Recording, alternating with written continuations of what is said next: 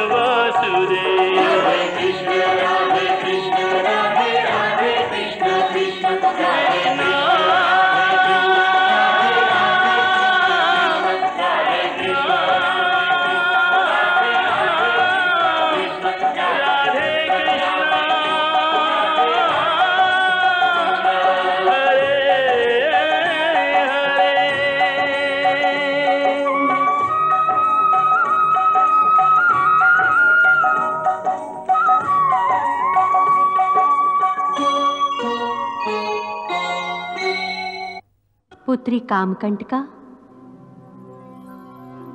आज्ञा मातेश्वरी, वासुदेव श्री कृष्ण कोई और नहीं, साक्षात पर ब्रह्म है, परमेश्वर है।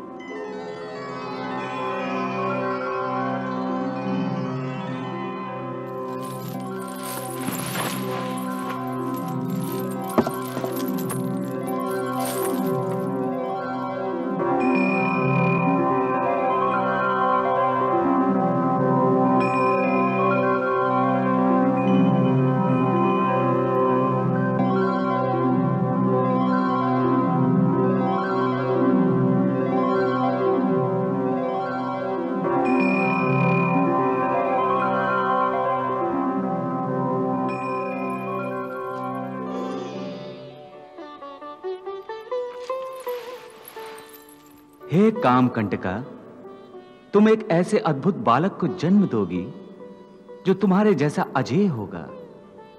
तुम्हारा बालक एक महान तपस्वी भी होगा और महान योद्धा भी। तुम्हारा पुत्र धर्म और शक्ति का महान संगम होगा। परंतु प्रभु, कामकंटका का विवाह नहीं हुआ है। प्रभु कामकंटका कुंवारी है।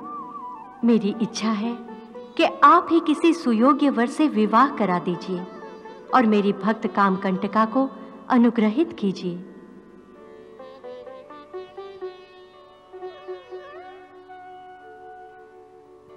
दाऊ भैया, काम कंटका आपकी पुत्र वधु बनेंगे। अर्थात अर्थात, काम कंटका का विवाह भीमपुत्र वीर घटोत्कच से होने वाला है। अरे वाह कन्हैया मेरे अचेत होते ही तुमने यह चमत्कार दिखा दिया। काम कटका के साथ साथ उसका दिल भी जीत लिया। कन्हैया ये शुभ समाचार हम घटोत्कच को सुनाते हैं। वो तो फूला नहीं समाएगा। आओ आओ उसे यह शुभ समाचार सुनाते हैं। नहीं दाओ भैया घटोत्कच को मैंने यही बुला लिया है।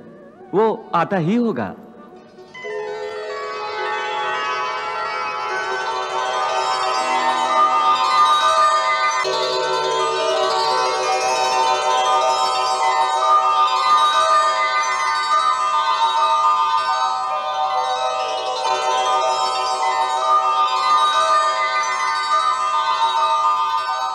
प्रणाम प्रभु।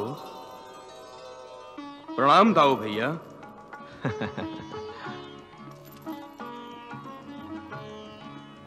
उठो काम कंटका।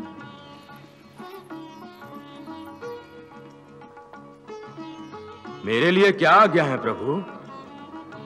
वीर घटोत्कच ये प्राग ज्योतिषपुर की युवराज्ञी काम कंटका हैं। मैंने तुम्हारा विवाह इनसे ही निश्चित किया है। प्रभु ये मेरा सौभाग्य है। जो आपने मुझ पर यह उपकार किया। कन्हैया इस शुभ काम में हमें अब विलंब नहीं करना चाहिए। घटोत्कच की भांति, इसके पिता भीमसेन और दूसरे पांडव भी तुम्हारे इस निर्णय का आँख बंद करके स्वागत करेंगे। अब हमें तुरंत इंद्रप्रस्थ चलना चाहिए। बड़े भैया, ये तो बहुत अच्छा विचार है। विवाहित जीवन के आरंभ में अपने ज्येष्ठों का आशीर्वाद अति आवश्यक होता है। इसलिए वीर घटोत्कच को पांडवों और विशेषकर अपने पिता भीमसेन का आशीर्वाद प्राप्त करना चाहिए। परंतु माता का स्थान सर्वश्रेष्ठ होता है। इसलिए घटोत्कच को सबसे पहले अपनी माता हिडिंबा का आशीर्वाद प्राप्त करना चाहिए और उनसे आज्ञा भी लेनी चाहिए। प्रभु मेरे मन में भी यही इच्छा थी परंतु मैं बड़ा दुर्भागी हूँ। माता श्री जब से तपस्या करने के लिए तीर्थ स्थान पर गईं, मैं उनके दर्शन से भी वंचित हूँ। वहाँ जाकर उनकी तपस्या में बाधा तो नहीं डाल सकता ना? मैं बड़ा दुर्भागी तो हूँ, प्रभु। वीर घटोत्कच हिडिंबा जैसी देवी स्वरूप माता के पुत्र होकर अपने आप को दुर्भाग्य समझना यह एक भूल है। हिडिंबा असुर जाति की होकर भी एक महान तपस्विनी है। उनकी तपस्या से प्रसन्न होकर देवी देवताओं ने उन्हें अनेक सिद्धियों से संपन्न किया है। परंतु वो सिद्धियों को महत्व न देकर ईश्वर के दर्शन को महत्व देती हैं। और जब तक उन्हें ईश्वर के दर्शन ना हो जाएँ, वो अपनी तपस्या समाप्त नहीं करेंगी। फिर उनके बिना यह विवाह कैसे होगा? उनके बिना नहीं उनकी छत्र छाया में ही यह विवाह संपन्न होगा।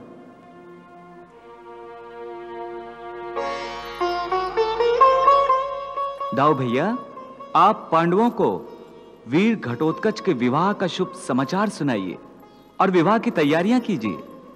मैं वीर घटोत्कच और काम कंटिका के साथ हिडिंबा के पास जा रहा हूँ। जो आज्ञा कन्हैया। प्रभु अब मुझे आज्ञा दीजिए।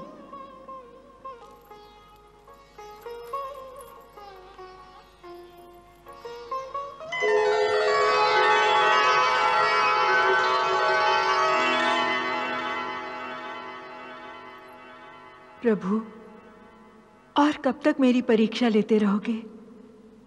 मैं आपके दर्शन के लिए युगों युगों तक यूँ ही बैठी तपस्या करती रहूँगी। अब आपके दर्शन की प्यास सहन नहीं हो रही है प्रभु। कृपया दर्शन दीजिए प्रभु। मुझे दर्शन दीजिए।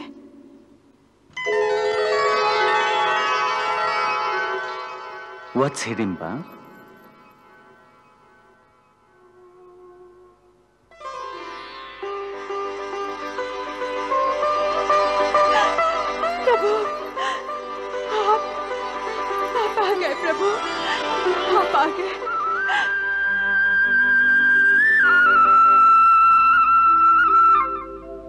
आपको पहचान लिया, प्रभु।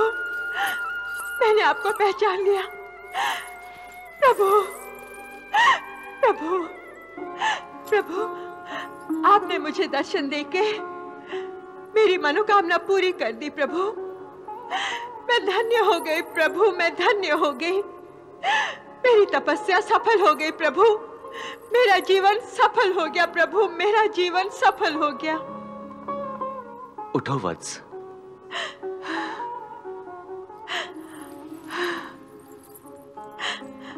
प्रभु, भगवान शिव का कथन सत्य हो गया। उन्होंने मुझे कहा था कि आप मुझे एक दिन दर्शन अवश्य देंगे। देवी हिडंबा मैं तुम्हारी तपस्या से बहुत प्रसन्न हूँ। भगवान शिव ने जो दर्शन देने के लिए भविष्यवाणी की थी, वो दिन आज का ही दिन है। तो फिर आज मैं तुम्हें दर्शन कैसे नहीं देता? प्रभु आपके दर्शन करने के बाद तो मैं आँखें बंद करके कल्पांत तक आपकी तपस्या कर सकती हूँ। नहीं देवी हिडंबा अब तुम्हें इस एकांत में तपस्या करने की कोई आवश्यकता नहीं है। अब तुम संसार में रहकर भी तपस्या कर सकोगी। संसार में रहकर तपस्या? परंतु ये कैसे संभव है प्रभु? यही बताने तो मैं तुम्हें आया हूँ। वीर घटोत्कच तुम दोनों प्रकट हो जाओ।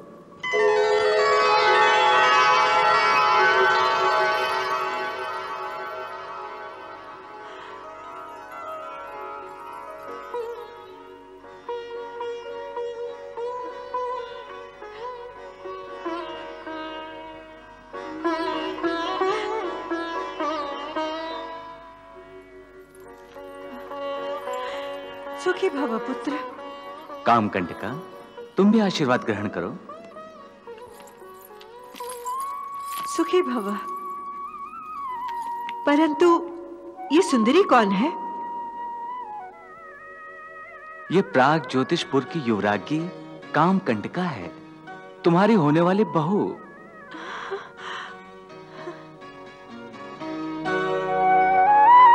और इसी के विवाह के लिए हम तुम्हें इंद्रप्रस्थ ले जाने आए हैं। परंतु प्रभु, आप तो अभी तपस्या की बात कर रहे थे, और ये सब तो मुझे घर गृहस्थी की ओर ले जाएगा। इसीलिए तो मैंने तुम्हें कहा था कि अब तुम्हें संसार में रहकर ही तपस्या करना है। देवी हिडिंबा सच तो यह है कि विवाह के बाद तुम्हारी बहू घटोत्कच के पुत्र के रूप में एक धर्मात्मा और महान योद्धा को जन्म देने वाली है। सच प्रभु? हाँ और काम कंटका के पुत्र को धर्मात्मा बनाने का दायित्व मैं तुम्हें सौंपता हूँ। और ये शुभ कार्य तुमसे बेहतर और कौन कर सकता है? क्योंकि तुम इस पुत्र की दादी भी हो और एक महान तपस्विनी भी। घटोत्कच के पुत्र बर्बरीक की शिक्षा और दीक्षा ही वो तपस्या है जो तुम्हें इस संसार में रहकर करनी है। मैं आपकी आज्ञा का पालन करूँगी प्रभु। तो फिर चलो इंद्रप्रस्थ। अब तो वहाँ विवाह की तैयारियाँ भी पूरी हो गई होंगी। जैसी आपकी आज्ञा प्रभु।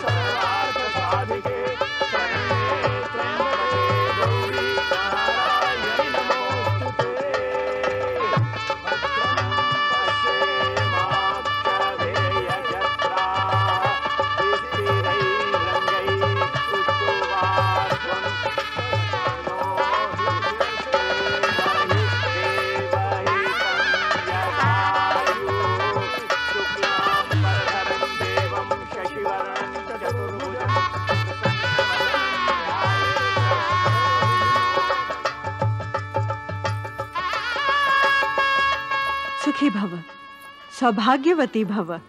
कामकंटका श्री कृष्ण के आदेश अनुसार तुमने विवाह करके अपना एक कर्तव्य तो निभा दिया। अब दूसरा कर्तव्य भी जल्दी ही निभाना होगा। दूसरा कौन सा कर्तव्य माता श्री अरे भूल गई। मुझे अपने होने वाले पोते का मुँह दिखाने में विलंब ना करना। मुझे जल्दी से दादी बना देना, ताकि मैं भी श्री कृष्ण के आदेश अनुसार अपना कर्तव्य पूरा कर सकूँ। अपने पोते को अपनी गोद में बिठाकर उसे शिक्षा और दीक्षा दूँ।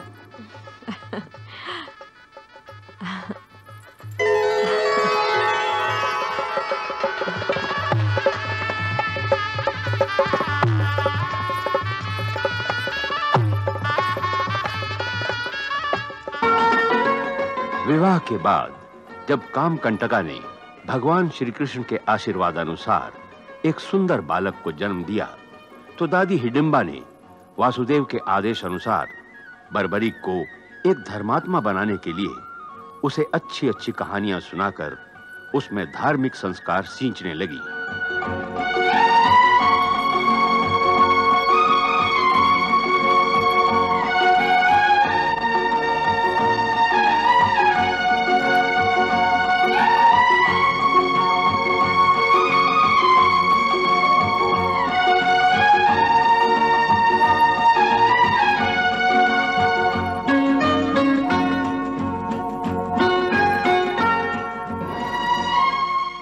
पुत्र बरबरे सो तो नहीं गए? नहीं दादी माँ सोच में पड़ा था। सोच में? क्या सोच रहे थे? मैं ये सोच रहा था कि आपने मुझे सारा ज्ञान दिया पर यह नहीं बताया कि मुक्ति क्या होती है। पुत्र बर्बरिक मुक्ति मनुष्य के जीवन का परम उद्देश्य होता है जिसे पाकर मनुष्य जीवन और मृत्यु के चक्र से मुक्त हो जाता है। और परमात्मा में लीन हो जाता है। अर्थात उसे अपने पाप और पुण्य के कर्मों का फल भोगने के लिए फिर जन्म नहीं लेना पड़ता। परंतु यह मुक्ति प्राप्त कैसे होती है? मनुष्य यदि कर्मों के फल को त्याग दे निरासक्त हो जाए तो मुक्ति प्राप्त हो जाती है। परंतु बर्बरिक इस तरह की मुक्ति प्राप्त करने के योग्य बनने के लिए मनुष्य को कई कई जन्म लेने पड़ते हैं। ये तो बड़ा लंबा चक्र है। प्रभु की आत्मा में लीन होने के लिए मेरी आत्मा न जाने कब से तड़प रही है। आप मुझे कोई ऐसा तरीका बताएँ जिससे मैं शीघ्र ही मुक्ति पा सकूँ? पुत्र बर्बरिक यदि किसी मनुष्य को प्रभु के हाथों मृत्यु आ जाए तो उसकी आत्मा तुरंत प्रभु में लीन हो जाती है और उसे मुक्ति मिल जाती है। अच्छा ये तो बहुत सरल उपाय है। मैं प्रभु श्री कृष्ण से जाकर युद्ध करूँगा और वो मुझे मार डालेंगे। फिर मैं जन्म जन्मांतर के चक्र से मुक्त हो जाऊँगा। बर्बरिक भगवान श्री कृष्ण किसी को अकारण ही नहीं मारा करते। और फिर वो तुमसे युद्ध क्यों करेंगे? तुम्हारे पास तो उनकी टक्कर के अस्त्र भी नहीं है। उनके पास तो सुदर्शन चक्र है जिसका तोड़ किसी के भी पास नहीं है। मैं घोर तपस्या करके महान अस्त्रों का ढेर लगा दूँगा और फिर श्री कृष्ण को मुझसे युद्ध करने के लिए विवश कर दूँगा। और फिर देखता हूँ कि वो मेरा वध कैसे नहीं करते। इसके बाद बर्बरिक तपस्या करने के लिए महिसागर संगम तीर्थ स्थान गया और घोर तपस्या शुरू की।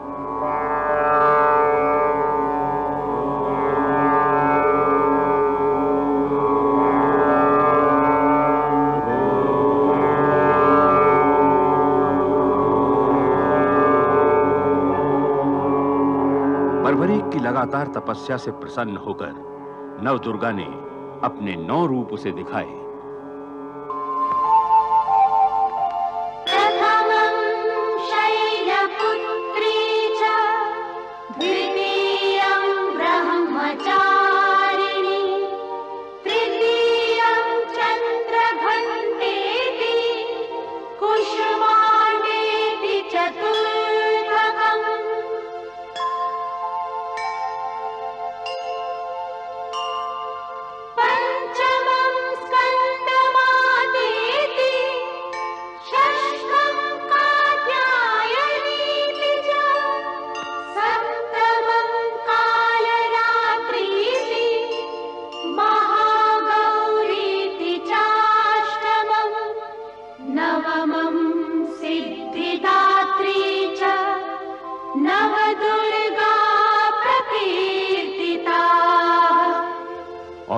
बल दिया, जितना बल तीनों लोगों में किसी के पास नहीं था।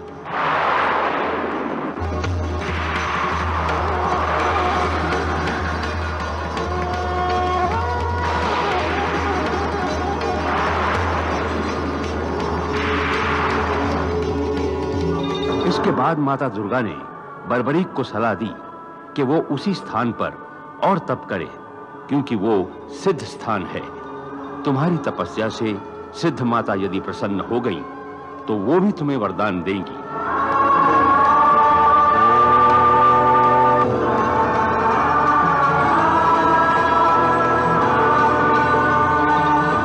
सिद्ध माता ने बर्बरीक को वासुदेव अस्त्र प्रदान किया और गणपति से संबंधित सारी विद्याओं को और अस्त्रों को प्रदान किया।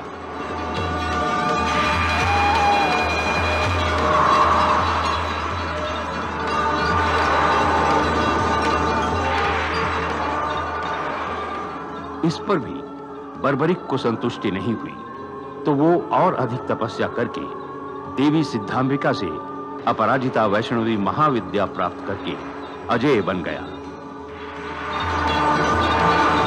इन सारी विद्याओं और अस्त्रों से संपन्न होने के बाद, एक दिन जब कुरुक्षेत्र में कौरवों और पांडवों की सेनाएँ आमने सामने डेरा डाल रही थी, तब बर्बरिक भी युद्ध में भाग लेने के लिए अकेला ही कुरुक्षेत्र की ओर चल दिया। अ,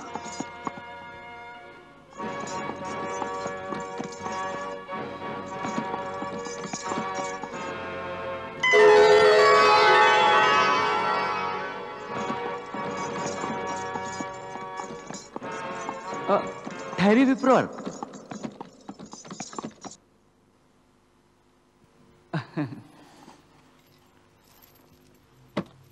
प्रणाम ब्राह्मण देवता। कल्याण हो वत्स। कल्याण हो।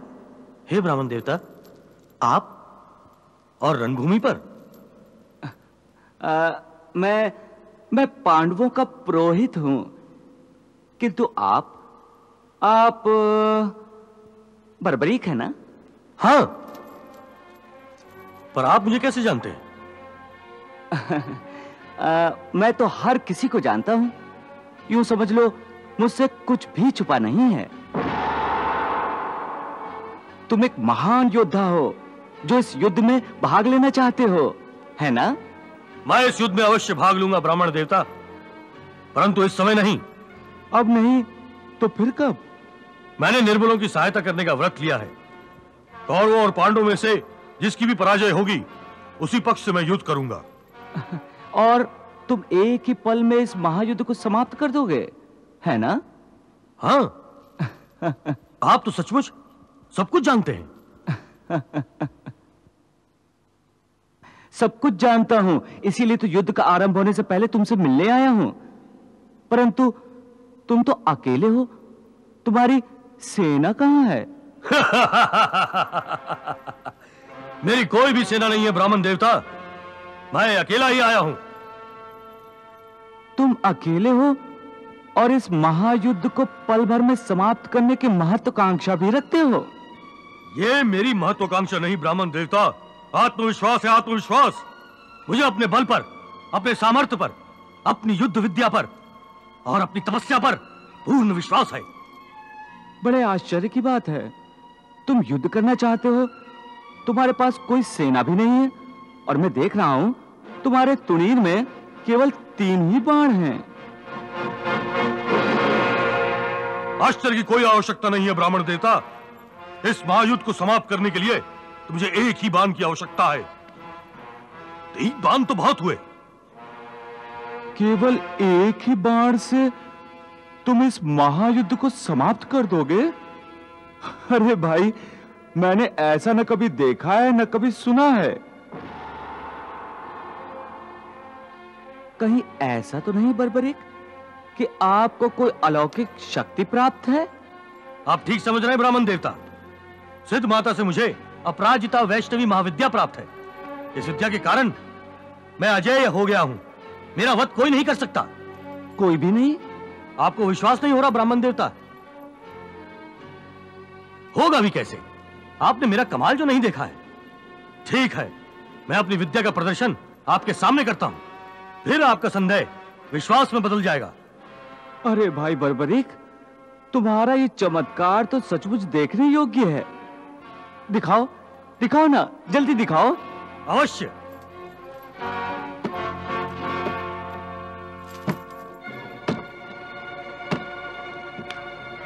चलिए। हाँ हाँ चलिए।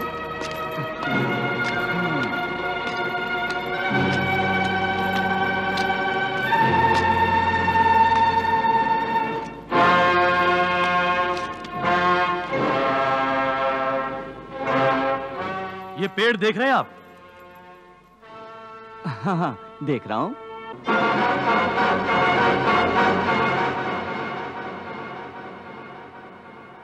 कितने पत्ते हैं इस पेड़ पर? अ, अनगिनत। हम्म अनगिनत। जैसे कुरुक्षेत्र में इकट्ठा होने वाले वीरों और महावीरों को गिना नहीं जा सकता। उसी तरह ना? उसी तरह।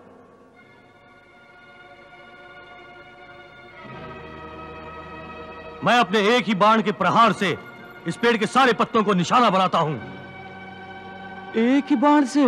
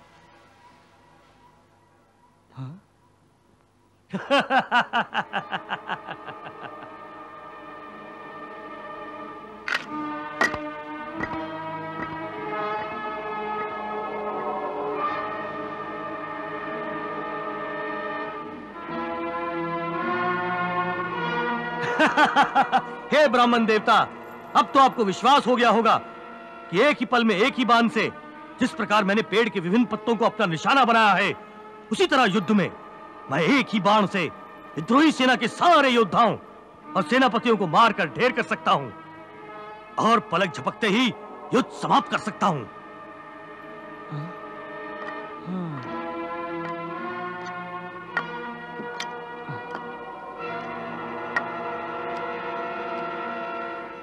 अब मुझे विश्वास हो गया है। पूर्ण विश्वास हो गया है कि तुम एक ही पल में इस युद्ध को समाप्त कर सकते हो। परंतु विप्रवर आप मेरी विद्या का प्रदर्शन देखकर चिंता में क्यों पड़ गए हैं? अरे तुम्हारी ये महाविनाशक विद्या ही मेरी चिंता का कारण है। चिंता का कारण? हाँ। आपकी चिंता का कारण? यदि मैं किसी निर्बल का साथ दूँ तो इसमें चिंता कैसी? निर्बल का साथ देना ही तो धर्म है। प्रश्न निर्बल और बलवान का नहीं। प्रश्न है कि कौन सा पक्ष धर्म पर है और कौन सा अधर्म पर? हे ब्राह्मण देवता आपकी ये गूढ़ और गहन बातें मेरे मस्तिष्क में नहीं आती। मैं तो केवल इतना जानता हूँ कि मुझे निर्बल का साथ देना चाहिए क्योंकि मेरी दादी हिडिंबा ने बचपन से मुझे यही शिक्षा दी है। चाहे वो अत्याचारी हो। हाँ। चाहे वो अन्यायी हो। हाँ। और चाहे वो अधर्मी हो। हाँ। परंतु ये तो उचित नहीं है। धर्म अधर्म उचित अनुचित ये आप जानिए क्योंकि आप ब्राह्मण हैं यह आपका धर्म है। मेरा धर्म तो अपनी दादी की आज्ञा अनुसार अपने धर्म का पालन करना है जिसकी मैं प्रतिज्ञा कर चुका हूँ और अपनी प्रतिज्ञा अवश्य पूरी करूँगा चाहे कुछ भी हो जाए। पर मैं तुम्हें ऐसा करने की आज्ञा नहीं दे सकता। जाइए जाइए ब्राह्मण देवता आपके पाँचों पांडव और उनकी सेना भी मुझे मेरी इच्छा पूरी करने से नहीं रोक सकते। फिर आप मुझे क्या रोकेंगे? आप तो एक निहत्ते ब्राह्मण हैं। मैं तुम्हें अवश्य रोक सकता हूँ। तुम नहीं जानते हो कि मैं कौन हूँ। आप कोई भी हो परंतु मेरा बाल भी बाका नहीं कर सकते। छोड़ दो यह धर्मी मैं तुम्हें अधर्म के रास्ते पर आगे नहीं बढ़ने दूँगा। तुम पागल तो नहीं हो गए हो? जो बर्बरिक का रास्ता रोक रहे हो जान प्यारी नहीं है क्या? भूल गए मेरे बाण की महाविनाशक शक्ति को। तुम मुझे क्रोध दिला रहे हो। शक्ति मैं भी दिखा सकता हूँ। अच्छा तो एक निर्बल ब्राह्मण मुझे अपनी शक्ति से डरा रहा है। दिखाओ अपनी शक्ति। मैं भी देखता हूँ कि तुम मुझे कैसे रोक सकते हो। रुक जाओ बर्बरीक। हे ब्राह्मण देवता आपको कौन सी ऐसी शक्ति पर इतना गुमान है? हाँ? कौन सी शक्ति पर? कहीं आप उन पाँचों पांडवों और उनकी विशाल सेना पर तो नहीं इतरा रहे हैं जो कौरवों को पराजित करने वाले हैं? हम्म, ठीक है। मैं अभी इसी समय शक्तिशाली पांडव और उनकी समस्त सेना को पेड़ के विभिन्न पत्तों की तरह अपने एक ही बाण से सदा के लिए धरती पर सुला देता हूँ। बर्बरीक। चिल्लाने से कुछ नहीं होगा, ब्राह्मण देवता। अब आप मुझे नहीं रोक सकते।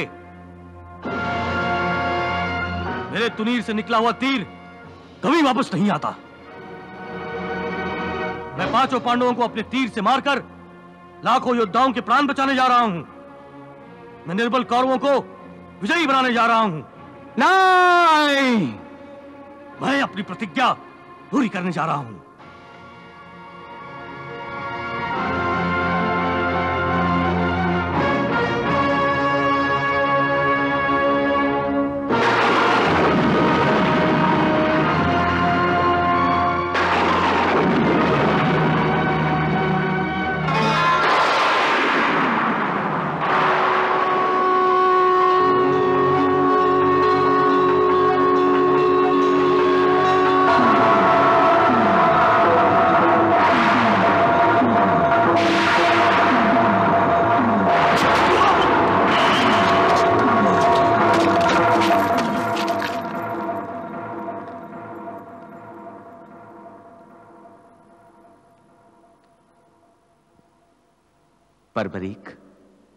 तुमने निर्बल, परंतु अधर्मियों का साथ देने की प्रतिज्ञा पूरी करने के अपने पागलपन से मुझे विवश कर दिया कि मैं अपने हाथों तुम्हारा वध कर दूँ। प्रभु, आपने अच्छा ही किया।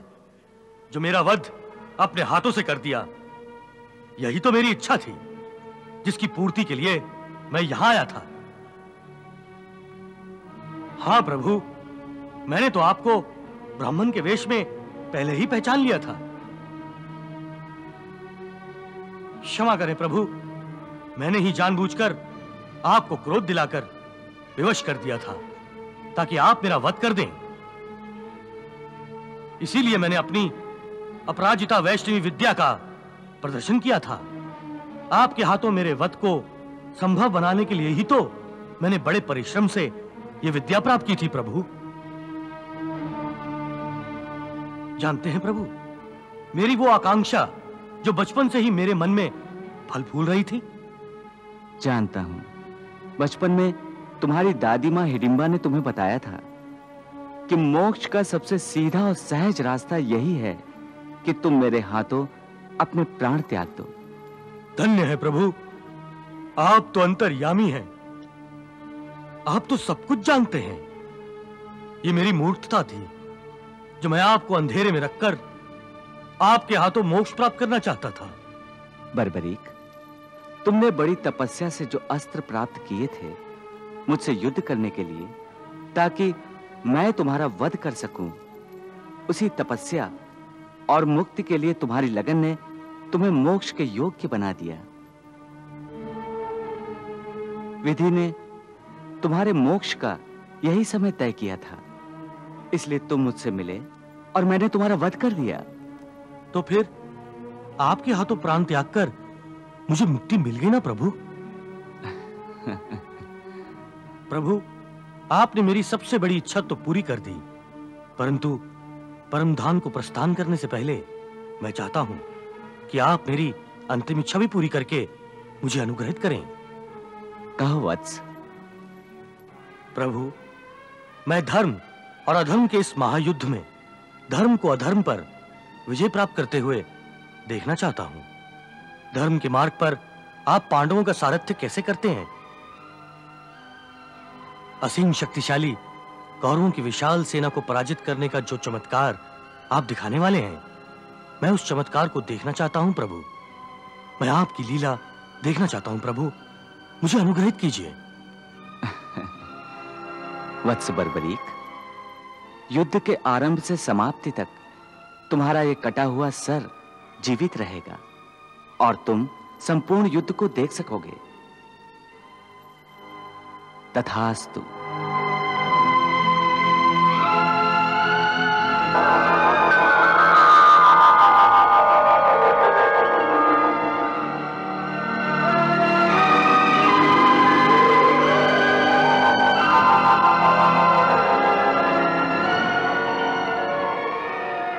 भगवान श्री कृष्ण के वरदान के कारण बर्बरिक कौरव पांडवों का महायुद्ध देखने की अपनी आकांक्षा पूरी कर सका।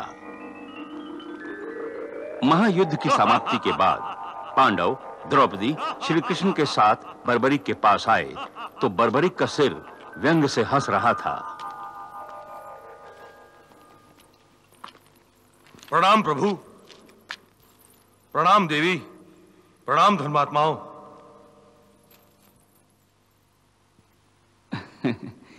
वत्स बर्बरीक, तुम किस बात पर इतना हंस रहे थे? प्रभु, मुझे हँसी सारे संसार पर आती है।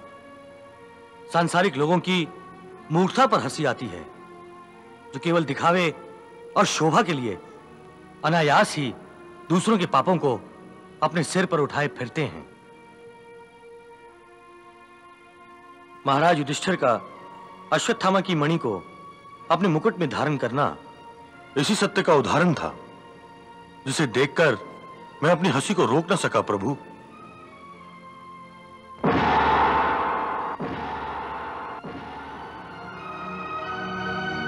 महाराज युधिष्ठिर, यदि मेरी हँसी से आपका अपमान हुआ हो तो मैं क्षमा चाहता हूँ। नहीं, बर्बरीक। इसमें कोई अपमान नहीं है।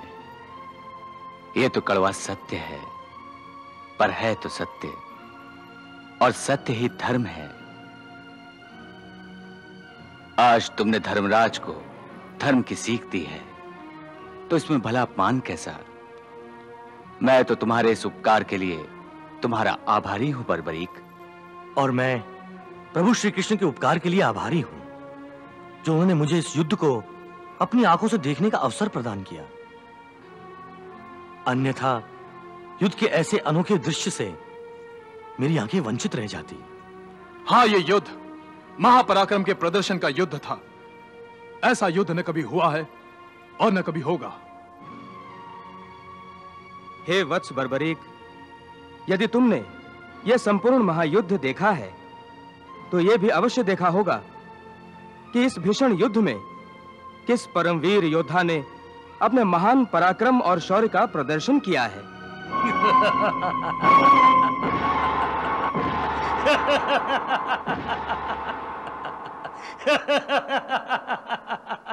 हाँ बताओ बर्बरिक किसने कितना संहार किया है?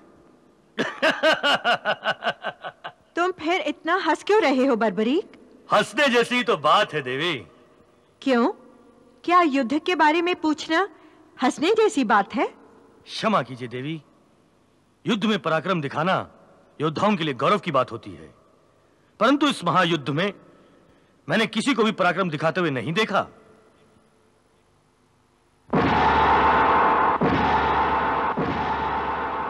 ये कहकर तुम हम पांडवों के बल पराक्रम और शौर्य का अपमान कर रहे हो बर्बरिक।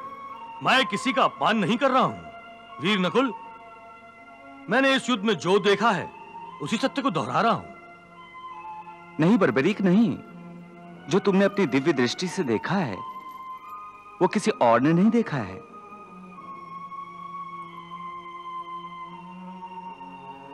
परंतु इस सत्य को अब ना बताना यही उचित होगा।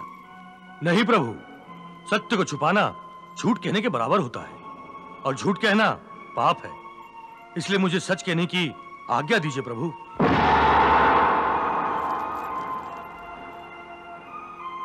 यदि मैं ये सच नहीं बताऊँगा तो संसार इस युद्ध के सत्य को जान नहीं सकेगा। परंतु ऐसा कौन सा सत्य है जो हम इस युद्ध को लड़कर भी नहीं जान सके? है बहुत ही गहरा सत्य है। हे सत्यवचना बर्बरीक हमें बताओ कि तुमने इस महायुद्ध में वो कौन सा सत्य देखा है? बताओ। इस युद्ध में मैंने एक ऐसा चमत्कार देखा है महात्मन जो सबकी आँखों से छुपा था। चमत्कार? और युद्ध भूमि में? हाँ देवी। मैंने युद्ध में भगवान श्री कृष्ण की लीला देखी है। अनोखा चमत्कार देखा है।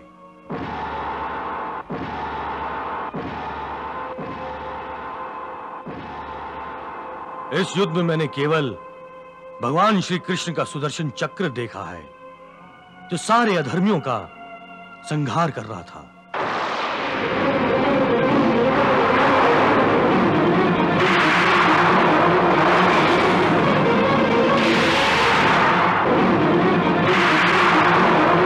मैंने देखा कि भीष्म अर्जुन के बाणों से घायल हुए हैं।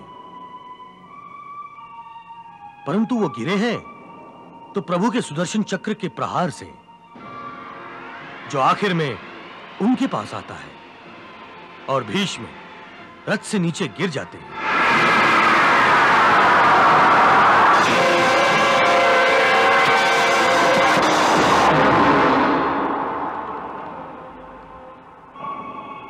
यही चमत्कार जयद्रथ के वध के समय भी मैंने देखा।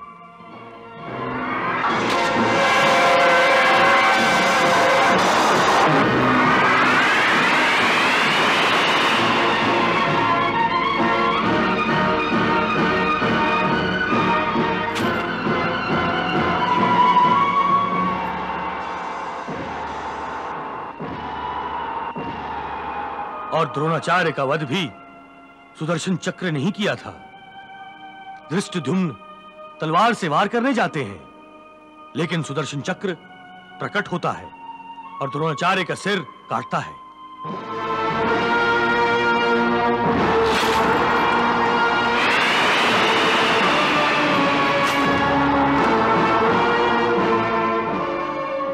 दानवीर कर्ण का वध भी प्रभु के सुदर्शन चक्र द्वारा ही हुआ था।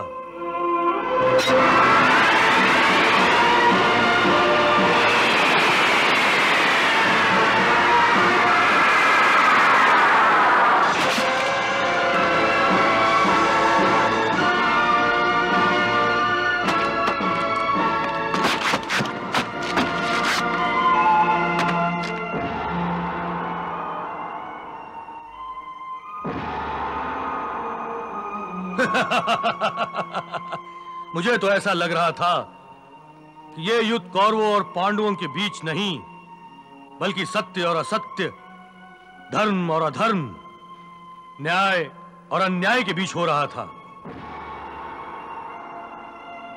प्रभु श्री कृष्ण ने सत्य, न्याय और धर्म का नेतृत्व करते हुए अधर्म का संहार किया है और पांडवों के रूप में धर्म को विजय दिलाई है।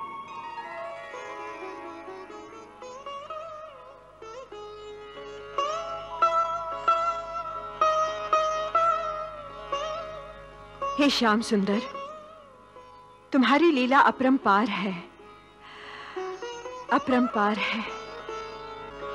प्रभु, आपकी लीला देखकर मैं धन्य हो गया हूँ। आपकी अमृतवाणी ने जो गीता कही, वो मैंने भी सुनी, और और मेरी आत्मा तृप्त हो गई। जन्मों जन्मों की तपस्या के बाद भी धर्मात्माओं को और महात्माओं को आपके दिव्य विराट स्वरूप का दर्शन नहीं हो पाता। परंतु मैं वो भाग्यशाली हूँ, जिसे आप ही की अपरंपार कृपा के कारण आपके दर्शन प्राप्त हुए। मेरी आँखें तृप्त हो गई।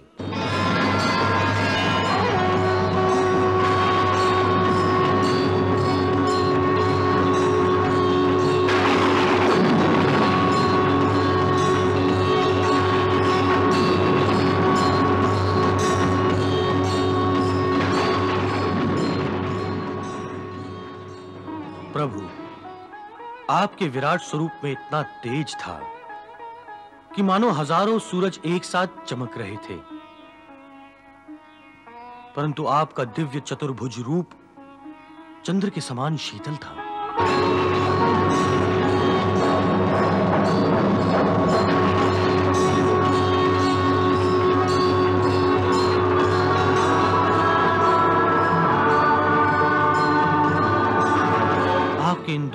रूपों को देखकर मैं आपका अनुग्रहित हुआ हूँ।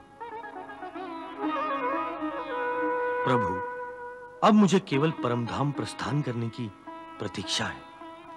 परंतु इससे पहले, हे भक्त वत्सल्य हे जगत नायक मैं आपके दिव्य चतुर्भुज रूप में समा जाना चाहता हूँ। तथास्तु।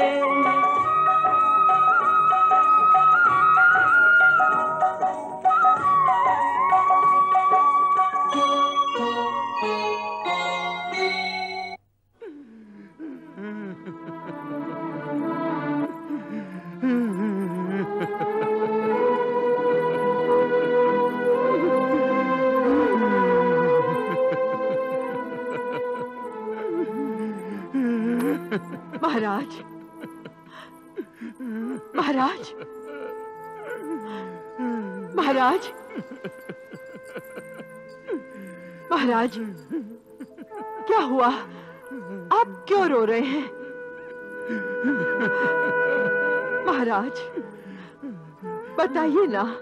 गांधारी जिसके सौ के सौ पुत्र मारे गए हों उसे तो जीवन भर रोना ही है।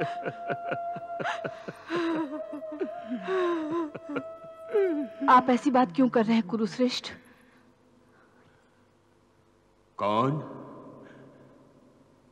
कुंती। हाँ श्रेष्ठ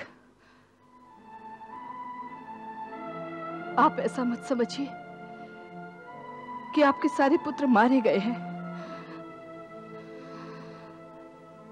आपके पाँच पुत्र अब भी जीवित हैं।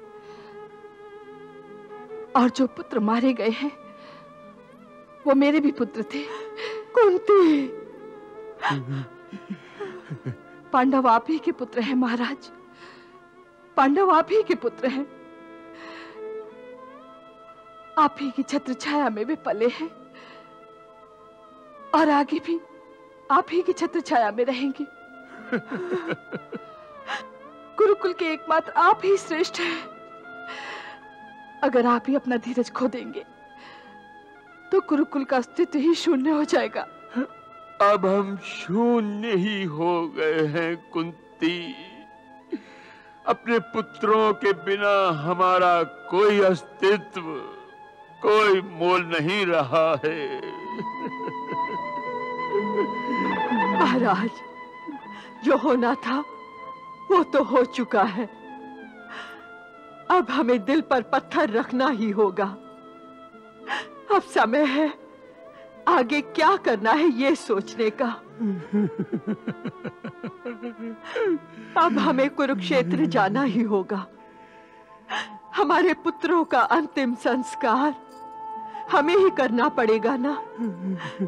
हमें ही करना पड़ेगा।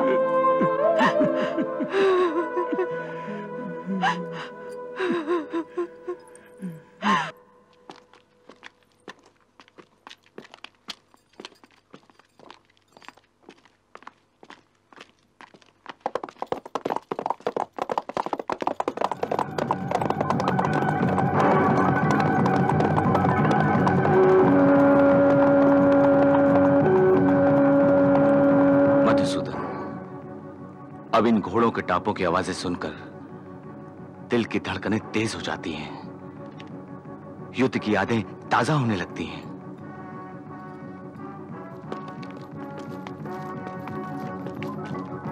परंतु बड़े भैया ये कोई योद्धा नहीं है ये तो गुप्तचर हैं।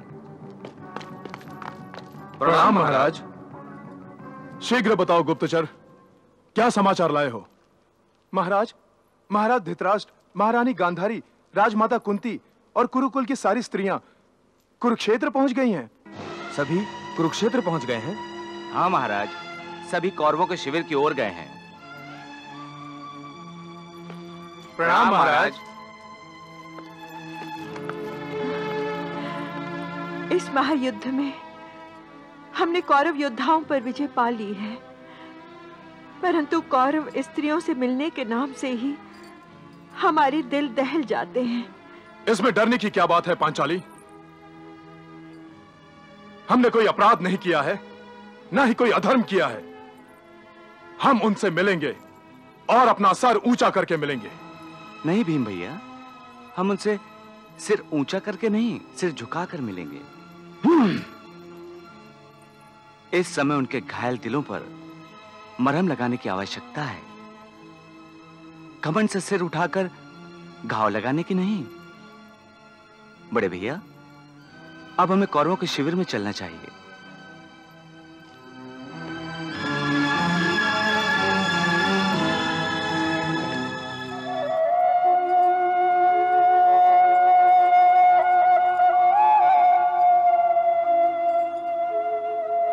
क्या यही मेरे पुत्र दुर्योधन का शिविर है?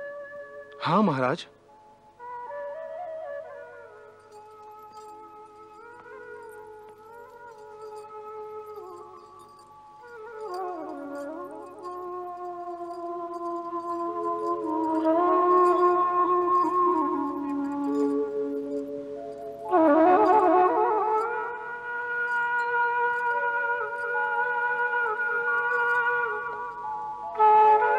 गांधारी यदि दुर्योधन जीवित होता तो मेरा स्वागत करने के लिए आता। मुझे प्रणाम करता। महाराज ऐसी भावुकता मत दिखाइए कि मैं सहन ना कर सकूँ और मेरी आँखों से फिर आँसू बहने लगे। गांधारी इन चीज़ों से मुझे दुर्योधन के शरीर की बू आ रही है।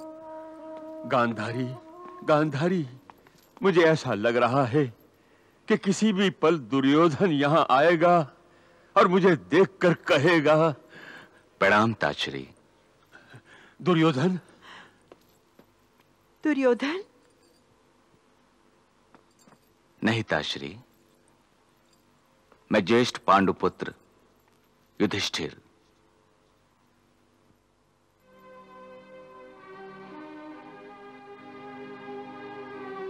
महाराज आपने युधिष्ठिर को आशीर्वाद नहीं दिया? वासुदेव तुम्हारी छत्र छाया के होते हुए पांडवों को अन्य किसी के आशीर्वाद की आवश्यकता नहीं है। नहीं महारानी मेरे नहीं ज्येष्ठों के आशीर्वाद ने पांडवों की सुरक्षा की है। ज्येष्ठों ने पांडवों को सदा ही आशीर्वाद दिया है क्योंकि पांडवों ने अपने ज्येष्ठों का कभी भी अनादर नहीं किया। हाँ ज्येष्ठों के आशीर्वाद ने ही पांडवों की रक्षा की है। परंतु अब किस ज्येष्ठ के आशीर्वाद से पांडवों की रक्षा होगी? अब कौन बचा है आशीर्वाद देने को? एक मेरे अतिरिक्त परंतु क्या मैं मन से आशीर्वाद दे पाऊँगा?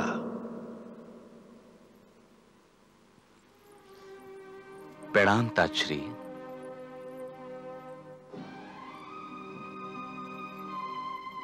ताश्री प्रणाम तुम्हारा कल्याण हो, वत्स युधिष्ठिर।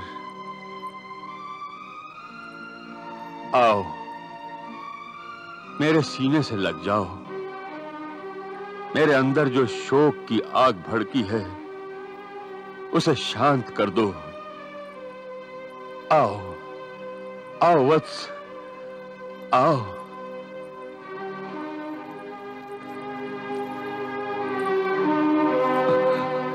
मुझे क्षमा कर दीजिए, ताजश्री। मैं इसी पल युधिष्ठिर को अपनी बाहों में पूरी तरह जकड़कर मृत्यु के अधीन कर सकता हूँ। परंतु इसने तो मेरे एक भी पुत्र की हत्या नहीं की है।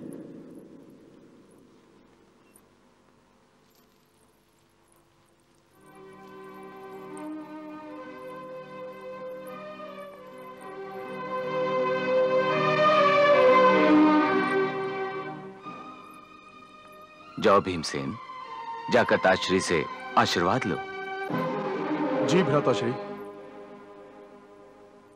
भीम मेरे पुत्रों का हत्यारा जिसने मेरे सौ के सौ पुत्रों का वध किया है।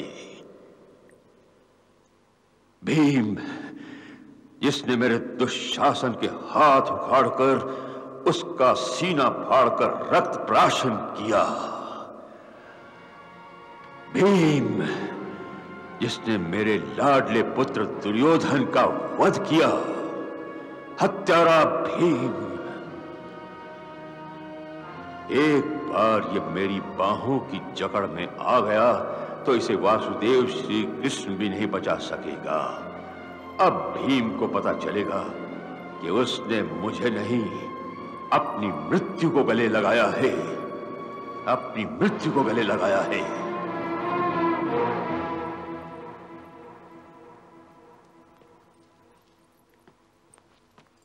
प्रणाम ताजश्री विजयी हो।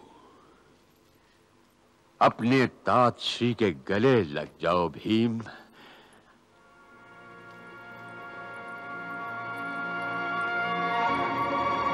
अपने तातश्री के गले लग जाओ। गले लग जाओ भीम। अपने तातश्री के गले लग जाओ। गले लग जाओ भीम। गले लग जाओ भीम।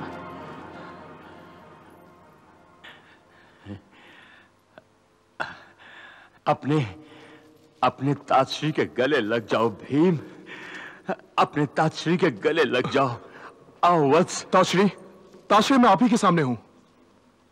अपने तातश्री के गले लग जाओ भीम।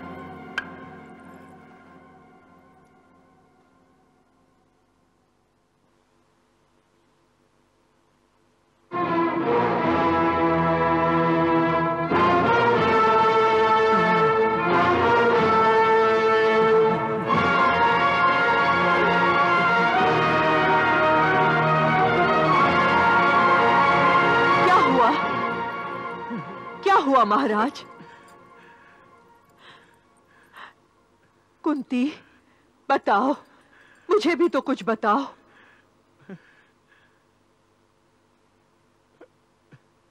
मैं मैं बताता हूँ गांधारी। आप महाराज? मैंने क्रोध के आवेश में भीम को मार डाला। क्या?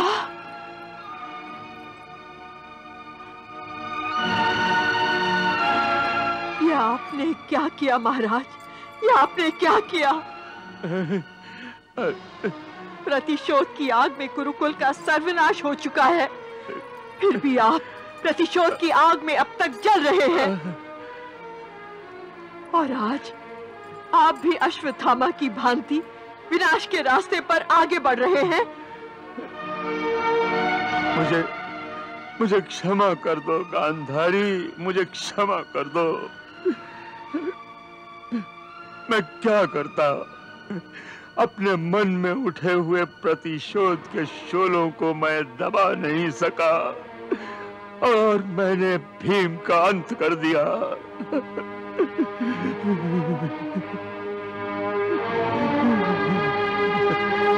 हे कुंती, मुझे क्षमा कर दो। मुझे क्षमा कर दो। आपसे कोई अपराध नहीं हुआ, महाराज। भीम जीवित है? भीम जीवित है?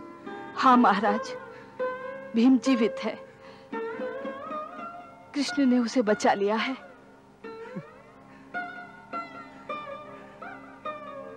क्या सचमुच भीम जीवित है वासुदेव?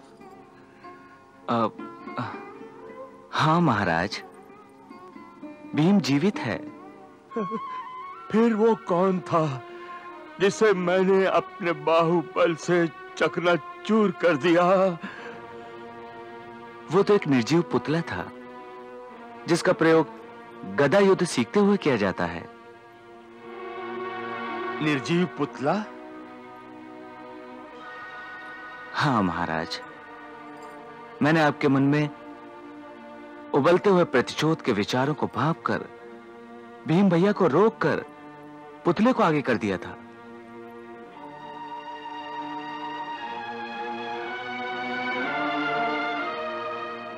महाराज। महाराज, आप तो परम बलशाली हैं, महाराज। मृत्यु के पंजों की जकड़ से प्राणी छूट सकता है, परंतु आपकी बाहों का बंदी कभी नहीं छूट सकता। महाराज आपने तो भीम भैया के लोहे के पुतले को तोड़ कर रख दिया।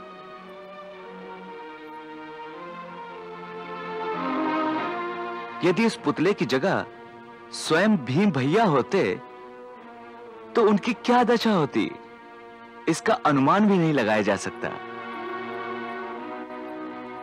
अब उठिए महाराज आइए उठिए। उठिए। मुझे मुझे अपने किए पर पछतावा हो रहा है, वासुदेव। महाराज, पछतावा तो भूतकाल में किए हुए अपने कर्मों पर होता है। परंतु जो अपना भविष्य पहले से ही देख लेते हैं, वो ऐसे कर्म करते ही नहीं कि उन्हें कभी पछताना पड़े। हे ताजश्री जीवन भर भविष्यवाणी को सुनकर भी आप अनसुना कर देते थे। दुर्योधन और स्वयं आप भी शकुनी के हाथों में पासे बनकर रह गए थे, जिन्हें वो अपनी उंगलियों के इशारे पर नचाता रहा, जिसका परिणाम कुरकुल के भीषण संघार के रूप में सामने आया।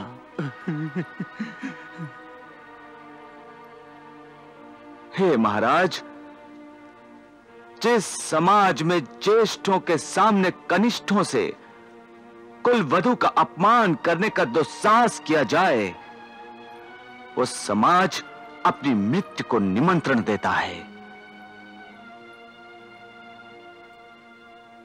और जिस जिस, जिसने ये अपराध किया उसने मृत्यु के रूप में उसका दंड भी भोगा। इसलिए हे ताजश्री इस युद्ध में मरने वालों का आप शोक मत कीजिए।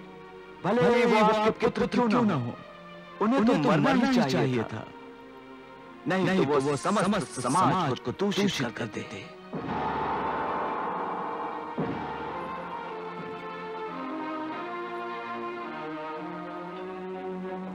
महाराज पांडवों को दोष देना, या उनसे द्वेष करना ठीक नहीं है। इस महायुद्ध में पांडवों ने भी बहुत कुछ खोया है। परंतु अब वो अपने पिताश्री को खोना नहीं चाहते। हाँ, ताजश्री, आज भी आप पांडवों के ताजश्री ही हैं।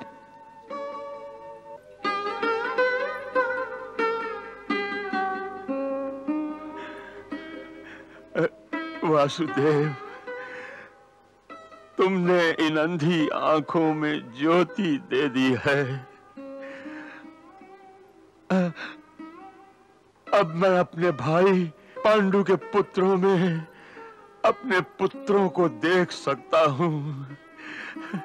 भीम भीम, आओ भीम, आओ। अपने उस दुर्भागी तात के गले लग जाओ, भीम। वो धृतराष्ट्र जो तुम्हारी मृत्यु की कामना कर रहा था वो तुम्हारे इस पुतले के साथ मर गया। आ, आओ भीम। नहीं। आओ भीम आओ। जाओ भीम।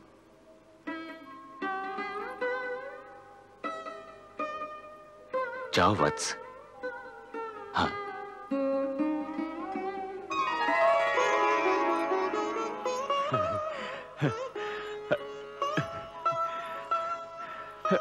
भीम।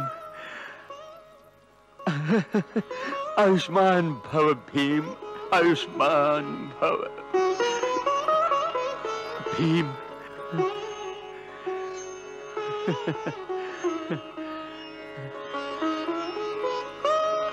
प्रणाम तारश्री सदा विजयी भव।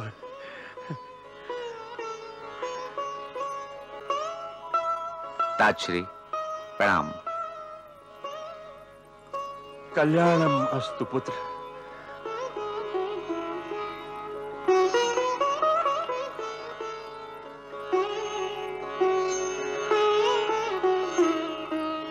प्रणाम ताश्री सहदेव दीर्घायु भव सहदेव।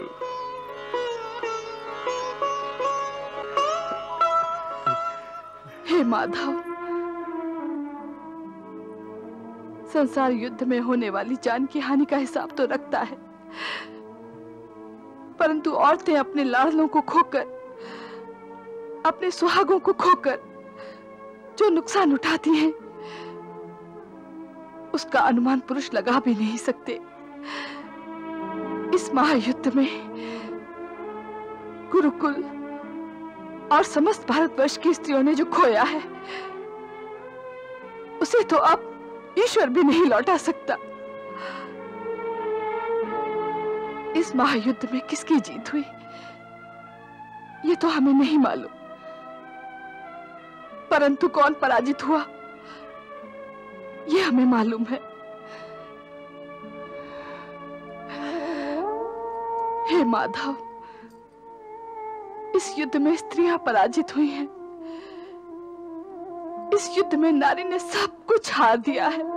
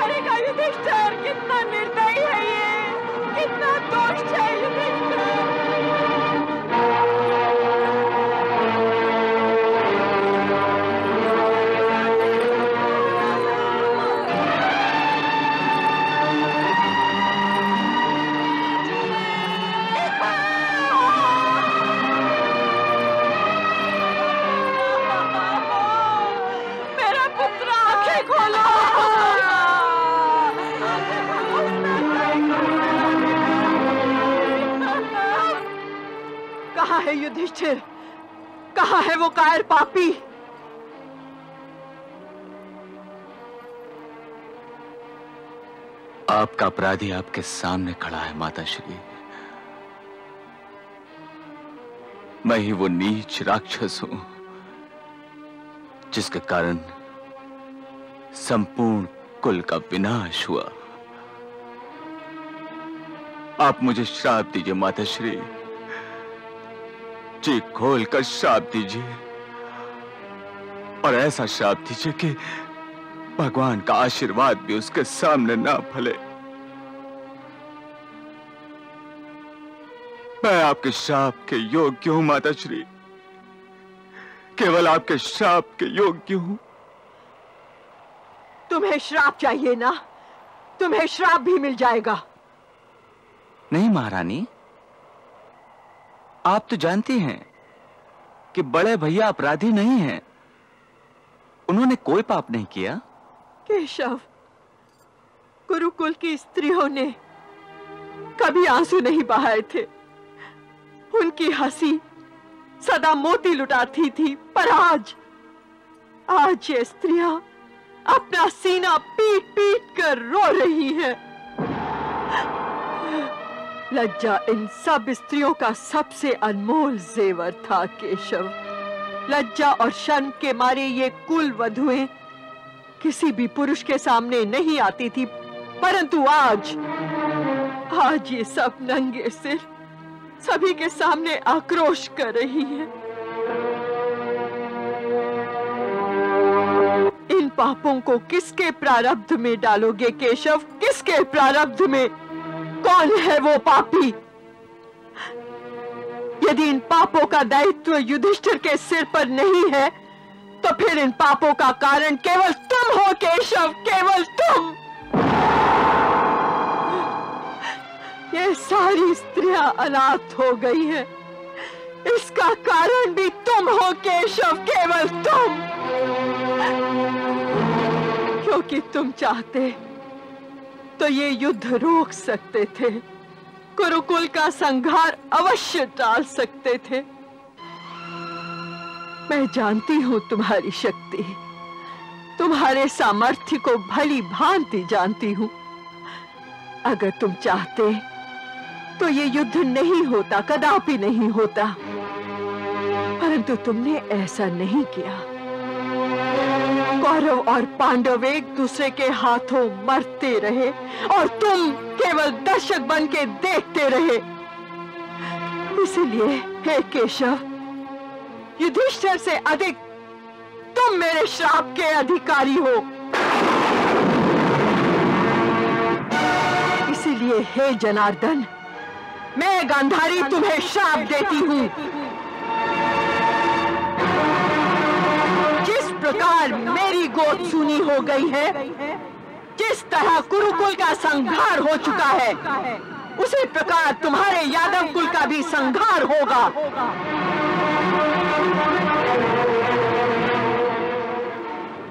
जैसे कौरवों और पांडवों ने अपने आप में खून बहाया है। एक दूसरे का खून बहाया है। ऐसे ही यादव भी आपस में लड़ मरेंगे और तुम केवल दर्शक बनकर देखते रहोगे।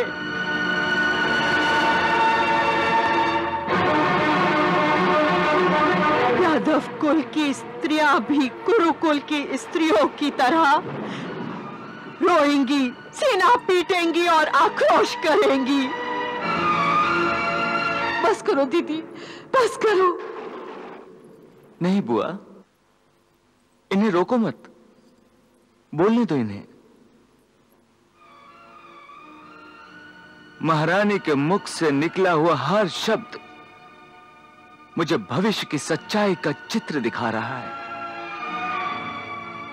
इन दुखी दिलों की व्यथा यही रूप धारण करेगी। केशव, तुमने दुखी इतने दिए हैं। कि ये दुखियारियाँ तुम्हें कभी छोड़ नहीं सकती। तुमने दूसरों का वध किया है, इसीलिए हे केशव, तुम्हारा भी वध होगा और अधर्म से होगा।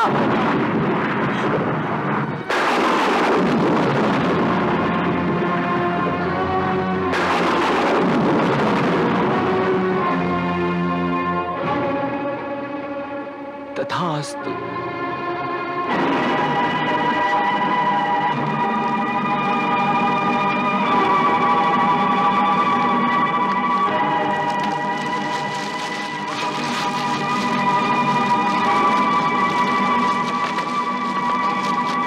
नहीं नहीं। मैं अपने पुत्रों की सामूहिक चिता को आग नहीं दे सकता नहीं दे सकता मैं। महाराज कौरवों की चिता को आप ही को अग्नि दिखानी है। संस्कार तो पूरे करने ही पड़ते हैं ना? ये कैसा संस्कार है?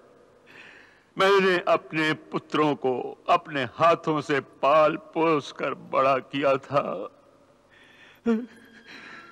सौ में से मेरा एक पुत्र भी नहीं बचा। जाने क्या दशा होगी उनकी। अच्छा ही हुआ जो भगवान ने मुझे आँखें नहीं दी। बहुत अच्छा हुआ। अन्यथा अपने सौ पुत्रों की लाशें उनके कटे हुए सिरों के ढेर चिरे हुए सीने, उखड़े हुए हाथों को कैसे देख सकता था? कैसे देख सकता था? प्रारब्ध ने मुझे कितनी बड़ी सजा दी है। जिस वाटिका के पुष्पों को अपने खून से सींचा था मैंने, उसी पुष्प वाटिका को अपने ही हाथों से आग लगानी पड़ रही है। ईश्वर कभी किसी बाप को ऐसी परीक्षा में न डाले। कभी न डाले, कभी न डाले। महाराज, मैं आपके मन की व्यथा को समझ रहा हूँ। परंतु युद्ध का भुगतान, युद्ध का भुगतान तो सबको भुगतना ही पड़ता है। आपके सभी पुत्र मारे गए। परंतु पांडव के भी सभी पुत्र मारे गए। माता गांधारी की गोद सूनी हो गई। परंतु द्रौपदी की गोद भी सूनी हुई है। वासुदेव, तुम बात तो धर्म की ही कर रहे हो। पर तुम मेरे मन की दशा को नहीं समझते, तुम नहीं जानते।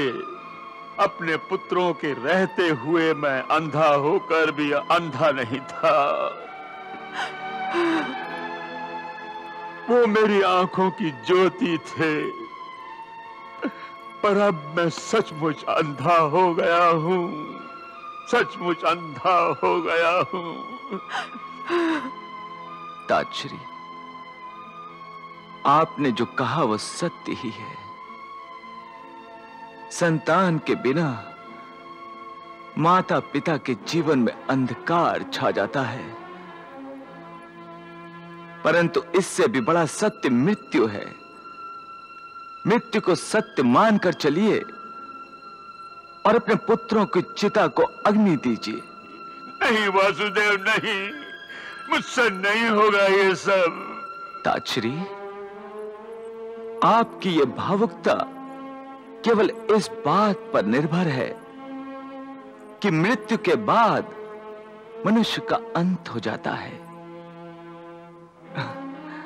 शरीर तो मरते हैं, पर आत्मा नहीं मरती।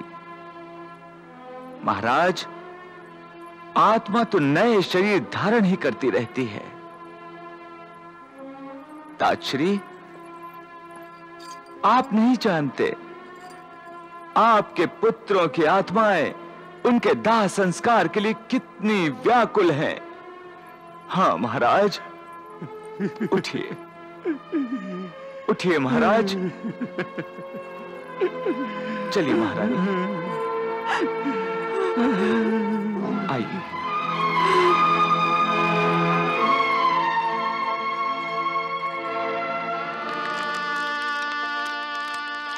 यह करनी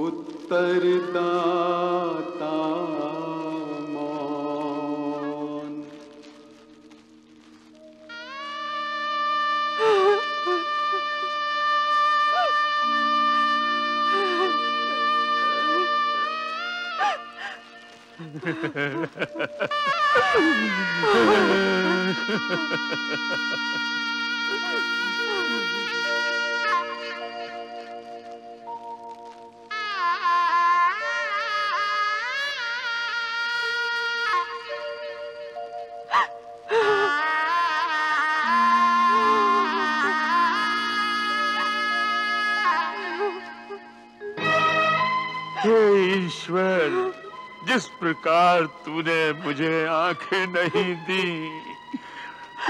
उसी प्रकार काश तूने मुझे ये दो हाथ भी न दिए होते जिनका मुझे अपने ही पुत्रों की चिता को आग लगाने के लिए प्रयोग न करना पड़ता। युधिष्ठिर। आज्ञा माताश्री युधिष्ठिर। तुम इतने निर्दयी क्यों हो गए? कि मेरे सौ पुत्रों में से एक को भी हमारे लिए जीवित नहीं छोड़ा। क्यों युधिष्ठर, क्यों बोलो?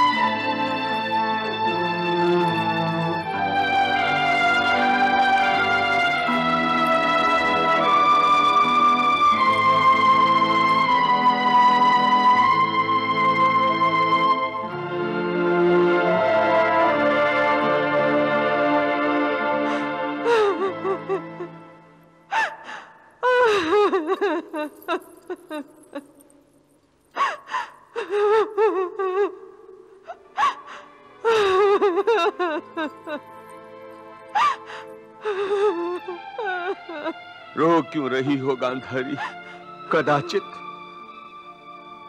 शरशैया पर लेटे हुए मेरी दशा को देखकर रो रही है।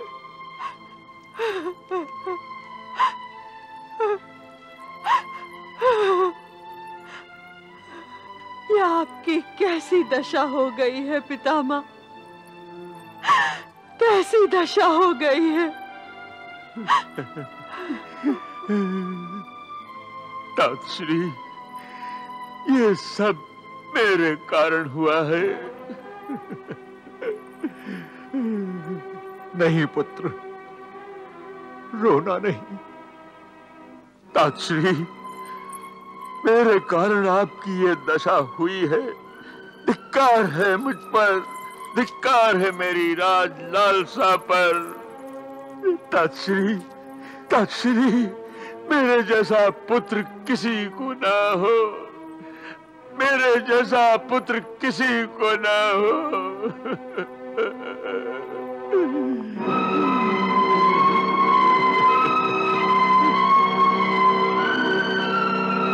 नहीं पुत्र, मुझे युद्ध के भयंकर परिणामों से सावधान करने के लिए गुरु द्रोणाचार्य ने स्वयं पितामह आपने ज्ञानी विदुर ने कई प्रयास किए थे। परंतु मैंने पुत्र मोह के आगे किसी की एक नहीं सुनी। अपराधी मैं हूँ मैं हूँ अपराधी।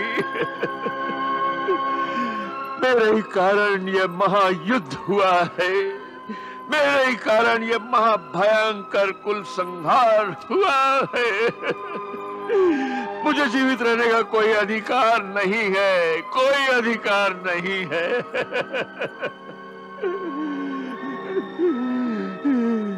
शांत हो जाओ पुत्र, शांत हो जाओ। कैसे शांत हो जाऊँ तातश्री कैसे शांत हो जाऊँ? मैंने अपने इन्हीं हाथों से अपने पुत्रों की सामूहिक चिताएँ जलाई हैं। मुझे एक पिता को अपने पुत्रों का अंतिम संस्कार करना पड़ा है। मैं शांत कैसे हो सकता हूँ? मैं शांत कैसे हो सकता हूँ? विवेक से काम लो पुत्र। तुम ज्ञानी हो। और भली भांति जानते हो कि सारे प्राणियों की यात्रा मृत्यु की ओर ही होती है। और मृत्यु एक अटल सच्चाई है, जिसे कभी टाला नहीं जा सकता।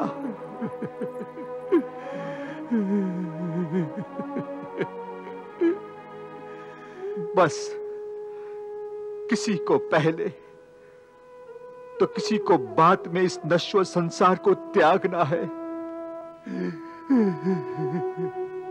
पुत्र धृतराष्ट्र, यदि तुम वासुदेव श्री कृष्ण से पूछोगे तो वो भी तुम्हें यही कहेंगे कि जो भी प्राणी मिलता है, वो बिछड़ने के लिए ही मिलता है। पुत्र धृतराष्ट्र ये सृष्टि एक स्वप्न नगरी है।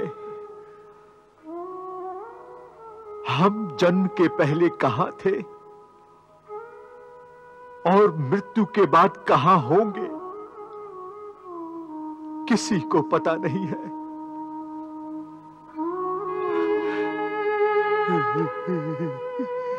पुत्र धृतराष्ट्र हमने आज तक न जाने हज़ारों जन्म लिए होंगे। परंतु हमें उनमें से एक जन्म भी याद नहीं। कौन कौन हमारे थे? और हम किसके थे? कुछ याद नहीं है। पुत्र, यदि हम उन जन्मों के साथियों के बिछड़ने पर आँसू नहीं बहाते तो फिर इस जन्म के साथियों के बिछड़ने पर आँसू क्यों बहा रहे हैं? पुत्र, रोना नहीं। अपने अपने कर्मों के भोग सबको भोगने ही पड़ते हैं। जैसा कर्म, वैसा ही कर्म फल इसीलिए तो ज्ञानी कहते हैं कि हम स्वयं अपने शत्रु हैं और हम स्वयं अपने मित्र भी। हम अपने पाप पुण्य के स्वयं साक्षी हैं, पुत्र। मुझे जो ये शरशैया प्राप्त हुई है, वो मेरे कर्मों का ही फल है। हमसे अनेक गलतियाँ हुई हैं, पितामह। जिसके भयंकर परिणाम भी हमें भुगतने पड़े हैं। पुत्री गामधारी, मनुष्य गलतियों का पुतला है। गलतियाँ करता ही रहता है। इसमें तुम्हारा कोई दोष नहीं है। सच तो ये है कि हमारा प्रारब्ध ही हमें कठपुतली की भांति इस संसार में नाच नचाता है। जो ज्ञानी ये सत्य जानते हैं, वो कभी अपने आप को बहकने नहीं देते। भगवान की रचाई सृष्टि को माया जानकर उसके मुँह से निकल आते हैं। पितामह, अब हमें किसी भी चीज़ का मोह नहीं रहा। हमें अपने जीवन तक से कोई चाव नहीं रहा। अब इस खाली जीवन में रह ही क्या गया है? हमारे जीवन का उद्देश्य नष्ट हो गया है। ऐसा मत कहो पुत्र। अब हम किसके लिए जिए किसके लिए? पांडवों के लिए। कृष्णा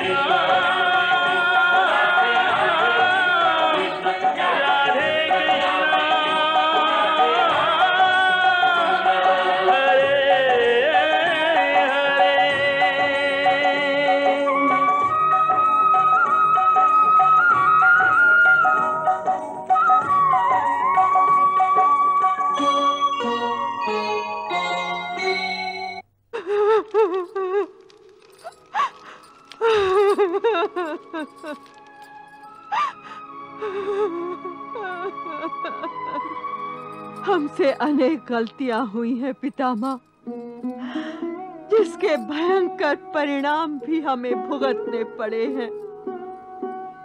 पुत्री गांधारी, मनुष्य गलतियों का पुतला है, गलतियाँ करता ही रहता है। इसमें तुम्हारा कोई दोष नहीं है। सच तो ये है कि हमारा प्रारब्ध ही हमें कठपुतली की भांति इस संसार में नाच नचाता है। जो ज्ञानी ये सत्य जानते हैं, वो कभी अपने आप को बहकने नहीं देते। भगवान की रचाई सृष्टि को माया जानकर उसके मुँह से निकल आते हैं। अब हम किसके लिए जिए किसके लिए? पांडवों के लिए।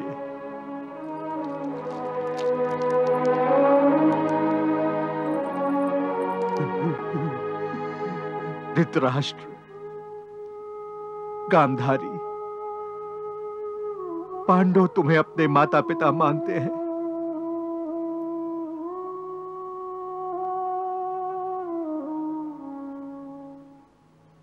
उनका मार्गदर्शन करना अब तुम्हारा परम कर्तव्य है।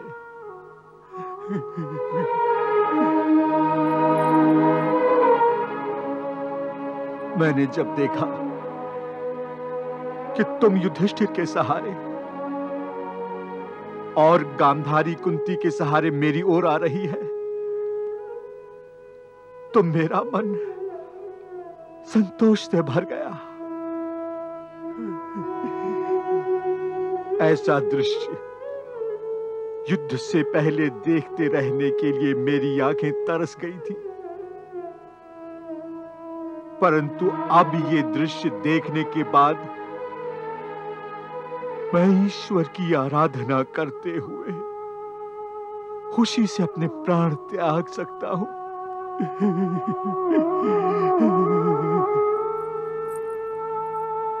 तुम भी ईश्वर की आराधना में अपना शेष जीवन बिताओ।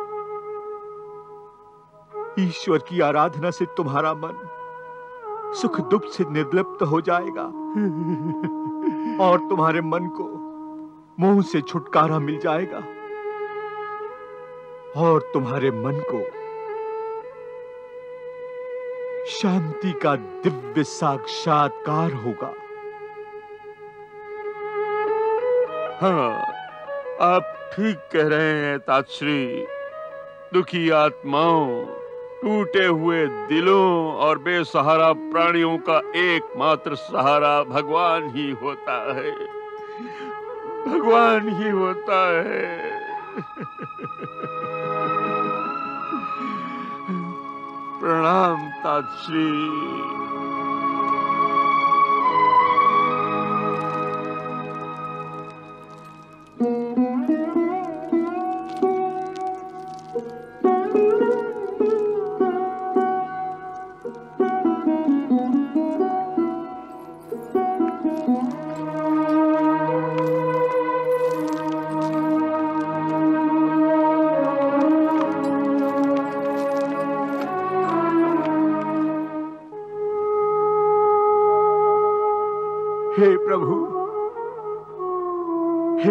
हे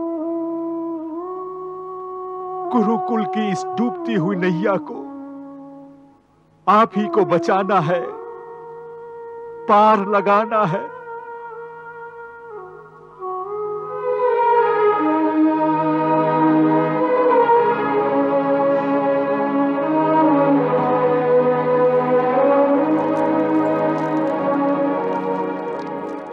अभिमन्यु घटोत्कच मामा शल्य। बड़े भैया सभी पांडवों के नाम आ गए हैं ना? हाँ केशव। हमने इस सूची को बार बार देख लिया है। हमारे सगे संबंधियों में कोई नाम नहीं बचा है।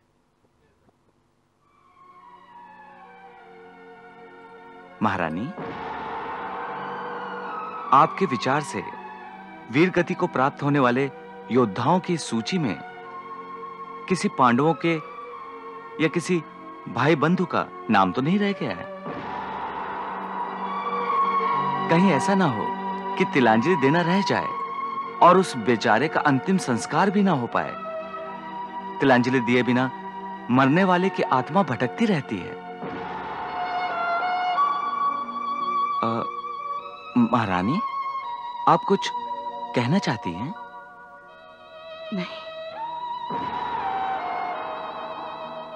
लीजिए बड़े भैया पांडवों के सगे संबंधियों में कोई ऐसा शेष नहीं है जिसकी तिलांजलि शेष हो। मधुसूदन? हाँ बुआ।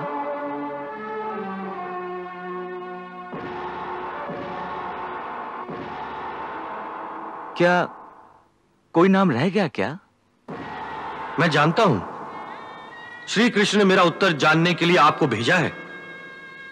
यदि उसके लिए भी आपको भिक्षा का नाटक करना है तो मैं आपको निराश नहीं करूँगा। मेरे प्राण भी मांगोगी तो वो भी दान कर दूँगा। नहीं नहीं। एक माँ अपने पुत्र के प्राण कभी नहीं ले सकती। हे अंगराज, मैं भिक्षा में तुम्हारे प्राण नहीं, स्वयं तुमको मांग रही हूँ। बताइए महारानी।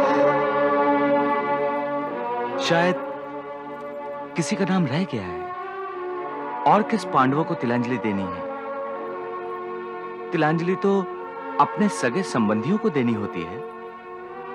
फिर भी, अगर आपके विचार से पांडवों के किसी रिश्तेदार का नाम रह गया हो तो बताइए। पता नहीं।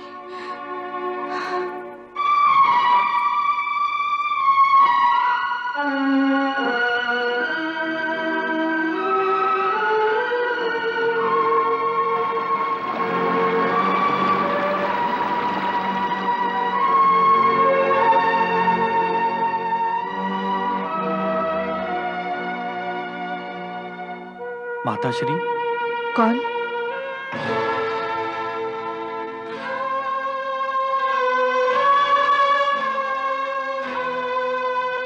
माता श्री मैं कर्ण आपका ज्येष्ठ पुत्र। तुम? तुम यहाँ क्या कर रहे हो? माता श्री मैं आपसे याचना करने आया हूँ। जिस प्रकार आप मेरी याद में व्याकुल हैं उसी प्रकार मेरी आत्मा भी तड़प रही है। नहीं। हाँ माता श्री हाँ। जिस तरह मेरे जन्म पर आपने मुझे नदी के लहरों के हवाले करके बेसहारा छोड़ दिया था मेरी मृत्यु के बाद मेरी आत्मा को बेसहारा मत छोड़ो माँ। मेरी आत्मा को बेसहारा मत छोड़ो। वरना मेरी आत्मा सृष्टि के अंत तक भटकती रहेगी। कर्ण यदि मेरा बस चलता तो मैं अपने प्राण देकर भी तुम्हें हर दुख से बचाती। परंतु मैं विवश हूँ। मैं तुम्हारे जन्म पर भी तुम्हारे लिए कुछ न कर सकी और तुम्हारे मरने पर भी तुम्हारे लिए कुछ नहीं करवा पा रही हूँ। कर्ण, तुम मेरी विवशता को समझो। नहीं माँ, नहीं। ऐसा मत कहो माँ। ऐसा मत कहो। आप जानती हैं कि जब तक मेरी आत्मा को तिलांजलि नहीं दी जाएगी, तब तक मेरी आत्मा को मुक्ति नहीं मिलेगी। माता श्री मेरे जीते जी तो आपने कभी मुझे अपना पुत्र नहीं माना। अब अब समय की इस बहती नदी में मुझे मुझे बेसहारा मत छोड़िए, माँ। मुझे बेसहारा मत छोड़िए। पांडवों को बता दीजिए। कि मैं ज्येष्ठ पांडव हूँ। मैं उनका भाई हूँ। पर मैं अपने ही पुत्रों को कैसे बता सकती हूँ कि मैंने तुम्हें अपनी कौमार्य अवस्था में जन्म दिया था? कर्ण मेरी विवशता को समझो पुत्र। ठीक है माताश्री। ठीक है। मैंने अपने भाइयों के लिए अपने प्राण त्यागे हैं। यदि आप चाहती हैं कि आपकी विवशता पर मेरी आत्मा जन्म जन्मांतर तक भटकती रहे तो मैं ये बलिदान भी दे दूँगा। दे दूँगा माँ। नहीं। अब तो मुझे अपना लो माँ। नहीं। अब तो मुझे अपना लो। मुझे मुक्ति दिला दो माँ। मुझे मुक्ति दिला दो। तिलांजलि माँ। तिलांजलि।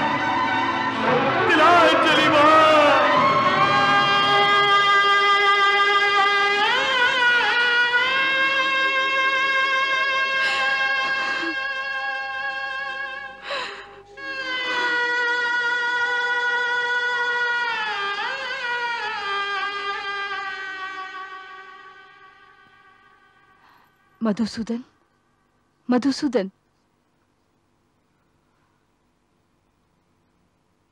बुआ। क्या बात है? इतनी व्याकुल क्यों है आप? उसकी आत्मा बेचैन है। वो तड़प रहा है। मेरा कर्ण तड़प रहा है। मैंने उसे नदी के पास देखा था। वो मुझसे तिलांजलि देने की याचना कर रहा था। बुआ आपने जो देखा है वो आपके हृदय की व्यथा थी, क्योंकि आप अपने आप को कर्ण का दोषी मानती हैं। इसलिए आपकी अंतरात्मा आपको चैन नहीं लेने दे रही है। बुआ, मैं देख रहा हूँ, कई दिनों से आप अपने मन पर ये बोझ लिए फिर रही हैं। इसलिए आप इतनी बेचैन हैं। क्या करूँ? माँ हूँ ना आखिर। माँ। तुम ही बताओ, मधुसूदन। मैं कैसे अभागे कर्ण को अपना पुत्र कहूँ? कैसे उसकी आत्मा को मुक्ति दिलाऊं? कैसे उसे तिलांजलि दिलवाऊं? बुआ, कर्ण की महान आत्मा को मुक्ति के लिए तिलांजलि की आवश्यकता नहीं है। हाँ बुआ, ऐसी महान आत्माएँ शरीर त्याग करते ही मोक्ष प्राप्त कर लेती हैं। तो फिर तुम शिविर में मुझे बार बार कर्ण को तिलांजलि दिलाने के लिए संकेत क्यों दे रहे थे? इसलिए, क्योंकि मैं चाहता हूँ कि इस महायुद्ध में कर्ण ने अपने भाइयों के लिए जो अपने प्राणों का महाबलिदान दिया है, उसे सारा संसार जान जाए। विशेषकर उसके भाइयों को मालूम हो, जो अब भी कर्ण को अपना शत्रु समझते हैं, जो उसका तिरस्कार करते हैं। पांडवों का भ्राता उनके घृणा का नहीं उनके प्रेम और आदर का अधिकारी है। काश मैं उस अभागे को उसका ये अधिकार दिला सकती। काश मैं लोकलाज का पर्दा हटाकर सबके सामने कह सकती कि कर्ण मेरा ज्येष्ठ पुत्र है। बुआ अब इस सत्य को छुपाना कर्ण के लिए सबसे बड़ा अन्याय होगा।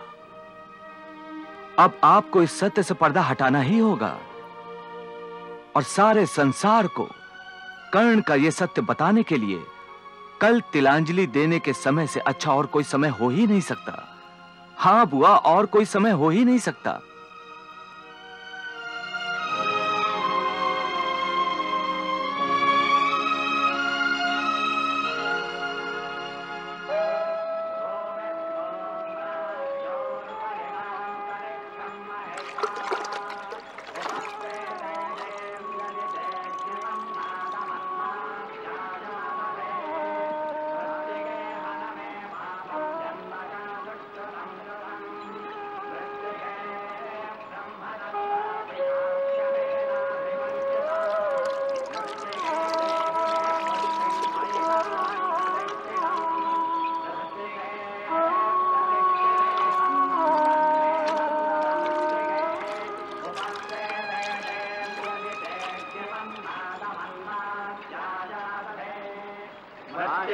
युधिष्ठिर अभी तुम्हें एक तिलांजलि और देनी है। किसकी? माता श्री अंगराज कर्ण की।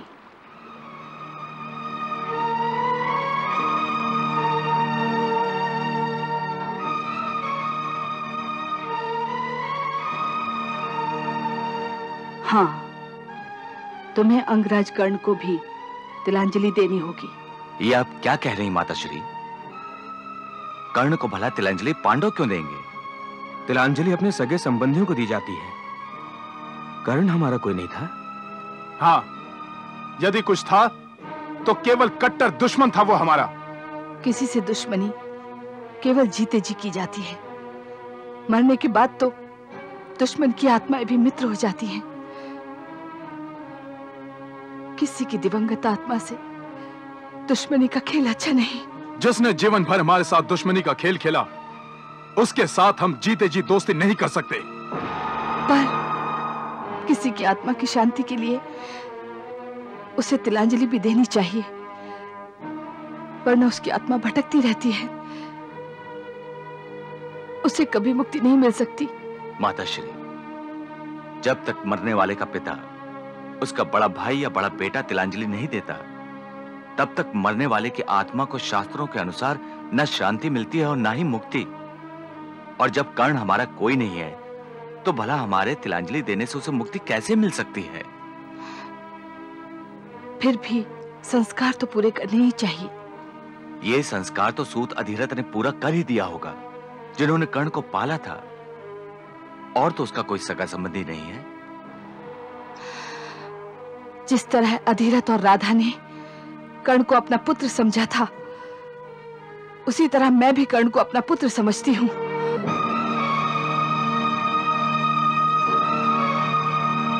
और इसलिए पांडवों को उसे तिलांजलि देनी ही चाहिए। परंतु माता श्री जो हमारा शत्रु है उसे आप अपना पुत्र कैसे मान सकती हैं? जो युद्ध में हमारे प्राणों का शत्रु बनकर हमारे सामने खड़ा हो गया था वो हमारा भाई कैसे हो सकता है? हो क्यों नहीं सकता? क्या कर्ण ने बड़े भाई की भांति शत्रु की सेना में होते हुए भी तुम सबकी जाने नहीं बचाई थी?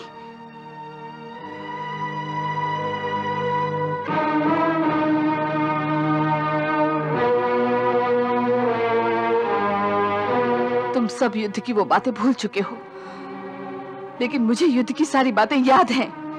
बताओ नकुल, बताओ सहदेव। क्या कर्ण ने तुम्हें जीवन दान नहीं दिया था?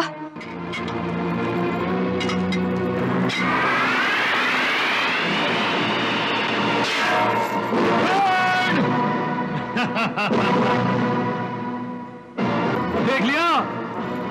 अपने बड़े भाई के मुँह लगने का परिणाम। अब सीधे सीधे वापस जाओ। मेरी आज्ञा का पालन करो। और जाकर अपने आप को सर्वश्रेष्ठ धनुर्धर समझने वाले अर्जुन से कह दो कि कर्ण उससे युद्ध करने के लिए अति उत्सुक है।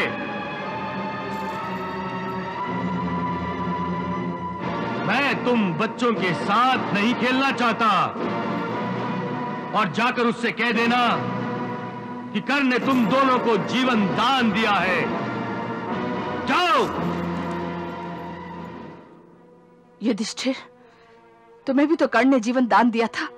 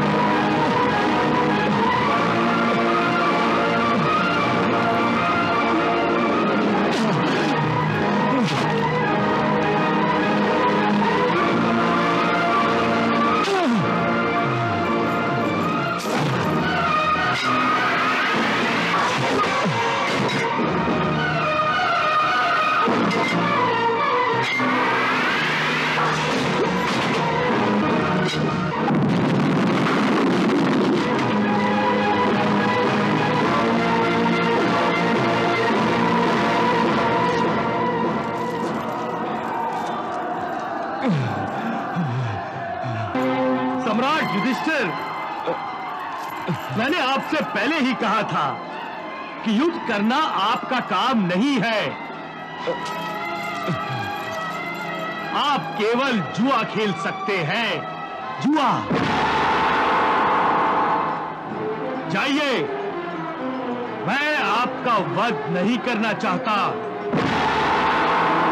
मैं आपको जीवन दान देता हूँ। हाँ जीवन दान भीम, तुमने तो युद्ध में बड़े बड़े योद्धाओं को मार गिराया, लेकिन तुम भी कर्ण से हार गए। कर्ण चाहता तो तुम्हें भी मार सकता था, परंतु उसने तुम्हें भी जीवन दान दिया।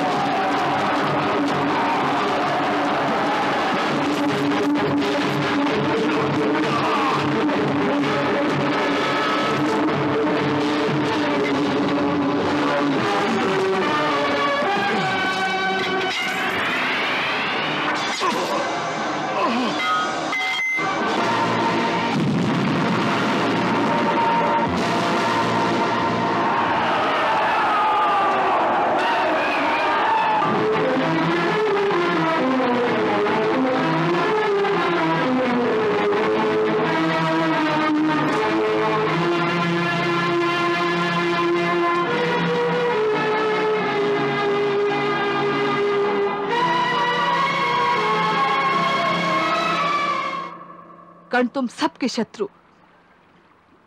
दुर्योधन का मित्र था। वो दुर्योधन की तरफ़ से लड़ रहा था। परंतु उसने तुम सबको बारी बारी जीवन दान दिया था। बताओ, क्या कोई अपने शत्रु को जीवन दान देता है?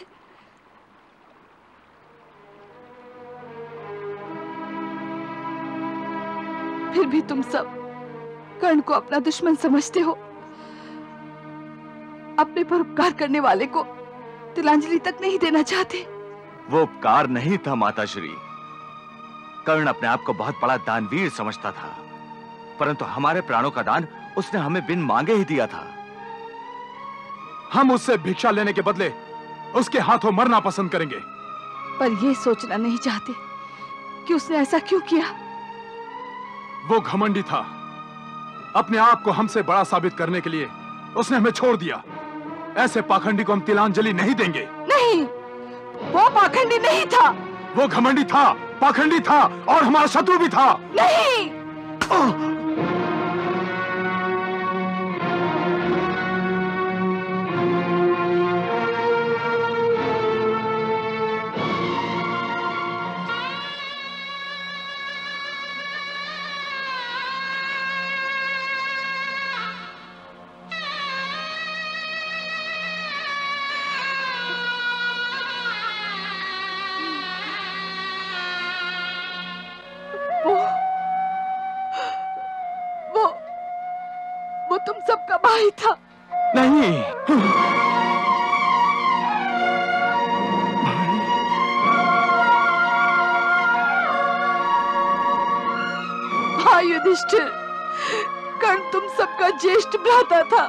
नहीं माता श्री यही सत्य है अर्जुन। यही सत्य है।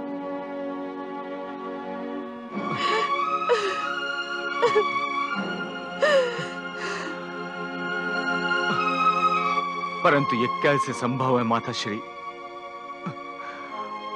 मधुसूदन मधुसूदन समझाइए इन्हें। पता नहीं माता श्री को क्या हो गया है। ये कैसी बातें कर रही हैं? भला ये सत्य कैसे हो सकता है, मधुसूदन?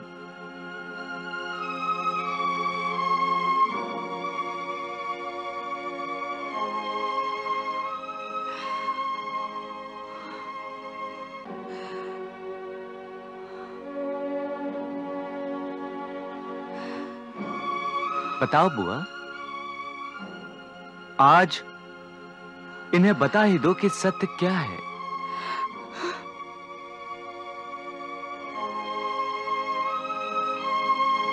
अब इस सत्य को ना ही छुपाया जा सकता है और ना ही छुपाना चाहिए। बताओ बुआ।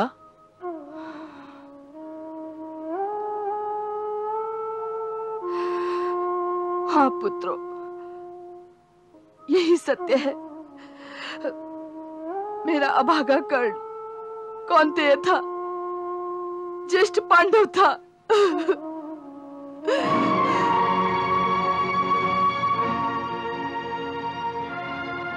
यदि ये सत्य है तो हम किसी को भी मुँह दिखाने के योग्य नहीं रहेंगे माता श्री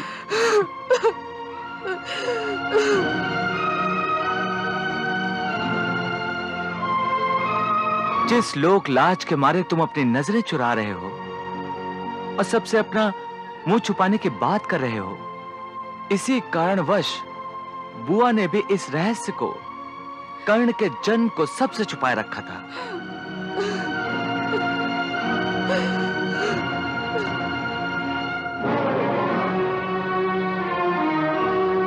तुम सब यही सोच रहे हो ना? कि बुआ ने कौमार्य अवस्था में कर्ण को जन्म दिया था? हाँ, यही सत्य है। परंतु जो बात तुम सोचकर अपना सर झुका रहे हो, वो सत्य नहीं है। इसमें शर्म से सर झुकाने की कोई आवश्यकता नहीं है।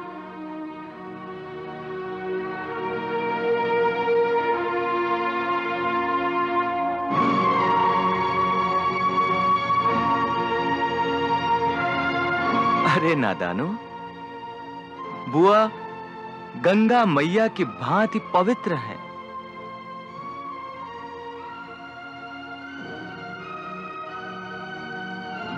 अरे, मैं बुआ के आंचल को थाम कर उनकी पवित्रता की सौगंध खा सकता हूँ। अरे, ये वो आंचल है जिस पर ऋषि, मुनि और देवता तक सर टिकाकर ईश्वर की साधना करके गर्व करेंगे। और तुम सब सर झुका के अपनी माता का अपमान कर रहे हो?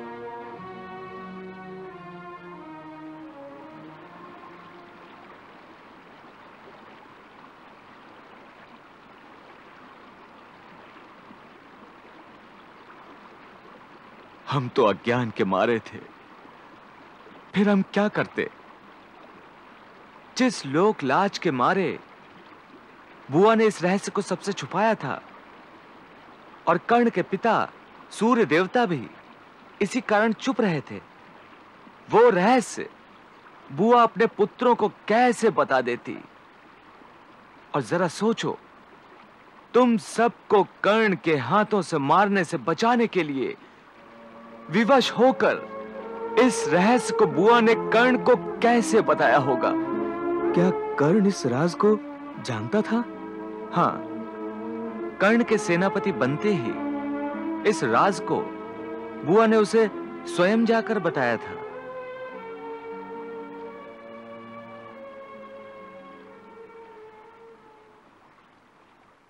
जिस तरह घुटनों के बल चलता हुआ बालक नादानी में दहकते दमकते अंगारों को पकड़ने की भूल कर बैठता है और अपने हाथ जला लेता है। उसी तरह मैंने भी अंगारों को पकड़ने की भूल की थी। जब मैं एक नासमझ बालिका थी, उन्हीं दिनों मैंने दुर्वासा ऋषि की बहुत सेवा की, जिससे प्रसन्न होकर उन्होंने मुझे पाँच देवताओं के पाँच मंत्र दिए। और कहा कि मैं जिस भी मंत्र का जाप करूँगी, मुझे उसी देवता जैसा तेजस्वी पुत्र प्राप्त होगा। सुबह जब मैंने सूर्य देवता को देखा तो मेरे भोले भाले मन में जिज्ञासावश ये विचार आया कि देखो इस मंत्र में कितनी सच्चाई है। और मैंने सूर्य देवता के मंत्र का जाप किया। अचानक सूर्य देवता प्रकट हो गए। मुझे क्षमा कर दो सूर्य देवता मैं विवश हूँ देवी, क्योंकि मेरा साक्षात दर्शन कभी निष्फल नहीं होता। इसलिए दुर्वासा ऋषि के आशीर्वाद अनुसार तुम्हें मेरे जैसा तेजस्वी पुत्र प्राप्त होगा।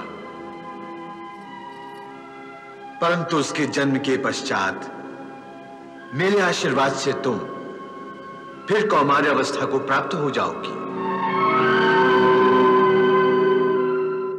महारानी कुंती, वो महान नारी हैं जिन्होंने कर्ण जैसे महापराक्रमी और दानवीर को जन्म दिया। तुम्हें अपनी माता और ज्येष्ठ भ्राता पर गर्व होना चाहिए।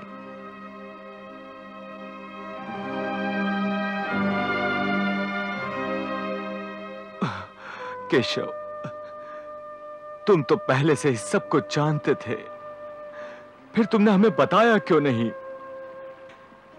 अगर तुमने बताया होता तो हमारे हाथों अपने ही भ्राता को मारने का अधर्म तो ना होता। हे पार्थ, परंतु इस बात को बताने का अधिकार केवल बुआ को था, और जब स्वयं बुआ इस बात को छुपा रही थी तो मैं कैसे बता सकता था? चलो। अपनी माँ से आशीर्वाद ग्रहण करो और अपने ज्येष्ठ भ्राताश्री को तिलांजलि दो। चलो। माता श्री हमने आपको अनजाने में गलत समझ लिया। हमारे इस अज्ञान के लिए हमें क्षमा कर दो।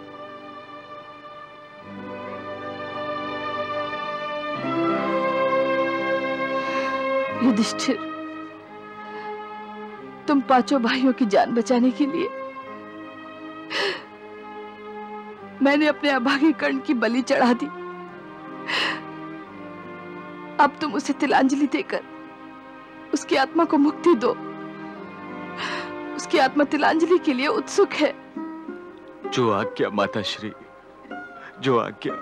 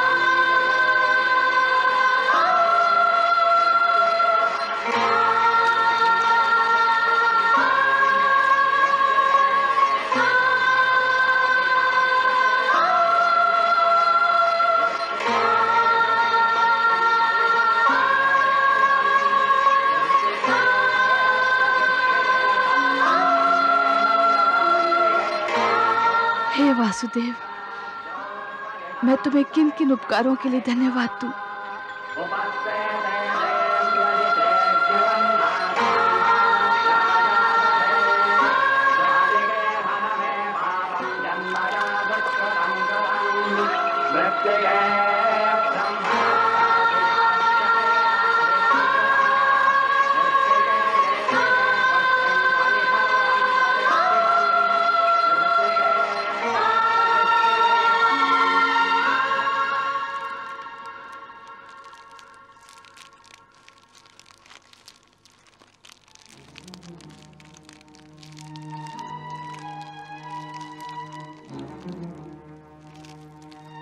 क्या बात है बड़े भैया? अब किस चिंता में डूबे हुए हैं? जो राजपाट आपने खोया था, जो सम्मान आपने खोया था, इस युद्ध को जीतने के बाद, वो सब आपके चरणों में पड़ा है। और आप आप फिर भी सर झुकाए खड़े हैं?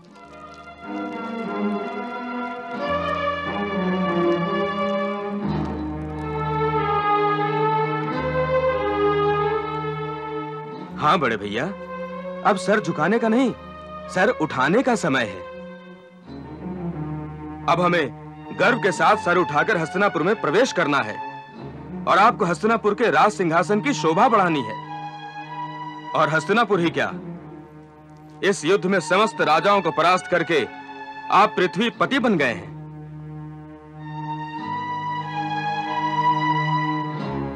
हाँ बड़े भैया, हमने अपना अधिकार कौरवों से छीन लिया है।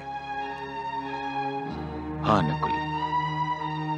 हमने अपना अधिकार छीन लिया है। परंतु कौरवों से नहीं दिवंगत भ्राता कर्ण से उसका अधिकार छीन लिया। ये आप क्या कह रहे हैं? मैं ठीक कह रहा हूँ केशव। हम जिस राज सिंहासन और जिस अधिकार के लिए लड़ रहे थे उस पर केवल भ्राता कर्ण का अधिकार था।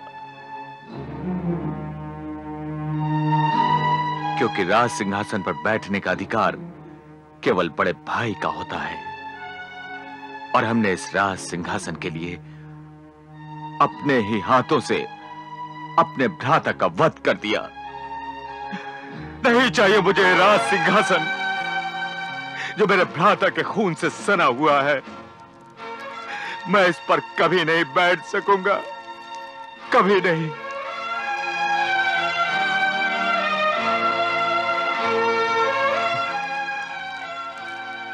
मैं जब आरसी में अपने आप को देखता हूँ तो मुझे अपने चेहरे से घृणा आती है। घृणा हो गई है मुझे अपने ही अस्तित्व से। निरंतर मुझे आरोपी मानकर मेरी तरफ़ उंगली उठाता है कि तुम राज लोभी हो। अपने भ्राता के हत्यारे हो तुम। तुमने अपने स्वार्थ के लिए अपने कुल का सर्वनाश कर दिया। कुल संघार किया है तुमने।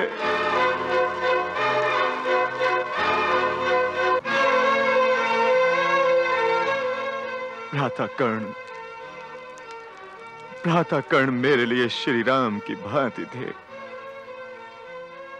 और मुझे भरत बनकर, उनके खड़ाओं को सिंहासन पर रखकर, उनके राज्याभिषेक की प्रतीक्षा करनी चाहिए थी।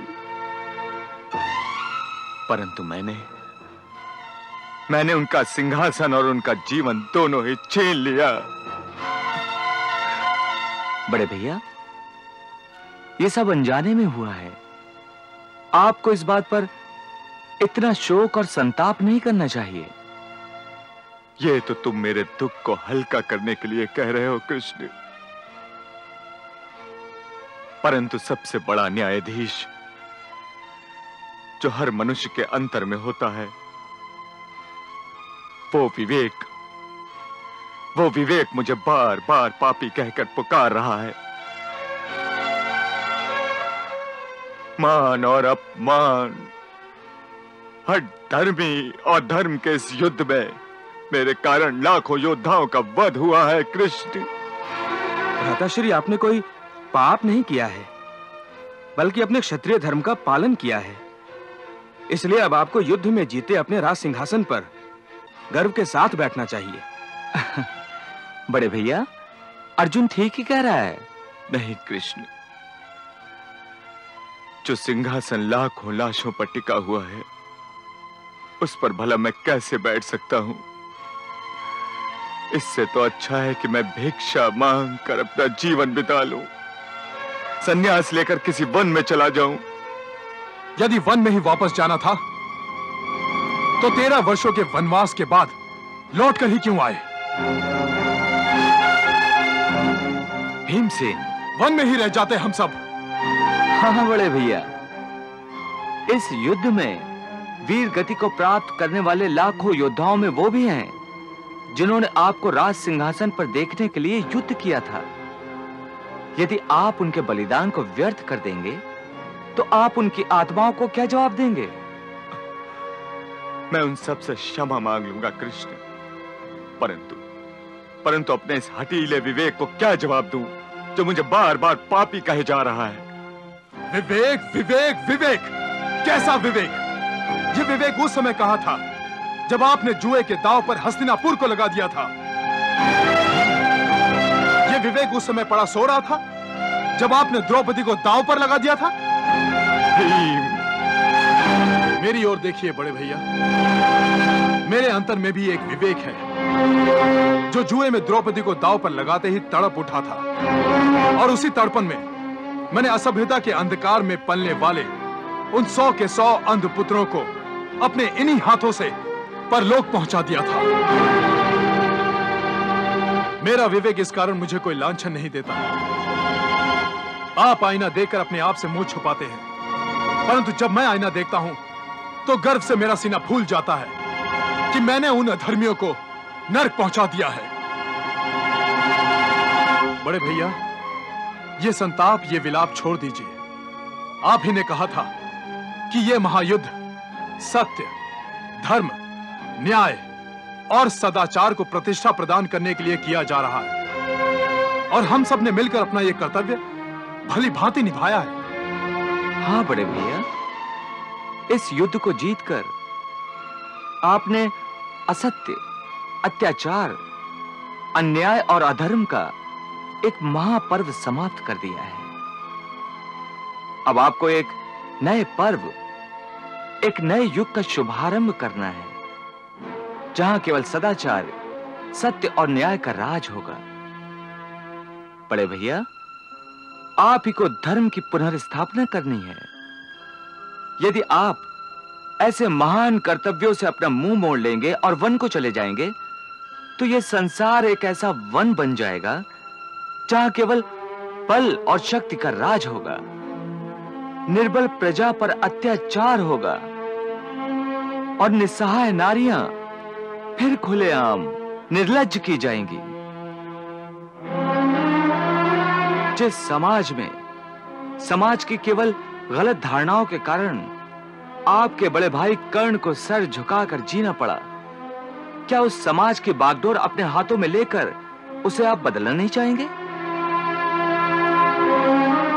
बड़े भैया इतना भीषण संघार देखने के बाद मन उदास हो जाना सहज है। परंतु ऐसी स्थिति में जो अपने मन के संतुलन को बिगड़ने नहीं देता, उसे महामानव कहा जाता है। आपके सामने आपके बड़े भाई कर्ण का आदर्श है। वो भी एक महामानव था। कर्ण के आदर्श को श्री राम का खड़ाऊ मानकर उनकी ओर से राज सिंहासन संभालिए। क्योंकि वो भी यही चाहते थे कि सारी पृथ्वी पर आप ही का राज हो। इसीलिए उन्होंने अपना बलिदान दिया था। क्या आप उनकी अंतिम इच्छा को पूर्ण नहीं करेंगे?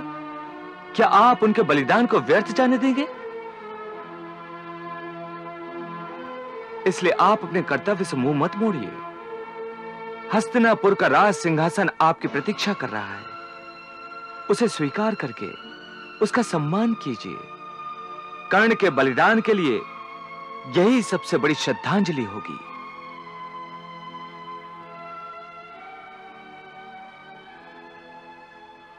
कृष्णा!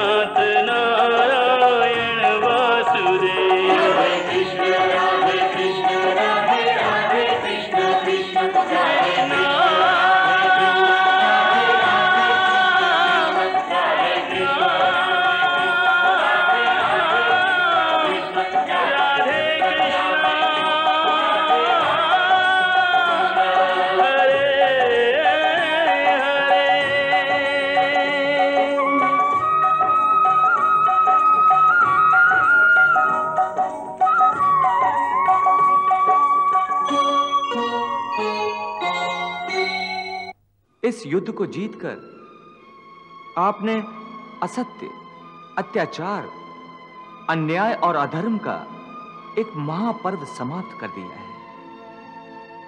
अब आपको एक नए पर्व, एक नए युग का शुभारंभ करना है, जहाँ केवल सदाचार, सत्य और न्याय का राज होगा।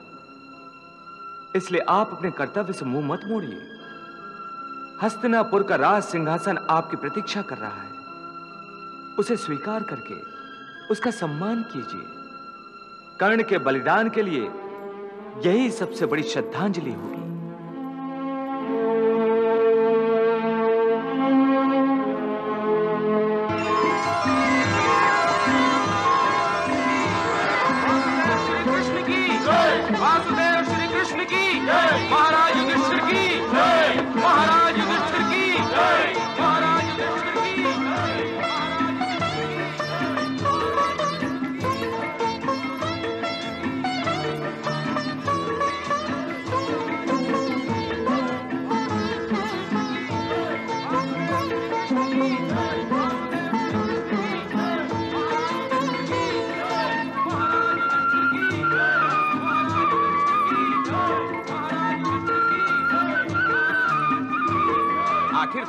विजय तो हो ही गई। तभी तो अधर्म पर विजय प्राप्त करने वालों का कैसा शानदार स्वागत हो रहा है इस दरबार में।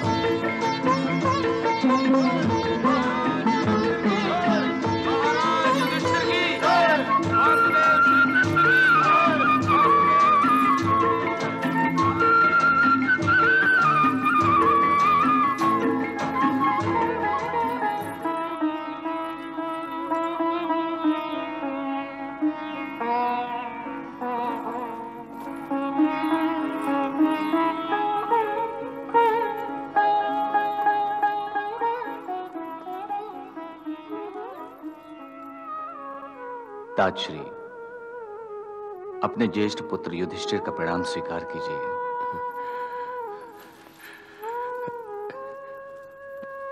आयुष्मान भव पुत्र। आयुष्मान भव।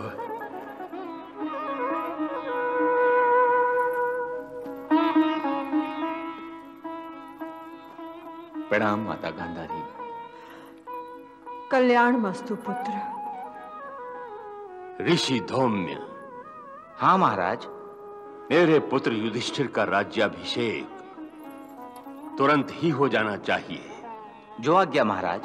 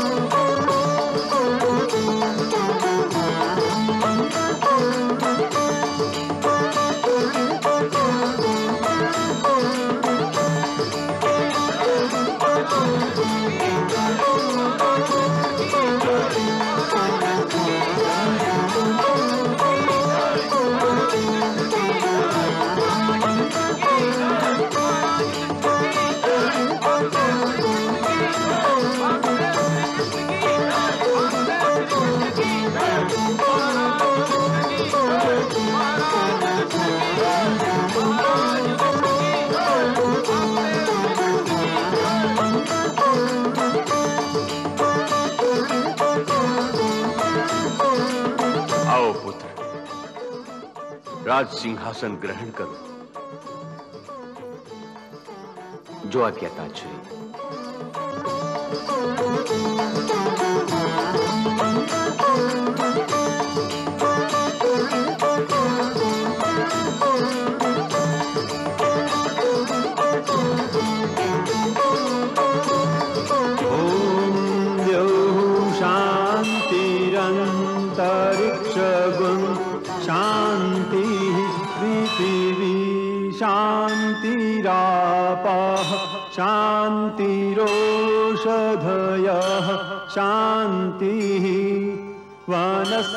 वनस्पतयः शान्तिर्विश्वे देवाः। शान्तिर्ब्रह्म शान्ति सर्वज्ञं। शान्ति शान्तिरेव शान्ति सामा। शान्तिरेधि लीजिए। आप अपने ही शुभ हाथों से इस राज मुकुट को बड़े भैया के सर पर रख दीजिए।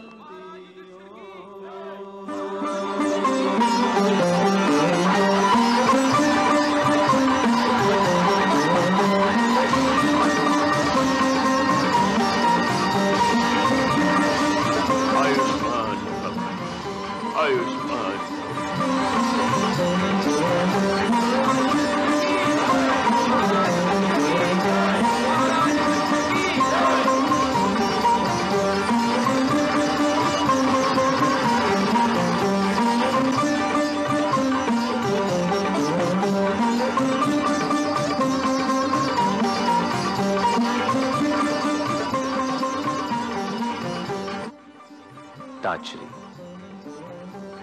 मैं आप ही की छत्र छाया में रहना चाहता हूँ। मुझे आशीर्वाद दीजिए ताजश्री पुत्र युधिष्ठिर तुमने मुझे भी जीत लिया है। मुझे भी जीत लिया है। मेरा आशीर्वाद है तुम सदा ही विजयी रहो।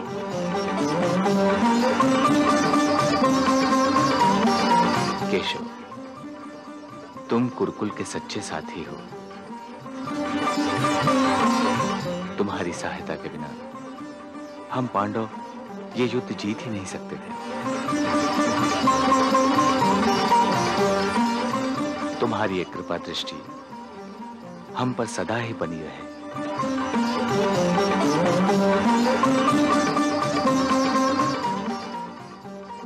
तथास्तु।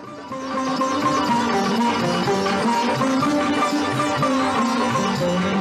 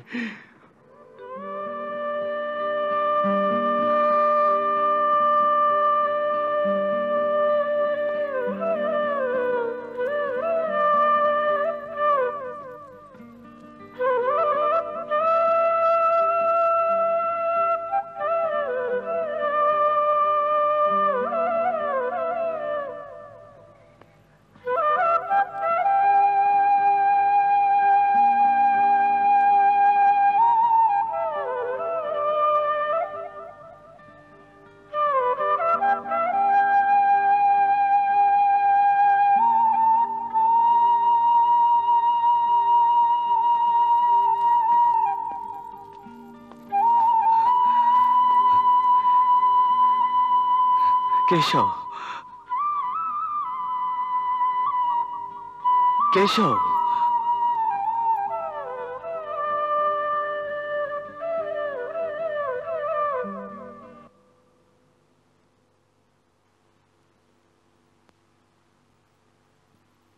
बड़े भैया इतनी रात गए आप यहाँ? सब कुशल तो है?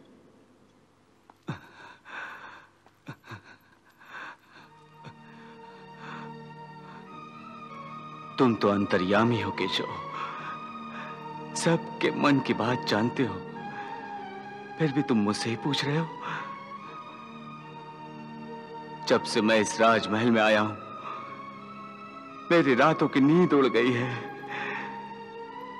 एक पल की भी शांति नहीं है। मेरा सारा सुख, चैन, सब कुछ मुझसे छिन गया है। इससे तो अच्छा वन में ही बास था। जहाँ कम से कम मैं चैन की नींद तो ले लिया करता था, केशव। परंतु ये अशांत चित्त का कारण क्या है बड़े भैया? मेरे मन में, मेरे मन में रह रह कर एक टीस सी उठती है। ऐसा लगता है जैसे कोई बार बार मेरे दिल पर भाले चलाकर उसे छेदे डाले जा रहा हो।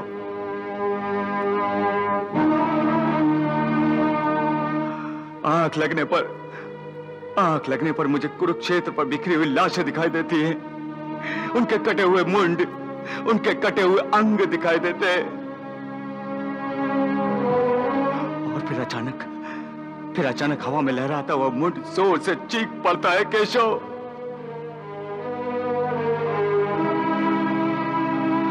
आँखें खोलने के बाद भी मुझे चैन नहीं मिलता। कुरकुल की स्त्रियों का आक्रोश सुनकर मेरा कलेजा फटने लगता है, केशव। मैं तड़प उठता हूँ। कभी कभी तो ऐसा लगता है, ऐसा लगता है कि जैसे हस्तिनापुर के राजमहल की हर दीवार, हर स्तंभ रो रहा है। और मुझे दोष दे रहा हो जैसे जैसे कुरुक्षेत्र के भीषण डर संहार का पापी मैं हूँ, केशव पापी मैं हूँ। मधुसूदन कुरकुल की दुर्भाग्य स्त्रियाँ जब मुझे अपनी व्याकुल नज़रों से देखती हैं तो मेरा साहस टूटने लगता है। मुझे ऐसा लगता है जैसे पापी मैं हूँ, पापी मैं हूँ केशव।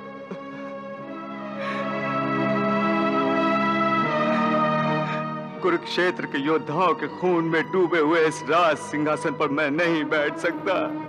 मैं नहीं बैठ सकता। मुझे राजपथ नहीं चाहिए, माधव। मुझे राजपथ नहीं चाहिए नहीं चाहिए नहीं चाहिए नहीं चाहिए। नहीं चाहिए।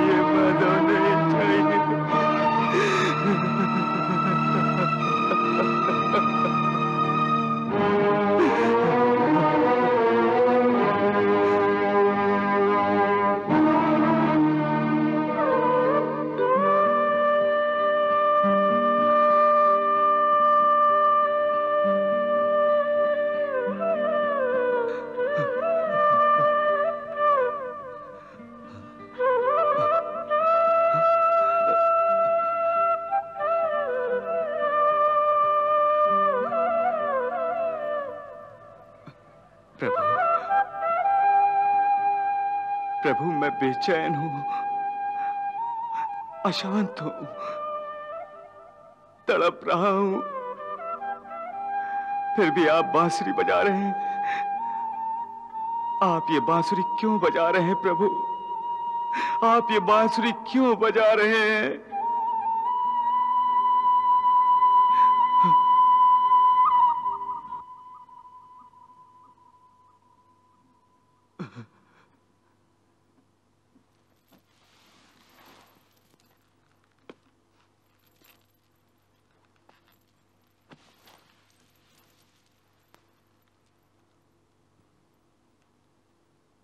बड़े भैया, मैं ये बांसुरी अपने लिए नहीं, पितामह भीष्म के लिए बजा रहा था। पितामह पितामा के लिए? हाँ बड़े भैया। आपकी जितनी व्याकुलता और बेचैनी है शरशैया पर लेटे हुए पितामा की पीड़ा, व्यथा और व्याकुलता आपसे कहीं अधिक है। परंतु वो उसे चुपचाप सहन किए जा रहे हैं। मैं उन्हीं को सुख की चंद साँसें प्रदान करने के लिए यह बांसुरी बजा रहा था। इतनी पीड़ा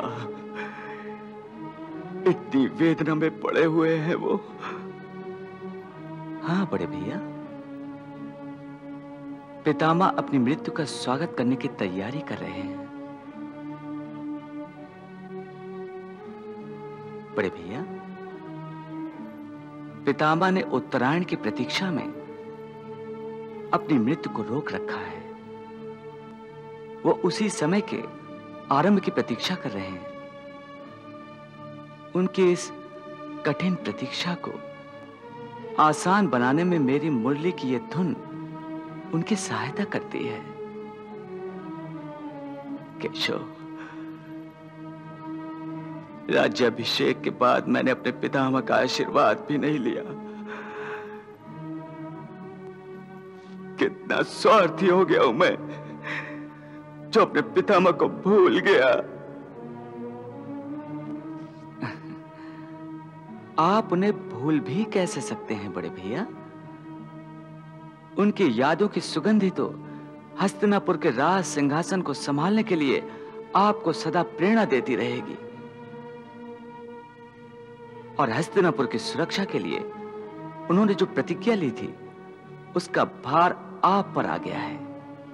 यदि आप इस ज़िम्मेदारी को संभालने में पूरी तरह से लग जाएँ, तो आपके मन की व्यथा और बेचैनी दोनों दूर हो जाएँगे। मधुसूदन, तुम ठीक कह रहे हो। बिल्कुल ठीक कह रहे हो। मुझे पितामह से भेंट करके, हस्तिनापुर की सुरक्षा के प्रति उनके मन के बोझ को हटा देना चाहिए, ताकि ताकि मेरे मन का भी बोझ हल्का हो, माधव। मेरे मन का बोझ हल्का हो। आपने मेरे मन की बात छेड़ दी बड़े भैया। मेरे मन की बात छेड़ दी। बड़े भैया गंगा नंदन भीष्म गुरुओं के भी गुरु हैं। वो महाज्ञानी हैं, धर्मपरायण हैं, कुशल नीतिज्ञ हैं। वो अपने जीवन अनुभव के भंडार से राज करने के संबंध में आपको गुरुपदेश देंगे। जो बड़े से बड़े राजकोष से भी कहीं अधिक अनमोल होगा। गीता के रूप में जैसा अनमोल खजाना जो तुमने युद्ध के प्रारंभ होने से पहले अर्जुन को दिया था।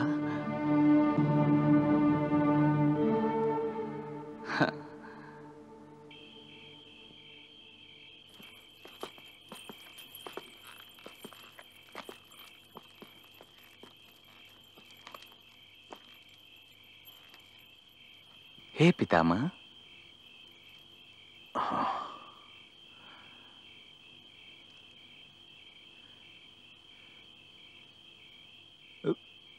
प्रभु.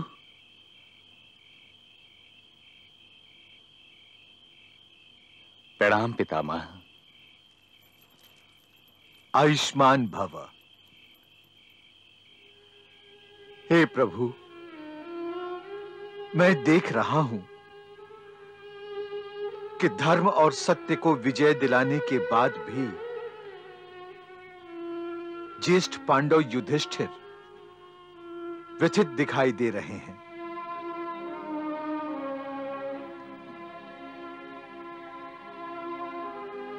हे कुरुश्रेष्ठ, हे गंगा पुत्र युद्ध के उपरांत जब आवेश और क्रोध ठंडा पड़ जाता है तो मनुष्य क्षत्रिय की भांति नहीं मानव की भांति सोचने लगता है और भावनाओं के धारे में बहने लगता है।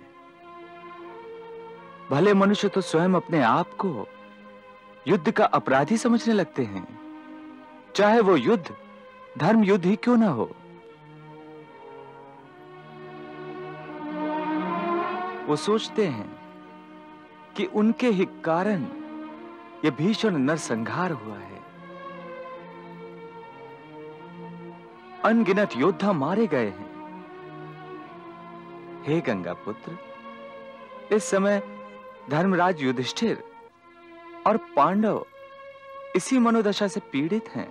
योद्धाओं की पत्नियों के विलाप को देखने के बाद,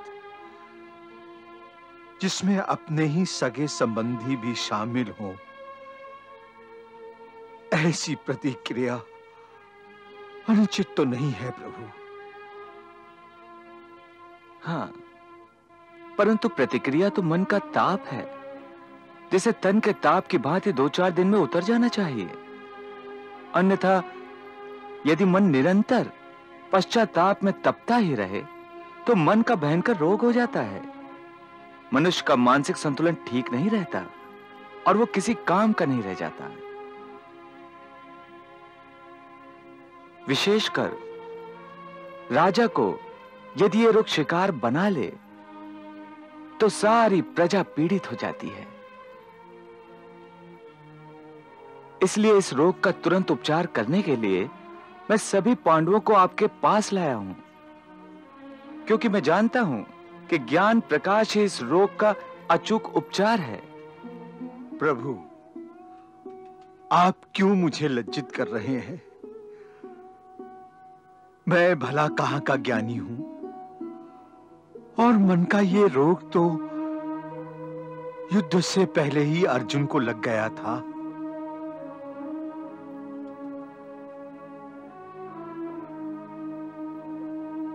अब ये बात तो सभी जान गए हैं प्रभु। क्या आपने गीता के रूप में ज्ञान प्रकाश की गंगा बहाकर अर्जुन के मन के अंधकार को नष्ट किया था? फिर आपके सामने और आपके ज्ञान के सामने मैं क्या और मेरा ज्ञान क्या?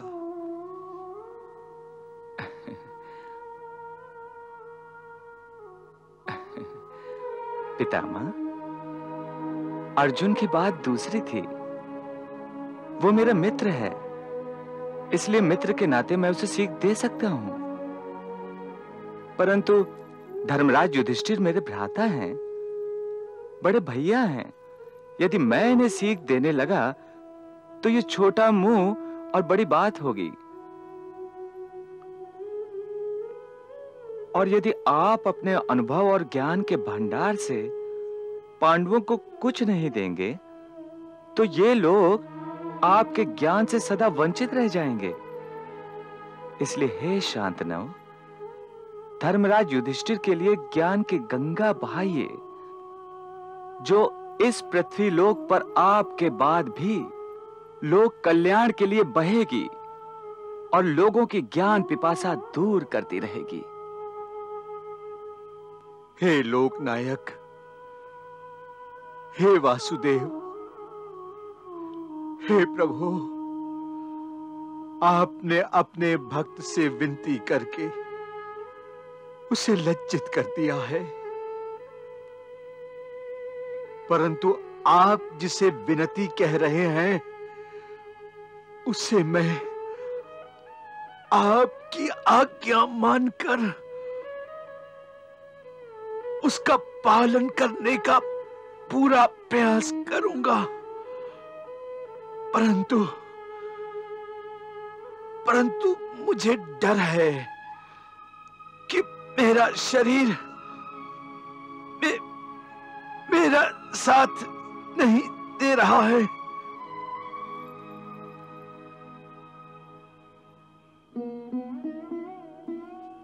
मे, मेरी शक्ति हर पल क्षीण होती जा रही है।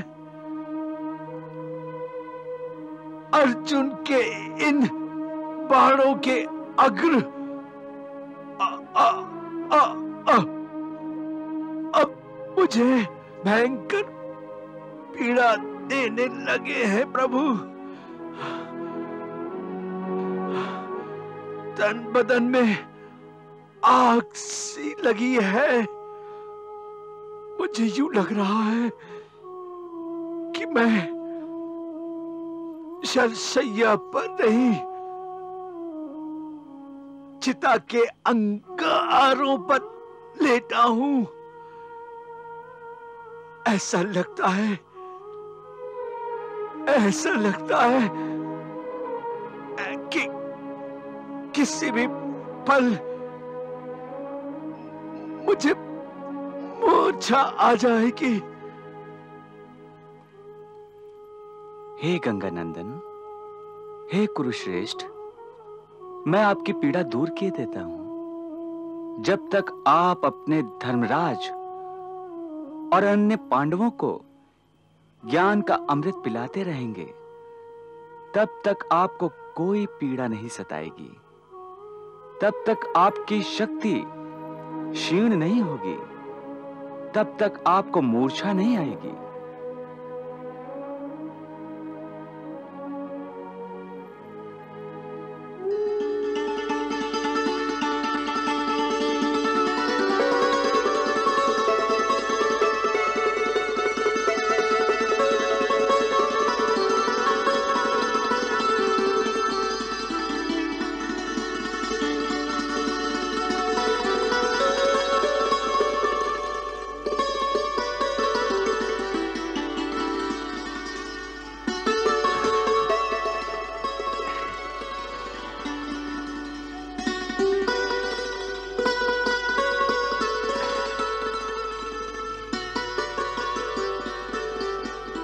भक्तवत्सल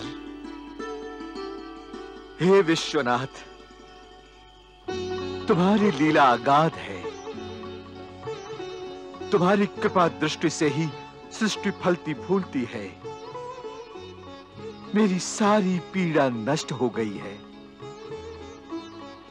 अब मैं अपना ज्ञान पांडवों को निरंतर दे सकता हूँ। हे पितामह जब तक ये समस्त लोक और सृष्टि रहेगी तब तक आपका ये ज्ञान जो आप बड़े भैया को प्रदान करने जा रहे हैं श्रद्धा से वेद वचन माना जाएगा। अब आप ही पांडवों के गुरु बन जाइए और बड़े भैया का अज्ञान नष्ट कीजिए। बैठो युधिष्ठिर। जी पितामह।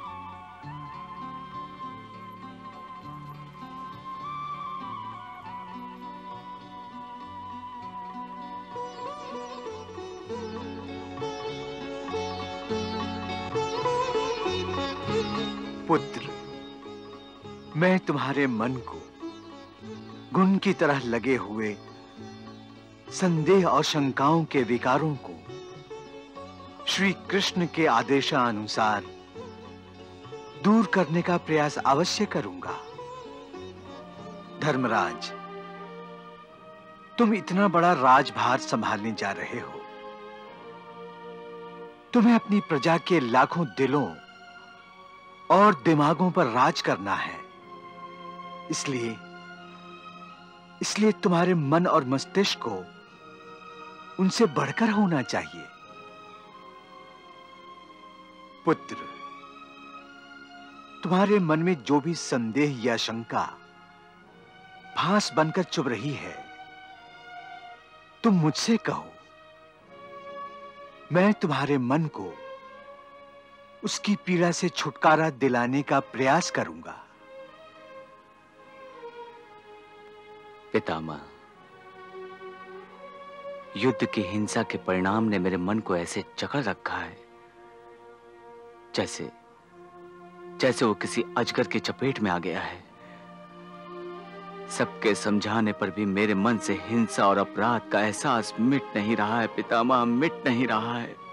पुत्र, अपने अधिकार के लिए, किसी उचित उद्देश्य के लिए या उचित प्रतिज्ञा की पूर्ति के लिए आवश्यक होने पर अधर्मियों की हत्या करना हिंसा नहीं है। पितामह इस बात का कोई अच्छा सा उदाहरण देकर समझाइए। पुत्र इस संबंध में सबसे अच्छा उदाहरण भगवान श्री कृष्ण का है जो स्वयं तुम्हारे सामने खड़े हैं।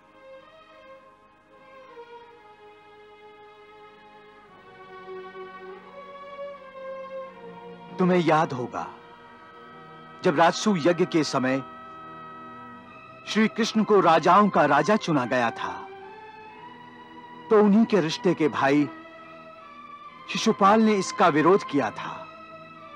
इतना ही नहीं, वो अनुचित और असभ्य रूप से गालियाँ देने लगा। प्रभु श्री कृष्ण ने उसके हर पाप को क्षमा कर दिया। परंतु जब शिशुपाल के सौ पाप पूरे हो गए, उसके पापों का घड़ा भर गया तो उन्होंने ये नहीं देखा कि शिशुपाल उनका भाई है। उन्होंने उसे दंड देने के लिए अपने सुदर्शन चक्र से काम लिया और उसका वध कर दिया। तुमने मुझे विवश कर दिया, शिशुपाल!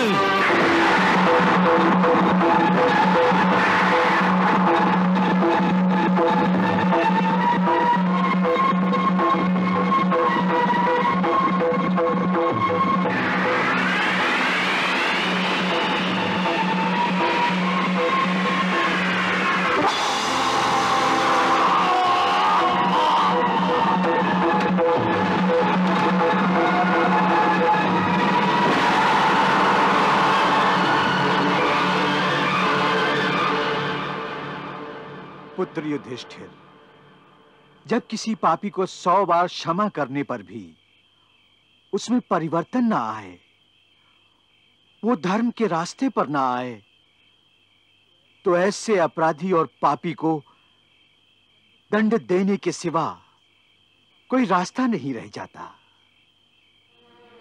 इसलिए पुत्र, तुम दंड को हिंसा समझना छोड़ दो। विशेषकर इसलिए कि अब तुम राजा हो। और राजा तो दंड नायक की निशानी के तौर पर दंड को धारण करता है। इसीलिए राजा को दंड धारक भी कहते हैं।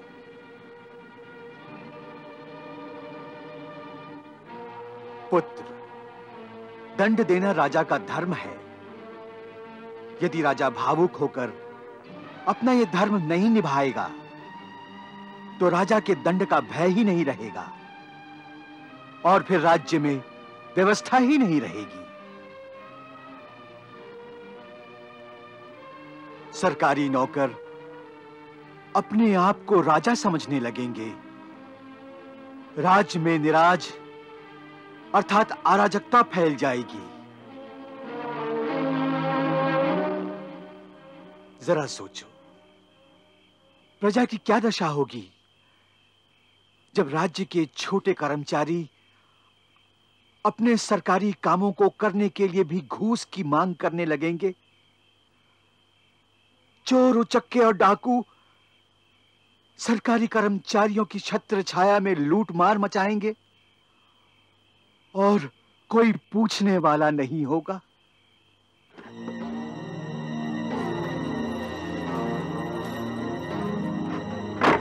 चोर चोर चोर चोर चोर। हैं? चोरी करता चल।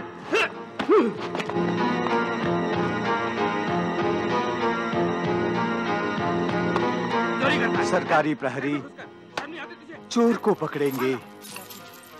और माल आधा आधा बांट कर खा जाएँगे।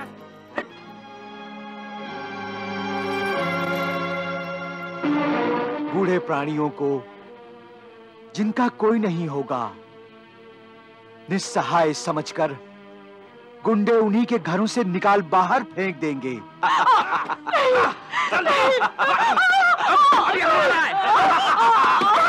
अब हमारा है।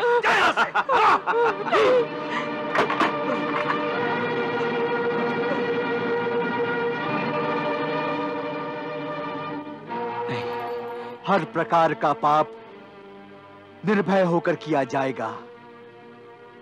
नारी की लाज तक सुरक्षित नहीं होगी।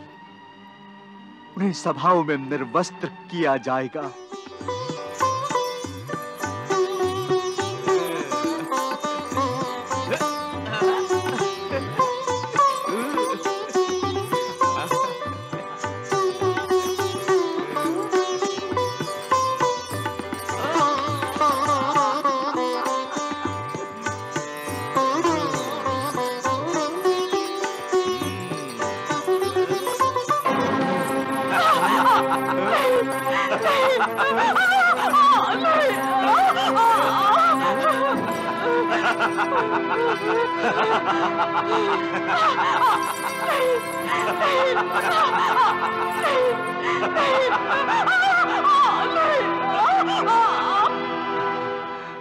नहीं नहीं।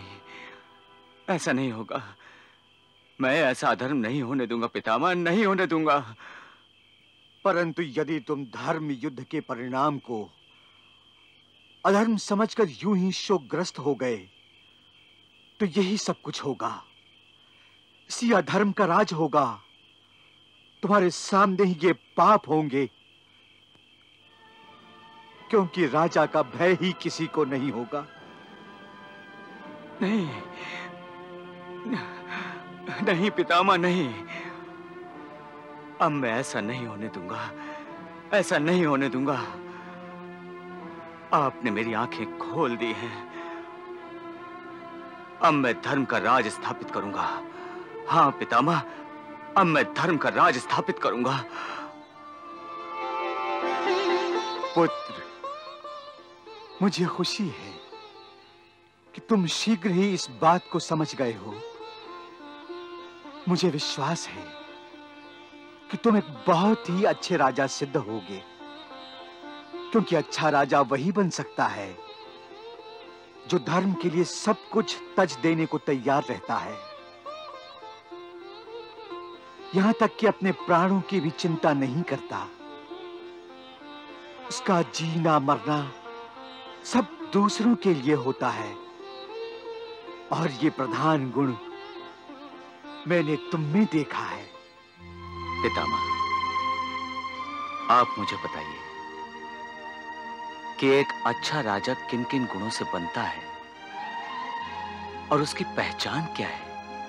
पुत्र अच्छे राजा के गुण प्रजा के मुँह से ही सुने जाते हैं। सुखी प्रजा, अच्छे राजा का दर्पण होती है।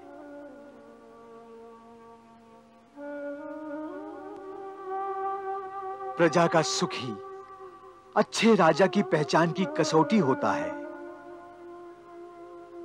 धर्म सुख का मूल होता है। जहाँ धर्म नहीं होगा वहाँ सुख भी नहीं होगा। पुत्र, एक आदर्श राजा को द्वारिकाधीश कृष्ण की भांति सांसारिक और आध्यात्मिक दोनों कसौटियों पर खरा साबित होना पड़ता है।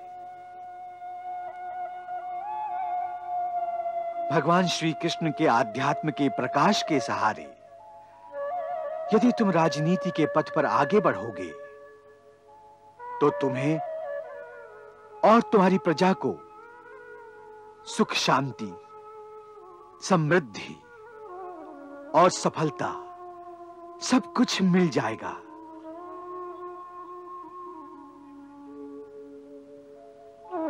पुत्र, श्री कृष्ण एक आदर्श मनुष्य और एक आदर्श राजा हैं। क्या तुम्हें याद नहीं कि राजा होते हुए भी अपने एक दरिद्र मित्र सुदामा से भेंट करने के लिए उसके आगमन का समाचार पाकर वो महल से नंगे पैरों भागे थे। तीनों के बंधु, करुणा के सिंधु, लेकर नैनों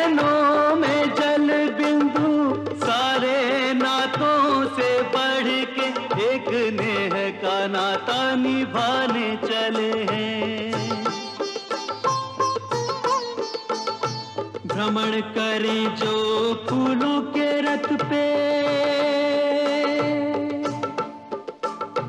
चलकर वो पथरीले पथ पे। नंगे पाँव जो आया उसको नंगे पाँव बुलाने चले हैं।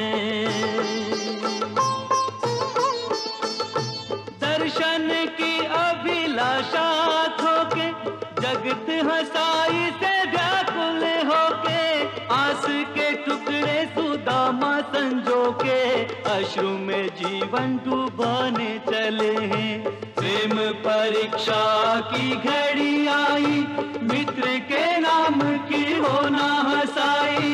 मित्र परायण कृष्ण कन्हाई, रूठा मित्र मनाने चले हैं। रूठा मित्र मनाने चले हैं। सुदामा सुदामा किधर गया मेरा मित्र? कहाँ गया सुदामा? कहाँ गया मेरा मित्र? अरे सुदामा नज़र नहीं आता।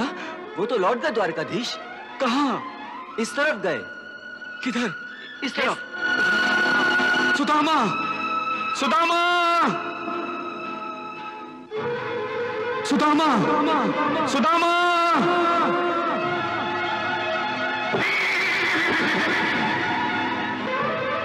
द्वारकाधीश किधर गए? उस तरफ़।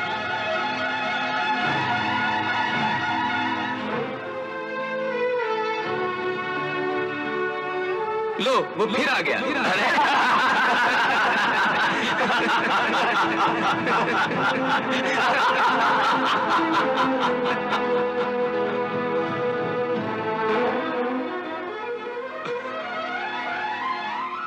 苏达摩！苏达摩！苏达摩！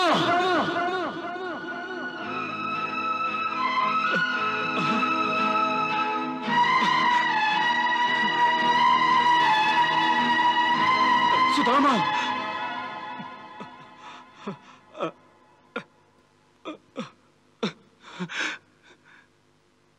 苏达摩！苏达摩！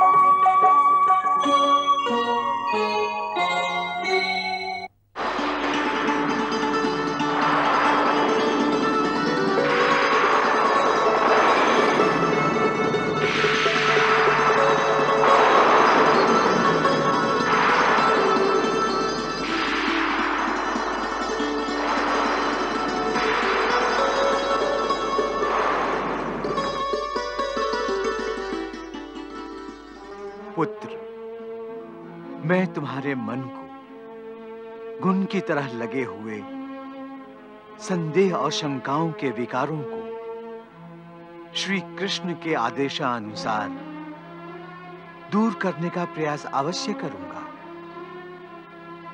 पुत्र, राजा को उसकी शान और वैभव जितनी शोभा देता है, उससे कहीं अधिक नम्रता और मानवता शोभा देती है।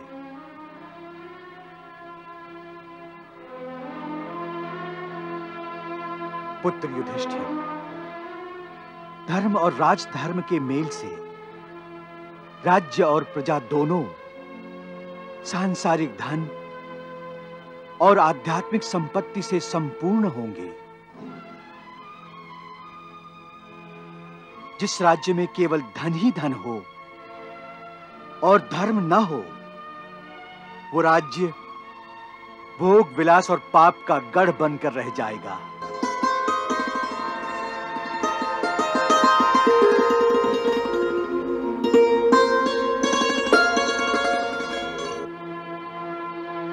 हे राजेंद्र, सत्य जिस प्रकार ऋषियों का श्रेष्ठ धन है, उसी प्रकार राजाओं का भी श्रेष्ठ धन सत्य है।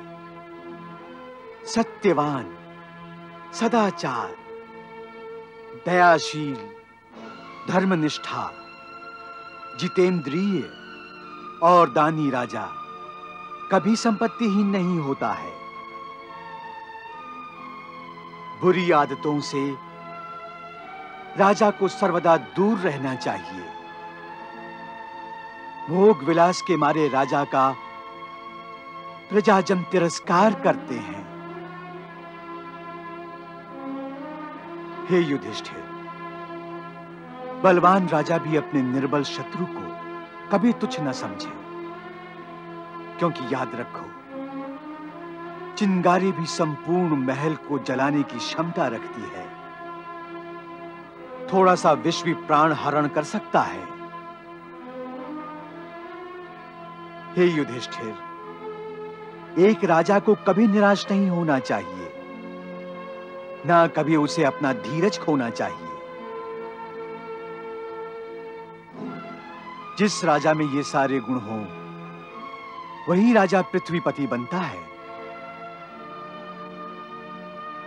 पुत्र युधिष्ठिर जिस राजा के परामर्शदाता राजा को गलत परामर्श देते हैं, उस राजा का पतन निश्चित होता है।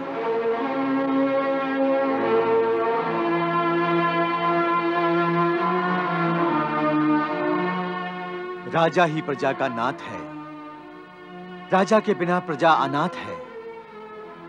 हे युधिष्ठिर, अपने मन की व्यथा में डूबकर और राज्य के प्रति अपने कर्तव्य से भागकर, क्या तुम हस्तिनापुर की प्रजा को अनाथ करना चाहते हो? राजा का और राज धर्म का महत्व जान लो, युधिष्ठिर। और राज त्याग की भावना को ही मन से त्याग दो। युधिष्ठिर राजा ही प्रजा का पिता है। राजा ही प्रजा की माता है। भ्राता है। पुत्र है। वो समस्त परिवारों का कर्ता है। प्रमुख है। यदि कर्ता ही परिवार से चला गया तो परिवार की क्या दशा होगी? युधिष्ठिर यदि राज्य व्यवस्था और राजा न हो तो राज्य की क्या दशा होगी? इसका वर्णन गुरु श्रेष्ठ बृहस्पति के शब्दों से सुनो।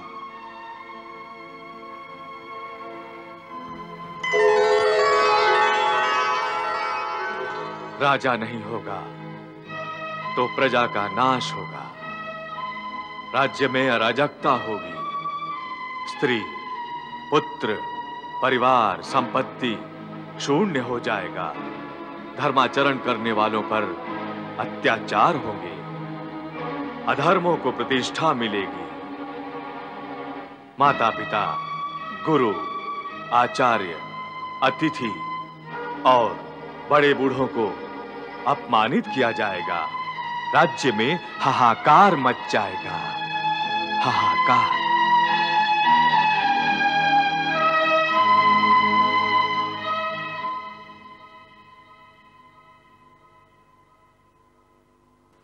पितामह, आपकी ये बात तो समझ में आ गई।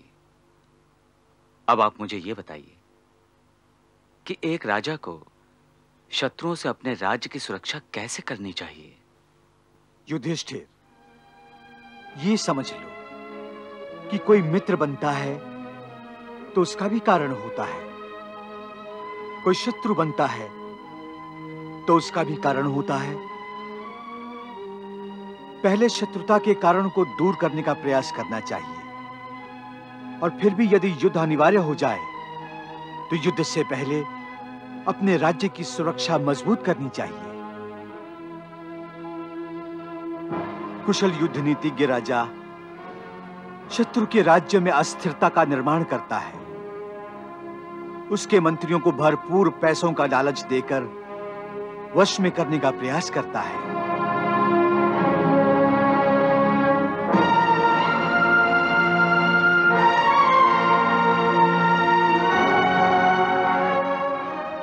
शत्रु राज्य की प्रजा में कलह पैदा करता है, जिससे प्रजा में असंतोष निर्माण होता है और शत्रु कमज़ोर पड़ जाता है। शत्रु पर संपूर्ण विजय प्राप्त करने में यदि राजा सफल नहीं हुआ तो शत्रु के प्रदेश को आग लगाकर, जलाकर राख कर देना चाहिए।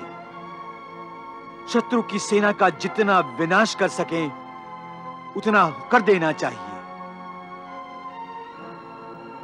नदी पर बंधे पुल ध्वस्त कर देना चाहिए।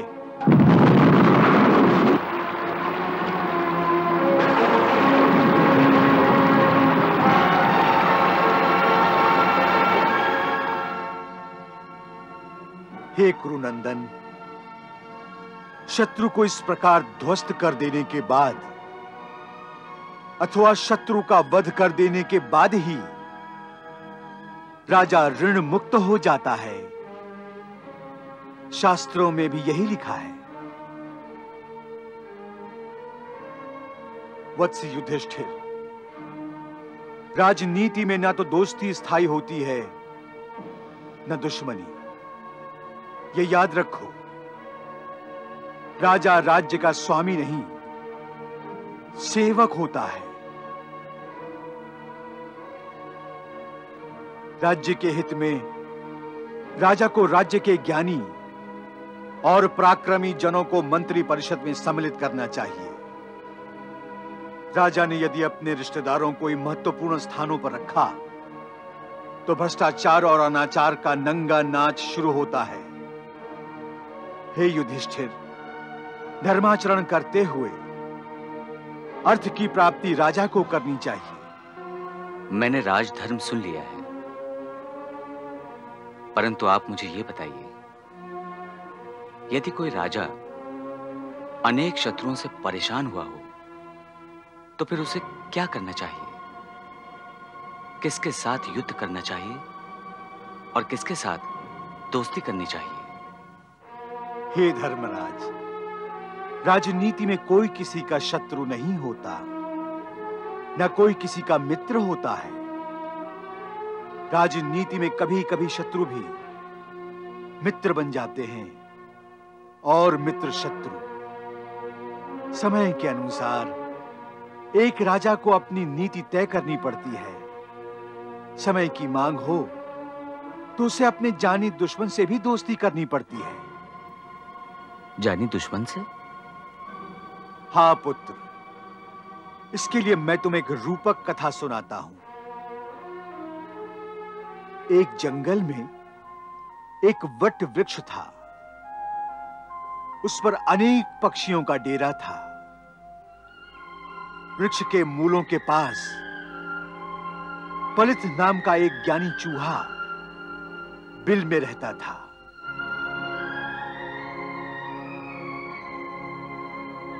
वृक्ष का आश्रय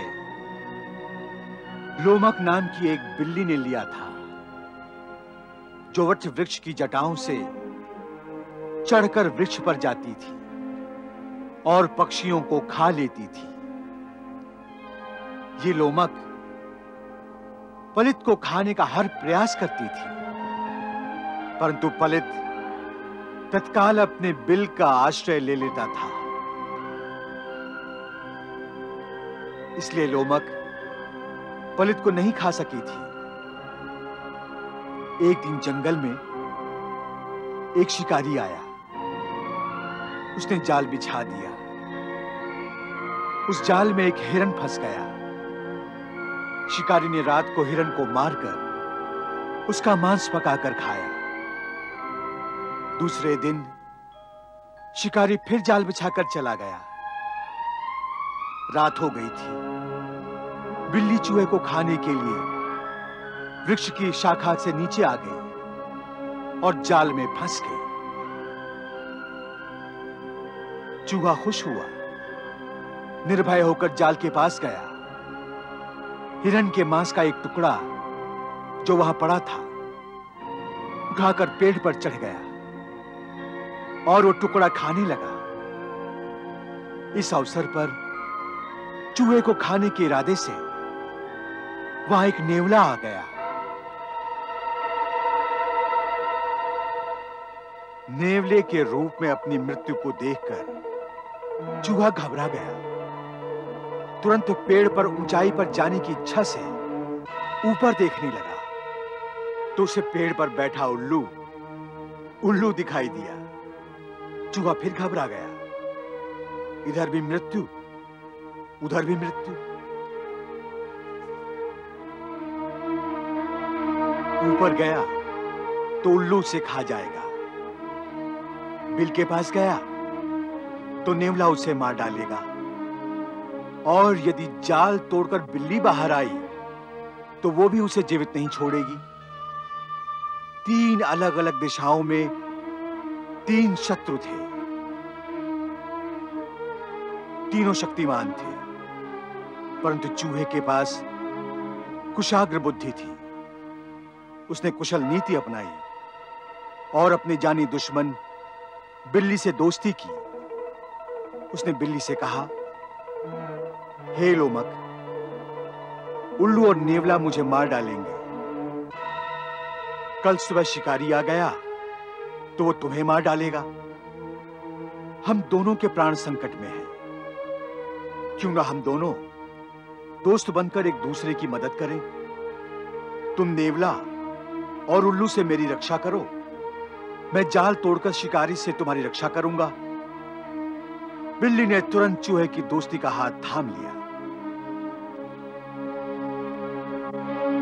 उसने कहा, मैं तुम्हें मारूँगी नहीं।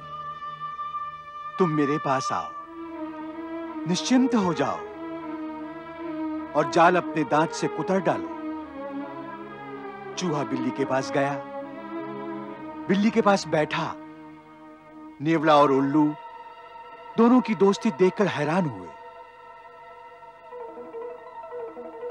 दोनों चूहे का कुछ न बिगाड़ सके और चुपचाप खिसक गए। तब बिल्ली ने चूहे से कहा, हे मित्र, अब तुम ये जाल तोड़कर, कुतर कर, मुझे मुक्त कर दो। चूहे ने कहा, नहीं मित्र, यदि इस समय मैंने जाल कुतर कर तुम्हें मुक्त कर दिया तो तुम मुझे तत्काल खा जाओगी। हम मित्र इसलिए हैं कि हम दोनों के प्राण संकट में हैं। इसलिए जब वो शिकारी आएगा तो मैं ये जाल तोड़कर तुम्हें मुक्त करूँगा। दूसरे दिन शिकारी को कुत्तों के साथ आते हुए देखकर चूहे ने जाल कुतर कर बिल्ली को मुक्त कर दिया। बिल्ली भी अपनी जान बचाने पेड़ पर चढ़ गई और चूहा अपने बिल में घुस गया। जैसे ही शिकारी गया, बिल्ली ने बिल के पास आकर चूहे से कहा, अब हम दोनों दोस्त हैं, बाहर आ जाओ। चूहे ने कहा, नहीं, हमारी जान को जो खतरा था, वो अब टल चुका है। अब हम मित्र भी नहीं रहे। यदि मैं इस समय बाहर आया तो तुम तो मुझे खा जाओगी। बिल्ली निराश हो चुकी थी और निराश होकर चुपचाप चली गई। इसका तात्पर्य तुम्हारी समझ में आया पुत्र युधिष्ठिर? हाँ पितामह।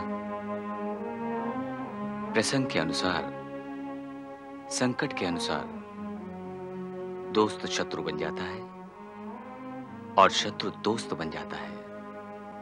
हाँ पुत्र। समझदार लोग अच्छी बातों को तुरंत ग्रहण कर लेते हैं। तुम भी मेरी इन बातों को गांठ में बांधकर अपने पास रखो।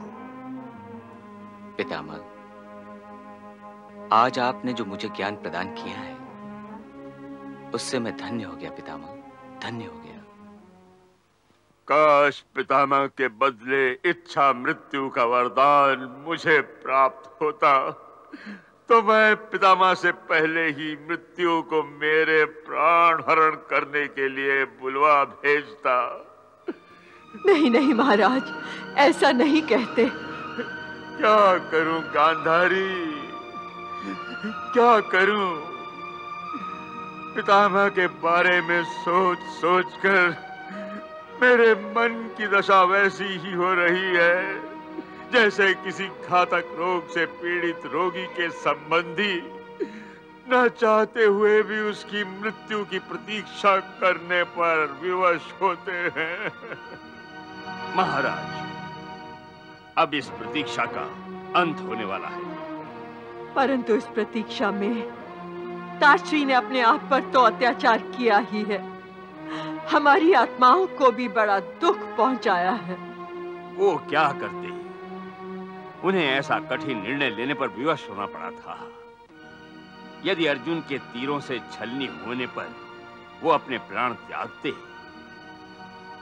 तो उनकी आत्मा को मुक्ति नहीं मिलती महारानी, नहीं मिलती।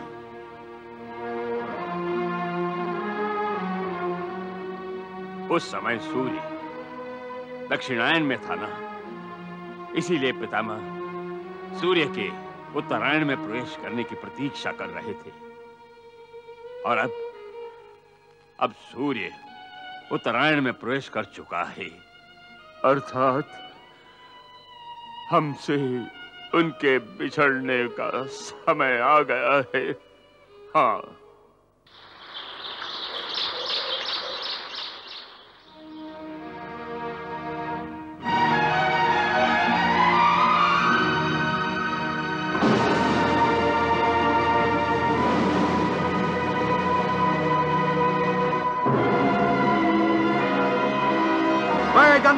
गंगा व्रत। आप सबको साक्षी मानकर ये घोषणा करता हूँ कि मैं हस्तनापुर के सिंहासन पर से अपना पैतृक अधिकार छोड़ता हूँ और साथ ही आजीवन विवाह न करने की प्रतिज्ञा करता हूँ, ताकि न ही मेरी कोई संतान हो और न ही वो सिंहासन पर अपना अधिकार जता सके।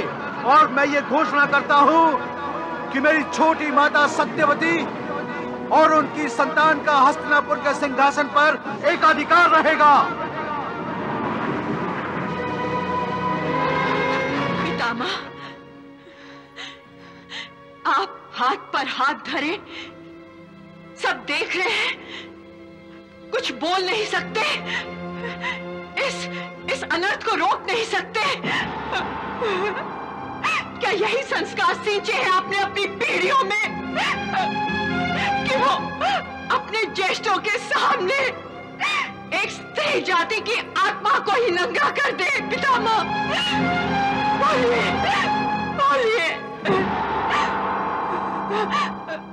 कीजिए ये पक्षपात। कर दीजिए हम सबका वध। नहीं नहीं नहीं। नहीं दुर्योधन मैं गंगा पुत्र भीष्म प्रतिज्ञा करता हूँ। मैं गंगा पुत्र भीष्म प्रतिज्ञा करता हूँ। मैं गंगा पुत्र भीष्म प्रतिज्ञा करता हूँ। का वध करूँगा और इस पृथ्वी लोक को निष्पांडव कर दूँगा। अन्यथा स्वयं अपने प्राण दे दूँगा।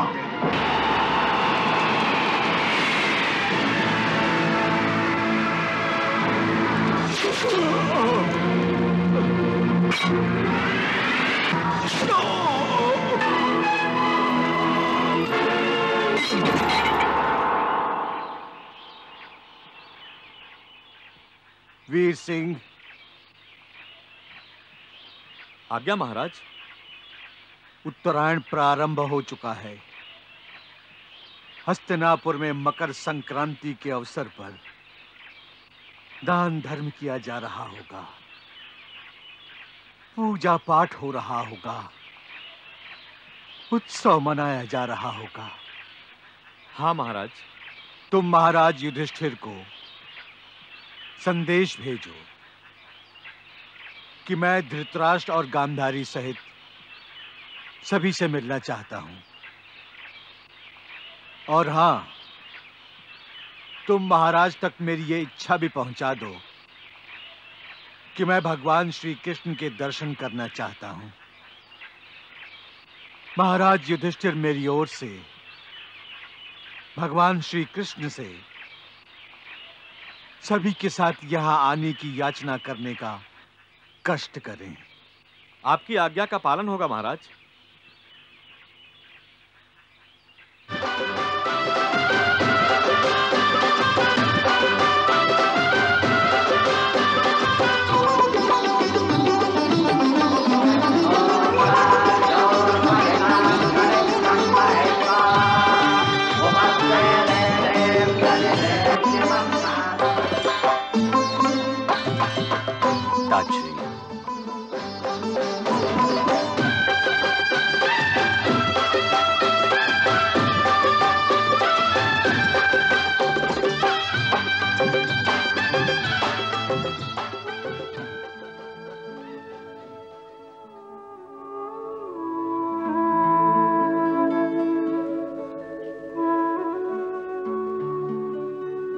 हे महादेश्वरी गंगे मुझे दर्शन दीजिए। माँ मुझे दर्शन दीजिए।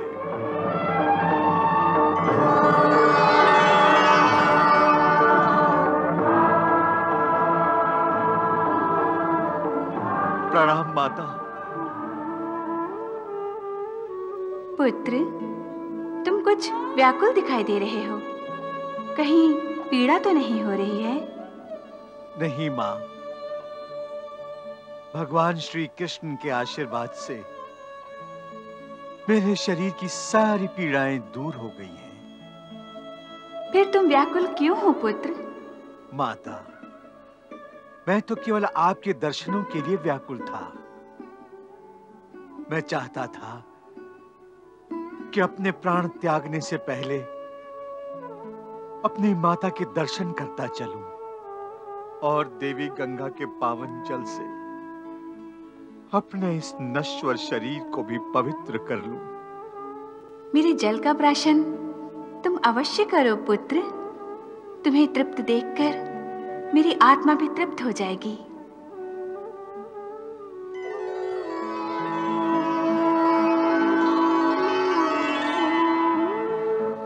धन्यवाद माता। पुत्र तुम अपने मन से यह विचार निकाल दो कि तुम या तुम्हारा शरीर किसी पाप से दूषित है? पुत्र, मुझे गर्व है कि मैंने तुम जैसी महान आत्मा को जन्म दिया। तुम आज भी नवजात बालक की भांति निष्पाप हो। फिर भी इस अंतिम समय में मन ये चाहता है कि यदि कोई पाप मेरे हाथों गढ़ा हो तो मैं उसके भुगतान से भी मुक्त हो जाऊँ। और मेरी आत्मा को मुक्ति मिल जाए। पुत्र तुम प्रभु श्री कृष्ण के परम भक्त हो। क्या तुम नहीं जानते कि वो भक्त वत्सल हैं? जानता हूँ माता। फिर चिंता किस लिए? मैया मुक्ति की इच्छा से भी भला कोई मुक्त हो सकता है? पुत्र यदि तुम्हारा मन नहीं मान रहा है तो मैं तुम्हें मुक्ति प्राप्त करने का एक उत्तम उपाय समझाती हूँ। अवश्य माता श्री भगवान श्री कृष्ण तुम्हारे प्राण त्यागते समय अवश्य उपस्थित होंगे। वो जब यहाँ आए तो तुम अपने प्राण त्यागते समय केवल उन्हें निहारो। मरते समय यदि भक्त को अपने भगवान के दर्शन हो जाएँ, तो आत्मा अपने परमात्मा में तुरंत लीन होने को आगे बढ़ती है और भगवान भी उसे व्याकुल होकर तुरंत आश्रय देते हैं। इस तरह आत्मा को शीघ्र मुक्ति मिल जाती है।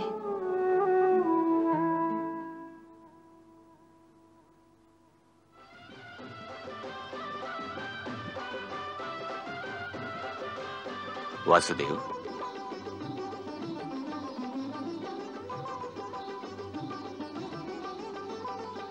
बड़े भैया नगरी में उत्सव मनाया जा रहा है। और आप यहाँ अकेले में? यही प्रश्न तो मैं तुमसे करने आया हूँ। नगरी में मकर संक्रांति के अवसर पर उत्सव मनाया जा रहा है। और तुम यहाँ एकांत में ध्यान लगाकर बैठे हो। मुझे आश्चर्य हो रहा है, केशव। किस बात पर बड़े भैया? इस बात पर कि तुम स्वयं भगवान हो। फिर तुम किसका ध्यान कर रहे हो, केशव? बड़े भैया, जब आपसे कोई बातें करता है तो आप सब कुछ छोड़ छाड़ कर उसकी बातें ध्यान से सुनते हैं कि नहीं? हाँ सुनता हूँ। तो फिर, जब मेरे भक्त मेरी ओर ध्यान लगाते हैं तो मैं कैसे उनसे ध्यान हटा सकता हूँ? परंतु नगरी के उत्सव को छोड़कर इस समय ऐसा कौन सा विशेष भक्त है, जिसमें तुम ध्यान लगा रहे हो, कृष्णा? आपने ठीक समझा। बड़े भैया, मैं इस समय पितामह भीष्म का ध्यान लगा रहा था। पितामह? हाँ। उत्तरायण के शुभ घड़ी में सारा संसार खुशियाँ मना रहा है। परंतु पितामह के लिए नहीं। क्योंकि पितामह ने इस घड़ी का चयन अपनी मृत्यु के लिए जो किया है। इसीलिए पितामह अपने अंतिम क्षणों में मेरा स्मरण कर रहे हैं। आखिर वो अशुभ घड़ी आ ही गई, कृष्णा, जिससे मेरा मन दूर भाग रहा था। बड़े भैया, पितामह के मोह में आप इस घड़ी को अशुभ समझ रहे हैं। सच तो यह है कि पितामा ने अपनी मृत्यु के लिए इस घड़ी का चयन बहुत सोच समझ कर किया है।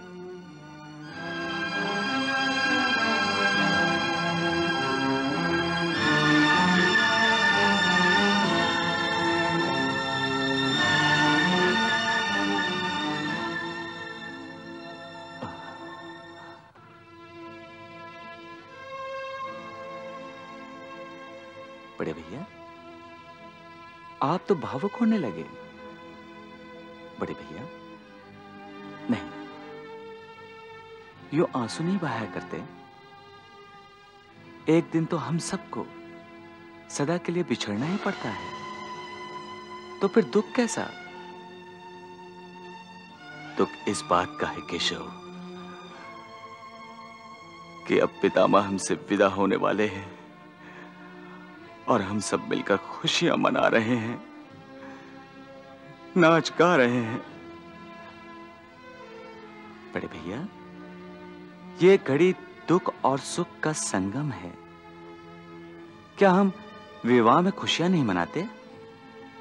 और फिर बाजे गाजे के बीच, क्या हम दुल्हन को विदा करते समय आँसू नहीं बहाते?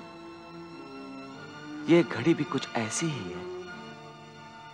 अब हमें पितामह को सदा के लिए विदा करना ही होगा। प्रणाम महाराज।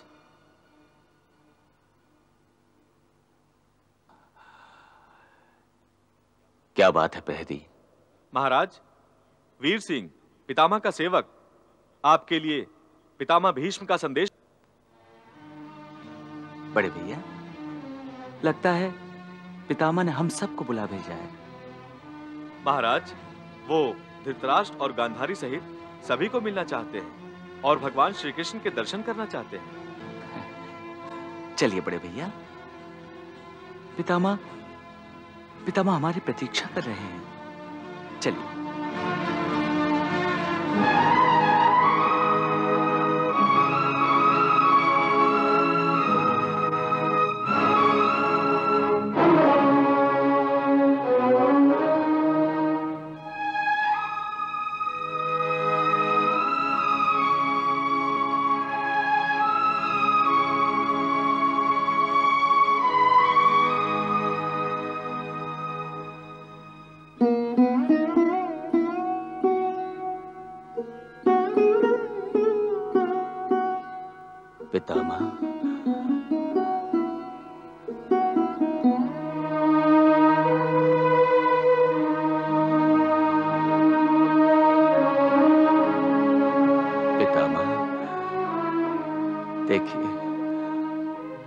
आपसे मिलने के लिए। आपके परिवार के सभी लोग यहाँ पर आ गए हैं, पितामह। प्रणाम, पितामह।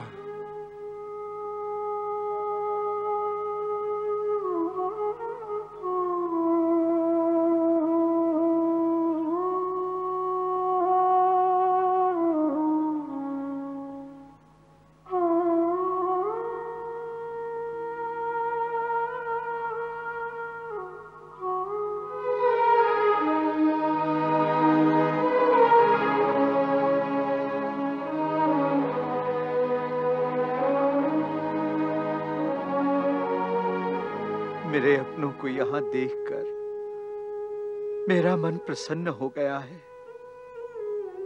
इन्हीं का स्नेह इन्हीं का स्नेह तो मेरी अंतिम संपत्ति है।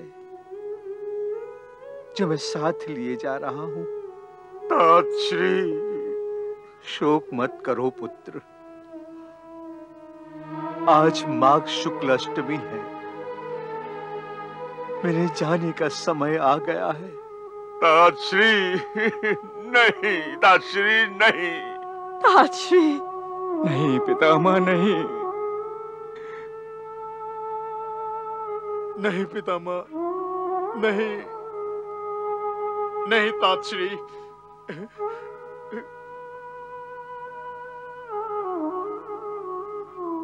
नहीं पितामह।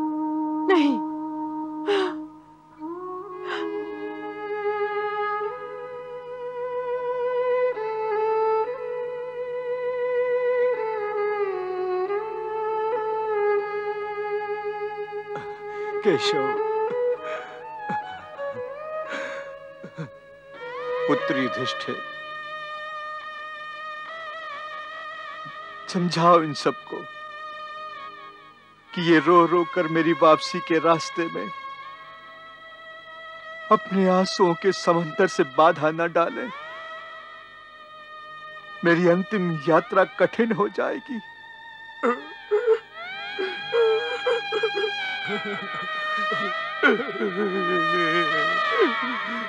पुत्र धृतराष्ट्र,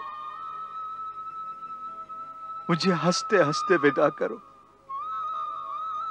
तुम तो धर्म जानते हो, ज्ञानी हो। फिर अब मोह के आधीन क्यों होते हो? प्रारब्ध के अनुसार ही सब कुछ होता है, पुत्र। फिर ये शोक क्यों? हे धृतराष्ट्र, हे गांधारी, हे कुंती, हे पांडवों, मेरा अंतिम उपदेश याद रखो।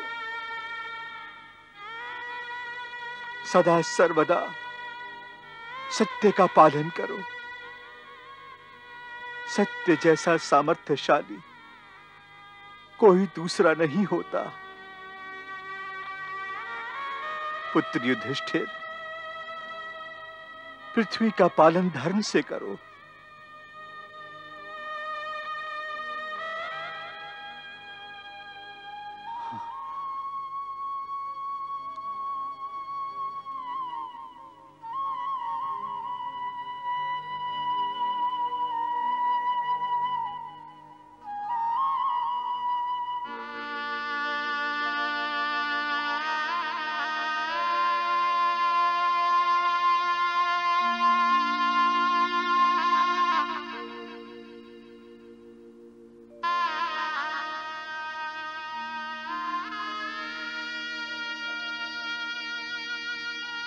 हे वासुदेव,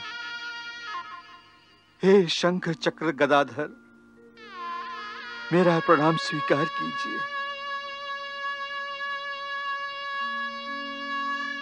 और अपने श्री चरणों में मुझे आश्रय दीजिए। प्रभु, मेरी बड़ी इच्छा थी कि मैं इस युद्ध में स्वयं आपके हाथों मारा जाऊँ। और मेरी आत्मा को तुरंत मोक्ष की प्राप्ति हो जाए। इस युद्ध भूमि पर मेरे प्रति अर्जुन के प्रेम, स्नेह और आदर को देखकर, आपने हथियार न उठाने पर विवश होकर, जब सुदर्शन चक्र धारण किया था,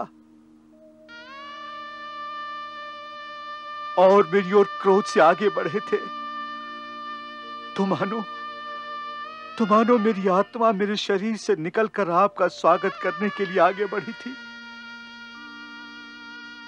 क्योंकि आपके हाथों मरकर मुझे तत्काल मोक्ष की प्राप्ति हो जाती।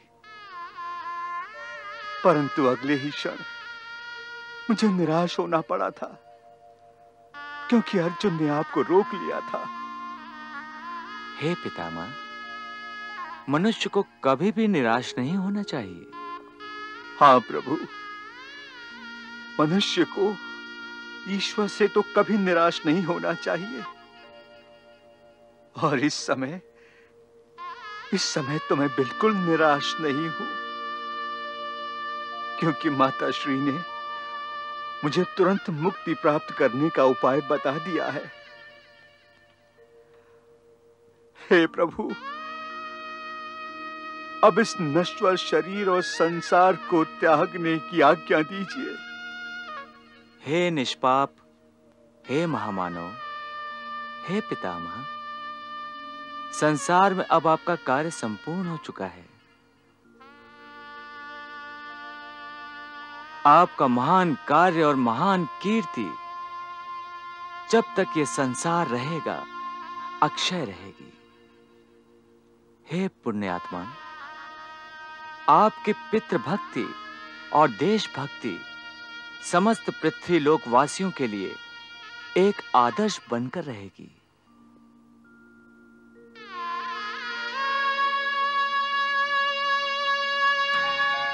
हे प्रभु, मेरा अंतिम समय आ गया है। अब मुझे अपने प्राण त्यागने की आज्ञा दीजिए। प्रभु, आप जानते हैं इस मोहग्रस्त मन को अब संसार का मोह नहीं रहा है। पर एक अंतिम लालसा है।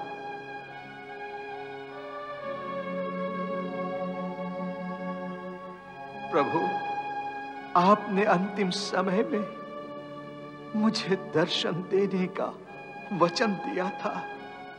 हाँ वत्स। इसीलिए मैं तुम्हारे सामने खड़ा हूँ। धन्यवाद प्रभु। अब तक आपको मानव रूप में देख देख कर ही तो जीता रहा हूँ। परंतु मरते समय मैं आपको चतुर्भुज रूप में देखना चाहता हूँ। उस दिव्य रूप के दर्शन से अपनी अंतरात्मा को तृप्त करना चाहता हूँ।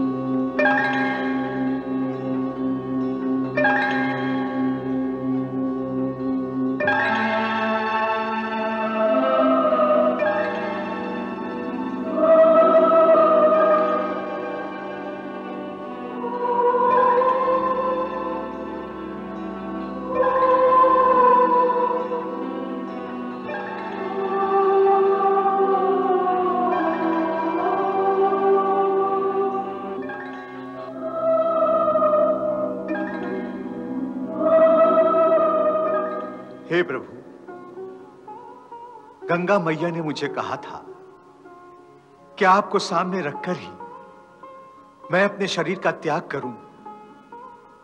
तो मुझे उसी समय आपके श्री चरणों में मुक्ति प्राप्त हो जाएगी। मैं आ गया। मैं आ गया। अब अपने श्री चरणों में मुझे मुक्ति दीजिए। स्थान दीजिए। देवव्रत, तुम मेरे परम भक्त हो।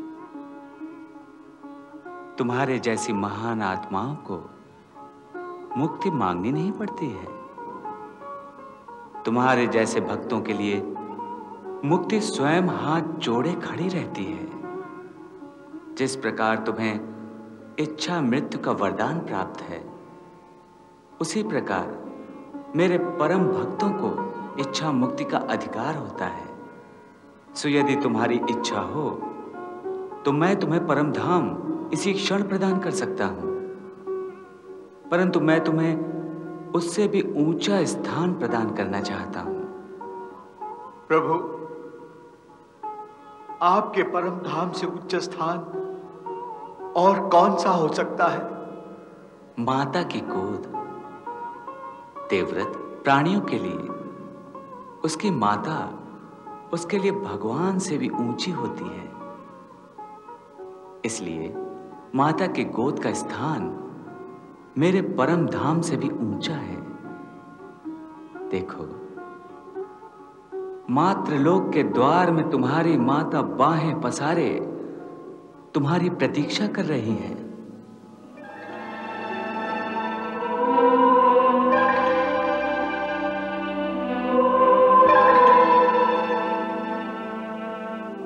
इसलिए वत्स मैं तुम्हें मातृलोक में वो स्थान प्रदान करता हूँ, जो स्वर्ग का भी स्वर्ग है।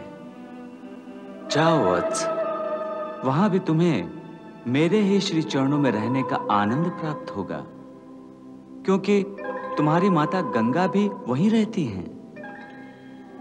वत्स, नवजात और निष्पाप शिशु की भांति अपनी माता के गोद में समा जाओ।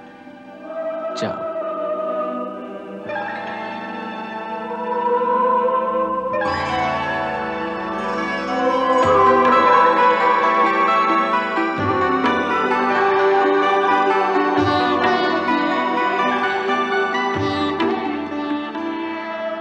निष्काम जीवन जी कर जगत से जाने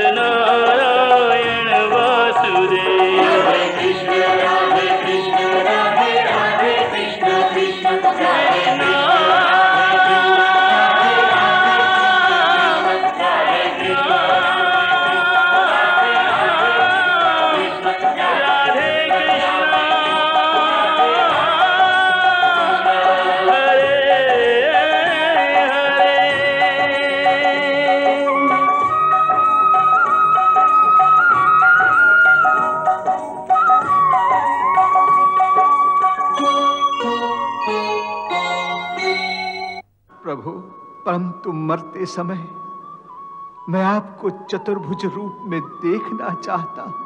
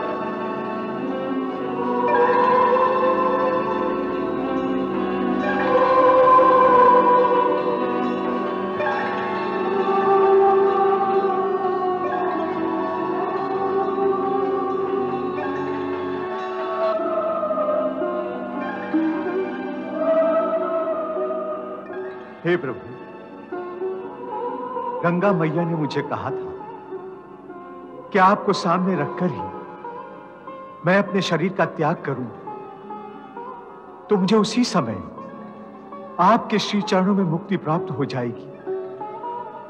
मैं आ गया। मैं आ गया। अब अपने श्री चरणों में मुझे मुक्ति दीजिए। स्थान दीजिए। देवव्रत, तुम मेरे परम भक्त हो। तुम्हारे जैसी महान आत्माओं को मुक्ति मांगनी नहीं पड़ती है। तुम्हारे जैसे भक्तों के लिए मुक्ति स्वयं हाथ जोड़े खड़ी रहती है। देवव्रत प्राणियों के लिए, उसकी माता उसके लिए भगवान से भी ऊँची होती है। इसलिए माता की गोद का स्थान मेरे परम धाम से भी ऊँचा है। देखो मातृलोक के द्वार में तुम्हारी माता बाहें पसारे, तुम्हारी प्रतीक्षा कर रही हैं।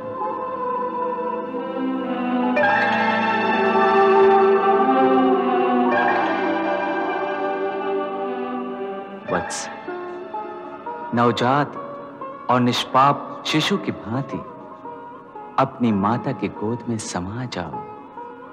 जाओ। कर नमन केशव को पितामह लोक से जब जावही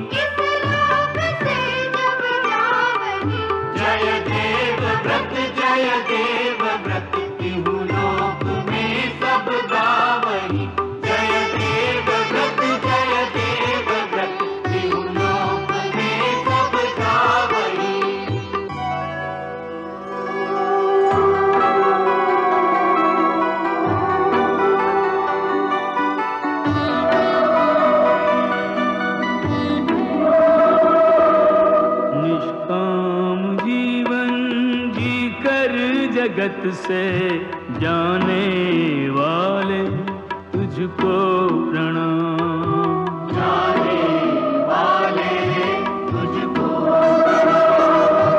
परमार्थ यज्ञ में प्राणों का अर्घ्य चढ़ाने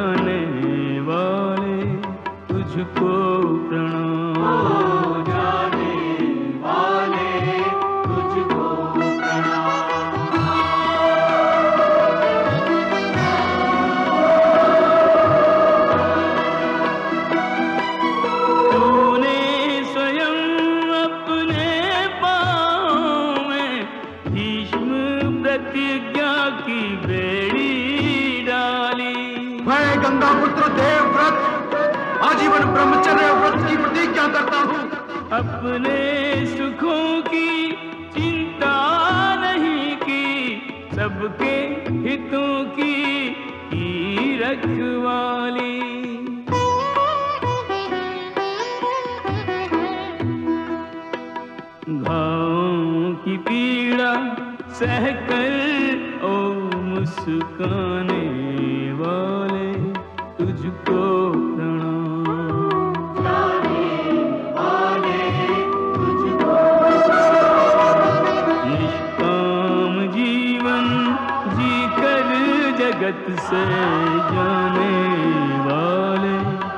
कर जगत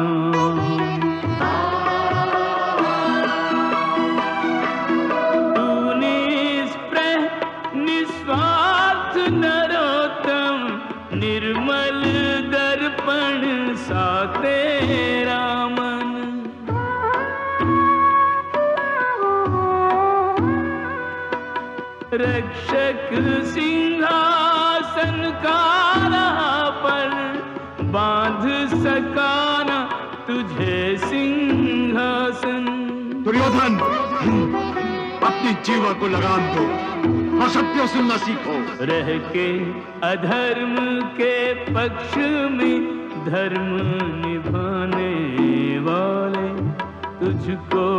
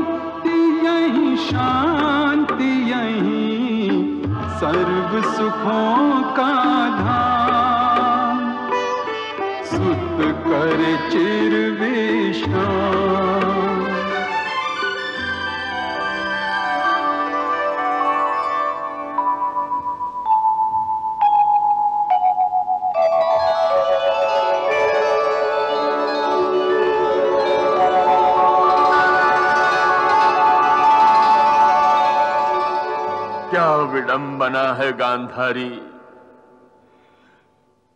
भीष्म पितामह के रूप में एक महामानव संसार से चला गया। परंतु संसार जैसा था, वैसा ही है। सब कुछ पहले जैसा ही हो रहा है। राजा राज कर रहा है, लोग खा पी रहे हैं। जैसे कुछ हुआ ही ना हो। परंतु मेरे मन की दशा कुछ और ही कह रही है। मुझे तो ऐसा लग रहा है कि हस्तिनापुर ताजश्री के कांधों पर टिका था। और अब ताजश्री की मृत्यु के बाद मुझे ऐसा लगने लगा है कि जैसे हस्तिनापुर का अस्तित्व ही समाप्त हो गया हो। मेरे सभी अपने मुझे छोड़कर चले गए।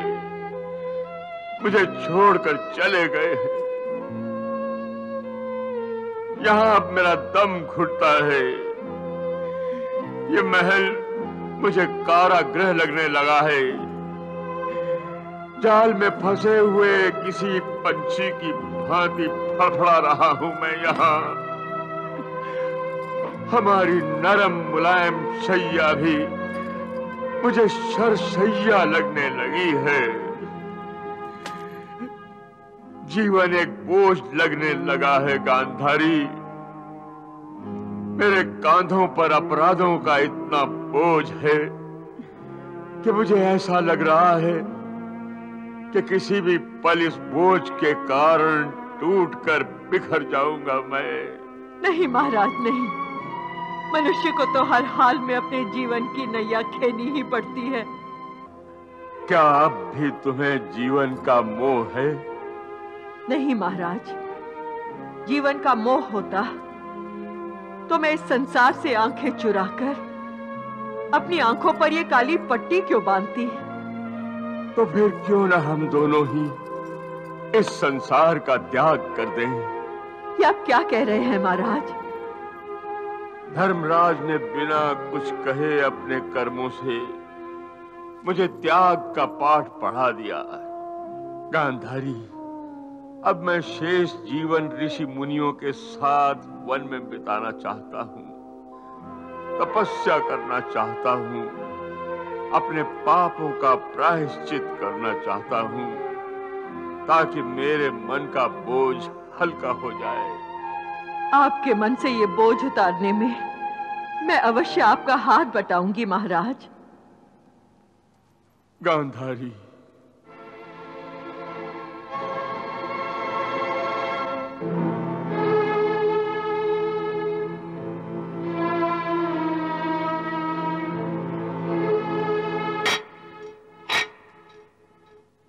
कौन हो तुम भाई? और राजपथ पर कहाँ घुसे चले आ रहे हो? लगता है महाराज से भिक्षा लेने आए हो। नहीं नहीं। मैं भिक्षा लेने नहीं आया। मैं महाराज धृतराज से मिलने आया हूँ। महाराज धृतराष्ट्र से? हाँ। मैं उनका भाई हूँ। तुमने मुझे पहचाना नहीं क्या?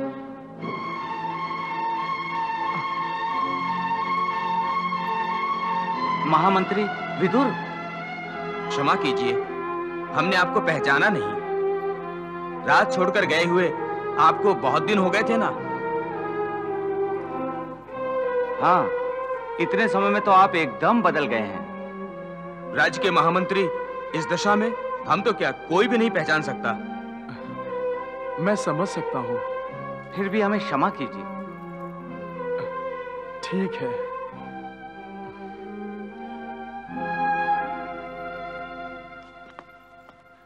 अच्छा हुआ, महामंत्री जी लौट आए। पांडवों के प्रति कौरवों के दुर्व्यवहार से रुष्ट होकर चले गए थे। पांडवों के लौटने का समाचार पाकर ही वापस आए होंगे। पितामह भीष्म के देहांत के बाद अब कोई तो होगा जो पांडवों का मार्गदर्शन कर सकेगा। तुम आ गए विदुर, तुम आ गए। मैं जानता था विदुर, तुम लौट आओगे। तुम लौट आओगे।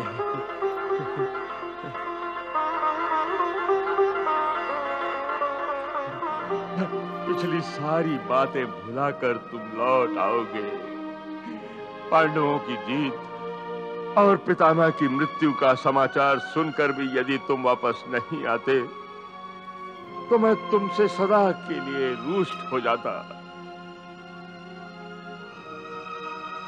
तुम नहीं जानते।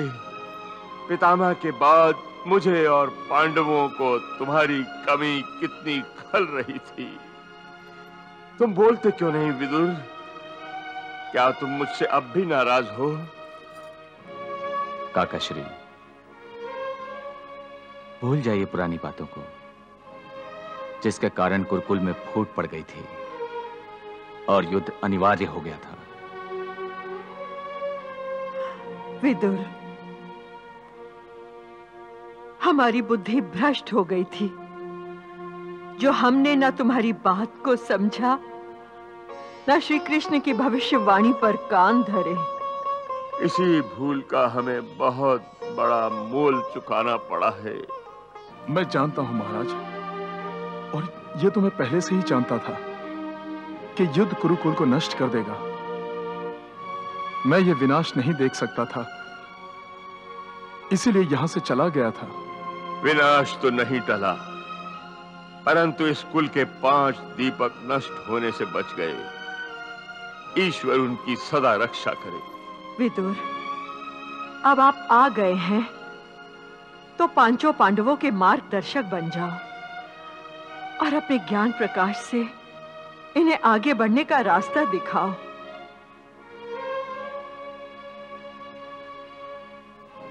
महाराज धृतराष्ट्र आप हमारे ज्येष्ठ हैं। आप ही पांडवों को रास्ता दिखाएँगे। मैं अंधा तो स्वयं जीवन भर अंधकार में ठोकरें खाता रहा हूँ। मैं किसी को क्या रास्ता दिखाऊँगा? ये काम तो अब तुम्ही को करना होगा विदुर। नहीं महाराज द्वारिकाधीश श्री कृष्ण के होते हुए इन पांडवों को किसी और मार्गदर्शक की आवश्यकता ही नहीं है। नहीं विदुर।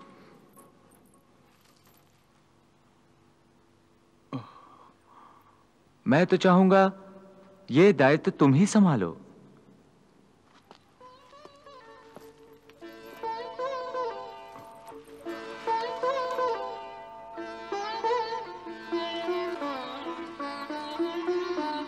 प्रणाम द्वारिकाधीश। विदुर तुम तो इस राज्य के महामंत्री रहे हो। तुमसे अच्छा राजनीतिज्ञ पांडवों को और कहाँ मिलेगा? इसलिए तुम अपने अनुभव से पांडवों को लाभ उठाने दो। प्रभु मैं तो आपका भक्त हूँ। अगर आपकी आज्ञा हो तो अवश्य प्रयास करूँगा। परंतु प्रभु अब राजनीति और संसार के प्रलोभन से मेरा मन ऊब गया है। हाँ। हाँ विदुर।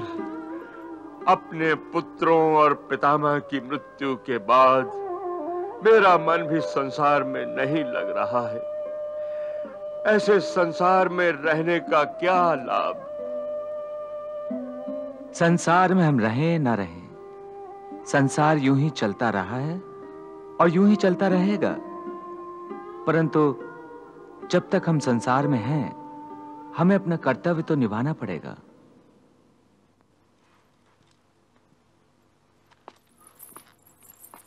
महाराज आप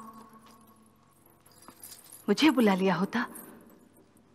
राजमहल छोड़कर आने का कष्ट आपने क्यों उठाया? राजमहल तो क्या? सब कुछ छोड़ने का निर्णय लिया है हमने। सब कुछ छोड़ने का निर्णय? ये क्या कह रहे हैं आप? हाँ कुंती।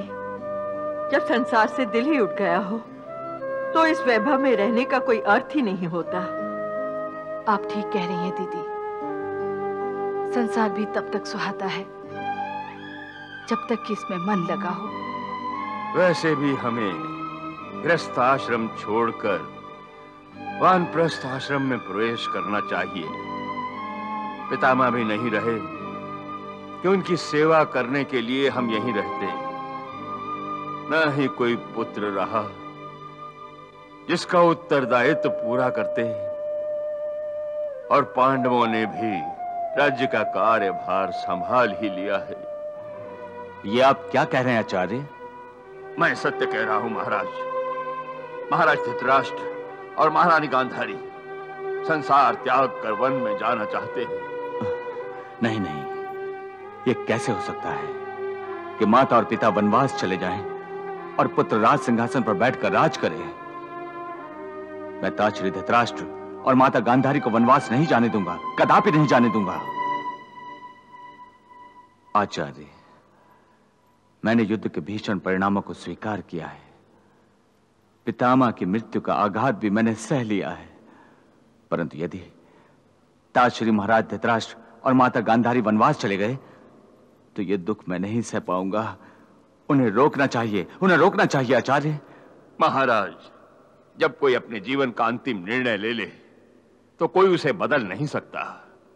ताजश्री को अपना निर्णय बदलना होगा। हमारे लिए उन्हें अपना निर्णय बदलना ही होगा। नहीं पुत्र नहीं। ये निर्णय अब बदला नहीं जा सकता। आप हमसे इतना रुष्ट हो गए ताजश्री कि हम सबको छोड़कर चले जाना चाहते हैं। नहीं पुत्र। तुम तो मेरे आज्ञाकारी पुत्र हो। मैं तुमसे कैसे रुष्ट हो सकता हूँ? फिर आप हमें इतना कठोर दंड क्यों दे रहे हैं ताजश्री हमारे सरों पर से माता पिता की छत्र छाया ही हटा रहे हैं। ऐसा कौन सा अपराध हुआ है मुझसे? ऐसी कौन सी भूल हुई है मुझसे ताजश्री नहीं, पुत्र। तुमसे कोई भूल नहीं हुई है। क्या हमारी सेवा में कोई कमी रह गई थी ताजश्री नहीं पुत्र नहीं। तो फिर आप वन में क्यों जाना चाहते हैं? पुत्र मैंने ये निर्णय धर्म और शास्त्रों के अनुसार ही तो लिया है। वृद्धावस्था में राज्य का उत्तरदायित्व पुत्रों पर सौंपकर पिता के वानप्रस्थ आश्रम का स्वीकार करना शास्त्र सम्मत ही है। बड़े भैया। केशव ताजश्री धृतराष्ट्र ने जो निर्णय लिया है, वो उचित है। ये तुम क्या कह रहे हो, केशव? हाँ बड़े भैया। ताजश्री धतराष्ट्र की मनोदशा के बारे में आप थोड़ा भी सोचेंगे तो आप इन्हें रोकने का प्रयास नहीं करेंगे। पहली बात तो यह है कि ताजश्री धृतराष्ट्र को धर्मशास्त्र के अनुसार अपना जीवन व्यतीत करने का पूरा अधिकार है। और दूसरी बात यह है कि ताजश्री अब अपने मन की शुद्धि करना चाहते हैं, इसलिए उन्हें रोकना उचित नहीं है। बड़े भैया, मनुष्य वृद्धावस्था में अपने जीवन का सिंघावलोकन करता है। और वो अपने पाप और पुण्य का लेखा जोखा बनाता है। इस अवस्था में वो अंतर्मुख होता है और ईश्वर के शरण में जाता है और अपने किए का पश्चाताप करता है। अपने पुत्रों और पौत्रों के लिए ईश्वर से आशीर्वाद माँगता है। वो इस अवस्था में ईश्वर की परम भक्ति करता है, क्योंकि जीवन के इस अंतिम पर्व में वो ये जान जाता है कि अंतिम सत्य मृत्यु है और मनुष्य का एकमात्र सहारा परमेश्वर है। उसका ये भ्रम टूट जाता है कि वो सर्वशक्तिमान है और वो जीवन के अंत में ये जान जाता है कि जो कुछ भी होता है, वो ईश्वर की इच्छा के अनुसार ही होता है। इसलिए मनुष्य अपने वृद्धावस्था में ईश्वर के अधिक निकट आ जाता है। बड़े भैया ताजश्री भी ईश्वर की परम भक्ति करने के लिए वन में जाना चाहते हैं। तो क्या उन्हें ईश्वर की भक्ति से रोकना उचित है? श्री कृष्ण ठीक कह रहे हैं। तुम मेरे पुत्र हो और मैं तुम्हारा तात हूँ। इसलिए तुम्हारे सामने सच्चाई को स्वीकार करने में लज्जा आड़े आई थी।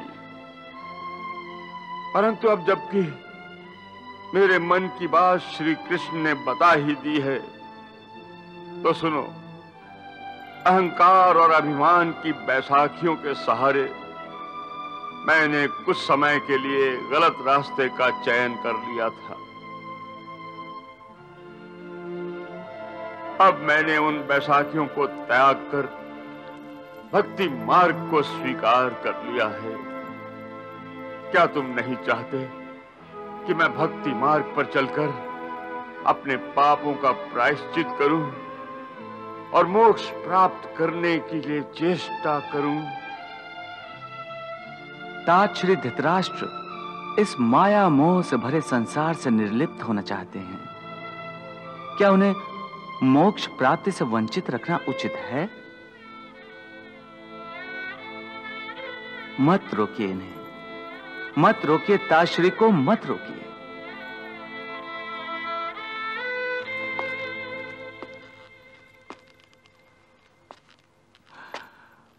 प्रणाम ताश्री। आयुष्मान भव आयुष्मान भव। मैंने कह दिया ना। कि मेरा निर्णय अटल है। मुझे हर हाल में महाराज धृतराष्ट्र और दीदी गांधारी के साथ वन में जाना होगा।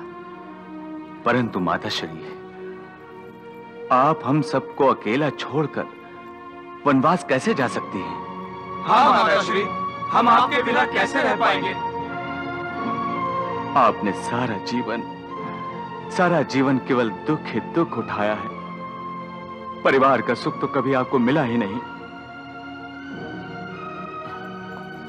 माता श्री, दुख भरे दिन बीत जाने के बाद, इतने सारे कष्ट उठाने के बाद, अब एक साथ सुख चैन की सांस लेने का समय आ रहा है।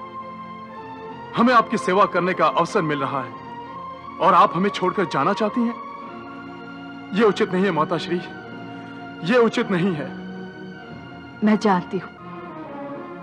कि तुम सब भावुकता के अधीन होकर ये बोल रहे हो।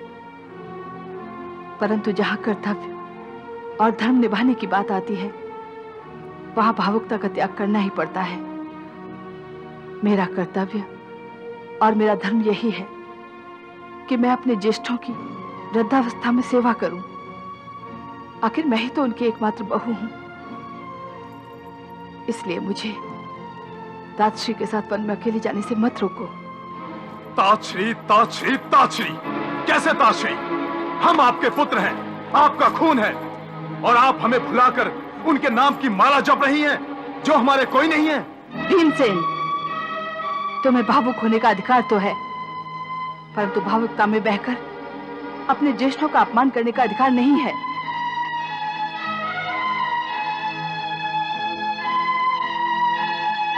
महाराज धृतराष्ट्र और दीदी गांधारी तुम्हारे माता पिता की भांति हैं। उनका अपमान करना मेरे अपमान करने के समान है। मैं उनकी बहू हूँ और उनका अपमान सहन नहीं कर सकती। अपने ज्येष्ठों का आदर करना गुरुकुल की परंपरा है। हमारा धर्म है। परंतु उन्होंने अपना धर्म कभी नहीं निभाया माताश्री।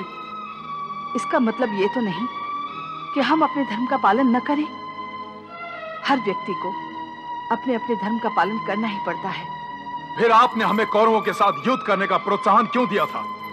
क्यों वासुदेव द्वारा संदेश भेजकर हमारे दिलों में प्रतिशोध की आग भड़का दी थी? कि लौट कर आना तो माथे पर कौरवों के रक्त से विजय तिलक लगा कर आना नहीं तो नहीं?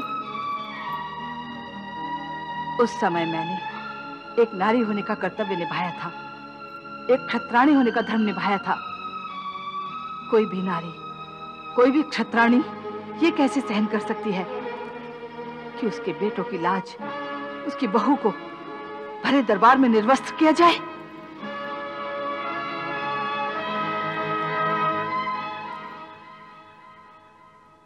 वो हिसाब, सभ्यता और द्रौपदी के अपराधी कौरवों की मृत्यु के साथ बराबर हुआ। पुत्रों, मुझे समझने का प्रयास करो। जिस तरह मैं अपने दिल पर पत्थर रखकर तुम सबसे दूर जा रही हूँ, उसी तरह तुम सब भी अपनी भावनाओं को लगाम दो। मुझे मेरा कर्तव्य और मेरा धर्म निभाने से मत रोको।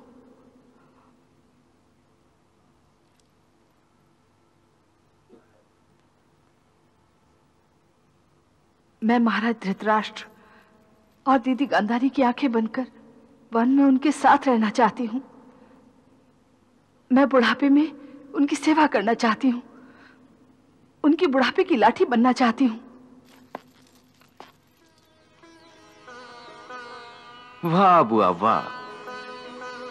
आपके सभी पुत्रों की भांति धर्मराज भी अपना धर्म भूल गए थे। परंतु आपने अपना धर्म नहीं भुलाया। हे पांडव धर्म निभाते हुए रिश्ते नाते नहीं देखे जाते। धर्म का यह पाठ तुम सब धर्म युद्ध करने के बाद भी भूल गए? ये मत भूलो कि परिस्थितियों के साथ मनुष्य के लिए धर्म की परिभाषा भी बदल जाती है और मनुष्य को अलग अलग रूप में अपना धर्म निभाना पड़ता है। तुम्हारी माँ महारानी कुंती भी ऐसी महान नारी है, जिन्होंने नारी के अलग अलग रूप में अपना धर्म उत्तम स्वरूप से निभाया है। पुत्री के नाते अपने माँ बाप की लाज की रक्षा के लिए अपने ज्येष्ठ पुत्र कर्ण को त्याग दिया।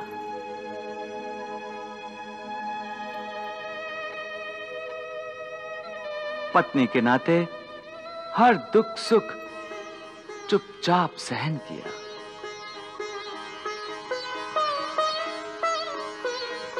माँ के नाते, न केवल अपने पुत्रों, बल्कि माद्री के पुत्रों को भी अपना समझकर उन्हें प्यार दिया।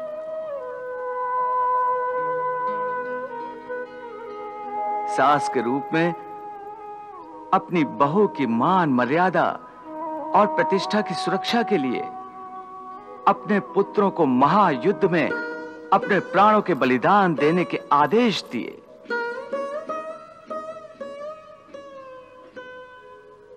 और अब बहू के रूप में अपने ज्येष्ठों की सेवा करना चाहती है। वाह कुंती, वाह। धन्य है आप, धन्य हैं।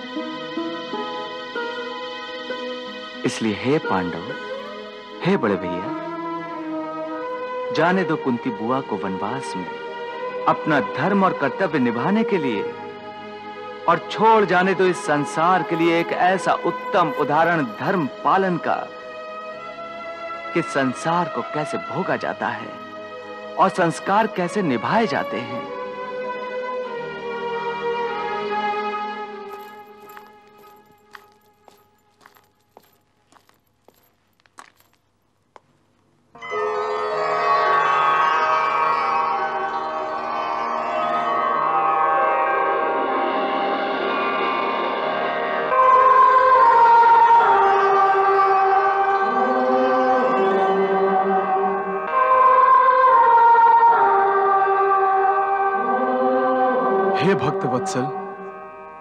कमल नयन हे नारायण, आपको मेरा प्रणाम।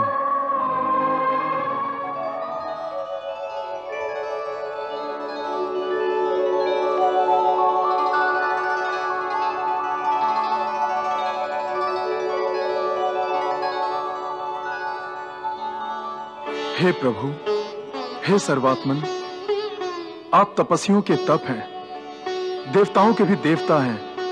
समस्त चराचर के स्वामी हैं। आपको मेरा प्रणाम। काकाश्री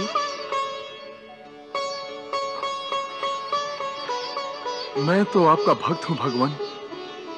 भगवान और भक्त के रिश्ते को अब और कोई नाम मत दीजिए। संसार में जब आत्मा शरीर धारण करता है तो शरीर के साथ जुड़े हुए संबंधों का भी आदर करना पड़ता है। इसलिए मैं अपने ज्येष्ठों का हर हाल में आदर करता हूँ। काकाश्री, बड़े भैया आपको बार बार याद कर रहे थे। कितनी व्याकुलता से आपकी प्रतीक्षा कर रहे थे। आपको यूँ हस्तिनापुर छोड़कर नहीं जाना चाहिए था। हाँ प्रभु यह मेरी भूल थी। मैं सच्चाई से दूर भाग रहा था। और संसार में भगवान को खोज रहा था। आप हमारे पास थे और मैं आपको ही ढूंढता फिर रहा था। प्रभु, इस इस भूल के लिए क्षमा कीजिए। सवेरे का भूला, यदि साँझ को घर आ जाए तो उसे भूला नहीं कहते। अब आपको कहीं जाने की आवश्यकता नहीं पड़ेगी।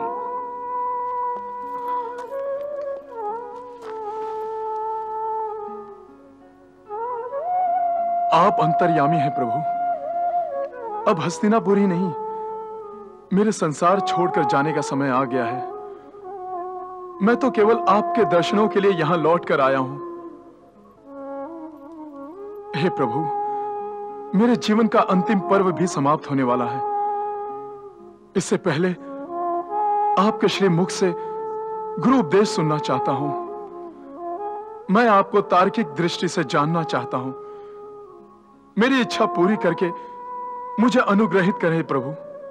हे महामते, मुझे न देवता, न गंधर्व, न पिशाच, न राक्षस तार्किक दृष्टि से जान सकते हैं। फिर भी मैं तुम्हारी इच्छा पूरी करता हूँ। यदि तुम मेरे परम तत्व को जानना चाहते हो तो संक्षिप्त में यह जान लो कि सभी तत्वों का मैं सूक्ष्म आत्म स्वरूप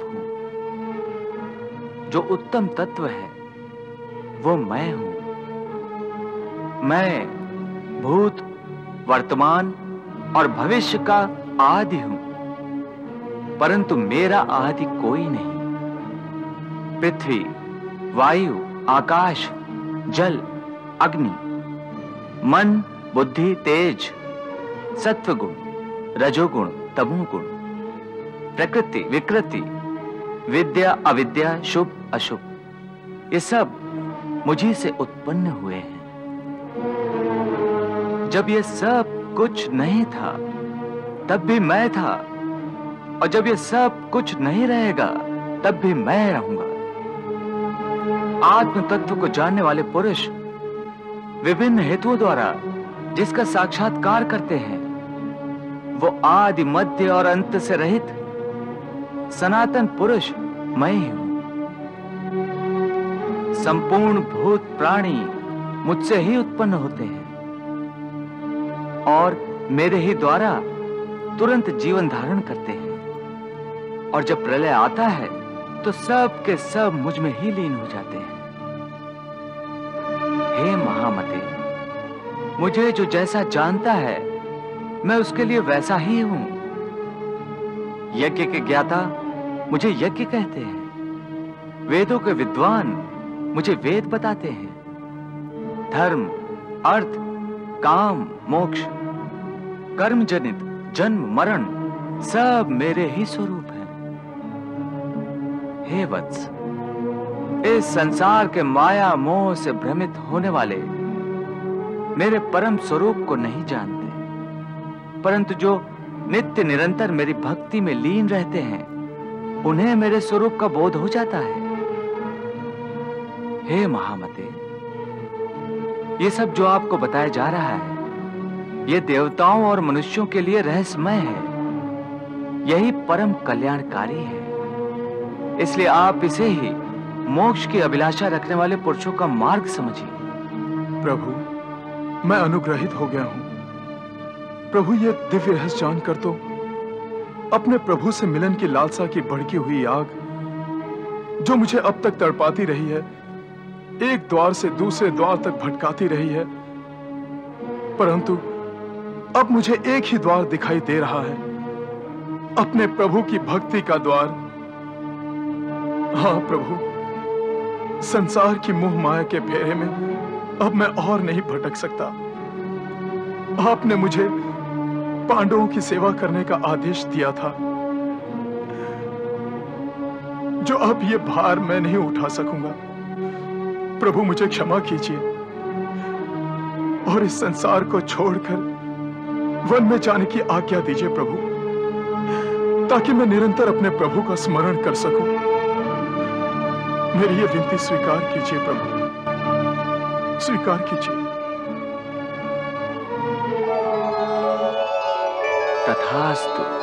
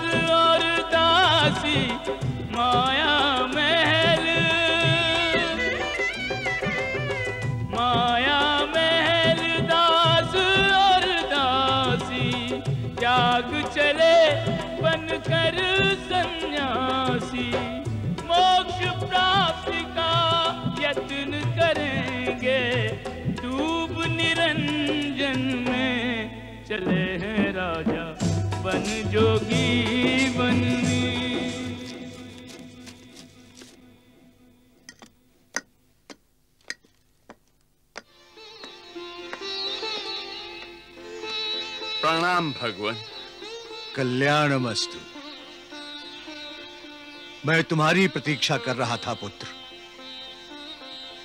हमारी प्रतीक्षा? हाँ पुत्र। मैंने अपनी दिव्य दृष्टि से तुम्हें पहले ही देख लिया था कि तुम पाँचों मेरे पास आ रहे हो। इसलिए मैंने तुम्हारी कुटिया भी तैयार कर दी है। पितामह। ना पुत्री ना। इस आश्रम में किसी भी विकारों को स्थान नहीं है। किसी भी भावना को स्थान नहीं है। स्थान है तो केवल एक ही भावना को, भक्ति भावना को,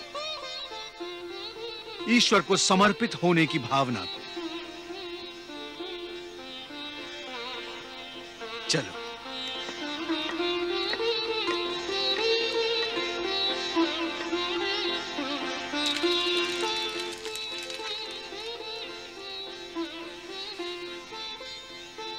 यहाँ जो भी आता है अपने विकारों और मोह माया को त्याग कर ही आता है। तुम्हें भी यहाँ रहकर अब केवल ईश्वर की आराधना और मोक्ष प्राप्ति का प्रयास करना चाहिए। परंतु भगवान जिस दशा को आज हम प्राप्त हुए हैं उसका कारण क्या है? लोभ। लोभ उसका कारण है पुत्र। लोभ से पाप अधर्म तथा महान दुख की उत्पत्ति होती है। लोभी मनुष्य बहुत सा लाभ पाकर भी संतुष्ट नहीं होता। भोगों से चाहे वो कितना ही सुख पाले, कभी तृप्त नहीं होता। ये एक ऐसी लालसा है जो बढ़ती ही रहती है। यहाँ तक कि यही मोह मनुष्य को अपनी अधूरी कामनाएँ, आशाएँ और इच्छाएँ पूरी करने के फेरे में डालकर जन्म जन्मांतर के चक्रव्यूह में फंसा देता है।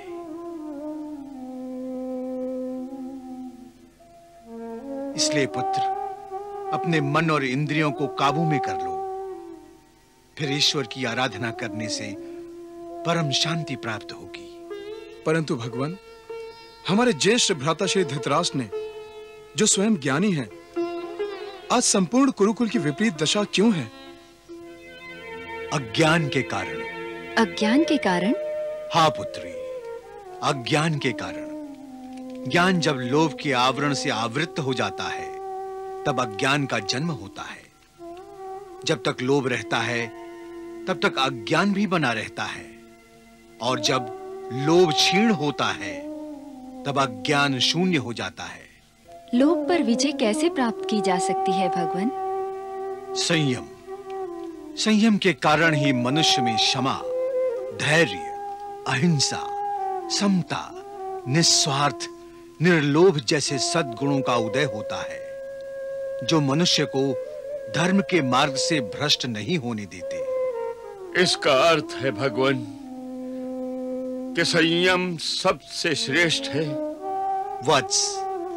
अहिंसा सत्य वचन दान, संयम, इन सबसे श्रेष्ठ है तप, और उपवास से बड़ी कोई तपस्या नहीं है।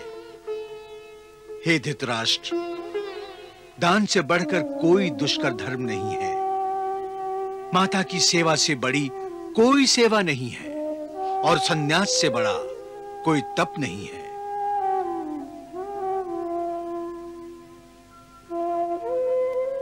इसलिए तपस्या करो, क्योंकि ऋषि, किन्नर, देवता, मनुष्य, पशु पक्षी तथा दूसरे भी जो चराचर प्राणी हैं, वे सब भी तपस्या में ही तत्पर रहते हैं। तपस्या से ही उन्हें सिद्धि प्राप्त होती है और देवत्व भी प्राप्त किया जा सकता है। और सबसे बढ़कर ये कि तपस्या से ही मोक्ष की प्राप्ति हो सकती है। इसलिए हे कुरुश्रेष्ठों इस आश्रम के पवित्र वातावरण में तपस्या करके रास्ते में आने वाले भवसागर को पार करो और अपना उद्धार कर लो।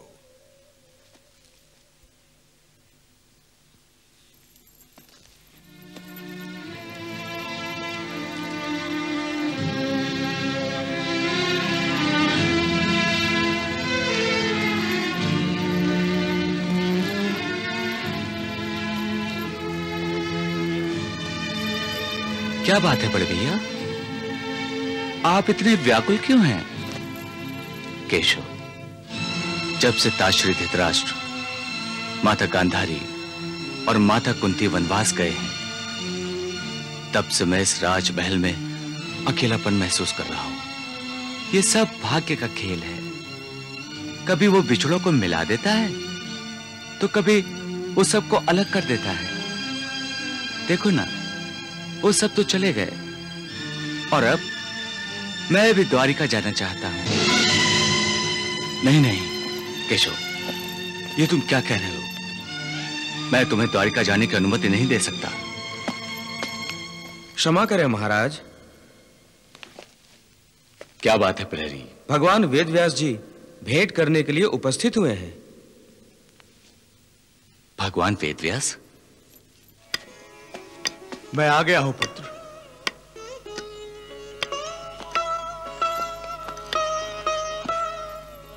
प्रणाम पितामह। आयुष्मान भव। आइए भगवान। विराजी आइए।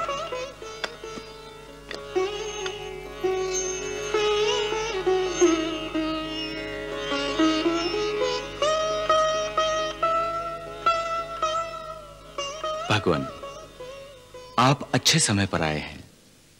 देखिए ना, मधुसूदन द्वारिका जाने की बात कर रहे हैं। अब इनके बिना मैं सारा कार्यभार कैसे संभाल पाऊँगा? अब आप ही इन्हें रोकिए। मैं इन्हें जाने की अनुमति नहीं दूँगा। आखिर मधुसूदन पर मेरा भी तो कोई अधिकार है। धन्य हो युधिष्ठिर तुम। प्रभु पर अपना अधिकार जता रहे हो। और प्रभु भी धन्य है, जिन्हें अपने आप पर तुम्हारा अधिकार स्वीकार है। युधिष्ठिर, मैं प्रभु की इच्छा से ही तुमसे मिलने के लिए हस्तिनापुर आया हूँ।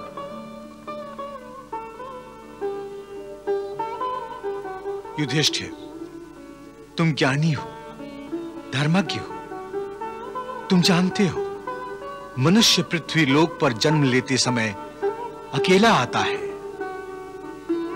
और मृत्यु की उंगली पकड़कर यमलोक जाते समय भी अकेला ही जाता है। फिर तुम्हें यह अकेलापन क्यों खल रहा है? वत्स, अब तुम्हें धृतराष्ट्र, गांधारी, कुंती और विदुर की चिंता करने की कोई आवश्यकता नहीं है। वो सब मेरे ही आश्रम में हैं। वो अपने जीवन के अंतिम पर्व पर पुण्य संचय करने का प्रयास कर रहे हैं। और इस प्रयास में तुम भी हाथ बटा सकते हो। वो कैसे भगवान? पुण्य करके पुत्र। माता पिता जो भी पुण्य कार्य करते हैं उस पुण्य के कुछ अंश का पुत्रों को भी लाभ होता है। उसी तरह पुत्र जो पुण्य कार्य करता है उसके कुछ अंश का माता पिता को भी लाभ होता है। बताइए भगवान ऐसा कौन सा पुण्य कार्य मैं करूँ जिसका लाभ मेरी माता श्री और ताश्री को मिले? अश्वमेघ यज्ञ करके पुत्र। अश्वमेघ यज्ञ? हाँ पुत्र। तप यज्ञ और दान धर्म द्वारा मनुष्य अपने पापों से मुक्त होकर पुनीत हो जाता है। पुण्य प्राप्ति के उद्देश्य से ही यज्ञ का अनुष्ठान किया जाता है। अश्वमेघ यज्ञ से सारे पापों का और चिंताओं का हरण होगा। तुम पुण्य के अधिकारी बन जाओगे। अश्वमेघ यज्ञ के कारण धृतराष्ट्र, गांधारी, कुंती, विदुर, इन्हें भी संतोष होगा। बड़े भैया, भगवान वेद व्यास की आज्ञा का पालन करना आपका धर्म है, क्योंकि इन्होंने आपको निष्पाप होने का उचित मार्ग बताया है। मैं जानता हूँ, केशव, कि जो तुम चाहते हो, वो तुमने पितामह के मुँह से कहलवा लिया। क्योंकि तुम मुझसे छोटे हो और भगवान बड़े हैं। हे कृष्ण वास्तव में तुम ही सच्चे पृथ्वीपति हो। तुम मेरा सम्मान करते हो। यही तुम्हारे विशाल हृदय का परिचय है। तुम्हारे ही गुरुपदेश के कारण हम पाँचों भाइयों की डूबती हुई नौका, आंधी और तूफ़ान का सामना करते हुए किनारे तक पहुँच पाई है। तुम हमारे मार्गदर्शक हो। तुम हमारे गुरु हो। इसलिए हे देव की नंदन तुम ही अश्वमेघ यज्ञ की दीक्षा लोगे। क्योंकि तुम ही यज्ञ हो, तुम ही अक्षर, अर्थात अविनाशी हो। तुम ही ने यह त्रिलोक व्याप्त किया है। तुम ही स्वयं प्रजापति हो। तुम ही साक्षात धर्म हो। हे परमात्मा, तुम ही सृष्टि के रचनाकार और संहार करता हो। इसलिए यदि तुम स्वयं अश्वमेघ यज्ञ की दीक्षा ले लोगे तो मैं निष्पाप हो जाऊँगा और महान पुण्य का अधिकारी बन जाऊँगा। हे धर्मराज, आप मेरे बड़े भाई हैं और बड़े भाई के होते हुए छोटा भाई कैसे यज्ञ कर सकता है? और जब बड़ा भाई यज्ञ करता है तो उसके छोटे भाई को यज्ञ का पुण्य अपने आप ही प्राप्त हो जाता है। इसलिए आपको ही यज्ञ करना चाहिए, क्योंकि आप एक श्रेष्ठ राजा हैं और धर्मात्मा हैं। हाँ पुत्र युधिष्ठिर। वासुदेव ठीक कह रहे हैं। हमारा आशीर्वाद सदा ही तुम्हारे साथ है।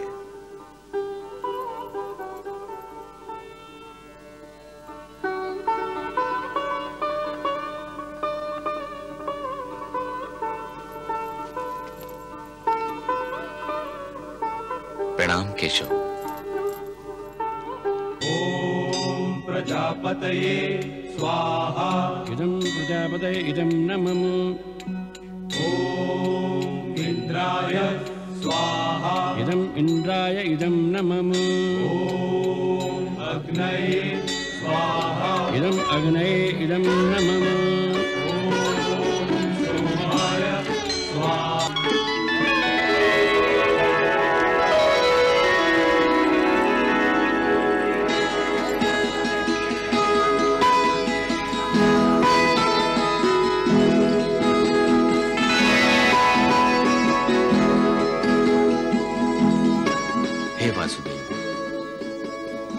हे पितामह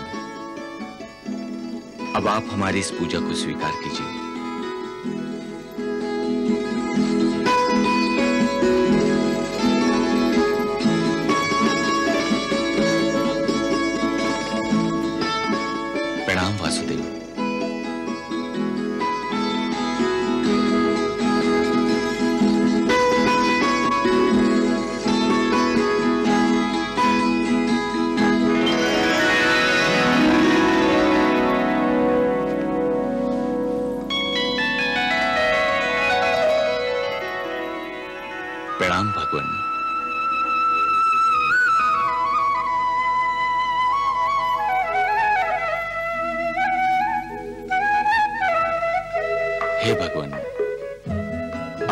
अश्वमेघ यज्ञ करने की दीक्षा दीजिए।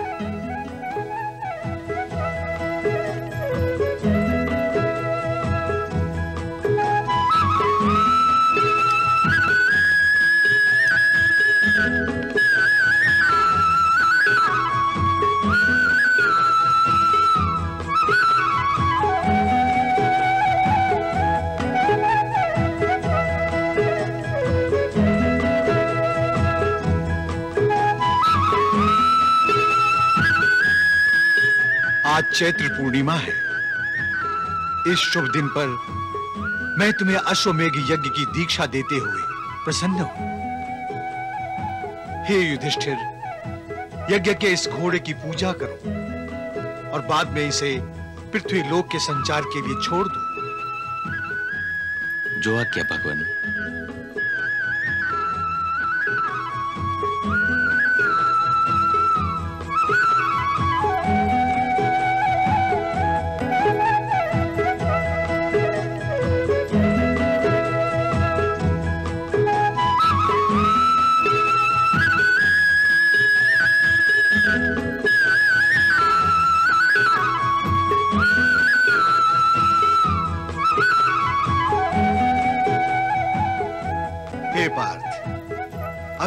की रक्षा का दायित्व मैं तुम्हें सौंपता हूँ। ये घोड़ा जहाँ जहाँ जाएगा, तुम्हें इसके पीछे पीछे जाना होगा। पृथ्वी पर ये घोड़ा हर दिशा में जाएगा। जहाँ जहाँ ये जाएगा, वो प्रदेश पांडवों का होगा। हे सर्वसाची अर्जुन, तुम महान पराक्रमी हो, महान धनुर्धर हो। तुम्हारे पास दिव्य अस्त्रों का भंडार है। दिव्य गांडीव धनुष। और अक्षय, तू नीर है।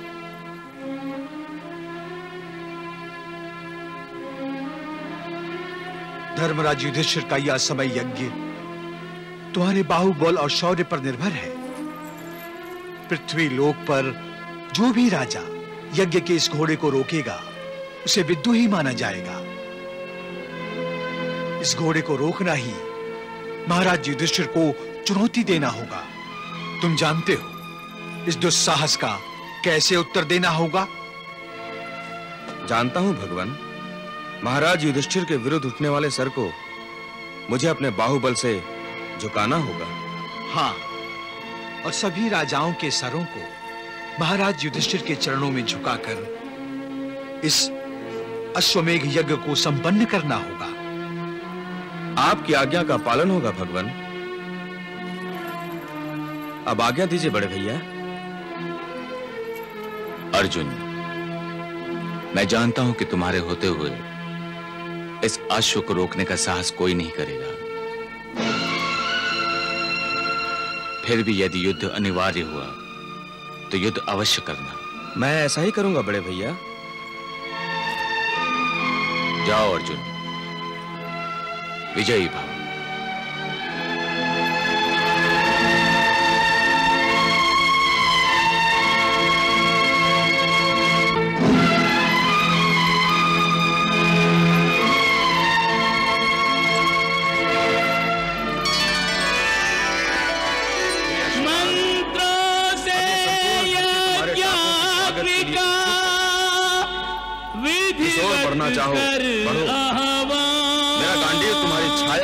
तुम्हारे साथ रहेगा। अश्व पूज अर्जुन करे मंगलमय प्रस्थान।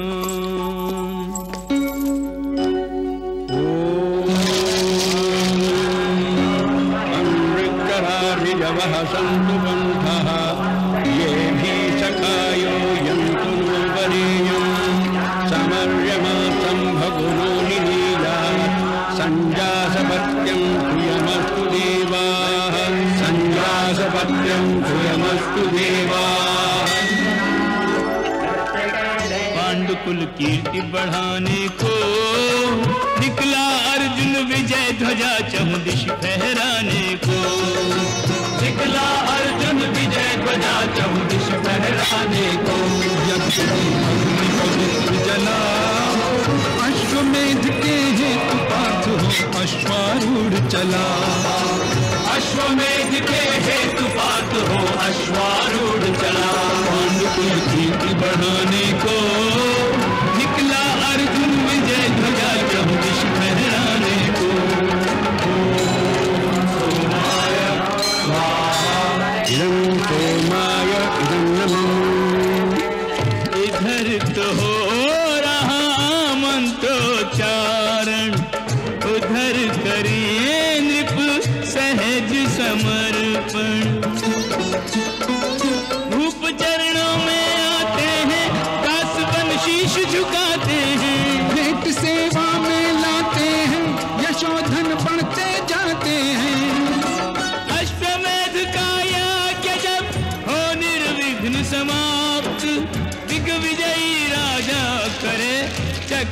चक्रवर्ती पद प्राप्त हस्तिनापुर में हर्ष भारी। जय अर्जुन, जय धर्मराज, बोले सब नर नारी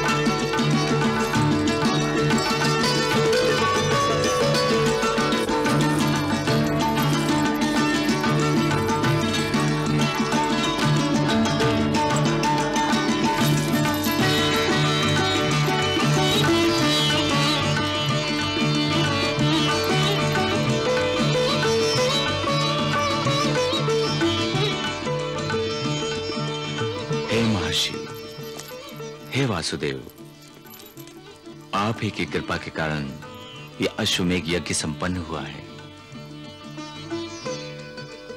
अश्वमेघ यज्ञ की दक्षिणा में पृथ्वी का दान ही शास्त्रों में लिखा है। इसलिए धनंजय अर्जुन जो धरती जीत कर आया है, वो संपूर्ण पृथ्वी मैं आपको अर्पण करता हूँ। हे धर्मराज मुझ ब्राह्मण को पृथ्वी का क्या लाभ? धरती तो राजा को ही सुहाती है। तुम राजा हो, और राज्य करना, प्रजा का पालन करना तुम्हारा धर्म है। इसलिए तुमने जो धरती मुझे अर्पण की है, मैं तुम्हें वापस कर रहा हूँ। अब इस पृथ्वी पर तुम ही राज करना।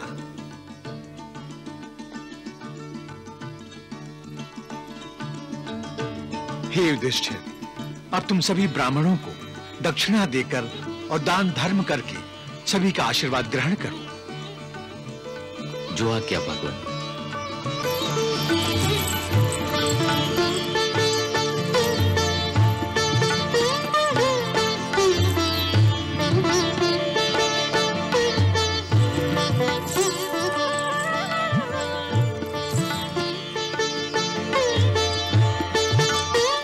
जैसा दयावान राजा, इस पृथ्वी पर दूसरा कोई नहीं है।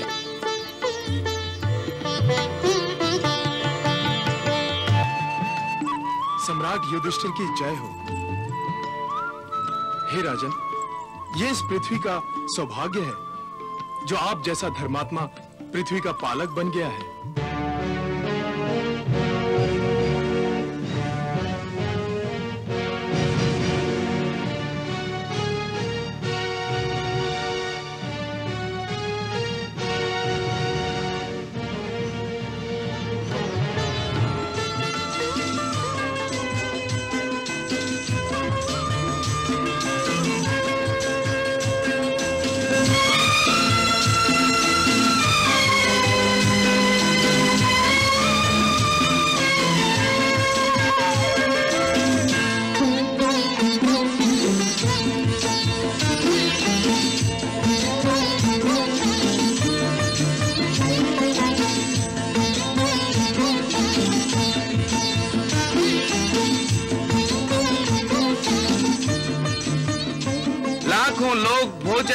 जा रहे हैं। दरिद्रों, दुखियों, सबके पेट की आग बुझ गई है। मन तृप्त हो गया है। सचमुच, महाराज युधिष्ठिर पुण्य आत्मा है पुण्य आत्मा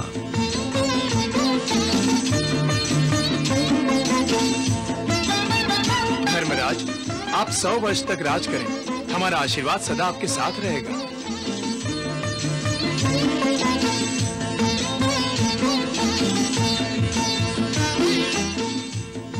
ऐसा धर्म कार्य तो केवल सम्राट युधिष्ठिर ही कर सकते हैं।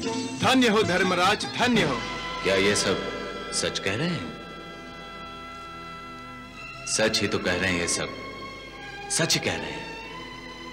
हाँ ये सब ऋषि भी कह रहे हैं। ऋषि भला झूठ बोलते हैं? हाँ ये सब सच है।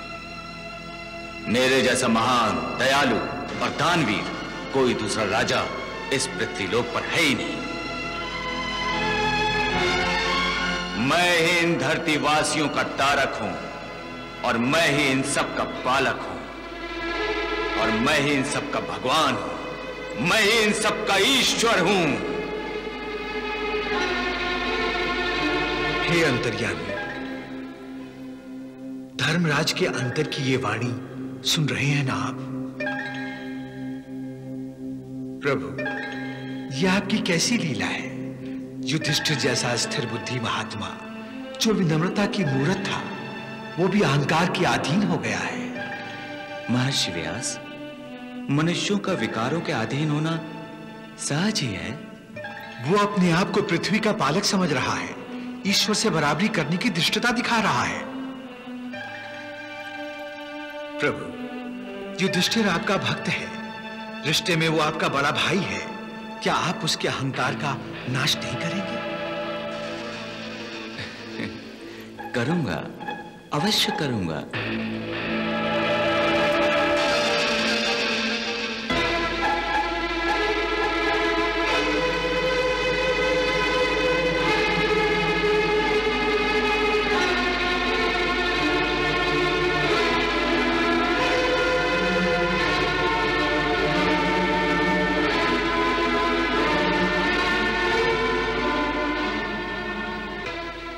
हे धर्मराज, तुम एक पुण्य आत्मा हो। तुमने निस्वार्थ बुद्धि से जो अन्न दान किया है, वैसा आज तक किसी ने भी नहीं किया। भगवान तुम्हें सहस्र वर्षों की आयु दे। सच बोल गए ब्राह्मण देवता, मेरे जैसा निस्वार्थ दाता कोई दूसरा नहीं।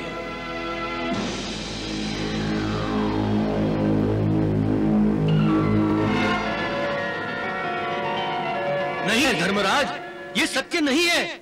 ये सत्य नहीं है।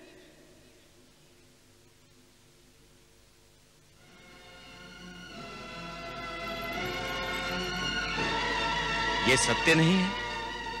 किसका साहस है जो इस सत्य को नकार रहा है? कौन है वो?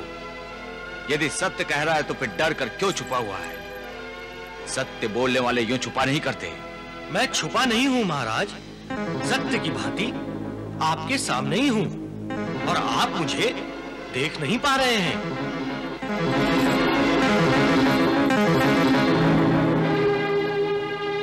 अरे बोलने वाला नेवला वो भी आधा शरीर सोने का? हाँ धर्मराज मैंने ही आपके दान धर्म को निस्वार्थ मानने से इनकार किया है। परंतु मैंने तो यह सब कुछ अपने किसी भी स्वार्थ की पूर्ति के लिए नहीं किया है। इसका प्रमाण अभी मिल जाएगा। यदि आप मुझे आज्ञा दें।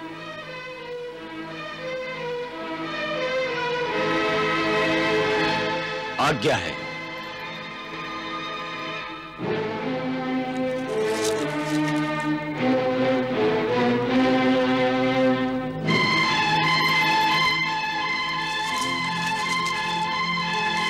रुक जाओ। हे विचित्र प्राणी, रुक जाओ। आप एक नेवला होकर भी मनुष्य की वाणी में बोल रहे हैं? अवश्य आप कोई महात्मा हैं परंतु आप भोजन किए बिना कहाँ जा रहे हैं? यदि आप भोजन किए बिना यहाँ से चले गए तो यह धर्मात्मा पांडवों का अपमान होगा और आप ही ने तो आज्ञा मांगी थी भोजन करने की। मैं यहाँ भोजन करने नहीं इस यज्ञ की महानता की परीक्षा करने आया था। तो फिर कर ली आपने परीक्षा? हो गया आपको इस यज्ञ की महानता का परिचय?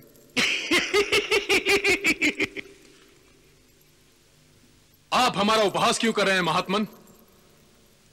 इसलिए कि जिस यज्ञ को आप महान समझ रहे हैं वो यज्ञ महान नहीं है। हे। नेवले तुम हमारा और हमारे यज्ञ का अपमान कर रहे हो। अपमान नहीं वायुपुत्र। मैं आपको सच्चाई बता रहा हूँ। महाराज युधिष्ठिर का ये यज्ञ महान नहीं है। महान नहीं है? यह आप क्या कह रहे हैं? यज्ञ के लिए धर्म अनुसार जो कुछ भी किया जाता है वह सब मैंने किया है। मैंने सभी ज्येष्ठों और श्रेष्ठ व्यक्तियों की विधि पूर्वक पूजा की है। मंत्राहुति के साथ अग्नि का हवन किया है। दान दक्षिणा करते समय मैंने कभी अपना हाथ पीछे नहीं खींचा। मेरी दान दक्षिणा से अपनी झोलियाँ भरने वाले सभी प्राणियों आदि ने इस यज्ञ की महानता के एक सुर में गुण गाए हैं। और आप कह रहे हैं कि यह यज्ञ यह दान महान नहीं, तुच्छ है? धर्मराज, आपके यज्ञ के कारण सभी के मन को संतोष प्राप्त हुआ होगा। परंतु यदि ये यज्ञ महान होता तो मेरा आधा शरीर जो सोने का नहीं है, वो भी इस यज्ञ के कारण सोने का बन जाता। आपका यह यज्ञ तो उस दरिद्र ब्राह्मण के यज्ञ के बराबर भी नहीं है, जिसके यज्ञ के भोजन के स्पर्श से मेरा आधा शरीर सोने का बन गया था। परंतु यह कैसे संभव हो सकता है? संभव है। हे। महात्मन आप यदि उस दरिद्री ब्राह्मण ने किस प्रकार से यज्ञ किया था उसे विस्तार से बताएँ तो सब स्पष्ट हो जाएगा। जैसी आपकी आज्ञा प्रभु कुरुक्षेत्र की पावन भूमि में कापोती नाम का एक वृद्ध ब्राह्मण अपनी पत्नी पुत्र और बहू के साथ निवास करता था।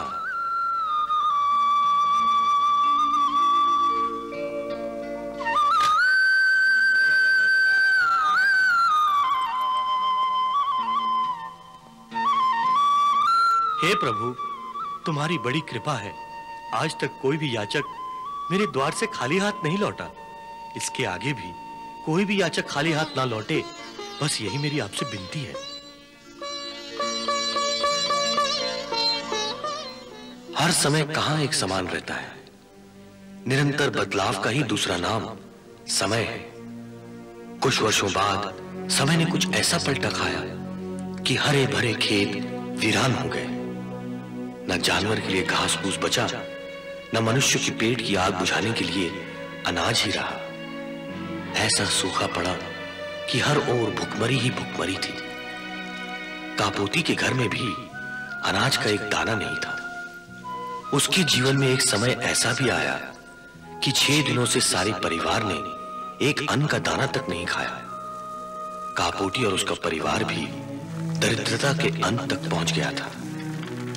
बड़ी ही मुश्किल से खेत की मिट्टी खंगाल खंगाल कर कापोती सेतु दाने के बीज ले आया। बड़ी मुश्किल से छह दिनों बाद एक समय का भोजन तैयार हुआ।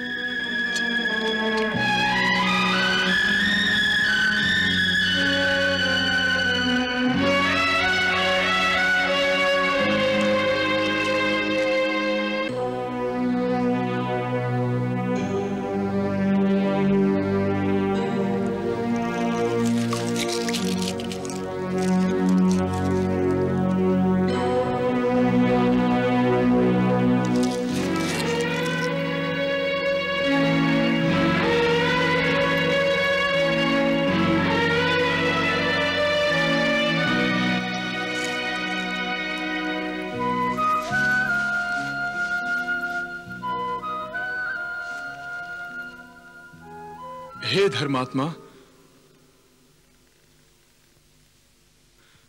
अन्नदाता के नाम पर एक भूखे दरिद्र ब्राह्मण को भोजन खिलाओ।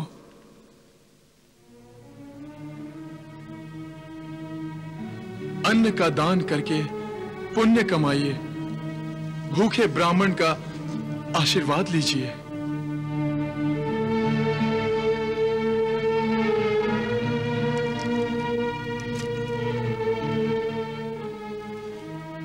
क्या आज एक दानवीर के द्वार से भी एक भूखे गरीब ब्राह्मण को खाली हाथ और खाली पेट लौटना पड़ेगा?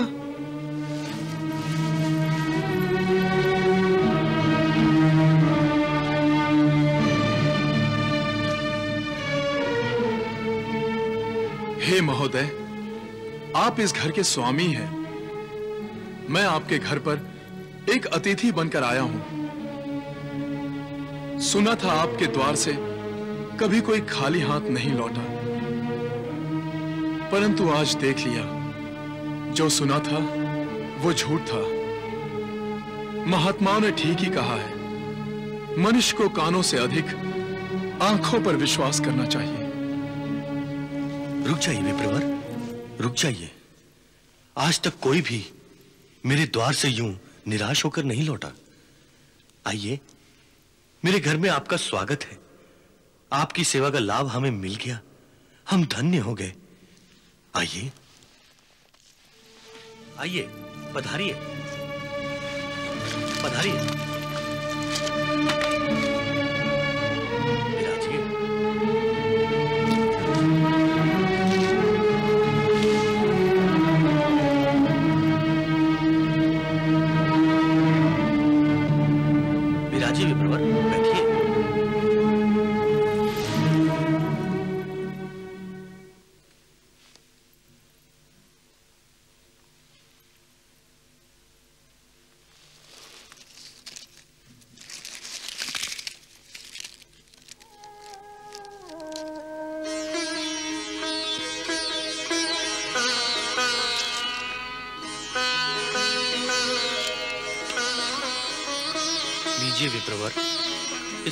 स्वीकार कीजिए और हमें अनुग्रहित कीजिए।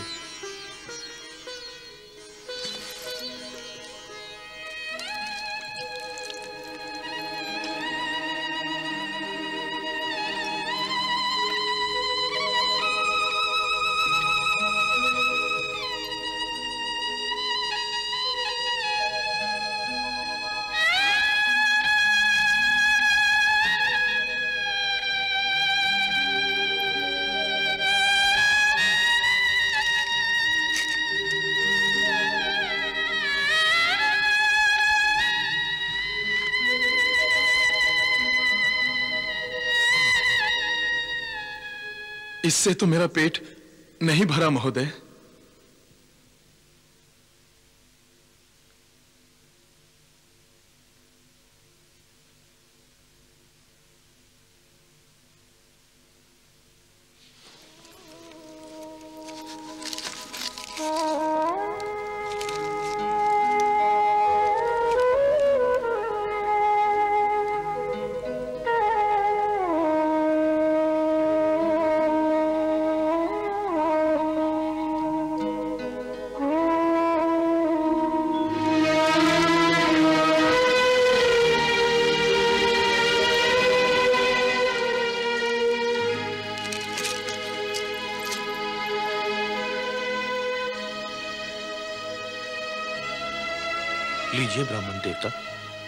इससे आपकी शुदा शांत हो जाएगी।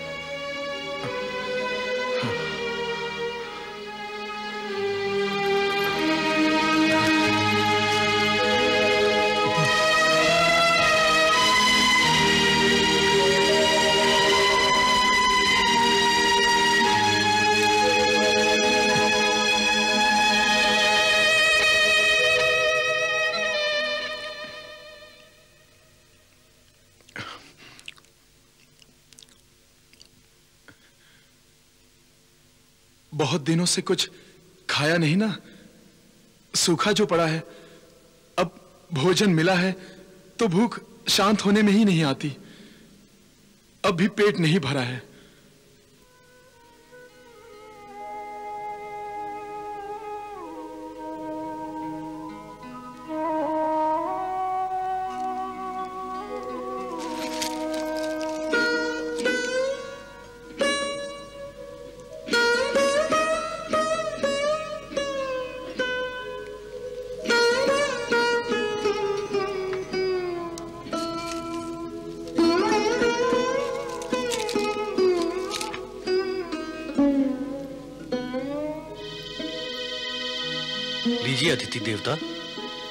कृपया आप रुष्ट मत होइए।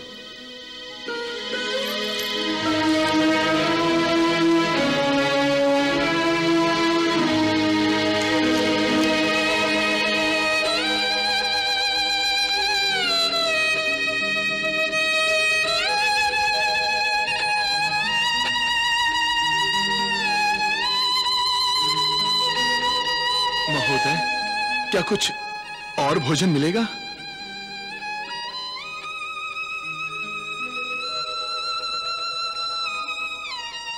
ऐसा लगता है मुझे भूखा ही उठना पड़ेगा।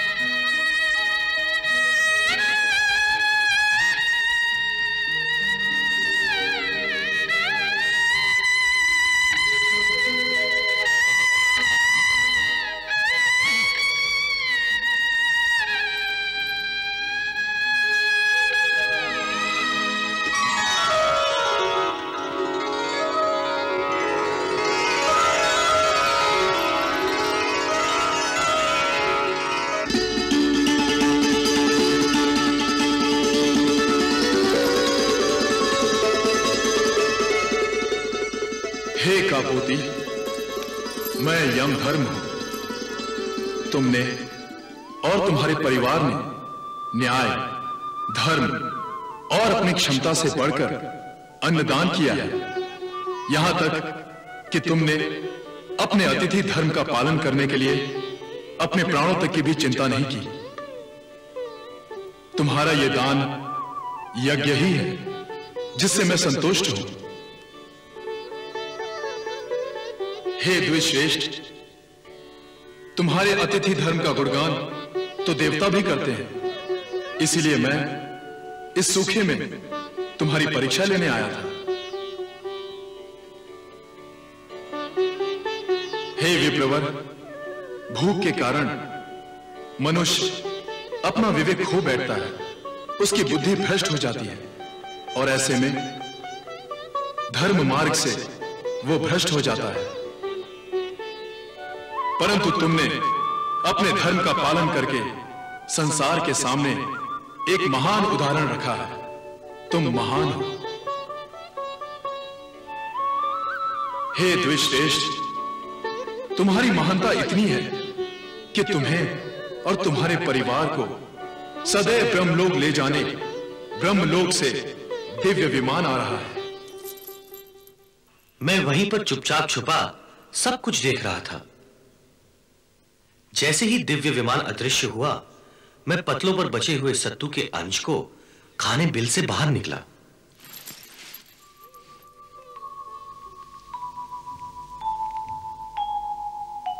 बचा हुआ सत्तू खाते ही मेरा आधा शरीर सोने का हो गया। कृष्णा।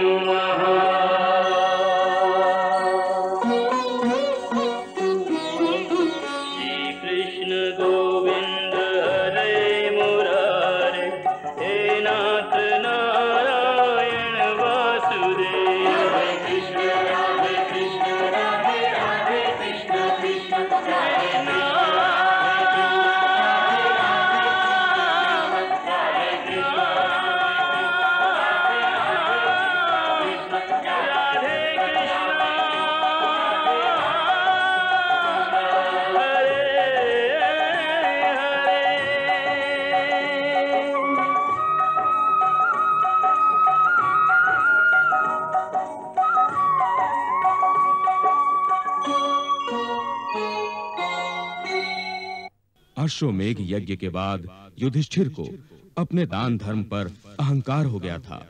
उसका अहंकार तोड़ने के लिए भगवान श्री कृष्ण ने अपनी लीला रचकर एक नेवले का आवाहन किया। उस नेवले का आधा शरीर सोने का था। नेवले ने पांडवों को एक दरिद्र ब्राह्मण की कथा सुनाई। वो ब्राह्मण कई दिनों से सपरिवार भूखा था। उसने खेत से एक-एक दाना चुनकर बड़ी मुश्किल से अपने परिवार के लिए एक समय का भोजन तैयार किया। वो उस भोजन को खाने बैठा ही था कि एक भूखा अतिथि उसके द्वारे आया। कई दिनों से भूखे ब्राह्मण ने अपना और अपने परिवार का सारा भोजन उस अतिथि को खिलाकर उसे संतुष्ट किया। उस दरिद्र ब्राह्मण का दान कितना महान है, ये सिद्ध करने स्वयं यम धर्म अतिथि के वेश में उसके पास आए थे। तुम्हारा ये दान यज्ञ ही है, जिससे मैं संतुष्ट हूँ। हे द्विश्रेष्ठ, तुम्हारी महानता इतनी है कि तुम्हें और तुम्हारे परिवार को सदैव ब्रह्मलोक ले जाने, ब्रह्मलोक से दिव्य विमान आ रहा है। मैं वहीं पर चुपचाप छुपा, सब कुछ देख रहा था। जैसे ही दिव्य विमान अदृश्य हुआ मैं पतलों पर बचे हुए सत्तू के अंश को खाने बिल से बाहर निकला।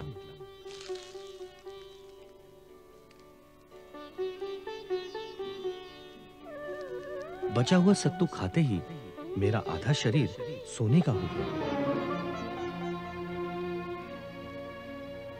तब से मैं उस ब्राह्मण जैसा दानवीर ढूंढ रहा हूँ, परंतु मुझे आज तक नहीं मिला। आपका नाम तो बहुत है। जब मैंने आपका नाम सुना कि युधिष्ठिर यज्ञ कर रहे हैं तो मैंने सोचा कि आज मेरा शरीर पूर्णतः सोने का बन जाएगा। परंतु दुख की बात तो यह है कि आपको भी अहंकार है। आप भी अहंकार के मारे यज्ञ कर रहे हैं। आप दिखावा कर रहे हैं। यहाँ भी मैं अपने शरीर को पूरा सोने का नहीं बना सका। और इसीलिए मैं कहता हूँ कि आपका ये महायज्ञ महान यज्ञ नहीं है।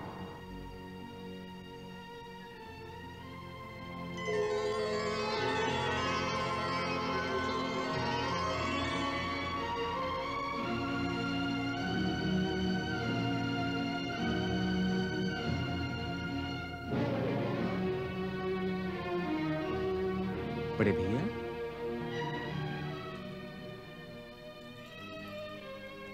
केशव, मैं तो यज्ञ का अर्थ ही भूल गया था।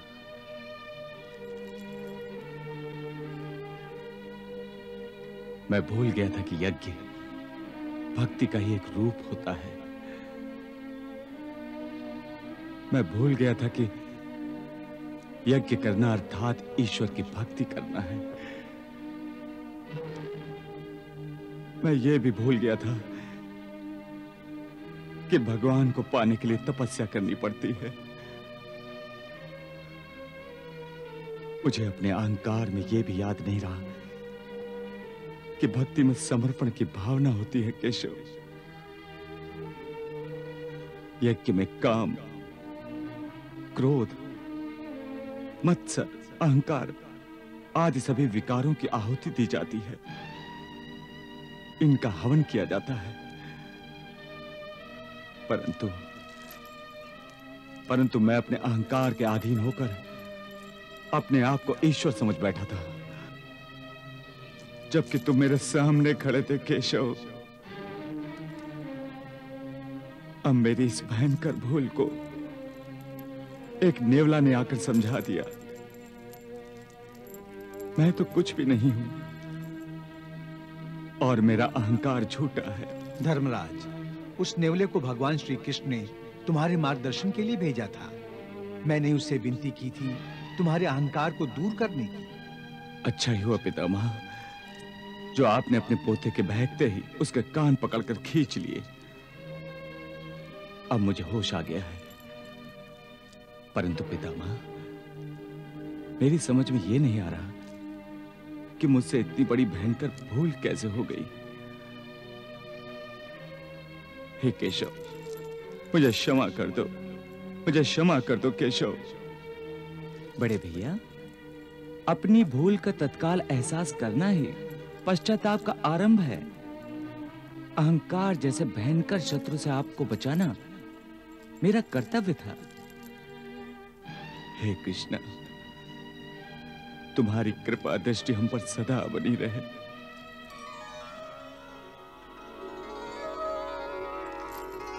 वत्स युधिष्ठिर अश्वमेघ यज्ञ संपन्न हुआ।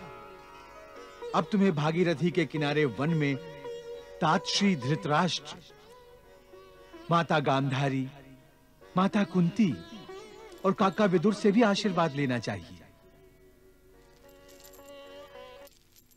जो आज्ञा प्रभु जो आज्ञा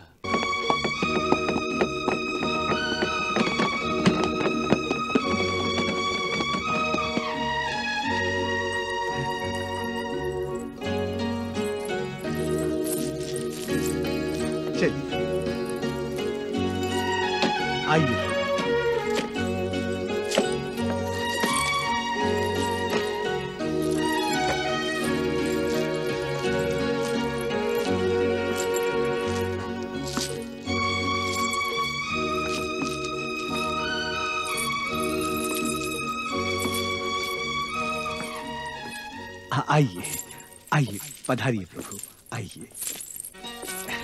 ये है हमारा आश्रम। आइए प्रभु आइए।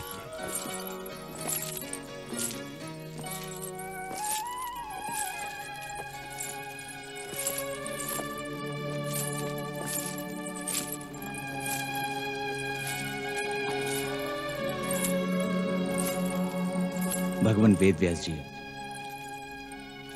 माता गांधारी और माता कुंती कहीं दिखाई नहीं दे रही हैं? हाँ। हम उनके दर्शनों के लिए बहुत व्याकुल हैं। हाँ हमारी व्याकुलता उन्हें देखकर ही शांत होगी। कदाचित उन्हें देखकर तुम सबके मन और भी अशांत हो जाएँगे। परंतु क्यों भगवान?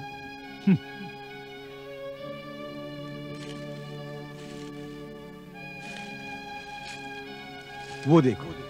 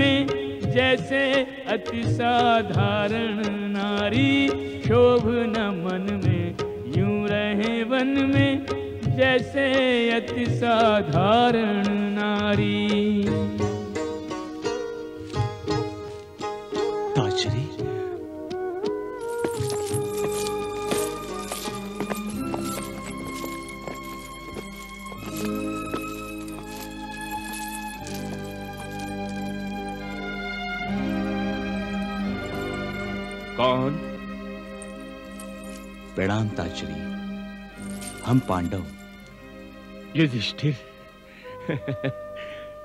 सुखी भव सुखी भव। प्रणाम ताजश्री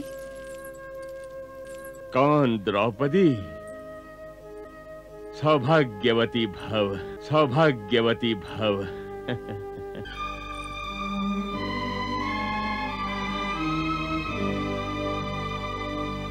ये ये मैं क्या देख रहा हूँ ताजश्री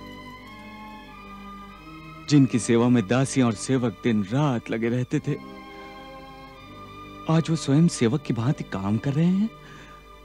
लाइए लाइए घड़ा मुझे दीजिए। नहीं नहीं नहीं पुत्र। जो स्वयं भगवान की सेवा में लग जाते हैं, वो किसी से अपनी सेवा नहीं कराते अपना काम स्वयं करते हैं।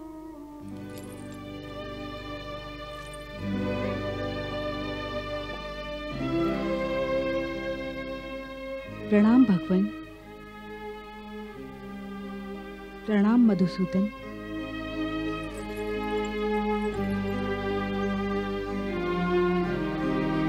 प्रणाम माता प्रणाम माता श्री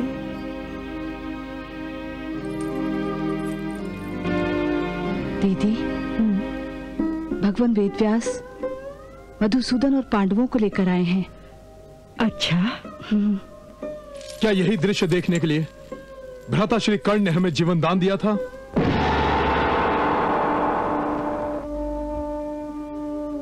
माता श्री आज आपको देखकर यह पता चला है कि अनाथ और सनाथ में क्या अंतर होता है। हे तात हे माताओं वो सभी पुण्यात्माएँ हैं जिन्हें अपने माता पिता की छत्र छाया में रहने का सौभाग्य प्राप्त है। हम तो दुर्भागी ठहरे माता श्री। हम तो दुर्भागी ठहरे।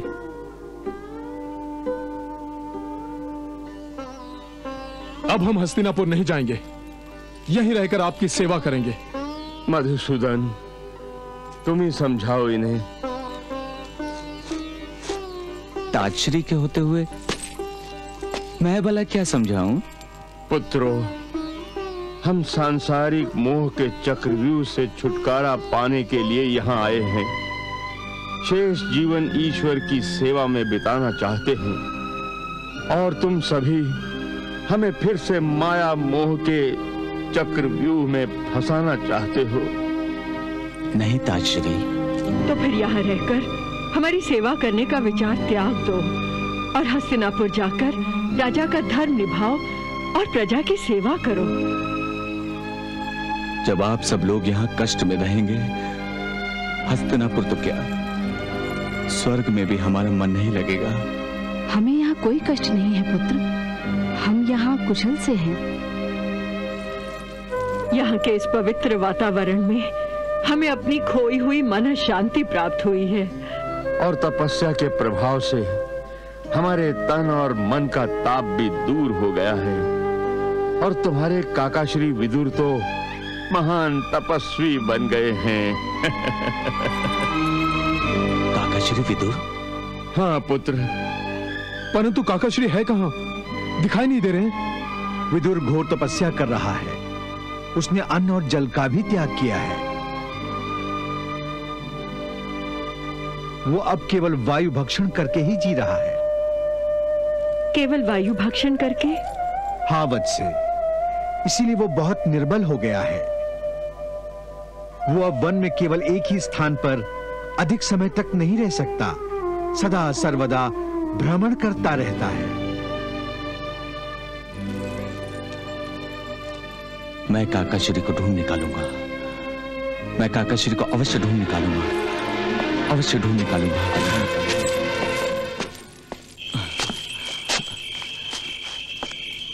काकाश्री!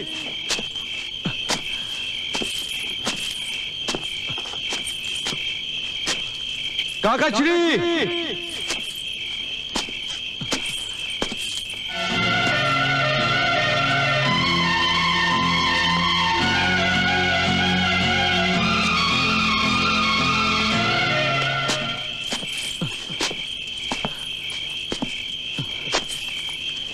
काका श्री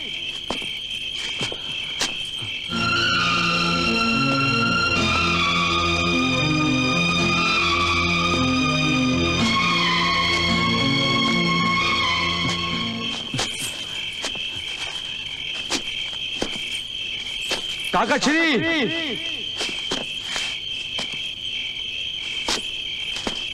काकाक्षरी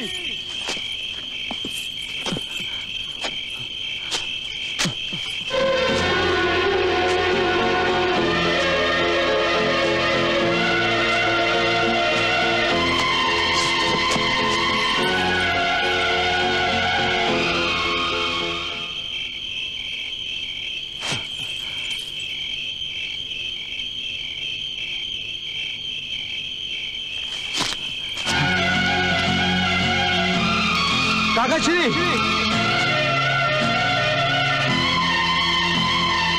काका श्री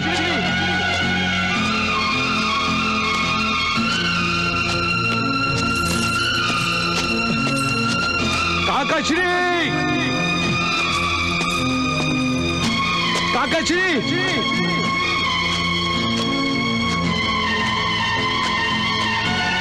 काका श्री काका श्री काका श्री रुक जाइए।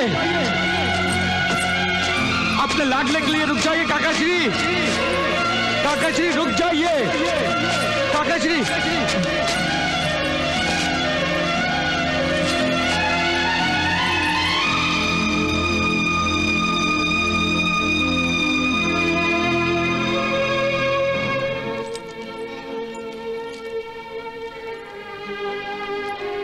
प्रणाम काका श्री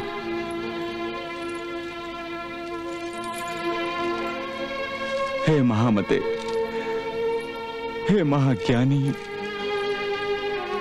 अपनों से ही पिछड़ जाना।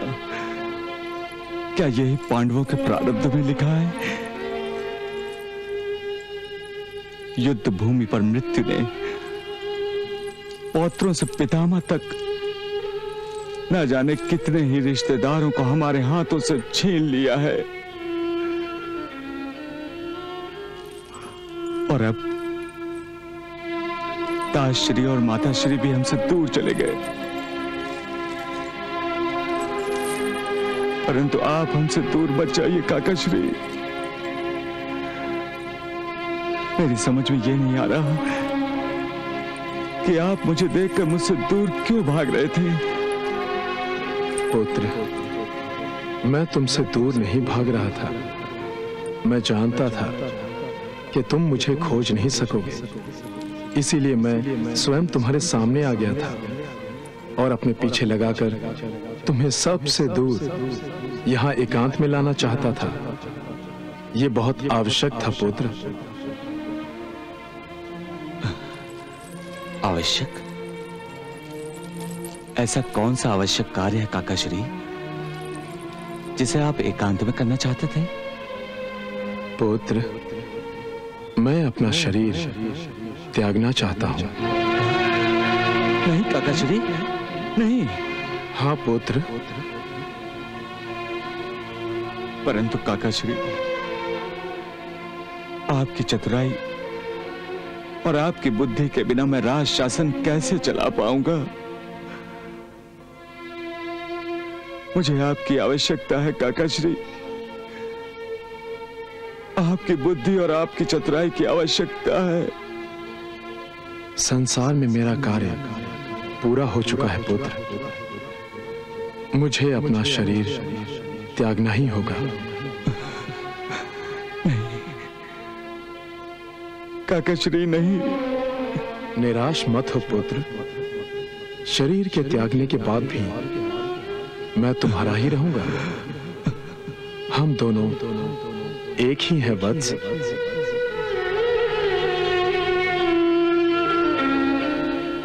केवल हमारे शरीर अलग अलग हैं। परंतु हम दोनों की आत्मा एक ही है। तुम नहीं जानते। हम दोनों देवता यम धर्म के ही अंश हैं।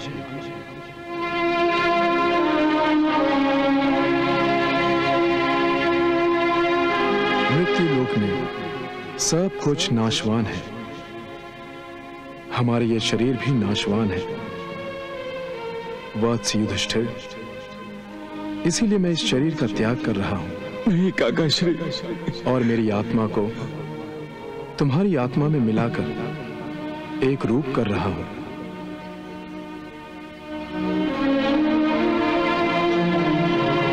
इस प्रकार मैं सदा ही तुम्हारे पास रहूँगा। मरने के बाद भी सदा ही तुम्हारा मार्गदर्शन करता रहूँगा।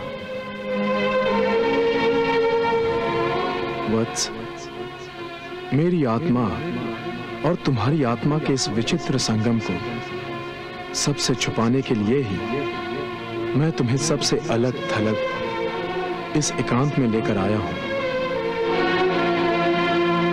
पुत्र, क्या तुम मेरी आत्मा को अपनी आत्मा में समाने के लिए तैयार हो।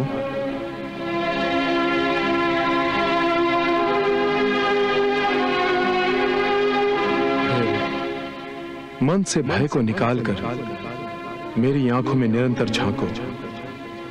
यहाँ तक कि अपनी पलके तक ना झपकाना। समझ गए ना तुम?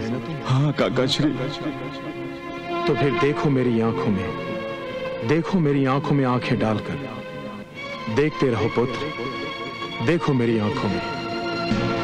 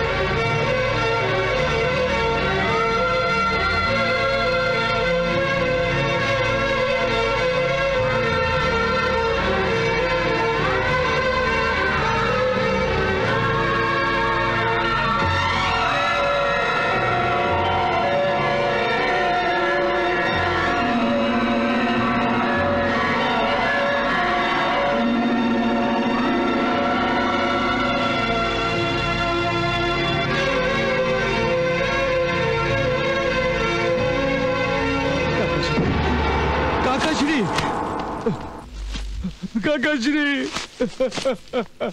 काका श्री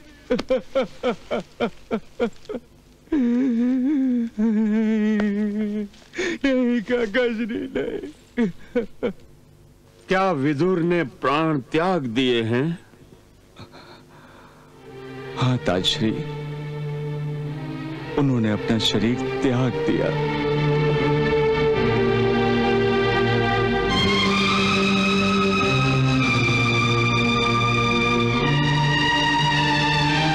ऐसा लग रहा है कि जीवन के अंतिम सत्य से, अर्थात अपनी मृत्यु से विदुर पहले ही से परिचित थे। हाँ ताश्री, आपने बिल्कुल ठीक कहा। महात्मा विदुर, महाज्ञानी थे। वो ये सब पहले से ही जानते थे। क्योंकि वो साक्षात यम धर्म का अंश थे। कुरुक्षेत्र में होने वाले महायुद्ध का परिणाम भी वो पहले से ही जानते थे। इसीलिए उन्होंने इस महायुद्ध में भाग नहीं लिया। क्योंकि इस महायुद्ध में होने वाले भीषण संघार का आरोप वो अपने सर नहीं लेना चाहते थे।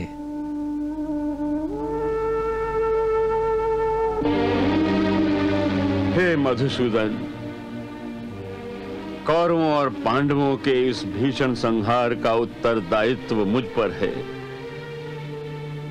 और इस विचार के कारण मैं इस पवित्र आश्रम में भी चैन की नींद नहीं ले सकता। रात रात भर जागता रहता हूँ मैं। काश मैं विदुर की भांति पहले ही से इस युद्ध के परिणाम और अपनी होने वाली दशा को देख सकता। तो मैं इस महायुद्ध को पहले ही रोक लेता। पता नहीं परलोक में मेरे पुत्र किस दशा में होंगे।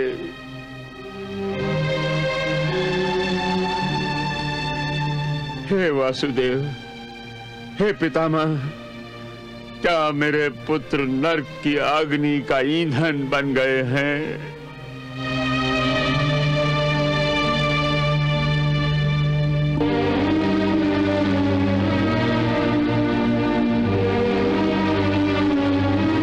देवकी नंदन, यदि मेरे पुत्र नरक के वासी बन गए होंगे तो उनका महा अपराधी मैं हूँ। मेरे ही कारण यह महायुद्ध हुआ था। मैंने ही उन्हें प्रोत्साहित किया था। हे पितामह, उनके पापों का बोझ मैं अपने सर पर लेना चाहूँगा। यदि वो सब नरक में होंगे तो मैं भी उनके साथ नरक में ही रहना चाहूँगा। पुत्र कोई दूसरों के पाप अपने सर नहीं ले सकता। भगवान आप ही इसे समझाइए। हाँ ताश्री कौरव अथवा पांडव में कोई भी नरक में नहीं है। युद्ध भूमि में अपना रक्त बहाकर सबने अपने अपने पाप धो डाले हैं। वो सब के सब स्वर्गलोक के वासी बन गए हैं।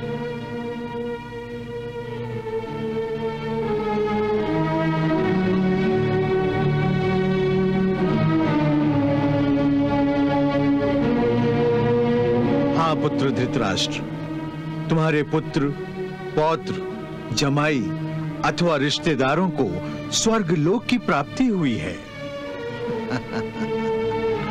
उन सब की आत्माएँ अब दिव्य लोक का आनंद ले रही हैं। दिव्य लोक, जहाँ न दुश्मनी है, न प्रतिशोध की भावना, न द्वेष है, न क्रोध, केवल मित्रता है। सब एक दूसरे से प्रेम करते हैं, स्नेह करते हैं। सब के सब एक दूसरे से दिव्य रिश्तों के धागों से जुड़े हुए हैं। वहाँ पर विकारों के लिए कोई स्थान नहीं है ताजश्री वासुदेव मन का बोझ हल्का हो रहा है ये सब सुनकर। वासुदेव काश ये दिव्य दृश्य देखने को मिल जाए तो मैं भी अपने पुत्रों को देख सकूँगी उनसे मिल सकूँगी। भगवान मैंने तो प्रतिज्ञावश अपनी आँखों पर पट्टी बाँध रखी है। फिर भी मैं अपने पुत्रों को देखना चाहूँगी। क्या मैं अपने पुत्रों को देख सकती हूँ? ऐसा हमारा भाग्य कहाँ है गांधारी? हम कभी भविष्य में झाँक नहीं सके। दिव्य लोक में कैसे झाँक सकते हैं? हे वासुदेव तुम तो समस्त सृष्टियों के संचालक हो। क्या तुम ताश्री और माता गांधारी की इच्छा की पूर्ति नहीं कर सकते? हम भी इस दिव्य दृश्य को देखना चाहते हैं, बड़े भैया। आप सबकी इच्छा पूर्ति भगवान वेद व्यास करेंगे, अपने महान तप सामर्थ्य से। आपको ये उन सभी योद्धाओं के दर्शन कराएँगे, जिन्हें युद्ध भूमि में दिव्य लोक प्राप्त हुआ है। इसका अर्थ हम सब अपने पुत्रों को देख सकेंगे? अपने पुत्रों को नहीं उनकी दिव्य आत्माओं को पांचाली।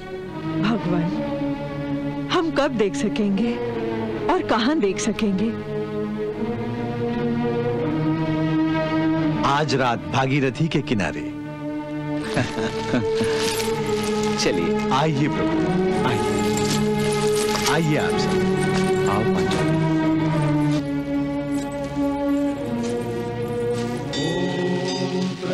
प्रजापतये स्वाहा। इदं प्रजापतये इदं नमः। ॐ इन्द्राय स्वाहा। इदम् इन्द्राय इदं नमः। वासुदेव जी माताश्री क्या हम सचमुच अपने पुत्रों की आत्माओं के दर्शन कर सकेंगे? हाँ माताश्री परंतु हम अभागे हैं वासुदेव। मैं और गांधारी उन्हें कैसे देख सकेंगे? मैं आप दोनों की व्याकुलता को समझ सकता हूँ। धीरज रखिए। दिव्य आत्माओं को देखने के लिए केवल तन की आँखें पर्याप्त नहीं है। फिर भी आप दोनों वो दिव्य दृश्य देख सकेंगे। हम्म।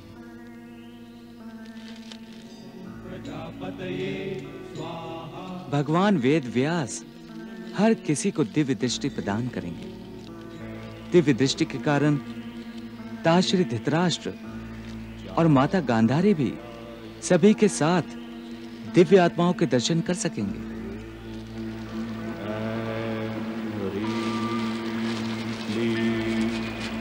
चामुंडाय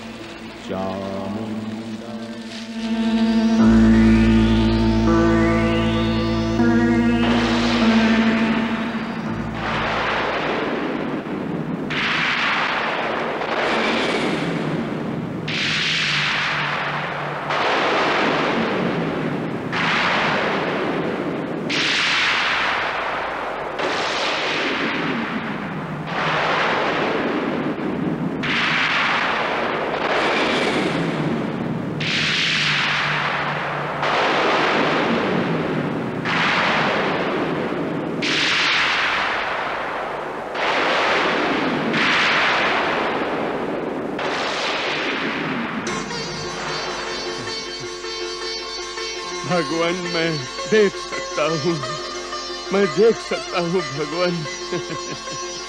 मैं देख सकता हूँ।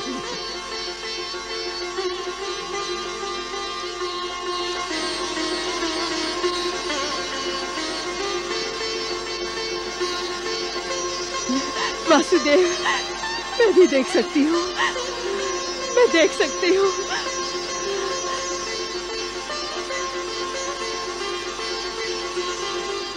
पितामह हमें दिव्य दृष्टि तो प्रदान हुई है परंतु दिव्य आत्माओं के दर्शन कब होंगे? पुत्र कुछ ही पलों में उनके आगमन के संकेत मिल जाएँगे। दे दिया वेद व्यास ने दिव्य दृष्टि का दान। सभी चकित हो देखते दुर्लभ दृश्य महान दुर्लभ दृश्य महान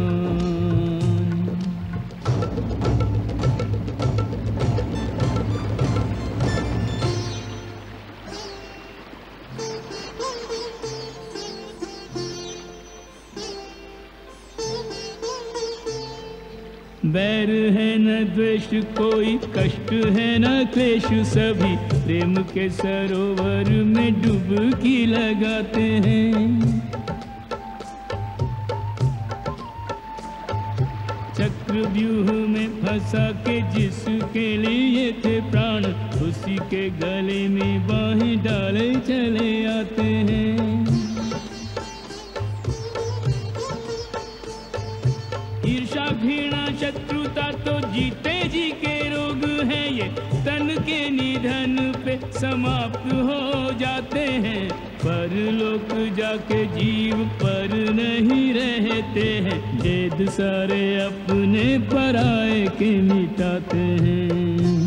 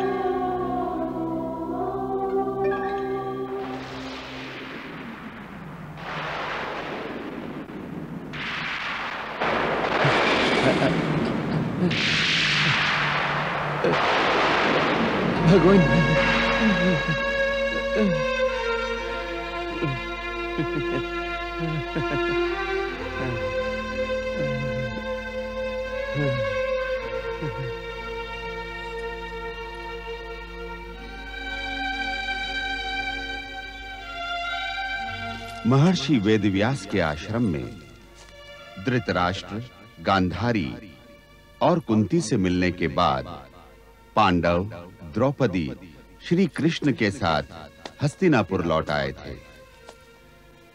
समय हाथ में पकड़ी रेत की तरह निकल रहा था। एक दिन जिस वन में धृतराष्ट्र, गांधारी, कुंती तपस्या कर रहे थे उस वन को अचानक आग लग गई। तब तीनों ने मृत्यु का स्वागत करने की सिद्धता कर ली। थी तीनों समाधि लगाकर बैठ गए थे। और मृत्यु ने अग्नि का रूप लेकर उन पर आक्रमण किया। नहीं। धृतराष्ट्र गांधारी और कुंती के इस प्रकार देहांत होने से पांडव और द्रौपदी शोकग्रस्त हो गए थे। श्री कृष्ण ने शोकग्रस्त पांडवों को दिलासा दिया। उनका धीरज बंधाया।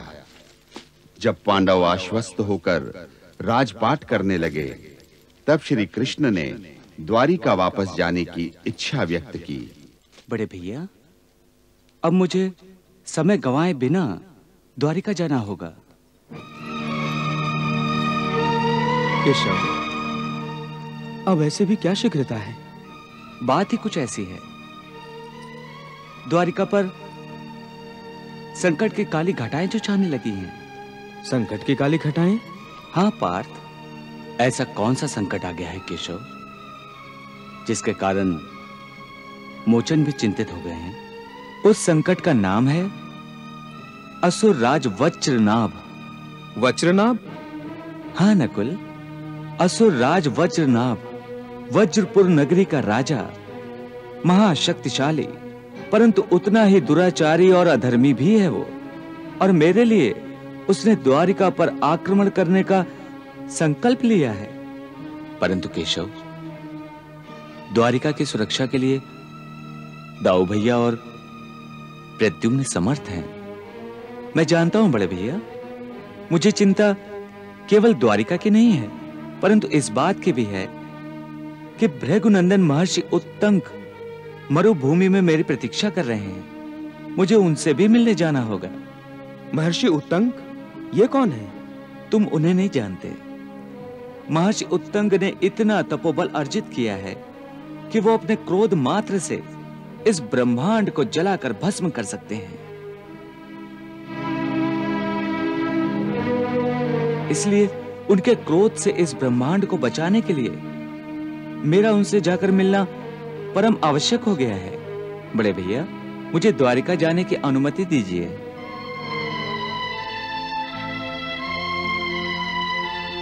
इसका अर्थ यह हुआ, केशव, कि तुम वास्तव में हमें छोड़कर जा रहे हो। वासुदेव, तुम हमारे जीवन में इतने रच बस गए हो कि तुम्हारे बिना हम एक दिन के जीवन की भी कल्पना नहीं कर सकते। तुम्हारा वियोग हम कैसे सहन कर पाएँगे? हे याज्ञ सैनी तुम तो जानती हो जहाँ योग है वहाँ वियोग भी तो है। केशव तुम हमारे लिए संसार के सारे रिश्तों से बढ़कर हो। हमें छोड़कर मत जाओ केशव।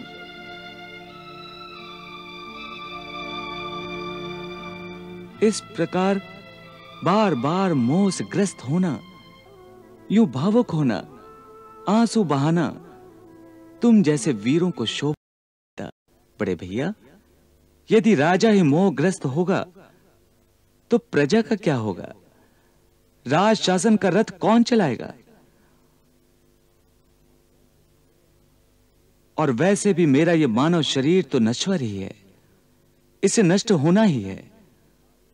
हम में से हर एक की आयु की सीमा निश्चित है। कोई भी अमर नहीं है। इसलिए कभी न कभी मृत्यु आगे पीछे हम सबको जुदा कर ही देगी। केशव। केशव। ऐसा मत कहो मधुसूदन। ऐसा मत कहो। तुम हम सब की आत्मा हो। यदि आत्मा ही हमारे शरीर को छोड़कर चली गई तो हम जीते जी मर जाएँगे। हे वासुदेव, तुम हमको छोड़कर मत जाओ। हमको छोड़कर मत जाओ, वासुदेव। हमको छोड़कर मत जाओ। मत जाओ, वासुदेव, मत जाओ। लगता है आप सब पितामह भीष्म के उपदेश को भूल गए हैं। आप सबका अपने आप से, अपने मन से अपनी भावनाओं से लड़ने का समय आ गया है। और आप इसे टालने का प्रयास कर रहे हैं? हे धर्मराज, कामनाएँ इच्छा और आसक्ति को जन्म देती हैं और आसक्ति दुखों को, इसलिए ज्ञानी, विद्वान, कामनाओं को दुखों का समस्त कारण मानकर उनका त्याग कर देते हैं। बड़े भैया, आप भी अपनी कामनाओं का त्याग कर दीजिए। इस प्रकार आप आसक्ति रहित हो जाएँगे। और आपके मन से, ये मेरा है, ये मेरा नहीं है, इस प्रकार के द्वंद्व का अंत हो जाएगा। और आपकी दृष्टि अपने धर्म और अपने कर्तव्य पर केंद्रित रहेगी। आप ये जान जाएँगे कि कामनाओं का निग्रह ही धर्म है, मोक्ष का मूल है। जब इस प्रकार आप अपने मन पर विजय प्राप्त कर लेंगे तो मुझसे बिछड़ने का विचार आपको चिंतित नहीं करेगा। हाँ केशव, तुम सत्य कह रहे हो। सत्य कह रहे हो। लगता है बड़े भैया, अब भी आपने मुझे जाने की अनुमति नहीं दी है। तुम मेरी परीक्षा ले रहे हो। मेरे अस्तित्व के अंदर जो युद्ध चल रहा है, तुम मुझे उसमें विजयी देखना चाहते हो? ठीक है, मधुसूदन। मैं तुम्हें जाने की अनुमति दे रहा हूँ। अनुमति दे रहा हूँ, केशव। परंतु मैं तुम्हें यूँ जाने नहीं दूँगा। हम सब तुम्हें पूरे आदर, सत्कार और सम्मान के साथ विदा करेंगे, कृष्णा। सम्मान के साथ। कृष्णा।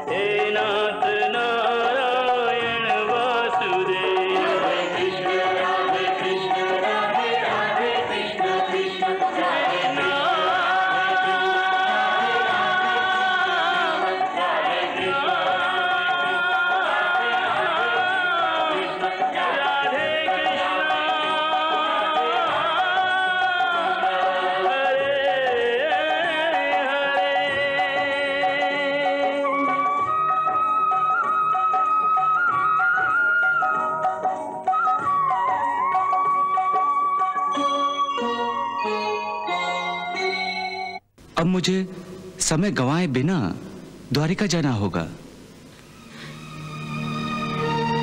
केशव अब ऐसे भी क्या शीघ्रता है? बात ही कुछ ऐसी है। द्वारिका पर संकट की काली घटाएँ जो छाने लगी हैं। संकट की काली घटाएँ?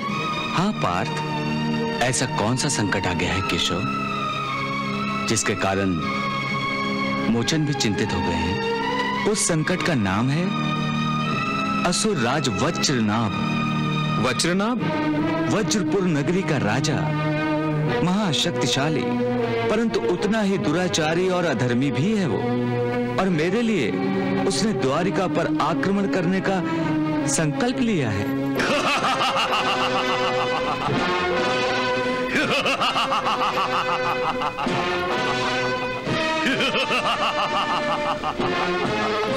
कृष्ण!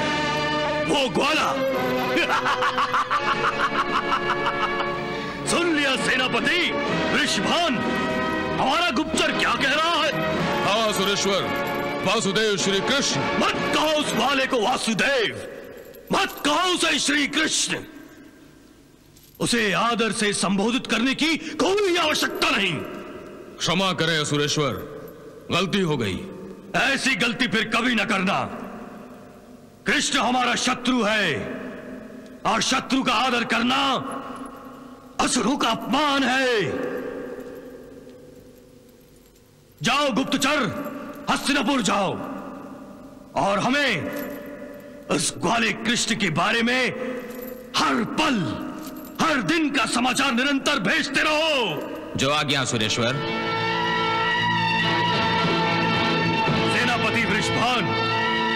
हमारे गुप्तचर के अनुसार वो ग्वाला कृष्ण अब भी हस्तिनापुर में ही है।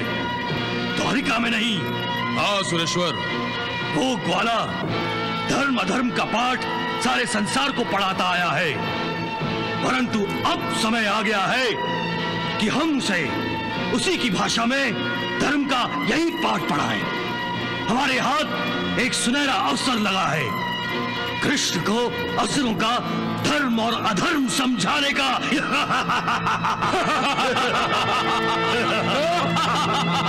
सेनापति वृषभान, उस ग्वाले कृष्ण ने पांडवों की सहायता करके कौरवों का संपूर्ण विनाश कर दिया है। कौरवों के पक्ष से युद्ध करने वाले हमारे असुर मित्रों की निर्मम हत्या की है।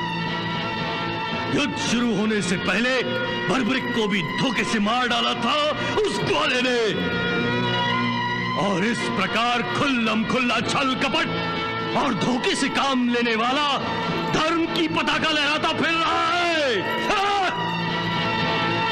वृषभान मैं उस छलिए से कौरवों के विनाश और मेरे मित्र दुर्योधन तथा मेरे असुर मित्रों के वध का। प्रतिशोध लूँगा। आक्रमण करूँगा। अब तो सुरेश्वर द्वारिका पर आक्रमण करने का यह सुनहरा अवसर है। द्वारिका ही क्यों? हस्तिनापुर क्यों नहीं? इसलिए सुरेश्वर कि कृष्ण की अनुपस्थिति में द्वारिका की सेना हमारे सेना के आगे नहीं ठहर पाएगी। तो फिर सेनापति हम द्वारिका पर उसी समय आक्रमण करेंगे। जब कृष्ण वहाँ उपस्थित नहीं होगा।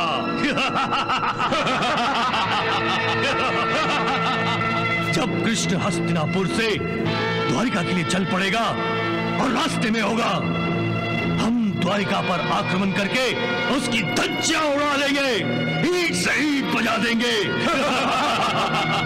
फिर कृष्ण को रास्ते में ही अकेले में घेर कर उसका सर उड़ा देंगे। और कृष्ण जिसे अधर्म कहताया है उसी अधर्म का राज्य पृथ्वीलोक पर स्थापित करेंगे।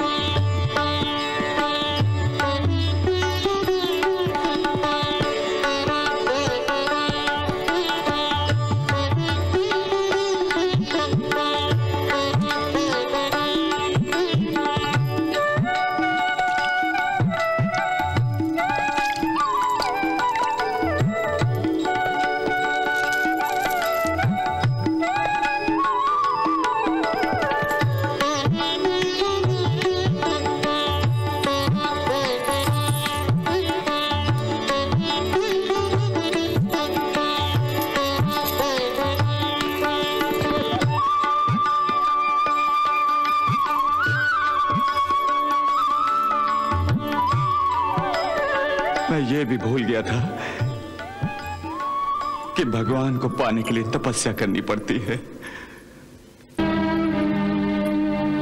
मुझे अपने अहंकार में यह भी याद नहीं रहा कि भक्ति में समर्पण की भावना होती है, केशव।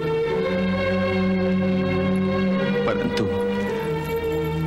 परंतु मैं अपने अहंकार के अधीन होकर अपने आप को ईश्वर समझ बैठा था। जबकि तुम मेरे सामने खड़े थे, केशव। अब मेरी इस भयंकर भूल को एक नेवला ने आकर समझा दिया। मैं तो कुछ भी नहीं हूँ।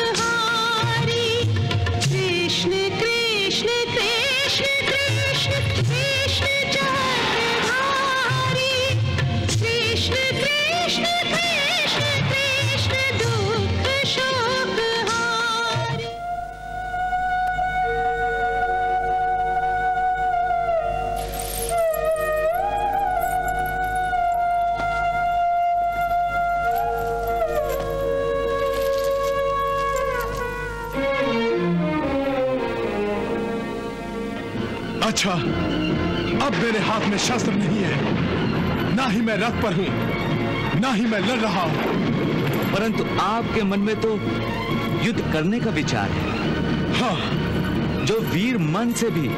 नारायण अस्त्र से युद्ध करने का विचार भी रखता है। चाहे वो निशस्त्र क्यों ना हो, नारायण अस्त्र उसका विनाश कर देता है।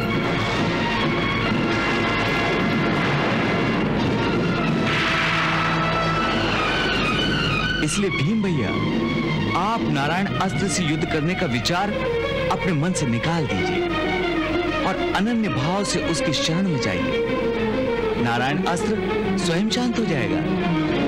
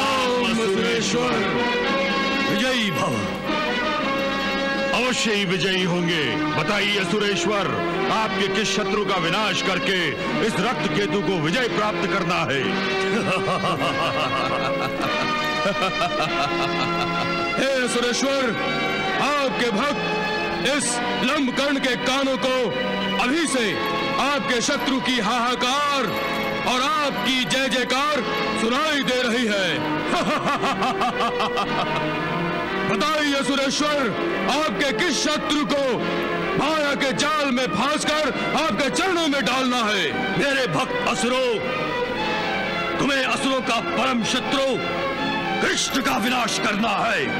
ये हमारा सौभाग्य है कि जो हमें ऐसा हट्टा कट्टा शिकार करने को मिल रहा है। गुप्त जल से ये संदेश प्राप्त हुआ है कि कृष्ण हस्तिनापुर से द्वारका के लिए किसी भी पल हस्तिनापुर से चल पड़ेगा। उसे द्वारिका नहीं पहुँचना चाहिए। यही चाहते हैं ना आप असुरेश्वर? हाँ। वो द्वारिका नहीं पहुंचेगा सुरेश्वर हम उसे द्वारिका नहीं यमलोक पहुंचाएँगे। तो जाओ और विजयी पताका लहराते हुए वापस लौटाओ जो आज्ञा सुरेश्वर प्रणाम।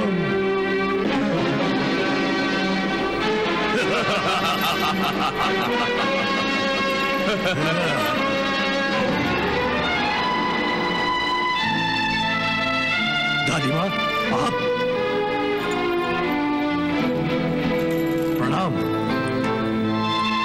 आइए दादी माँ। आइए। पधारिए।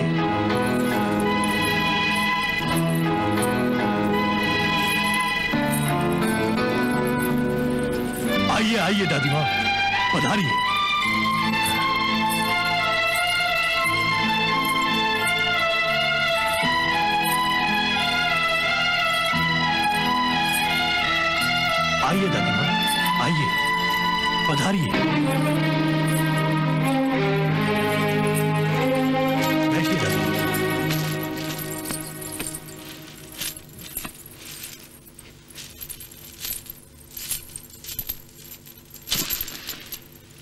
दादी माँ, लोग आपको नेत्रहीन समझते हैं, क्योंकि आप अपने चर्म चक्षुओं से देख नहीं सकती।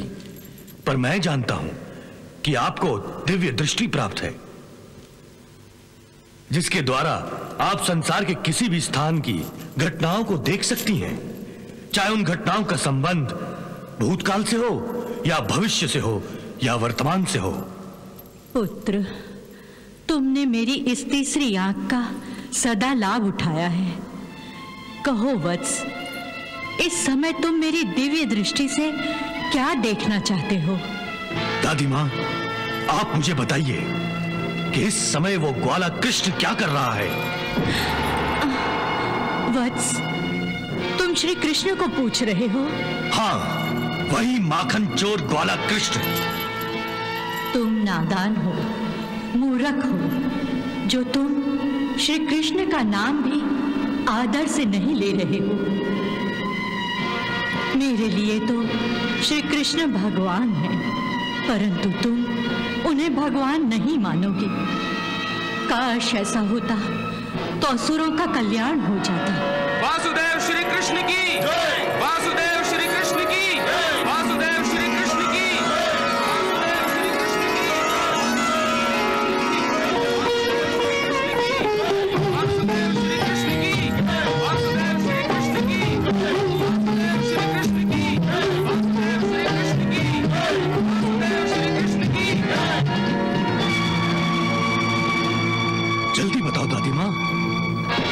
इस समय आप क्या देख रही हैं?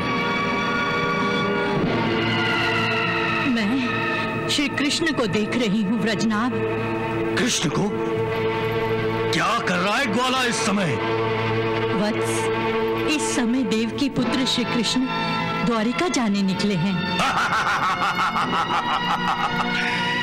ये उसकी अंतिम यात्रा होगी दादी माँ। अंतिम यात्रा होगी। ये तुम्हारा भ्रम है, पुत्र। मैं तुम्हें भविष्य बता सकती थी, परंतु मैं होनी के रास्ते का रोड़ा बनना नहीं चाहती। अब देखना दादी माँ, वो ग्वाला कैसे मेरे असुरों के जाल में फंसकर फड़फड़ाएगा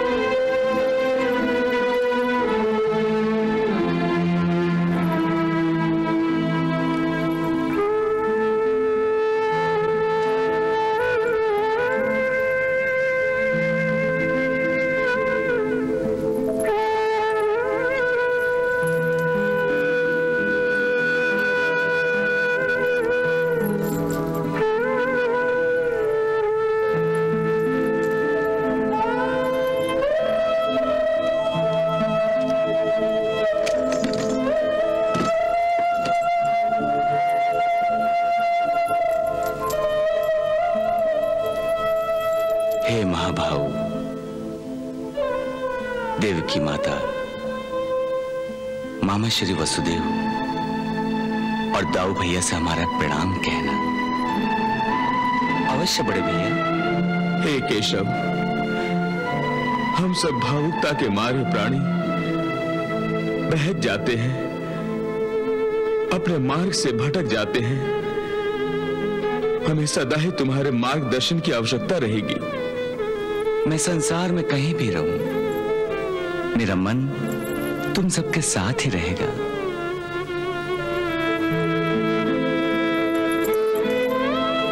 चलो सारथी।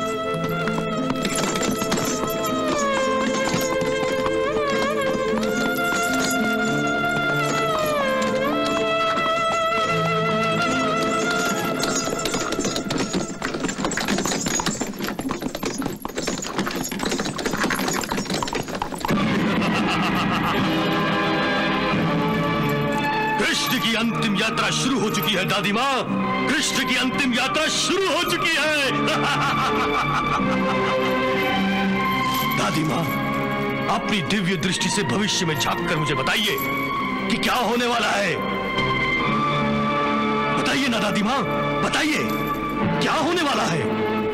बार बार भविष्य के दर्पण में अपने भाग्य की रेखाओं को देखना ठीक नहीं है वत्स व्रजनाथ। इससे अनर्थ होगा। हाँ वत्स अनर्थ होगा। अनर्थ! अन्याय, अत्याचार, अनीति, अधर्म और अनर्थ, इन्हीं पाँच मूल तत्वों से तो असुरों का निर्माण हुआ है। यदि अनर्थ होगा तो अच्छा ही है। बताइए दादी माँ बताइए कि रक्त केतु और लंबकर्ण, इनके द्वारा कृष्ण का कैसा विनाश होने वाला है? बताइए, हमें कृष्ण का भविष्य बताइए।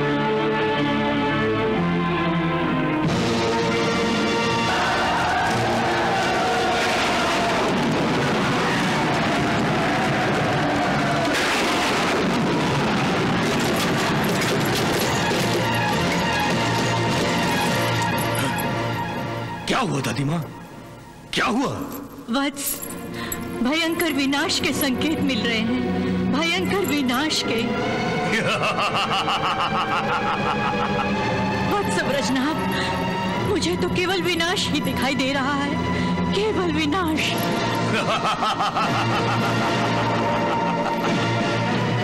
वो तो होने ही वाला है। जब ये वर्षनाभ द्वारिका पर आक्रमण करेगा तो द्वारिका को विनाश से कोई नहीं बचा सकेगा। मैं द्वारिका की नहीं तुम्हारी नगरी ब्रजपुर की बात कर रही हूँ। मैंने ब्रजपुर को भविष्य में संपूर्ण रूप से ध्वस्त होते देखा है वत्स। नहीं दादी माँ ये नहीं हो सकता। ब्रजनाथ यही होने वाला है। इसीलिए वत्स तुम श्री कृष्ण से दुश्मनी मोल ना लो। दादी माँ असुर राज वज्रनाभ को एक भाले से डरने का पाठ सिखा रही है। श्री कृष्ण भगवान है। दादी माँ वो भगवान नहीं जादूगर है जादूगर। व्रजनाभ सत्य को पहचानो और उसे मानो। दादी माँ कृष्ण सत्य नहीं झूठ है झूठ। और मैं इस झूठ को मिटा कर रख दूँगा। सत्य को कोई मिटा नहीं सकता। इसे मिटाने के प्रयास में लोग स्वयं मिट जाते हैं। मैंने यही बात तुम्हारे पिता से भी कही थी, परंतु उन्होंने मेरी बात ठोकर से उड़ा दी थी। परिणाम क्या हुआ? वत्स, तुम्हारे पिता स्वयं मिट गए। व्रजनाभ क्या तुम भी अपने पिता की भांति विनाश के रास्ते पर पग रखना चाहते हो? दादी माँ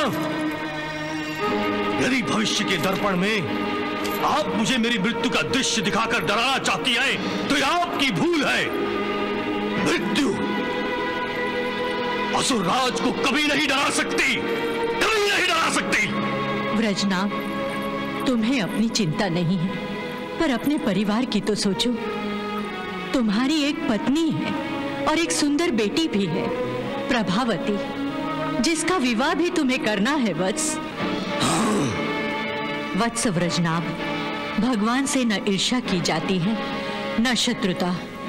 भगवान की तो केवल भक्ति ही की जाती है। वत्स, भगवान को अपना मित्र, माता, पिता और भ्राता माना जाता है। बस बस बस करो दादी माँ। मैं आपसे कृष्ण की प्रभुता का वर्णन और नहीं सुनना चाहता। मैं कृष्ण को मिटाकर सारी दुनिया को दिखा दूँगा। कि वो भगवान नहीं डोंगी है डोंगी। वत्स व्रजनाभ भविष्य जानने के बाद भी उसे अनदेखा करना मूर्खता है। हाँ वत्स मूर्खता है।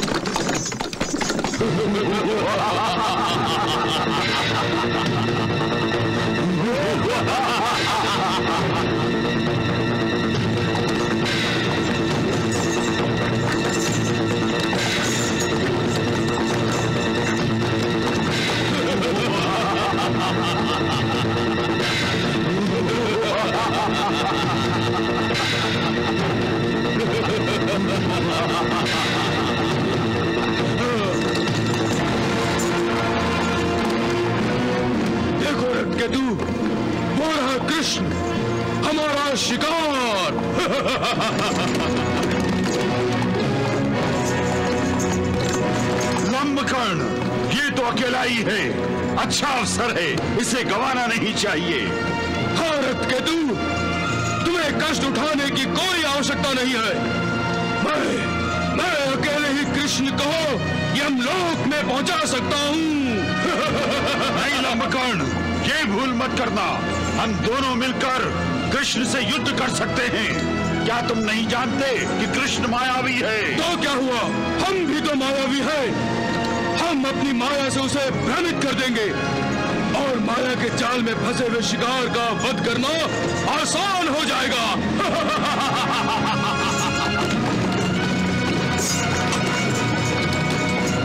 रुक जाओ मायावी, कृष्ण, रुक जाओ। रुक जाओ, कृष्ण, रुक जाओ।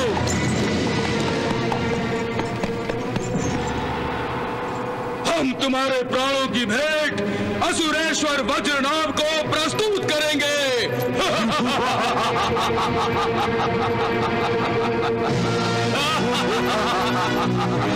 चलो रक्त दूध चलो।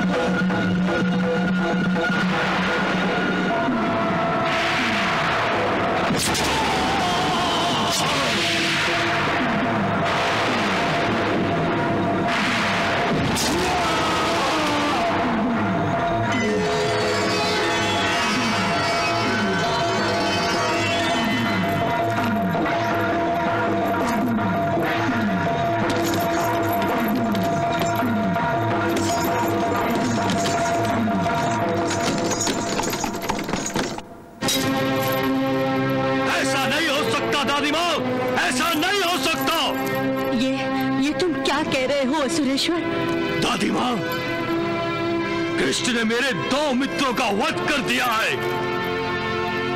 रक्त केतु और लमकर्ण ये दोनों मेरे मित्र महामायावी थे फिर भी उस तुच्छ कृष्ण ने उनका कैसे वध कर दिया?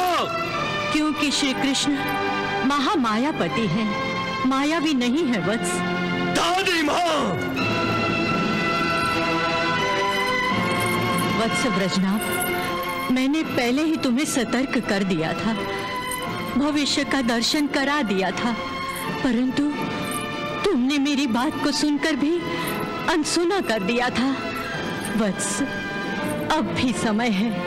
सत्य को पहचान लो और मान लो कि श्री कृष्ण ही भगवान है। चिल्ला क्यों रहे हो? चिल्लाने से तुम्हारी आवाज़ चाहे जितनी भी दूर चली जाए पर वो अतीत के गहरे और अंधे कुएँ में डूबकर ही रहेगी। परंतु सत्यवाणी, चाहे जितनी भी धीमी हो, वो प्रतिध्वनि बनकर गूंजती ही रहेगी। और सत्य ये है कि श्री कृष्ण ही भगवान है। भगवान है वत्स। झूठ है ये। सत्य केवल यही है कि मैं भगवान हूँ। मैं अपने आप को ईश्वर कहकर ईश्वर का अपमान मत करो वत्स। श्री कृष्ण ही भगवान है। तुम नहीं वत्स तुम नहीं। दादी माँ मुझे तो ऐसा लग रहा है कि मैंने आपके रूप में अपने ही घर में शत्रु पाल रखा है। ब्रजनाभ तुम मेरा अपमान तो कर ही रहे हो परंतु इस समय अहंकार में अंधे होकर भगवान का भी अपमान कर रहे हो। वत्स जब तक तुम भगवान श्री कृष्ण का सम्मान करना नहीं सीखोगे, न तुम्हारा कल्याण होगा, न तुम्हारी असुर प्रजा का। दादी माँ, असुरों के कल्याण के लिए ये असुर राज उस ग्वाला के सामने भिक्षा पात्र लेकर खड़े होने वालों में से नहीं है। असुरों का कल्याण अवश्य होगा। केवल मेरे हाथों से होगा। और उस समय, जिस दिन मैं अपने हाथों से कृष्ण का वध करूँगा वध करूँगा।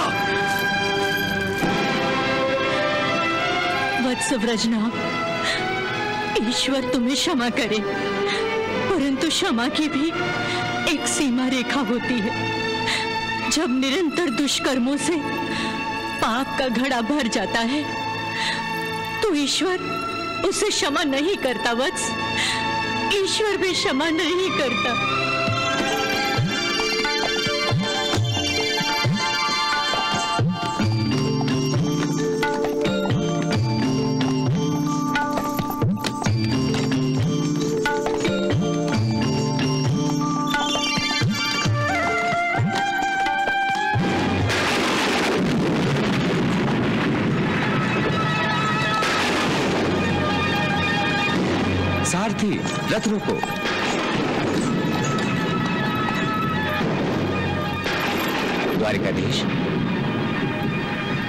उत्तंक के तप सामर्थ्य का प्रभाव है। उन्होंने ही अपने तपोबल से हमें संकेत भेजा है कि मैं द्वारिका जाने से पहले उनसे भेंट करूँ।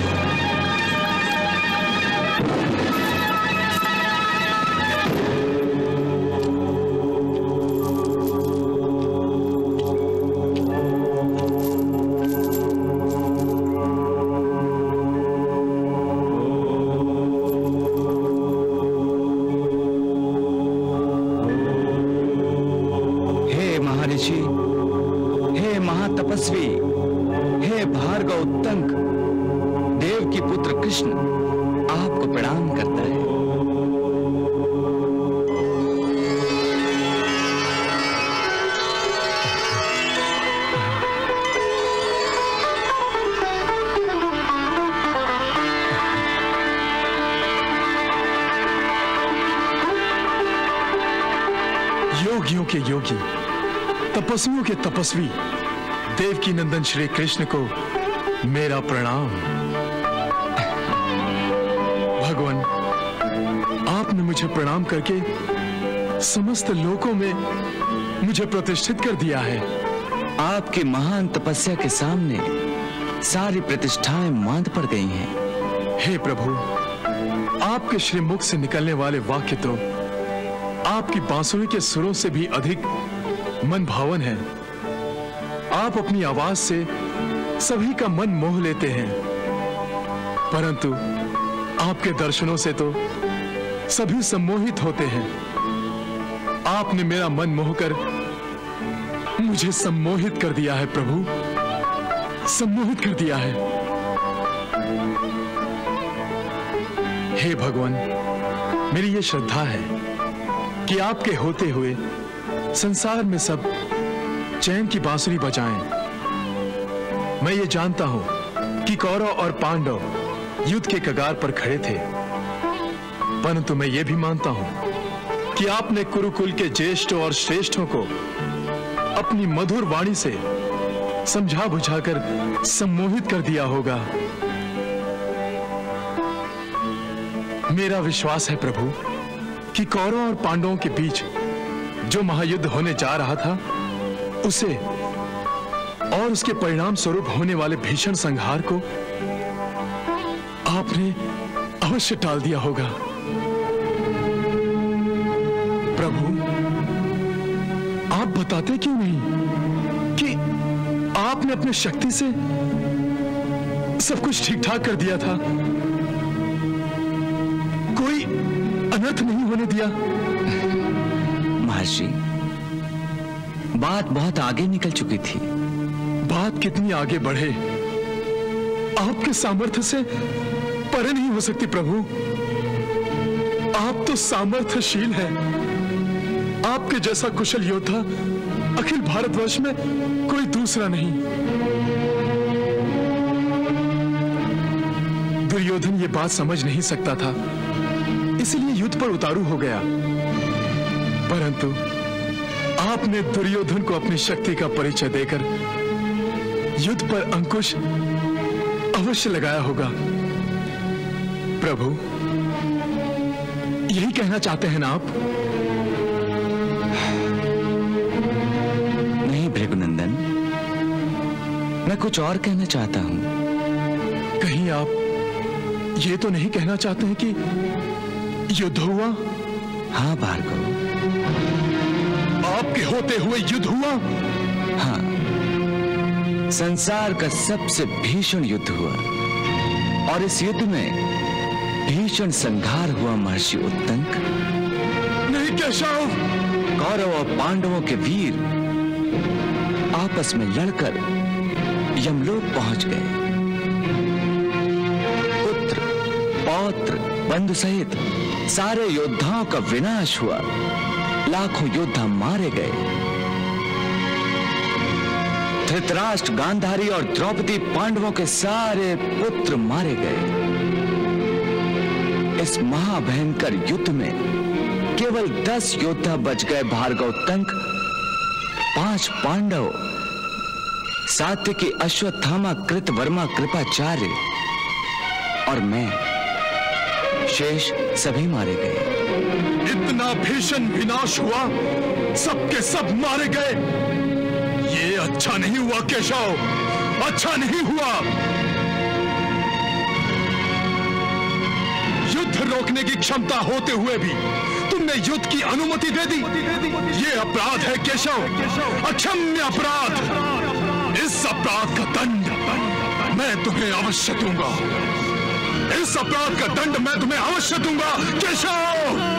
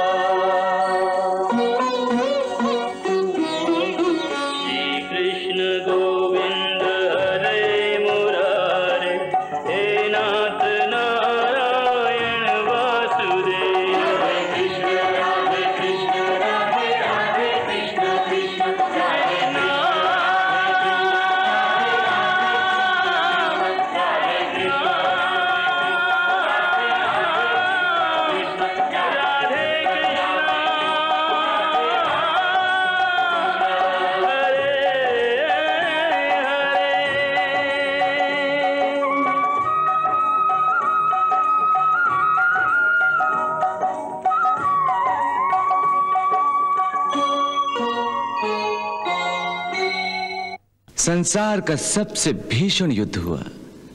और इस युद्ध में भीषण संघार हुआ महर्षि उत्तंक। नहीं केशव! धृतराष्ट्र गांधारी और द्रौपदी पांडवों के सारे पुत्र मारे गए। इस महाभयंकर युद्ध में केवल दस योद्धा बच गए भार्गव तंक पाँच पांडव सात्विकी अश्वत्थामा कृत वर्मा कृपाचार्य। और मैं शेष सभी मारे गए। इतना भीषण विनाश हुआ, सबके सब मारे गए। ये अच्छा नहीं हुआ, केशव। अच्छा नहीं हुआ। युद्ध रोकने की क्षमता होते हुए भी तुमने युद्ध की अनुमति दे दी। ये अपराध है, केशव। अक्षम्य अपराध। इस अपराध का दंड मैं तुम्हें अवश्य दूँगा। इस अपराध का दंड मैं तुम्हें अवश्य दूँगा। केशव!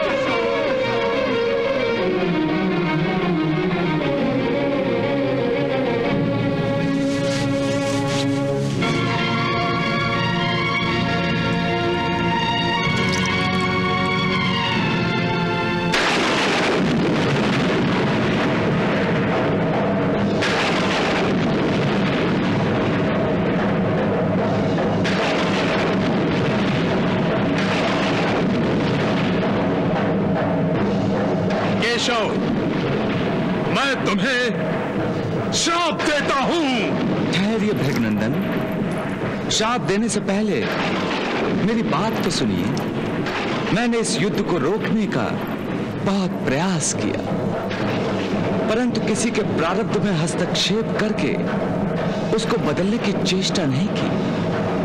क्योंकि ऐसा करना विधि के विधान को बदलना होता।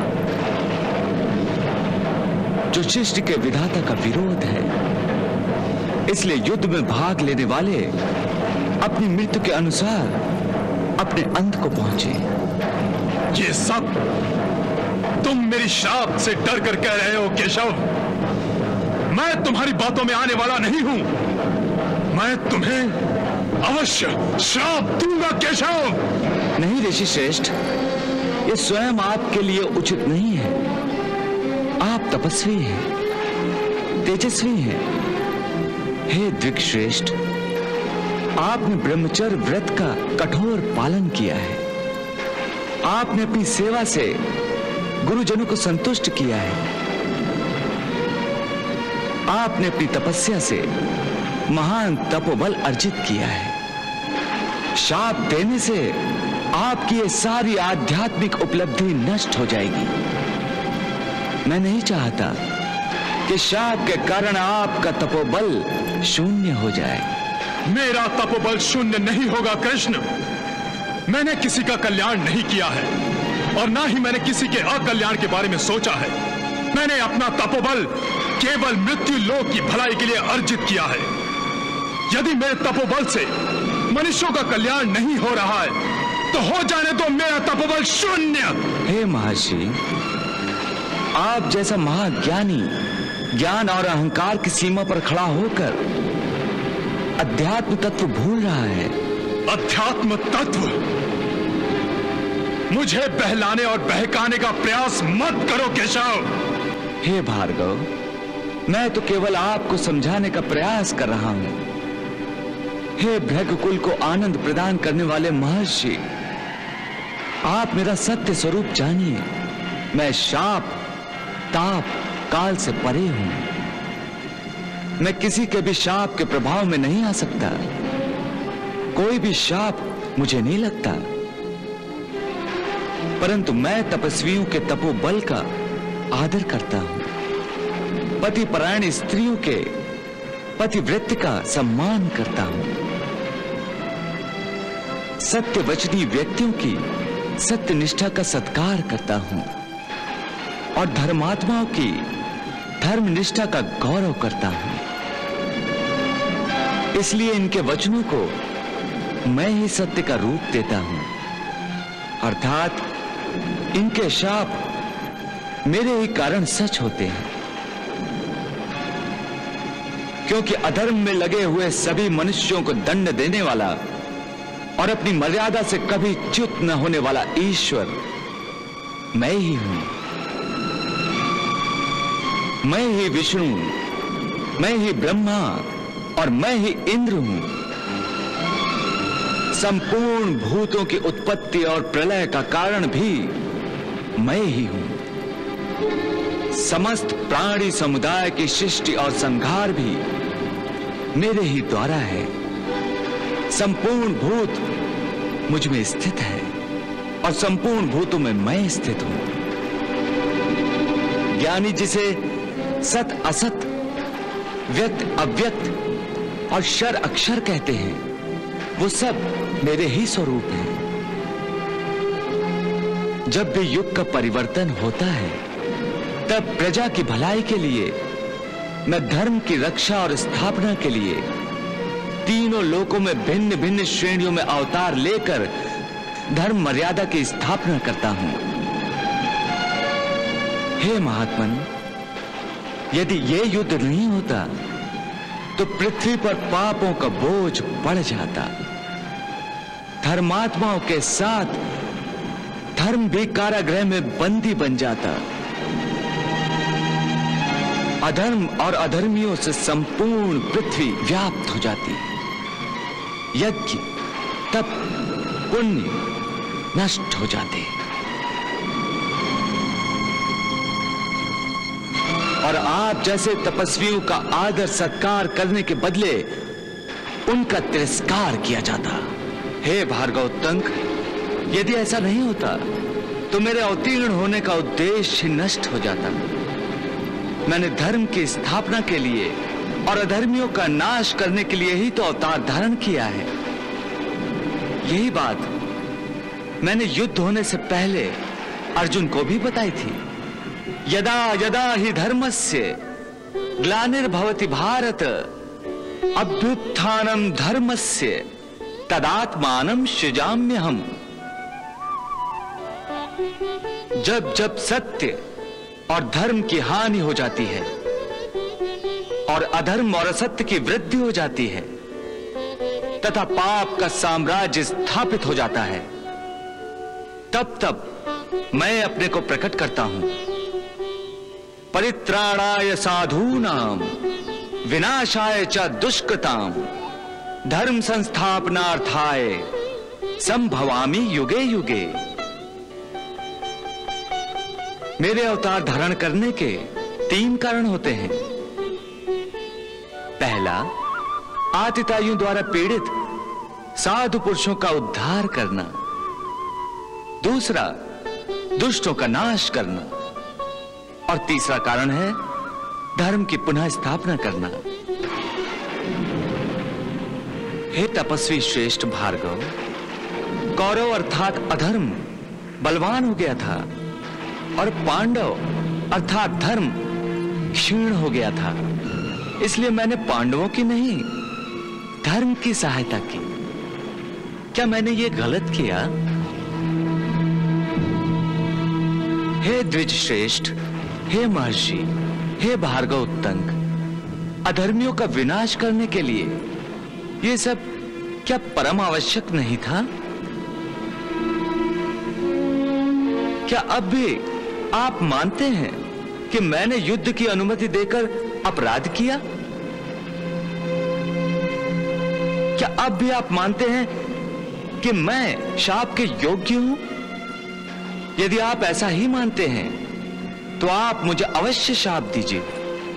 मैं आपके वचनों का, आपके शाप का निश्चित ही आदर करूँगा।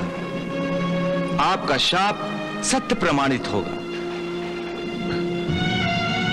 प्रभु, भक्त अपने भगवान को कभी शाप नहीं देता।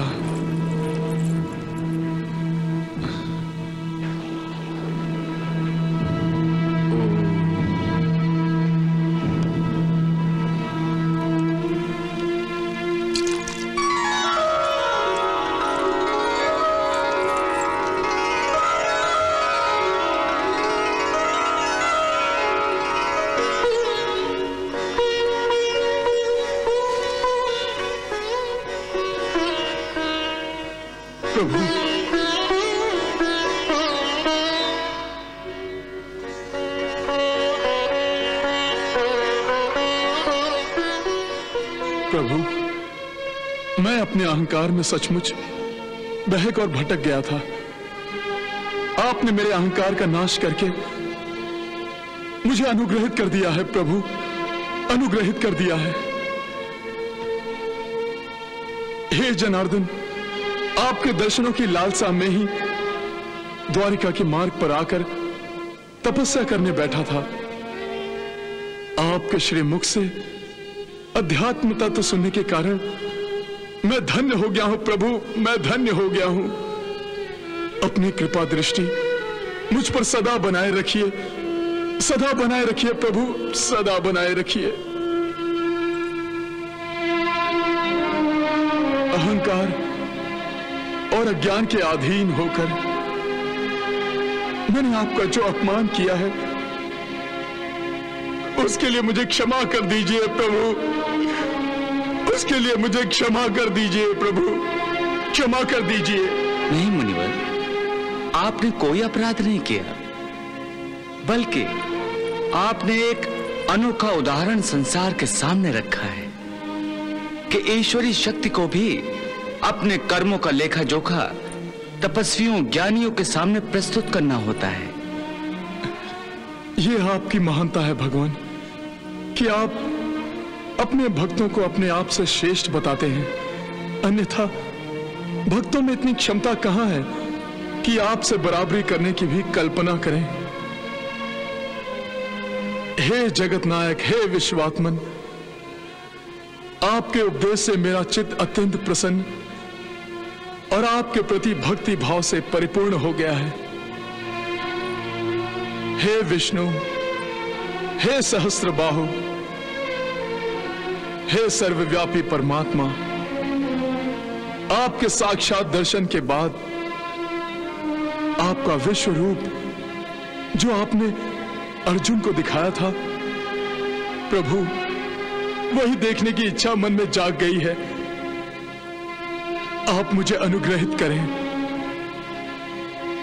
यदि आप मुझे अनुग्रहित करेंगे तो मेरी तपस्या सफल हो जाएगी, प्रभु। मेरी तपस्या सफल हो जाएगी, प्रभु। आपकी तपस्या अवश्य सफल होगी, ऋषि श्रेष्ठ। अर्जुन ने मेरे जिस विश्व रूप को युद्ध से पहले देखा था, वो सनातन वैष्णव स्वरूप का मैं आपको दर्शन कराता हे।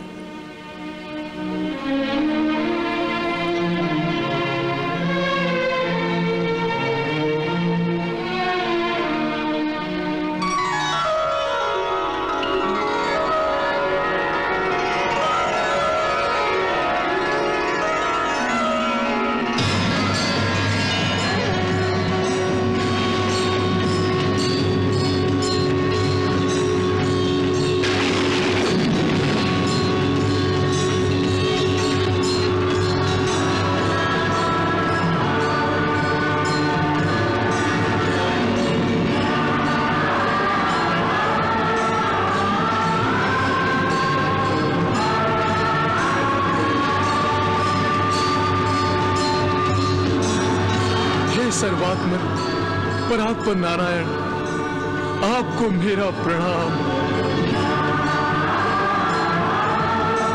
हे पद्मनाभ पुंडरीकाक्ष माधव, आपको मेरा प्रणाम।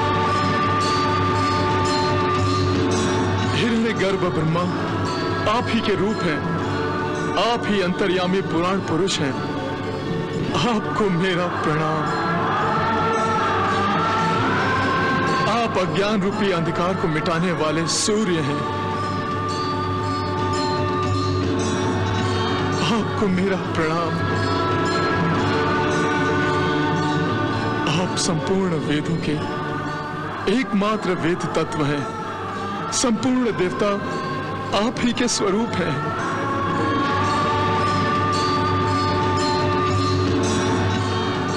आपको मेरा शत शत प्रणाम। आपको मेरा प्रणाम। हे महर्षि मेरा दर्शन कभी व्यर्थ नहीं जाता। आप मुझसे कोई वर मांगिए। हे महातेजस्वी पुरुषोत्तम श्री कृष्ण आपके इस दिव्य विश्व रूप का जो मैं दर्शन कर रहा हूँ यही मेरे लिए आपकी ओर से बहुत बड़ा वरदान है प्रभु। बहुत बड़ा वरदान है प्रभु। हे मुनिवर, मेरा दर्शन अमोघ है। आपको अवश्य मुझसे कोई वर मांगना चाहिए। मांगिए मुनिवर। हे पुराण पुरुष, यदि आप वर मांगना मेरा आवश्यक कर्तव्य समझते हैं तो प्रभु, मैं चाहता हूँ कि मुझे इस इस मरुभूमि में जहाँ जल दुर्लभ है यथेष्ट जल प्राप्त हो। तथास्तु। हे भृगुनंदन जब आपको जल की इच्छा हो तब आप मेरा स्मरण कीजिए। आपको तत्काल ही जल प्राप्त हो जाएगा। मैं अनुग्रहित हो गया हूँ प्रभु। मैं अनुग्रहित हो गया हूँ प्रभु।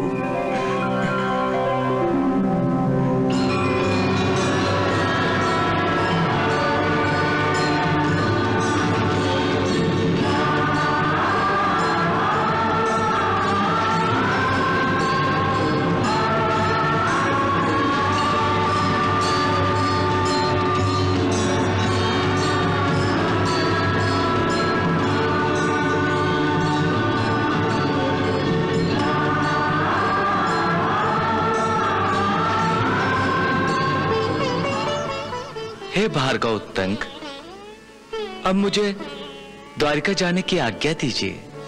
जैसी आपकी इच्छा प्रभु।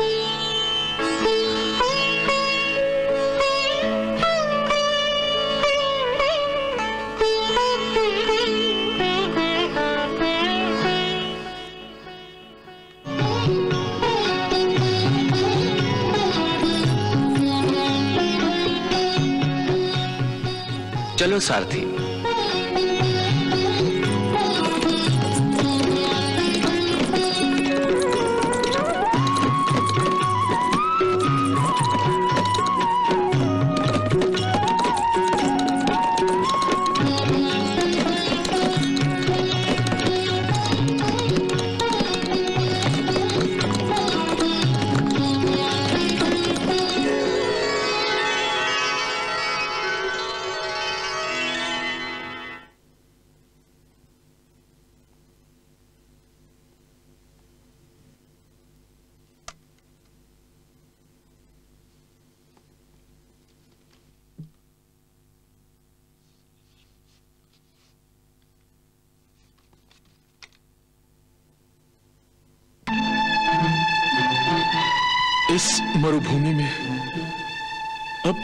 पानी कहाँ मिलेगा?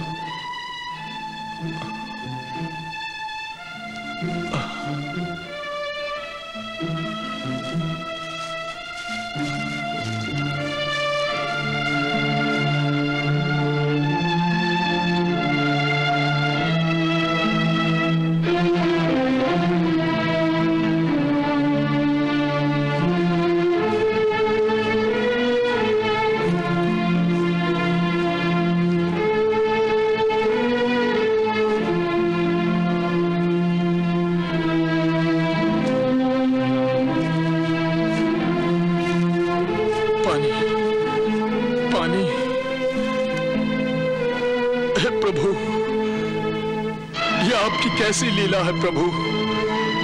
आप ही ने तो मुझे वरदान दिया था कि जब भी मुझे जल ग्रहण करने की इच्छा होगी मुझे इस मरुभूमि में तत्काल जल प्राप्त होगा। परंतु यहाँ तो जल की एक बूंद भी दिखाई नहीं दे रही है प्रभु। आह, प्यास के कारण मेरा गला शुष्क हो रहा है प्रभु। कृपा कीजिए प्रभु। मुझ पर कृपा कीजिए प्रभु। कृपा कीजिए प्रभु। सारथी, रथ रोको।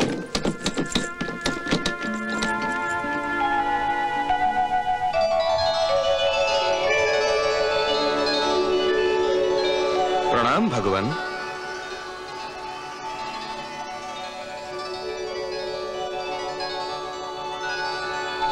आज्ञा कीजिए प्रभु, हे देवेंद्र। महातपस्वी महर्षि उत्तंक को, जो मरुभूमि में कठोर तपस्या कर रहे हैं, उन्हें प्यास लगी है। उनका गला शुष्क हो गया है। मैंने उन्हें वर दिया है कि जब भी वो पानी की इच्छा करेंगे, उन्हें पानी तत्काल प्राप्त होगा। हे विश्वनायक, हे दया सागर आपकी आज्ञा हो तो मैं इसी समय वरुण देव को आदेश देकर मरुभूमि में पानी की वर्षा करवाता हूँ। देवेंद्र, महर्षि उत्तंक महात्मा है। लोग कल्याण के लिए तपस्या कर रहे हैं। उन्होंने जो वरदान मुझसे मांगा है, उसमें भी उन्होंने प्रजा का कल्याण ही देखा है। स्वार्थी मनुष्यों से भरे इस पृथ्वी लोक पर निस्वार्थ की प्रतिमा, महर्षि उत्तंग को मैं पृथ्वी लोक वासियों के लिए प्रेरणा का स्रोत बनाना चाहता हूँ। इसलिए मैं महर्षि उत्तंग को पानी के बदले अमृत पिलाकर उनका मान करना चाहता हूँ। इसी कारण मैंने तुम्हें बुला लिया है। देवेंद्र, तुम स्वयं जाकर भृगुनंदन उत्तंक को अमृत प्रदान करो। मैं जानता हूँ देवेंद्र, कि मनुष्य को अमृत पिलाना उचित नहीं है। परंतु महर्षि उत्तंक कोई सामान्य मनुष्य नहीं है। फिर भी वो अमृत का वरदान पाने, अमर हो जाने के योग्य हैं या नहीं, इसकी परीक्षा तुम अपने आप ले सकते हो। ठीक है प्रभु।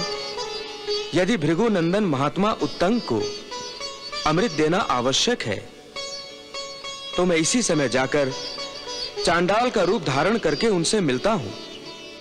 और उन्हें अमृत प्रदान करता हूँ। आज्ञा दीजिए प्रभु।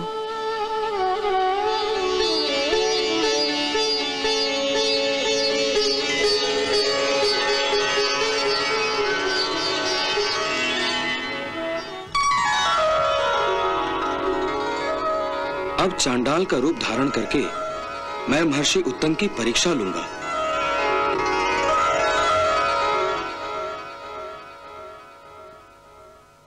हे प्रभु, हे द्वारिकाधीश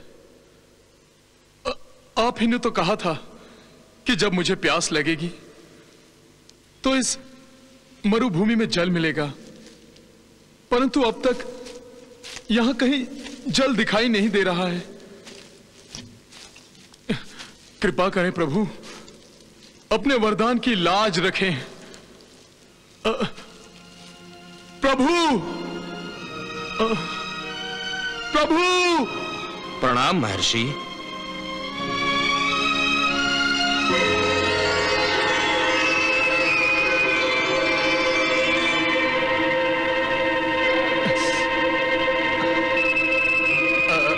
आयुष्मान भव।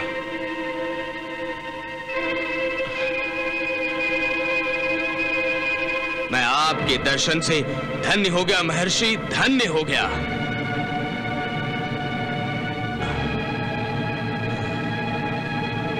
इस मरुभूमि में पानी नहीं बरसता। आग बरसती है, आग।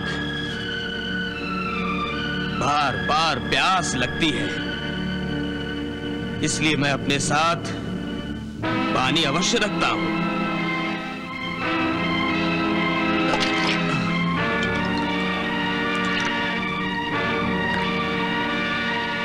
आपको भी प्यास लगी है ना, भृगुनंदन? नहीं। लीजिए। आप भी पानी ग्रहण कीजिए। लीजिए पानी पीकर अपनी प्यास बुझाइए ऋषि श्रेष्ठ। लीजिए। ये आपने क्या किया प्रभु? ये क्या कर दिया? मेरी प्यास बुझाने के लिए एक चांडाल को भेज दिया? लीजिए ना महर्षि। नहीं। प्रभु प्रभु ये आपने मुझे वरदान दिया है। या शाप? ये जल अत्यंत मधुर है महर्षि। एक चांडाल का स्पर्श होने से जल मधुर कैसे रहेगा? और पवित्र भी। तुम्हारे कारण तो जल अपवित्र हो गया है चांडाल। लीजिए महर्षि संकोच मत कीजिए। आपको प्यास से तड़पता देखकर मुझे आप पर बड़ी दया आ रही है। और मुझे तुम पर क्रोध आ रहा है क्रोध। महर्षि, वो जो कहते हैं ना, डूबते को तिनके का सहारा। यदि अंधे को मिल जाए तो एक आँख भी बहुत होती है। और प्यास से सूख कर काटा हुई जीव को पानी की एक बूंद भी मिल जाए तो अमृत सागर के बराबर होती है। लीजिए महर्षि, पानी पीकर अपनी प्यास बुझाइए। और जल का निर्माण करने वाले ईश्वर का धन्यवाद कीजिए। नहीं मैं तुम्हारे हाथों से पानी तो क्या अमृत भी नहीं पी सकता? आप पानी नहीं पिएँगे? नहीं। क्यों? क्योंकि तुम चांडाल हो चांडाल। तुम्हारे हाथ का पानी नहीं चाहिए नहीं चाहिए मुझे। तुम जैसे चांडाल के हाथों से पानी पीने से तो अच्छा है कि मैं प्यासा ही मर जाऊँ। हे चांडाल चले जा मेरे सामने से चले जा। मैं तो मनुष्य के नाते संकट में फंसे मनुष्य की सहायता करना चाहता था। एक मानव और दूसरे मानव में कोई भेदभाव नहीं होता। पर आप जैसा महर्षि भी ऐसा समझता है तो कदाचित मैं ही भूल कर रहा हूँ। अच्छा जैसी आपकी इच्छा, जैसी आपकी आज्ञा। अरे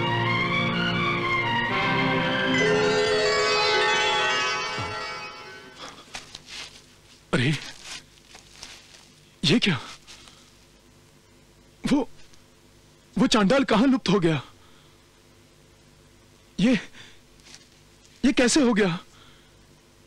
क्या वो मेरी आँखों का धोखा था? नहीं नहीं। वो धोखा नहीं था। तो फिर वो था कौन? साधारण मनुष्य तो अचानक न सामने आते हैं न ये तुरंत लुप्त हो जाते हैं। मैंने उसके हाथों से पानी पीने से मना करके कहीं कोई भूल तो नहीं की? अ, कहीं ऐसा तो नहीं कि प्रभु ने मेरी परीक्षा लेने के लिए चांडाल के रूप में किसी देवता को भेजा था?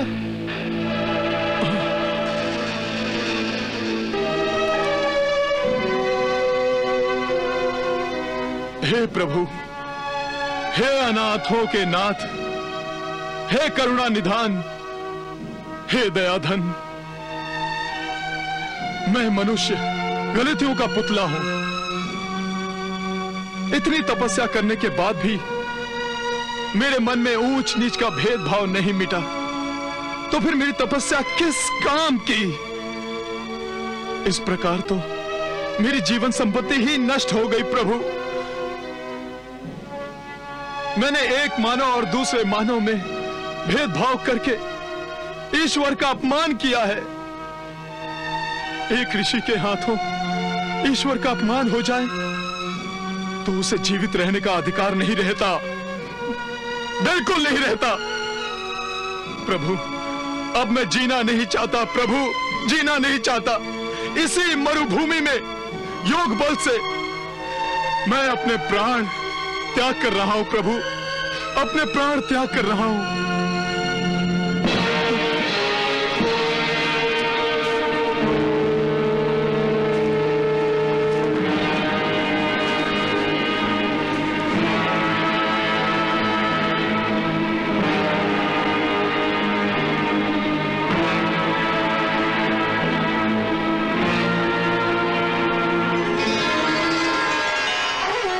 रुक जाइए भैगुनंदन।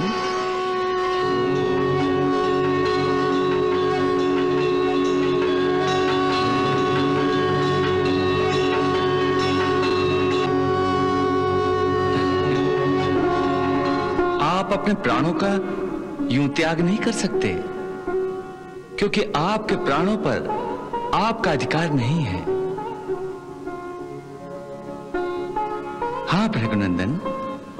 आपके प्राणों पर पृथ्वी लोक वासियों का अधिकार है, समाज का अधिकार है, क्योंकि आप महात्मा हैं।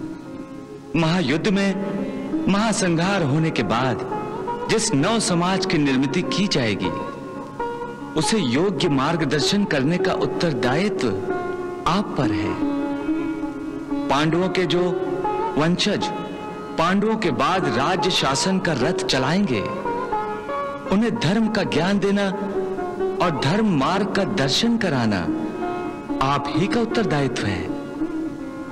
हे महात्मन, आपका कार्य अब तक पूरा नहीं हुआ है। फिर आप अपने प्राणों का त्याग कैसे कर सकते हैं? जिस पर आपका कोई अधिकार ही नहीं है। प्रभु, आप मुझे महात्मा कहकर अपने तुच्छ भक्त का गौरव बढ़ा रहे हैं। न तो मैं आपके इस गौरव का अधिकारी हूँ और न ही मैं महात्मा हूँ। प्रभु, यदि मैं महात्मा होता तो आपकी प्रभुता जान लेता। और जो एक मानव और दूसरे मानव के बीच भेदभाव नहीं रखती, मैं ये कभी नहीं भूलता कि आप ही ने श्री रामावतार में शबरी के जूठे बेर खाए थे। यदि मैं सचमुच महात्मा होता तो आपने मेरी इच्छा पूर्ति के लिए जो जल चांडाल के द्वारा भेजा था उसे कभी न ठुकराता। मुझे अपनी इस भूल का दंड अवश्य मिलना चाहिए। अवश्य मिलना चाहिए प्रभु। हे महर्षि आपने जिसे पानी समझा था वो पानी नहीं अमृत था। अमृत था? हाँ द्विजश्रेष्ठ अमृत। अर्थात, मुझे मेरे किए का दंड मिल गया। मेरे अज्ञान ने मुझे ईश्वर के प्रदान किए हुए अमृत से वंचित रख दिया, प्रभु। अमृत से वंचित रख दिया। आप तो जानते हैं, मनुष्य को अमृत तो कभी प्रदान नहीं किया जाता। फिर भी आपकी योग्यता जानकर मैंने आपको अमृत प्रदान करना चाहा था, क्योंकि आप जैसा महान तपस्वी महाज्ञानी और धर्मात्मा की तो इस संसार को सदा ही आवश्यकता रहेगी। इसलिए आपने पानी मांगा था और मैंने अमृत भेजा था। मेरा दुर्भाग्य प्रभु मेरा दुर्भाग्य कि मैंने प्रभु की कृपा को अनजाने में ठुकरा दिया। हे महात्मन मैंने जो अर्जुन से कहा था वही आपसे कह रहा हूँ। क्रोधात भवति सम्मोहा। सम्मोहात स्मृति विभ्रंग स्मृति भंशाद बुद्धिनाशो। बुद्धिनाशात प्रणश्यति। अर्थात क्रोध से अत्यंत मूढ़ भाव उत्पन्न हो जाते हैं। मूढ़ भाव से स्मृति भ्रम हो जाता है। स्मृति भ्रम हो जाने से बुद्धि अर्थात शक्ति का नाश हो जाता है। और जिस व्यक्ति की बुद्धि का नाश हो जाता है, वो मनुष्य अपने स्तर से गिर जाता है। हे करुणा निधान, आपके दिव्य दर्शन से मेरे मन की प्यास बुझ गई है, प्रभु। अब यो तंक क्रोध को अपने आप पर कभी विजय पाने नहीं देगा, प्रभु। कभी विजय पाने नहीं देगा। हे भार्गव, मैंने आपको जो जल प्राप्ति का वरदान दिया है, उसका लाभ आप सदा ही उठाते रहेंगे। जब भी आपको प्यास लगेगी और आपके पास पानी नहीं होगा तो इस मरु प्रदेश में घनेरे बादल प्रकट होंगे, जो आपको जल प्रदान करेंगे। ये मेघ बादल उत्तंक मेघ के नाम से विख्यात होंगे।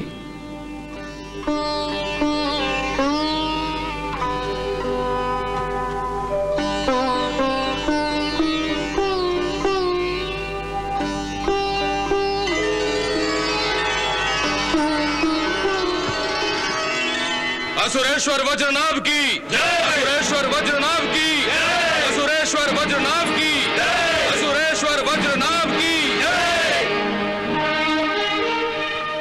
शूर सेनानियों और वीर सैनिकों, आपके बाहुबल और शौर्य पर आज तक मैंने अपने शत्रुओं को अपने सामने नाक रगड़ने पर विवश किया है। हमारी सेना के घोड़ों की टापों को सुनकर शत्रु भागते दिखाई देते हैं। मेरे नाम से वास्तव में आपकी धाक बैठी है। शत्रुओं के हृदय में आपका भय और मुँह में मेरी जय जयकार होती है। असुरेश्वर वज्रनाभ की। मेरे शूर वीरों सत्य यही है कि शत्रु के लिए आप ही जीवन दाता है और आप ही मृत्यु दाता है।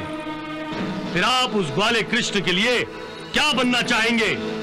जीवन दाता या मृत्यु दाता मृत्यु दाता मृत्यु दाता आप जैसे बलवान और शौर्यशाली वीर जब किसी धरती पर कदम रखते हैं तो आपकी हो जाती है। और जब आप द्वारिका में कदम रखेंगे तो आप जानते हैं तब क्या होगा? हाँ सुरेश्वर द्वारिका हमारी हो जाएगी। द्वारिका हमारी हो जाएगी। हम द्वारिका को अपने कदमों तले रौंद डालेंगे। हम द्वारिका को अपने कदमों तले रौंद डालेंगे। शाबाश मेरे वीरों शाबाश। अपने इस जोश को यूँ ही बनाए रखो। मुझे विश्वास हो गया है कि मैंने द्वारिका जीत ली है। मुझे यूँ लगता है कि मैंने ग्वाले कृष्ण पर विजय प्राप्त कर ली है। विजय प्राप्त कर ली है। असुरेश्वर की जय! असुरेश्वर की जय! असुरेश्वर सुरेश्वर हमारी तलवारें यादवों के रक्त से स्नान करने के लिए व्याकुल हो रही हैं। आप हमें केवल आदेश दें तो हम द्वारिका में केवल खून की नदियाँ बहा देंगे। आप सबके भरोसे ही तो मैं द्वारिका पर आक्रमण करने जा रहा हूँ। मैं जानता हूँ सेनानियों, आपकी तलवार का प्रहार सहन करने की क्षमता किसी भी शत्रु में नहीं है। फिर वो कृष्ण, वो बंशीधर, आपकी तलवार का प्रहार कैसे सह सकेगा? बांसुरी बजाने वाला कभी कोई युद्ध जीत पाया है भला?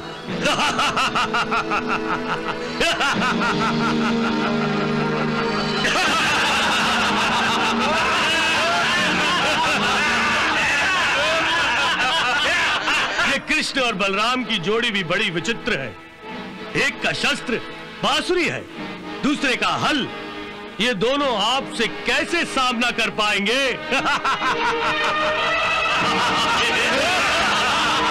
सेनानियों, सैनिकों, द्वारिका पर विजय पाना और उस ग्वाले का अस्तित्व मिटा देना, यही मेरे जीवन का अंतिम उद्देश्य है। इसलिए मैं आपको द्वारिका पर आक्रमण करने की तैयारियाँ करने का आदेश देता हूँ। तैयारियाँ पूरी होते ही हम द्वारिका पर आक्रमण करेंगे। हम द्वारिका पर आक्रमण करेंगे।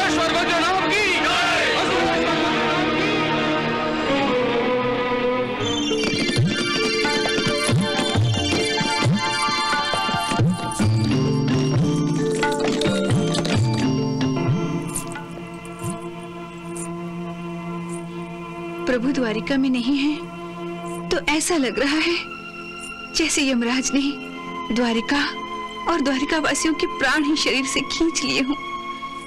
कितने दिन हुए, मुरली मनोहर की बांसुरी से मनभावन सुर ही नहीं सुने।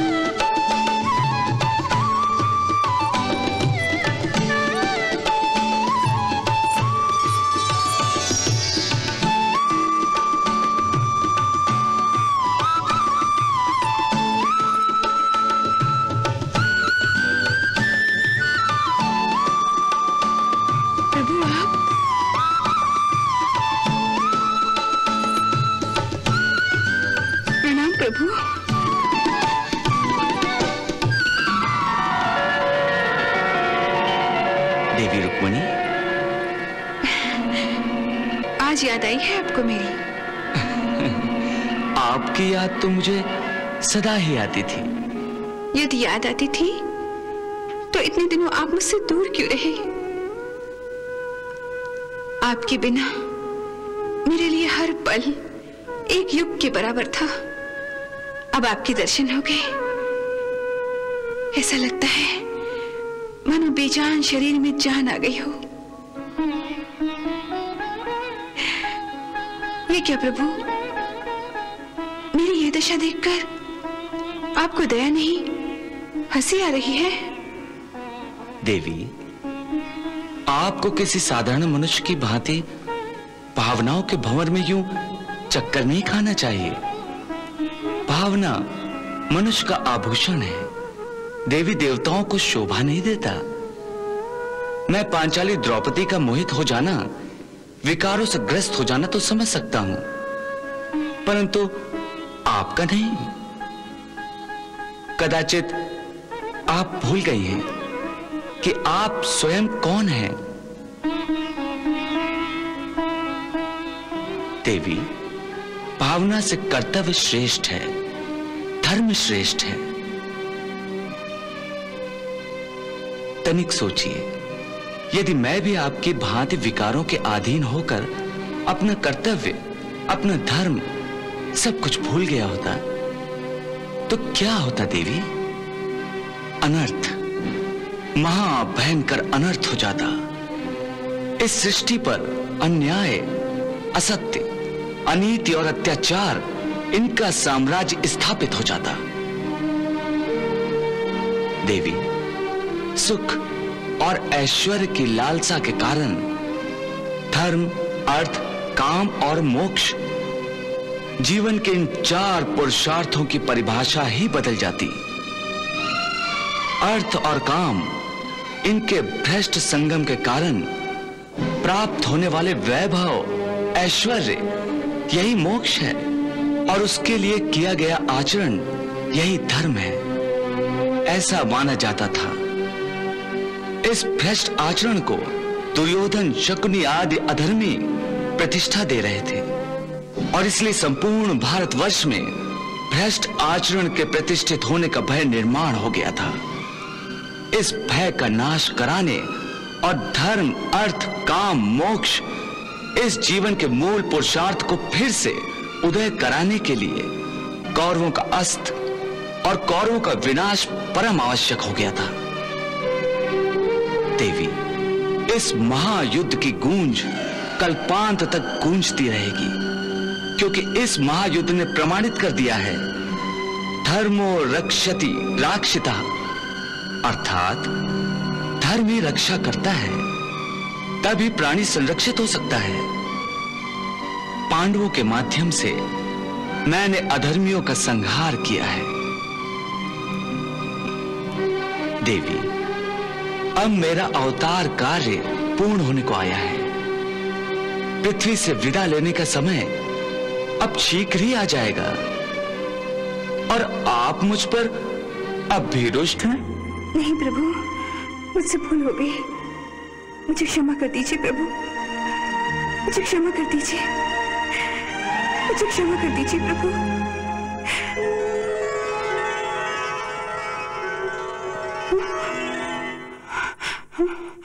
प्रभु, कहाँ हैं आप? कहाँ चले गए, प्रभु?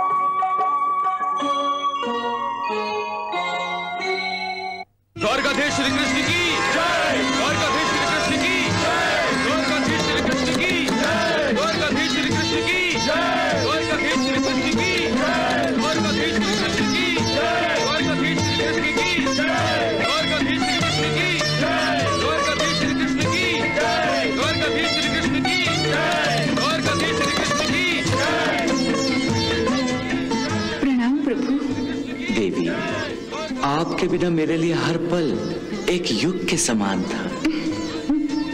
आपके दर्शन हुए हैं तो ऐसा लग रहा है कि बेजान शरीर में जान आ गई हो। ऐसा मत कहिए प्रभु ऐसा मत कहिए। मुझे अधिक लज्जित न कीजिए।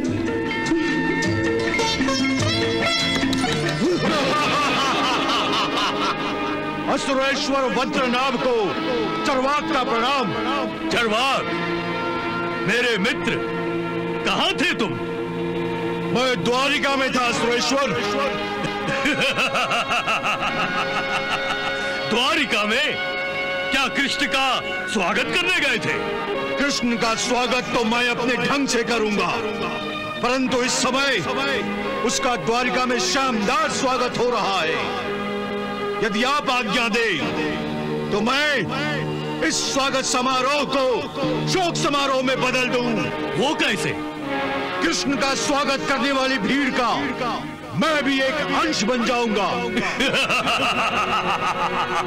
और उसी भीड़ का लाभ उठाकर मैं अपनी माया से अपने बल के प्रयोग से कृष्ण की ही नगरी में कृष्ण का वध कर दूँगा।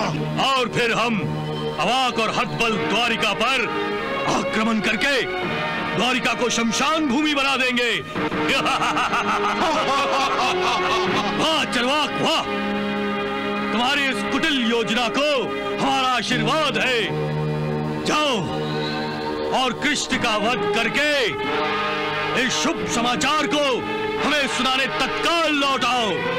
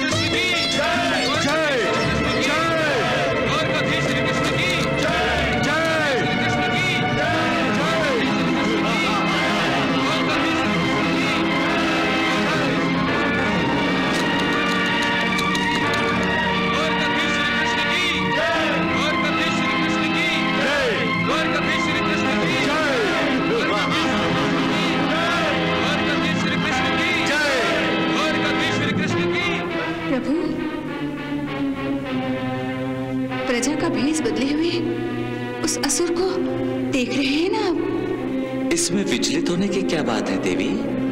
जिस प्रकार द्वारिका की प्रजा मेरा सत्कार करना चाहती है उसी प्रकार वज्रनाभ का यह असुर भी मेरा सत्कार करना चाहता है परंतु अपने ढंग से। हाँ प्रभु वो मायावी है। अपनी माया का अनुचित प्रयोग करेगा।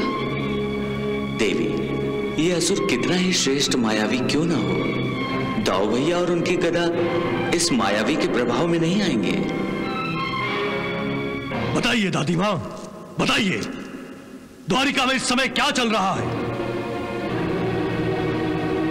बताइए दादी माँ। द्वारकाधीश श्री कृष्ण की। वत्स मैं द्वारकाधीश श्री कृष्ण को देख रही हूँ। आपसे मुझे उस ग्वाले कृष्ण की जय जयकार नहीं सुननी। आप मुझे चरवाक के बारे में बताइए। चरवाक के बारे में।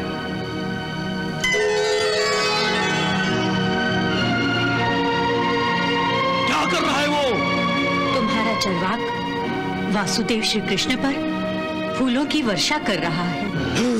फूलों की वर्षा? ये कैसे हो सकता है दादी माँ? चरवास मुझसे द्रोह नहीं कर सकता। आप ठीक तरह देखिए। मैंने ठीक ही कहा है वत्स। श्री कृष्ण की। जय। द्वारकाधीश श्री कृष्ण की। जय।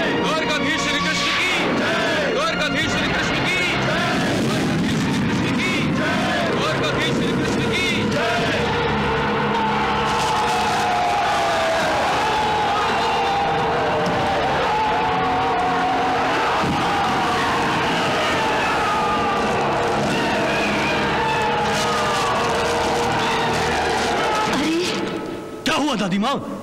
क्या देखा आपने? वज्रनाभ अनर्थ हो रहा है। भयंकर अनर्थ हो रहा है। चरवाक ने जो फूल न्यौछावर किए थे वो वो आग के गोलों में बदल रहे हैं वत्स। मैंने कहा था ना दादी माँ चरवाक मुझसे द्रोह नहीं करेगा। वो द्वारिका में कृष्ण की पूजा करने नहीं उसे मौत के घाट उतारने गया है।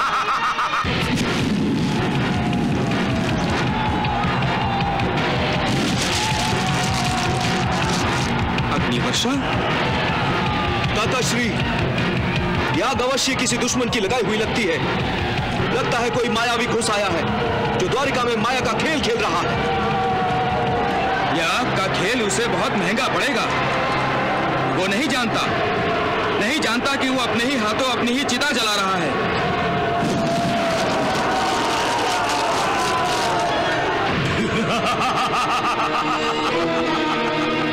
कृष्ण अब नहीं बचेगा, दादी माँ। कृष्ण अब नहीं बचेगा। दरवाग के आग के दोनों से जलकर उसकी लाश भी राख हो जाएगी, जिससे उसका क्रियाक्रम करना भी असंभव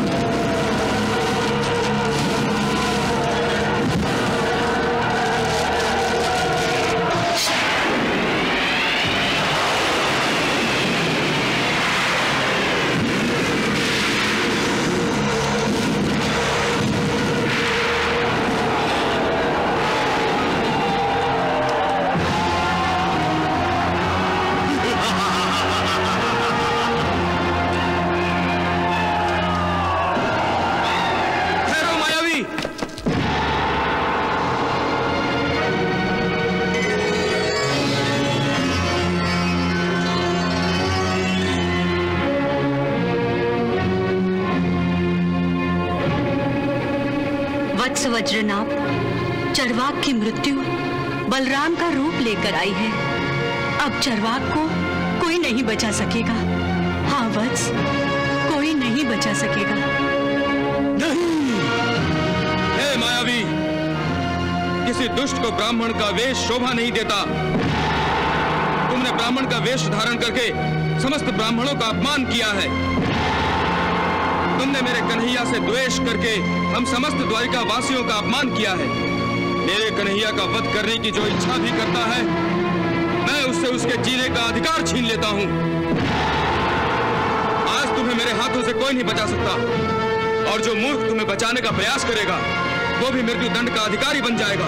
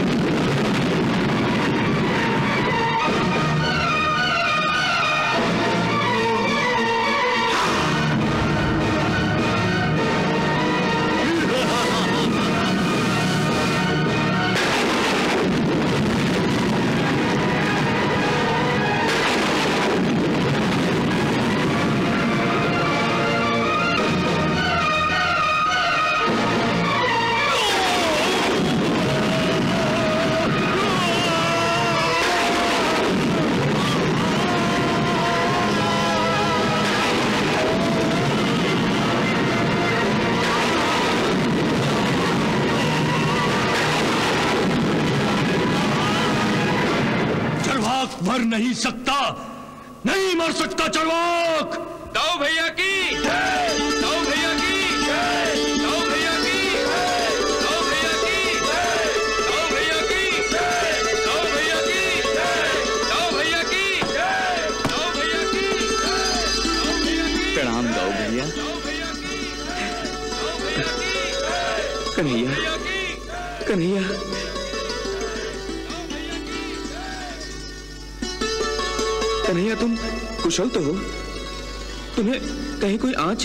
कोई खरोच तो नहीं आई?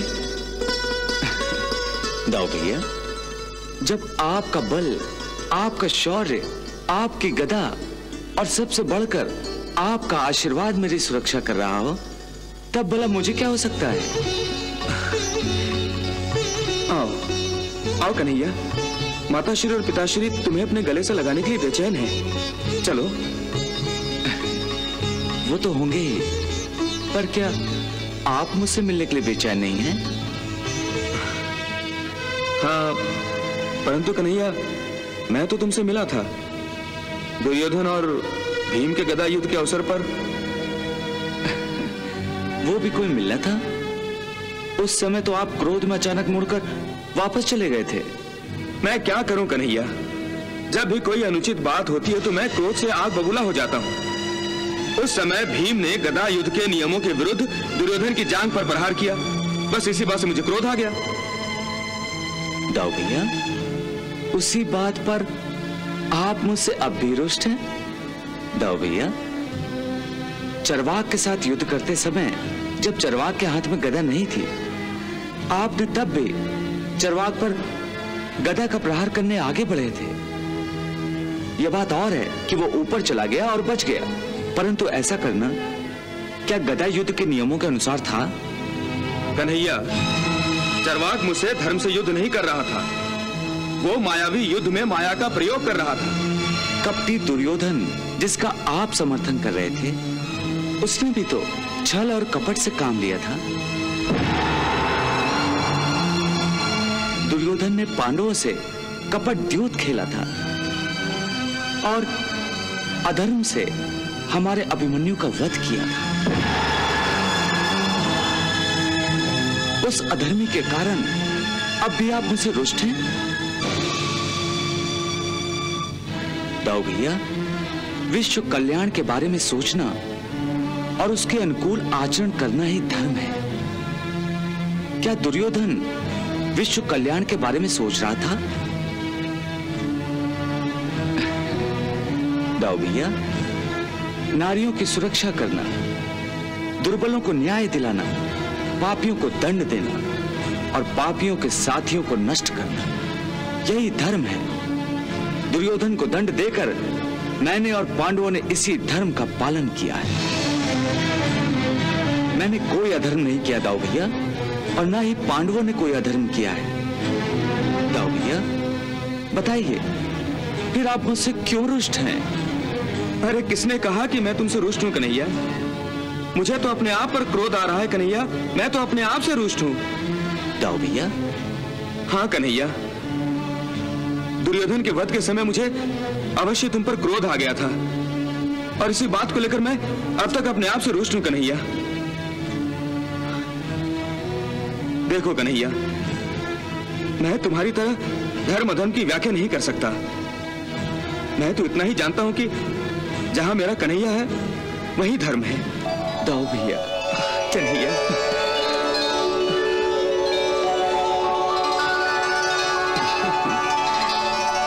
आओ चलिए और बलराम जी श्री कृष्ण को लेकर महल की ओर जा रहे हैं। बस दादी माँ बस। मत सुनाइए मुझे। कुछ मत सुनाइए। अपने मित्र के विनाश और कृष्ण तथा बलराम के विजय की गाथा मैं नहीं सुनना चाहता।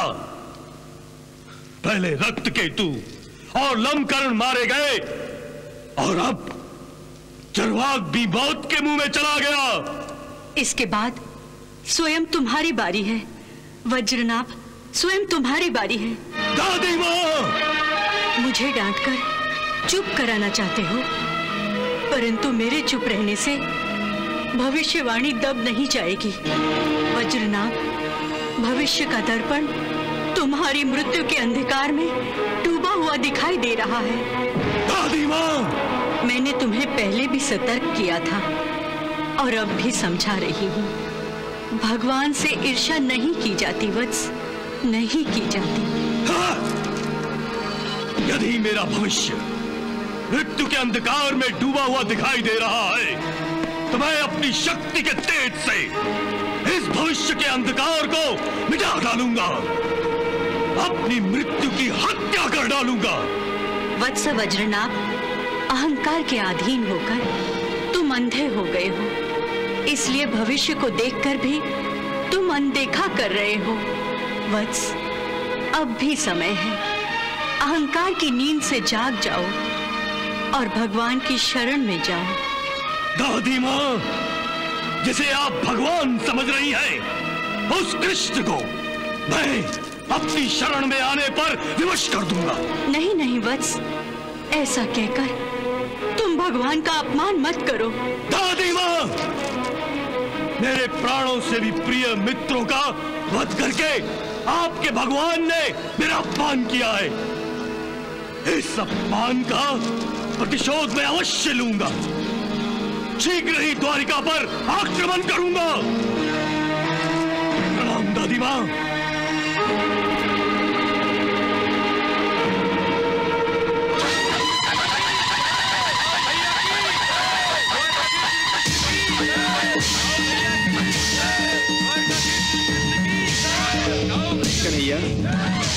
तुम्हारे द्वारिका लौटने से ऐसा लग रहा है मानो हमारी हमारी आत्मा हमारे शरीर में लौट आई हो।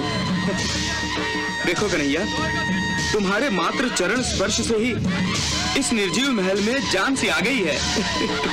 बड़े भैया मैं ये सब तो नहीं जानता परंतु इतना अवश्य जानता हूँ कि आपके बिना ये कृष्ण शून्य के बराबर है।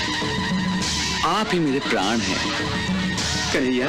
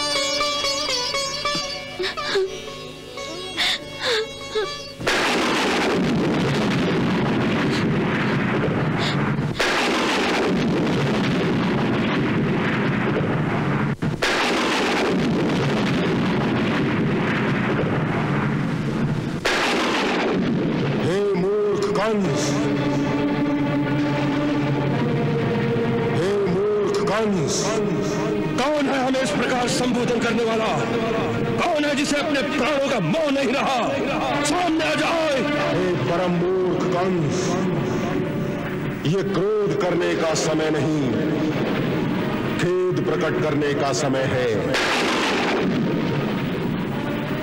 तू अपने भाग्य में, अपने हाथों आग लगाने जा रहा है। हे मूर्ख, जिसे तू इतनी प्रसन्नता से रथ में बिठा कर ले जा रहा है, उसी देवकी के आठवें गर्भ की संतान तुझे मार डालेगी। तुझे मार डालेगी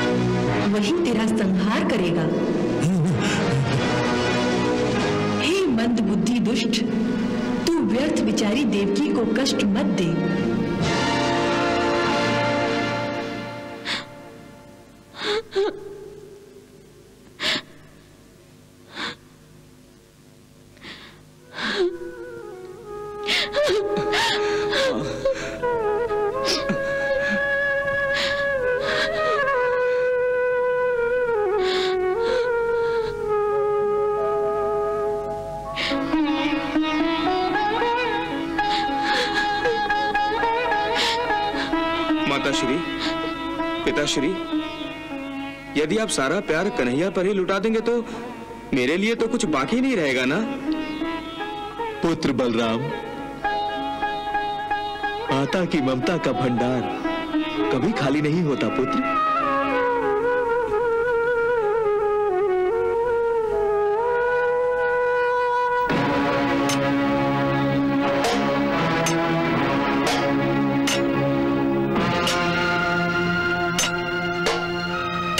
देखिए असुरेश्वर देखिए, हमारी सेना को शस्त्रों से सुसज्जित करने के लिए कैसा प्रबंध किया जा रहा है?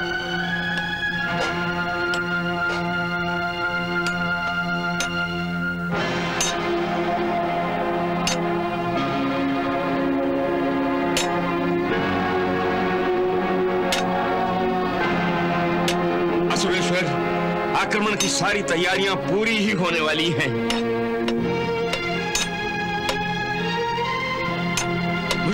ऐसा लग रहा है कि इस ग्वाले कृष्ण के क्रियाक्रम की तैयारियाँ हो रही है। सेनापति वृषभान जी। लगता है हमारे शस्त्र ग्वाले कृष्ण पर और यादव सेना पर प्रहार करने के लिए उत्सुक हो रहे हैं। हम शीघ्र ही द्वारिका पर आक्रमण करेंगे।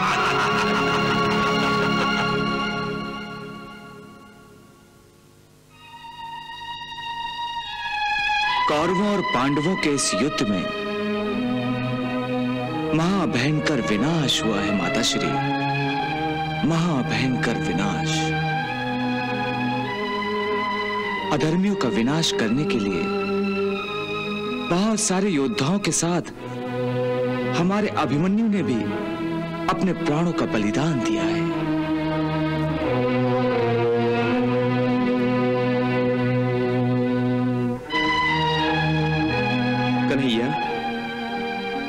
अभिमन्यु के बिना सुभद्रा के मन की क्या दशा होगी? हम सबने सुभद्रा को सांत्वना दे दी है, बड़े भैया।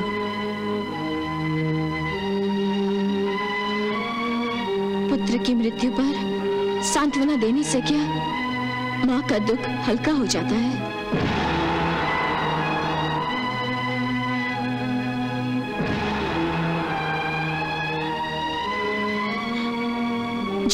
सर, एक माता के हृदय के टुकड़े को डंक मारता है, तब उसकी क्या दशा होती है? ये कोई कैसे जान सकता है? इतना मत रो, देवकी। इतना मत रो। तुम्हारे ये बहते हुए आँसू मेरे इन हाथ पैरों से भी जान निकाल देते। और और पुरानी यादें सर उठाकर डसने लगती हैं, डसने लगती हैं।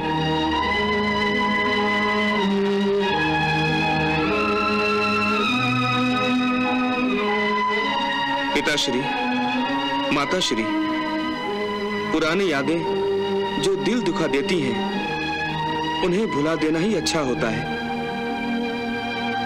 दाऊ भैया ठीक ही कह रहे हैं, माताश्री। क्या इतना आसान है ये। क्या एक माता अपने पुत्र का वियोग भूल सकती है? नहीं। वो अपने दुख को सीने से लगाए लगाए ही जीती है। माताश्री, बहू, मेरे छह पुत्रों को मेरे सामने ही महाकाल ने निगल लिया था। महाकाल, उस समय मेरे भाई कृष्ण बलराम के मामा कंस का रूप लेकर आया था। मेरे पुत्र के जन्म लेते ही वो उन्हें मुझसे छीन कर ले गया और और निर्दयता से उन्हें मार डाला।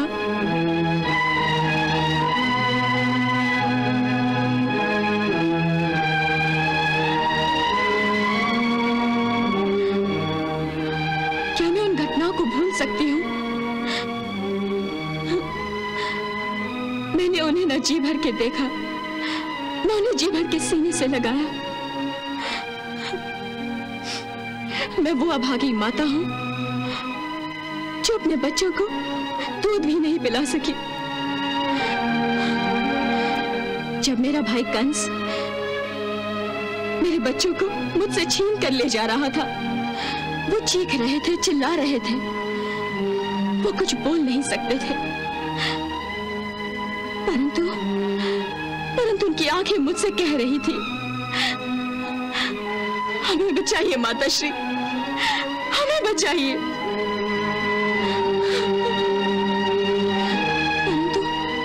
हम उन्हें बचा नहीं सके। बहू, हम हम उन्हें बचा नहीं सके। मैंने बच्चों को जन्म दिया था। मैंने। लेकिन लेकिन मैं माँ होकर उन्हें जीवन नहीं दे सकी। शांत हो जाओ, देवकी। शांत हो जाओ। जिस माता से उसके अभी अभी जन्मे, बच्चों को छीनकर उनकी हत्या की जाती है, वो कैसे शांत रह सकती है, स्वामी? कैसे शांत रह सकती है?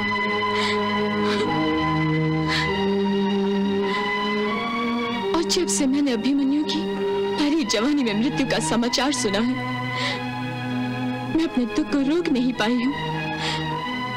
मुझे तो लगता है कि यादवों के कुल को किसी का श्राप लग गया है। जो इस कुल के दीपक एक एक करके बुझते जा रहे हैं।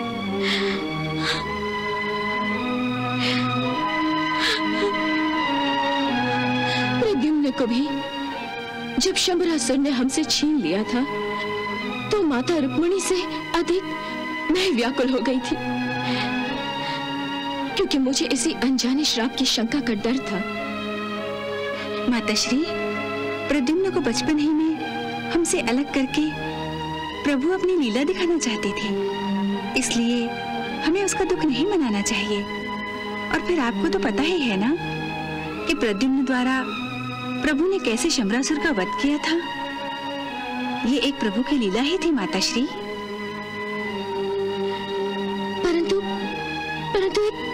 एक माता का मन तो परीक्षा में पड़ गया था ना? पिताश्री माताश्री जो कुछ भी होता है वो विधि के विधान के अनुसार ही होता है। तो बदल दो ऐसा विधान जो एक माता को अपने बच्चों से अलग करता है। परंतु कौन बदलेगा ये विधान? कौन बदलेगा?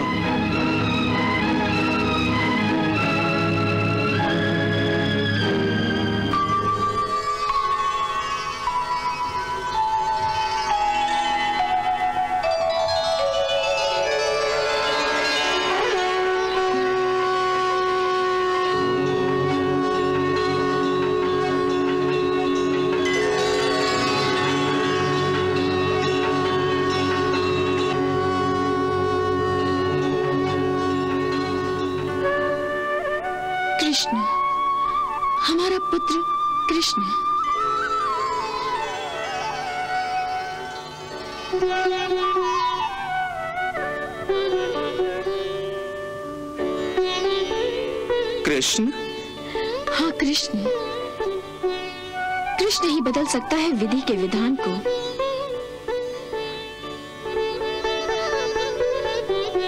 हे वासुदेव, क्या तुमने गुरुदेव सांदीपनी ऋषि के पुत्रों को यमलोक से वापस नहीं लाया था?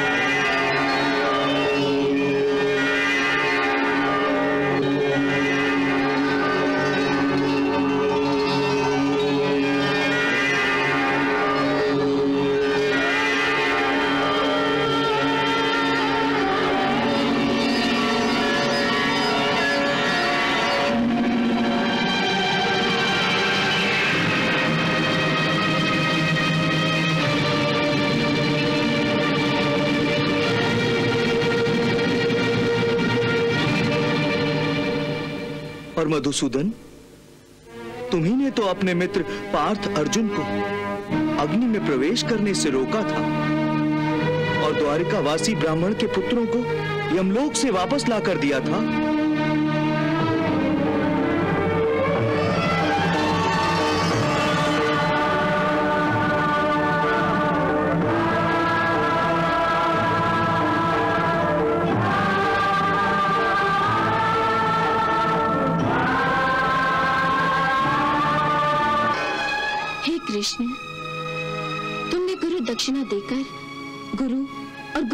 की इच्छा की पूर्ति की है।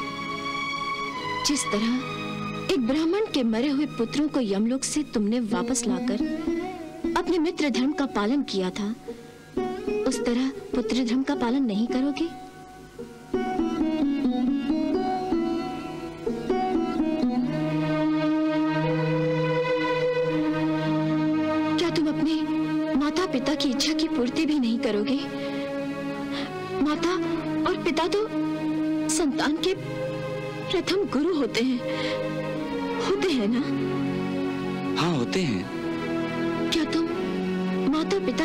दक्षिणा भी नहीं दोगे? अवश्य दूँगा। मैं अपने पुत्रों को सीने से लगाना चाहती हूँ दयाधन। मैं अपने पुत्रों को जेब भर के देखना चाहती हूँ कृष्ण हम दोनों ने महर्षियों से तुम्हारी महिमा सुनी है। तुम्हारा चरित्र हमारे सामने है और अनुभव करने के पश्चात हम लोग ये जान गए हैं कि तुम इस मृत्यु लोक के साधारण मनुष्य नहीं हो।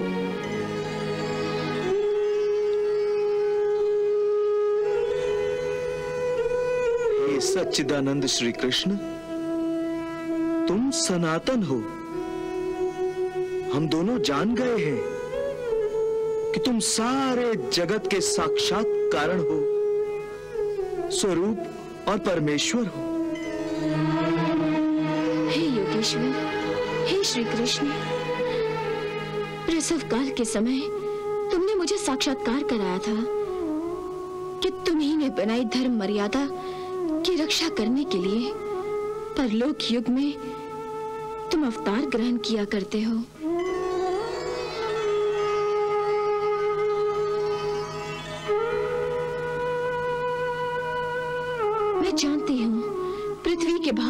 राजाओं का नाश करने के लिए तुम मेरे गर्भ से अवतरित हुए हो। हे विश्वात्मन, तुम्हारे पुरुष रूप अंश से, उत्पन्न हुई माया से गुणों की उत्पत्ति होती है और उनके लेश मात्र से जगत की उत्पत्ति और विकास भी होता है और प्रलय भी आता है। हे प्रभु आज हम दोनों आपकी शरण में आए हैं। हमें हमारे उन पुत्रों के दर्शन करा दीजिए, जिन्हें एक एक करके कंस ने मार दिया। बस, हमें यही गुरु दक्षिणा दीजिए प्रभु। यही गुरु दक्षिणा दीजिए। अपने पुत्रों के दर्शन से अधिक मूल्यवान वस्तु संसार में और कोई भी नहीं है। इसलिए इसलिए हमारे दिवंगत पुत्रों के हमें दर्शन करा दीजिए प्रभु। हमें दर्शन करा दीजिए। दर्शन करा दीजिए।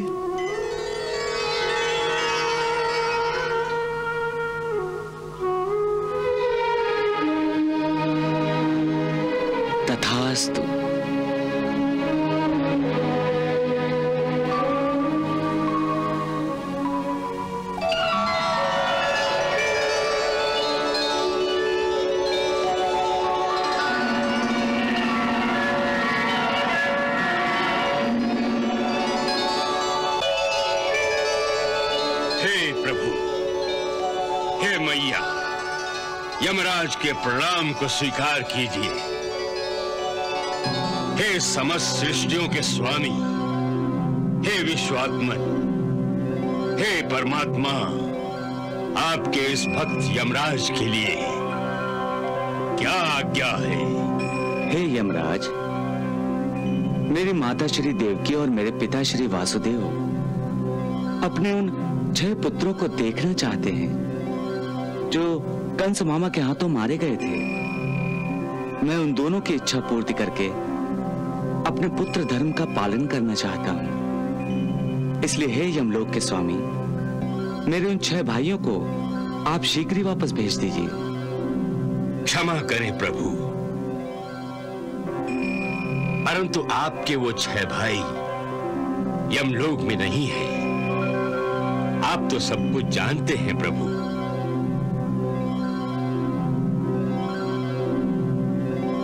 आपके दिवंगत भाई इस समय सुतल लोक में हैं और मुक्ति की प्रतीक्षा कर रहे हैं। प्रभु, उन सबको आप ही मुक्ति दे सकते हैं। अब आज्ञा दीजिए प्रभु।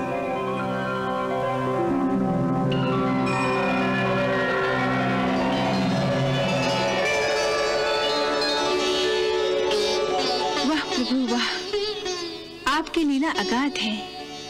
आप जानते थे कि अपने भ्राताओं को मुक्ति केवल आप ही दे सकते हैं। और इसी उद्देश्य की प्राप्ति के लिए आपने कुछ ऐसी माया रची कि देव की माता की ममता अपने दिवंगत पुत्रों को देखने के लिए तड़प उठी। और अब आप उन्हें इस तरह से मुक्ति देने जा रहे हैं। सचमुच प्रभु आपकी लीला अगाध है। कृष्णा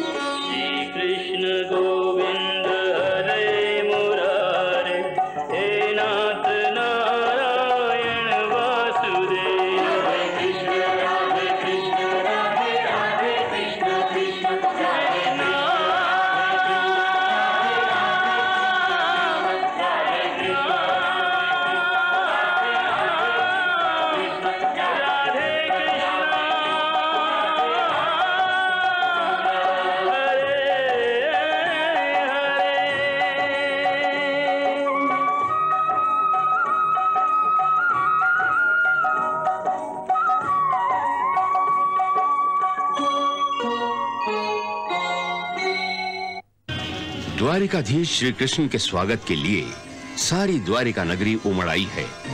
इस भीड़ में चरवाक राक्षस भी है, जिसे असुरराज वज्रनाभ ने कृष्ण को धोखे से मारने के लिए भेजा है। परंतु बलराम अनर्थ होने से पहले ही उसे ताड़ लेते हैं और अपनी गदा से उसका अंत कर देते हैं।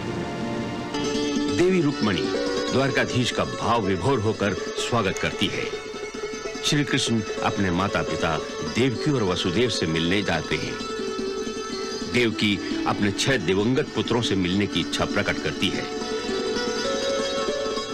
मैं अपने पुत्रों को सीने से लगाना चाहती हूँ, दयाधन।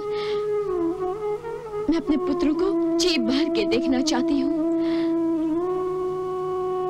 अपने पुत्रों के दर्शन से अधिक मूल्यवान वस्तु संसार में और कोई भी नहीं है। इसलिए इसलिए हमारे दिवंगत पुत्रों के हमें दर्शन करा दीजिए प्रभु। हमें दर्शन करा दीजिए। तथास्तु।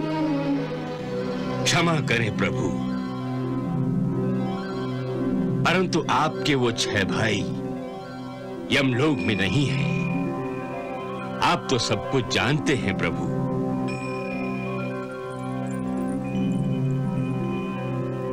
आपके दिवंगत भाई इस समय सुतल लोक में हैं और मुक्ति की प्रतीक्षा कर रहे हैं।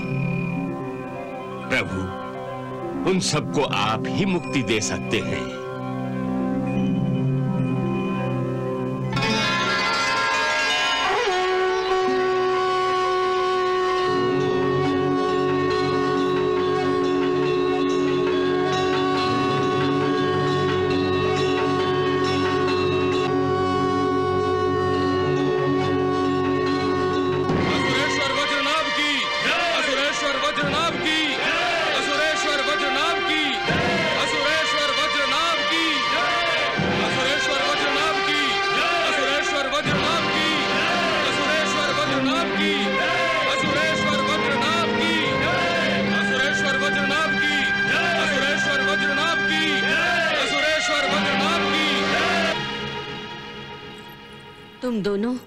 वज्रनाभ की जय जयकार सुन रही हो ना? अरे दादी माँ आप? प्रणाम। आयुष्मान भव। प्रणाम दादी माँ। सौभाग्यवती भव बहू। औपचारिकता त्याग दो। इस समय हम सभी जीवन मृत्यु की सीमा रेखा पर खड़े हैं। दादी माँ ये कैसी अशुभ बातें बोल रही हैं आप? मैं तुम्हें वास्तव बता रही हूँ सुमति। वज्रनाभ की पत्नी हो। राजकुमारी प्रभावती, वज्रनाभ की पुत्री है। प्रभावती, तुम्हारे पिता साक्षात भगवान को चुनौती देने जा रहे हैं। द्वारिका पृथ्वीवासियों के लिए बैकुंठ धाम के बराबर है और उसी द्वारिका पर आक्रमण करने की मूर्खता कर रहा है वज्रनाभ। अब ये बात ढकी छुपी नहीं है कि श्री कृष्ण ही भगवान है। परंतु दुर्भाग्य से व्रजनाभ ये बात मानने को तैयार नहीं है। और और तुम दोनों भी ये बात समझने को राज़ी नहीं हो। नहीं दादी माँ ऐसी कोई बात नहीं है। तो जाओ जाओ जाकर समझाओ अपने पिता को जो द्वारिका पर आक्रमण की भूल करने से और श्री कृष्ण से ईर्ष्या करने का पाप करने से रोको। भगवान तो सर्वशक्तिमान है। इसलिए भगवान के सामने अपनी शक्ति का प्रदर्शन करना मूर्खता है। भगवान के सामने उस शक्ति का प्रदर्शन ही क्या, जो भगवान की ही देन है। सुमति, प्रभावती, अपने माता पिता से क्या कोई ईर्ष्या करता है?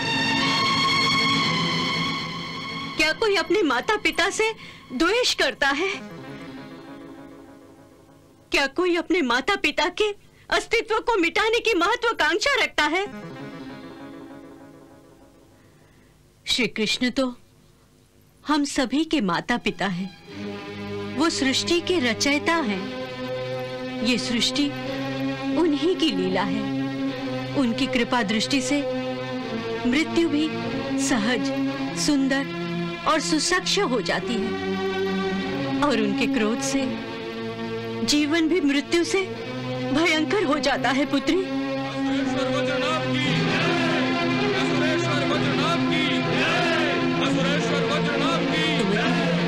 प्रभावती, यदि तुमने व्रजनाभ को नहीं रोका तो ये जय जयकार।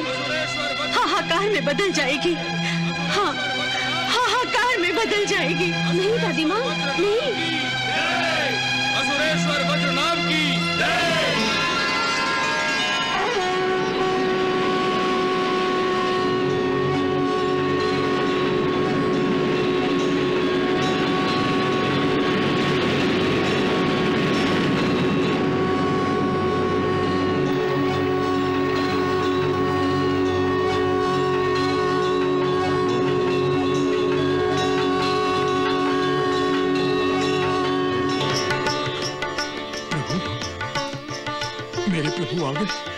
मेरे प्रभु आ गए। मेरे प्रभु आ गए।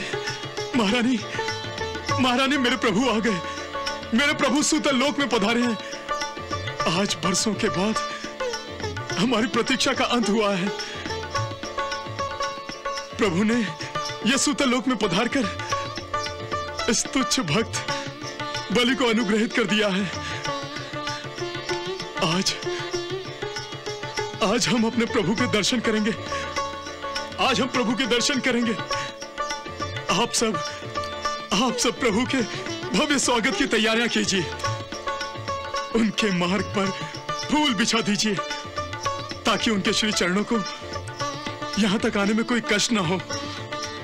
महाराज बलि के इस संपूर्ण सूतल लोक को सुशोभित कर दीजिए, सुगंधित कर दीजिए।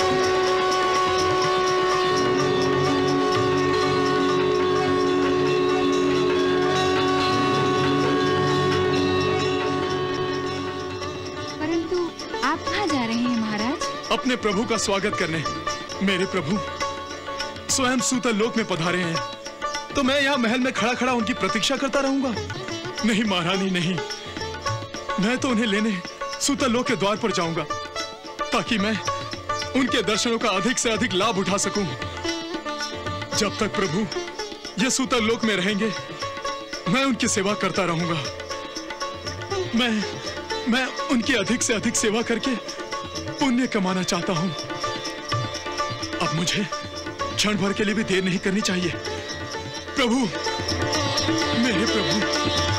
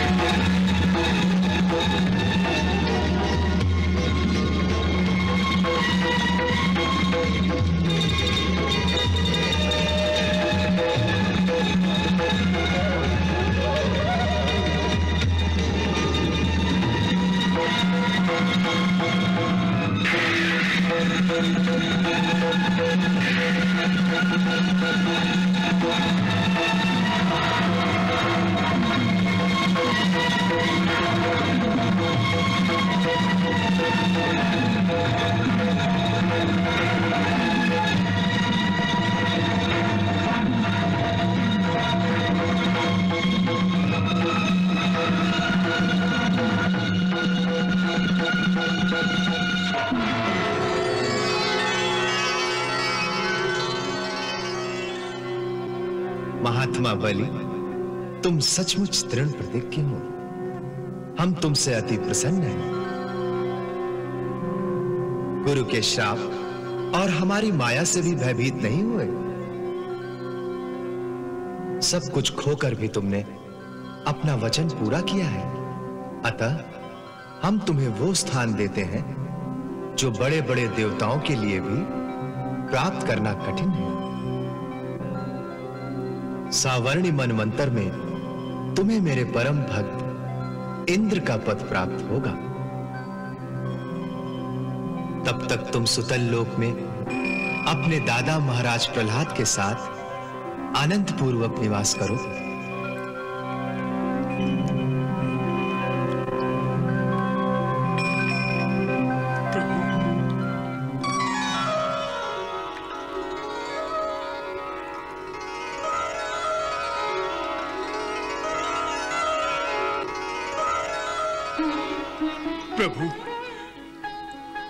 सूतल लोक में पधार कर, संपूर्ण सूतल लोक को पावन कर दिया है प्रभु।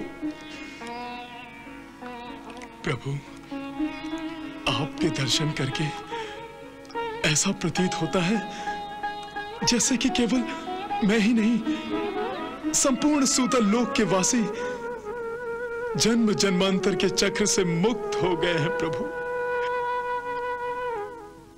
प्रभु वामन अवतार में आपने मेरे सर पर पैर रखकर मेरा उद्धार किया था।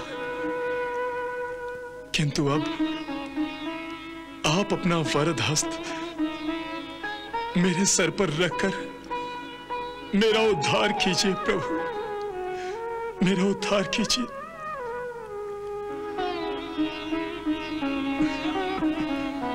तथास्तु हे दैत्यराज बलि, तुम महात्मा हो। जब तक यह संसार रहेगा, तुम्हारा नाम भक्तों की श्रेणी में सबसे आगे रहेगा। लोग तुम्हें आदर और श्रद्धा से स्मरण करेंगे।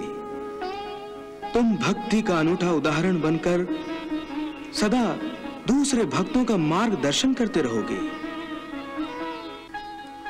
हे राजन तुमने मेरे वामन अवतार के समय मुझे तीन पग धरती दान करने का जो संकल्प लिया था, उस संकल्प को पूरा करने के लिए तुमने अपने गुरु शुक्राचार्य के आदेशों का उल्लंघन किया और अपना सर्वस्व मुझे दान दिया।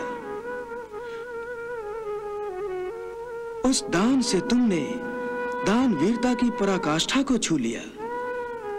तुम सर्वश्रेष्ठ दानवीर बन गए हो। प्रभु प्रभु ऐसा कहकर आप इस तुच्छ भक्त का मान बढ़ा रहे हैं। दान तो वो दे सकता है जो किसी वस्तु का स्वामी हो। समस्त चराचर के तो स्वामी केवल आप है प्रभु। फिर मैं भला, मैं आपको क्या दान दे सकता हूँ? हे राजन, यही तो आपकी उदारता का परिचय है। आप तो श्रेष्ठ गुणों का भंडार है। और हो भी क्यों ना? क्योंकि आप भक्त प्रहलाद के पौत्र हैं। आपकी शिराओं में भी भक्ति और श्रद्धा जैसे श्रेष्ठ गुण रक्त बनकर प्रवाहित हैं। इसलिए आप मुझे सदैव ही प्रिय हैं। प्रभु, ये मेरा परम सौभाग्य है प्रभु। मेरा परम सौभाग्य है। प्रभु प्रभु प्रभु, अपने श्री चरणों से इस दास की कुटिया को पावन कीजिए। आइए प्रभु, आइए। नहीं! अब मुझे आप भी द्वारिका पर आक्रमण करने से नहीं रोक सकती महारानी। ना ही मेरी लाडली राजकुमारी प्रभावती मुझ पर प्रतिबंध लगा सकती है। मैं अवश्य द्वारिका पर आक्रमण करूँगा और द्वारिका के साथ साथ ग्वाले कृष्ण का भी वध करूँगा। क्षमा करे पिताश्री। जिसका कोई आद ही नहीं जिसका कोई अंत नहीं उसका वध करना चाहते हैं आप? राजकुमारी प्रभावती! हमारी तलवार एक बार जब मियान से निकलकर अपना सिर उठाती है तो फिर दुश्मन का सिर झुकाने या अपने चरणों में गिराने के बाद ही म्यान में वापस जाती है। अब ये तलवार कृष्ण का सिर झुकाकर या उड़ाकर ही मियान में वापस जाएगी। पिताश्री, मैं तो केवल इतना ही जानती हूँ कि भगवान के सामने हर किसी को अपना सर झुकाना ही पड़ता है। आपकी तलवार को भी झुकना पड़ेगा। राजकुमारी! तुम्हें मालूम होना चाहिए कि मेरा भविष्य मेरी बाहों पर निर्भर है। मेरे बाहुबल में कृष्ण के साथ साथ द्वारिका का भी विनाश करने की क्षमता है, शक्ति है।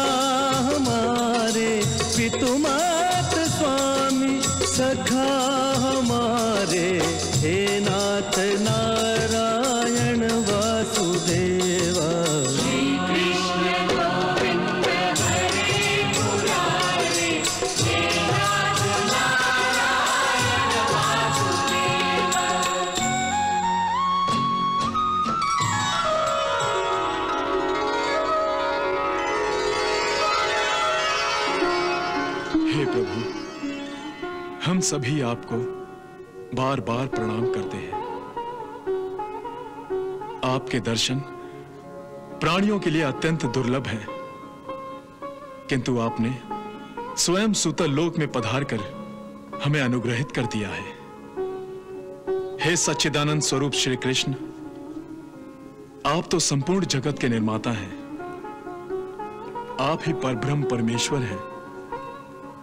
हे योगेश्वर हे योगेश्वरों के अधीश्वर, आप मुझ पर ऐसी कृपा कीजिए कि मेरा चित मेरा ध्यान, मेरा मन, मेरा सब कुछ आपके श्री चरणों में लगा रहे।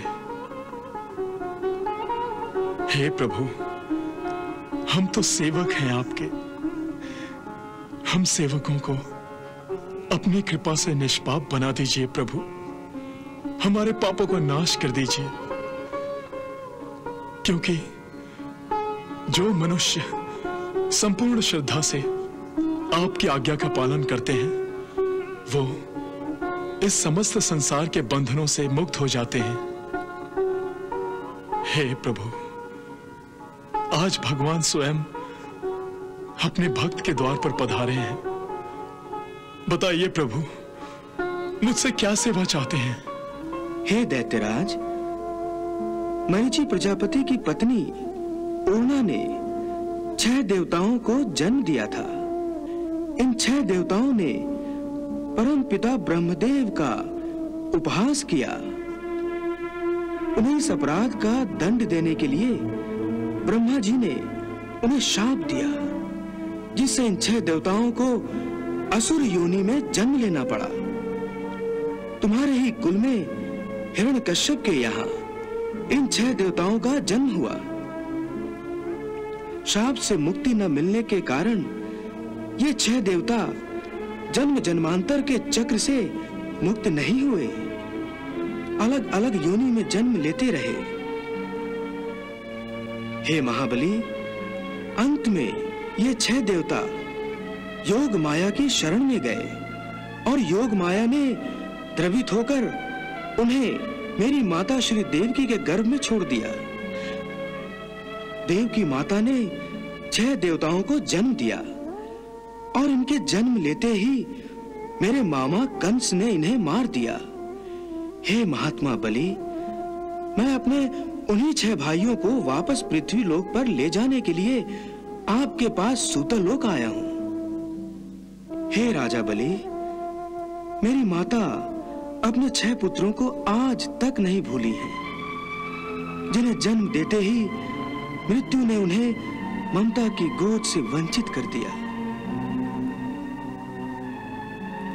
मेरी माता अपने पुत्रों के बिछड़ जाने पर अत्यंत दुखी एवं व्याकुल रहती हैं और मैं अपनी माता को कैसे दुखी देख सकता हूँ? सो मैं अपनी माता की ममता से विवश होकर आपके पास आया हूँ।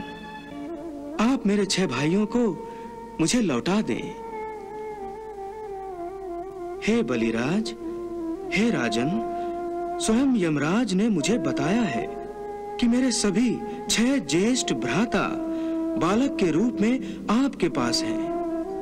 कृपया आप उन्हें मुझे वापस लौटा दीजिए। मैं उन्हीं को लेने आया हूँ। आपकी आज्ञा शिरोधार्य है, प्रभु। आइए प्रभु। आइए प्रभु।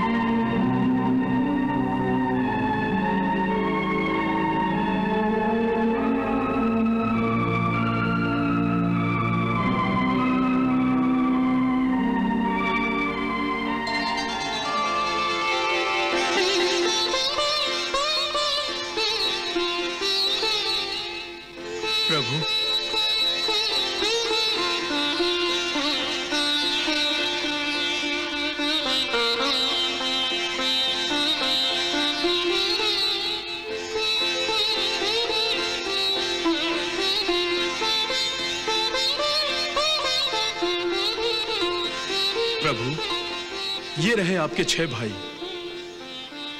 प्रणाम प्रभु।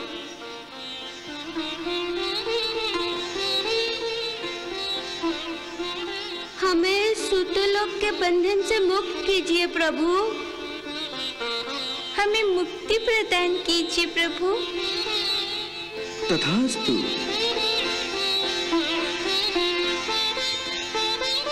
अब हम इनके साथ पृथ्वी लोक जाना चाहते हैं।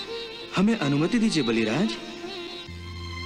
प्रभु आप पृथ्वी लोक जाएँगे। अपने इस तुच्छ भक्त पर सदा ही कृपा बनाए रखिए। अपने श्री चरणों में स्थान दीजिए प्रभु। हे महाबली चरणों में नहीं आप सदा ही हमारे हृदय में वास करेंगे। प्रभु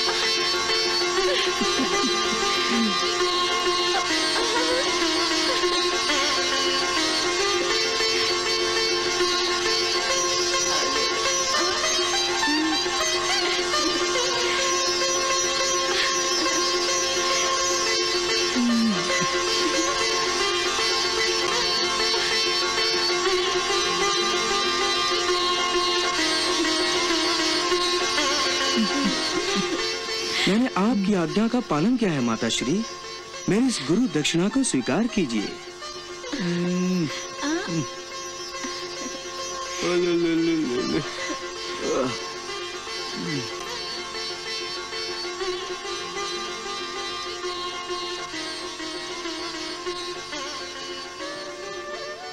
हे मधुसूदन, आज आपने मेरे हृदय की आग को शांत कर दिया है मेरे बच्चों के कोमल स्पर्श से जीवन का अधूरापन नष्ट हो गया है। आपका ये ऋण हम कभी नहीं चुका सकेंगे। ये आप क्या कह रहे हैं पिताश्री? माता पिता नहीं संतान अपने माता पिता की ऋणी होती है। सामान्य मनुष्य के लिए हम तुम्हारे माता पिता हैं परंतु हम तुम्हारा सत्य स्वरूप जानते हैं भगवान।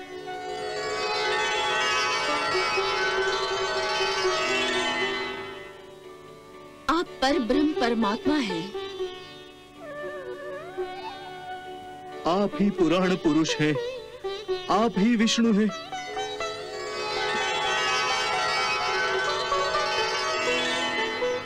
आप ही सृष्टि के पालक हैं। आप समस्त प्राणियों के पिता हैं और माता भी आप ही हैं। इसीलिए हम आपके माता पिता नहीं आप ही हमारे माता पिता हैं। हे चक्रधारी, मेरी ममता का आनंद तुम्हारे कंस मामा ने नष्ट कर दिया था। लेकिन आज इन छह पुत्रों के रूप में मेरी प्यासी ममता को तुमने तृप्त कर दिया है।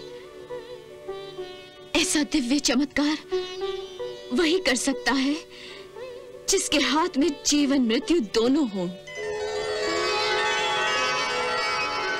हे अखिल ब्रह्मांडों के नायक, आपकी लीला अगाध है। प्रलय के समय आप संपूर्ण विश्व को अपने शरीर में वैसे ही स्वाभाविक रूप से धारण करते हैं, जैसे माता अपनी संतान को गर्भ रूप में धारण करती है। वही परम पुरुष परमात्मा जब मेरे गर्भवासी हुए ये आपकी अद्भुत लीला नहीं तो और क्या है? माताश्री पिताश्री ये सब उस वरदान का परिणाम था। वरदान? हाँ पिताश्री। परंतु हमें कब वरदान प्राप्त हुआ था? मैं बताती हूँ पिताश्री। स्वयंभू मनवंतर में जब आप दोनों का पहला जन्म हुआ था, तब पिताश्री, आप सुतपा नाम के प्रजापति थे। और माताश्री, आपका नाम प्रश्नी था। आप दोनों ने प्रभु की घोर तपस्या की थी। आपने अन्न का त्याग किया था। आप केवल हवा का भक्षण करके प्रभु की तपस्या कर रहे थे। प्रभु में चित्त लगाकर घोर तप करते करते कई युग बीत गए। तब प्रभु ने प्रसन्न होकर आप दोनों को दर्शन दिए।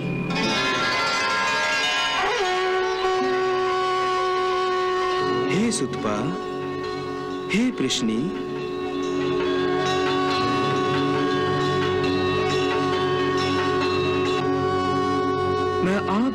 घोर तपस्या से अति प्रसन्न हूँ। मैं आप दोनों को वर देना चाहता हूँ। आपकी जो भी इच्छा हो मैं उसकी पूर्ति अवश्य करूँगा। प्रभु हम आपके इस दिव्य रूप से धन्य हो गए हैं प्रभु। यदि आप वर देना ही चाहते हैं तो हमारी केवल एक ही इच्छा पूरी कीजिए। बताइए। प्रभु हमारी कोई संतान नहीं है। हम माता पिता का आनंद उठाना चाहते हैं प्रभु। काश आप ही हम दोनों के पुत्र बन जाएँ। तथास्तु तथास्तु तथास्तु। मैं आप दोनों का ही पुत्र बनकर जन्म लूँगा।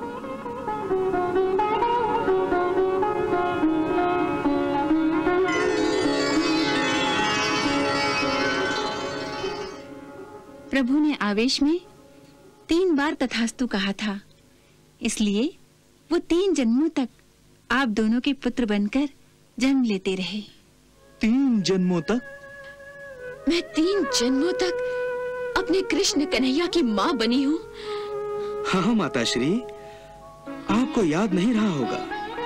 आपके पहले जन्म में ही मैं आप दोनों का पुत्र बनकर जन्मा था। और प्रश्न गर्भ के नाम से विख्यात हुआ था।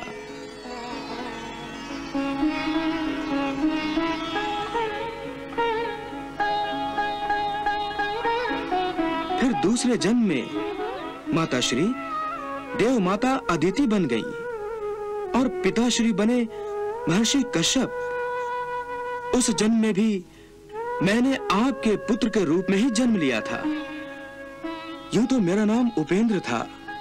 परंतु कद शरीर छोटा होने के कारण लोग मुझे वामन भी कहते थे।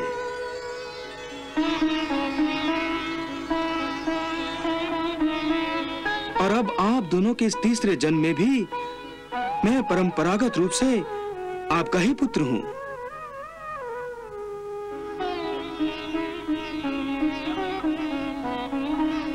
हे देवताओं के भी आराध्य देव प्रभु इस संसार की रक्षा के लिए ही आपने मेरे घर अवतार लिया है। आपने हम दोनों का पुत्र बनकर हमें अनुग्रहित किया है हमारा सम्मान किया है। इस इस इच्छा की पूर्ति के बाद अब मेरे मन में कोई विशेष इच्छा नहीं रही है प्रभु। अपने इन छह पुत्रों के प्रति भी आपकी कोई इच्छा नहीं रही माता श्री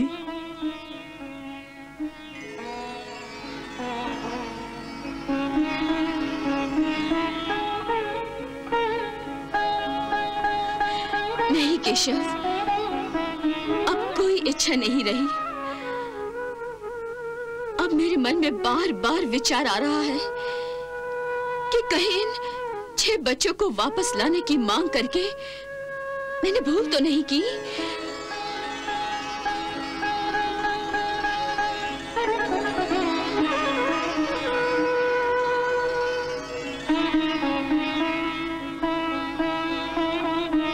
कहीं कहीं मैं इनकी मुक्ति के मार्ग में बाधाएँ तो खड़ी नहीं कर रही हूँ। वासुदेव, अब आप ही आप इस बात का मुझे ज्ञान हो रहा है कि जीवन मृत्यु के चक्र में कभी किसी को हस्तक्षेप नहीं करना चाहिए।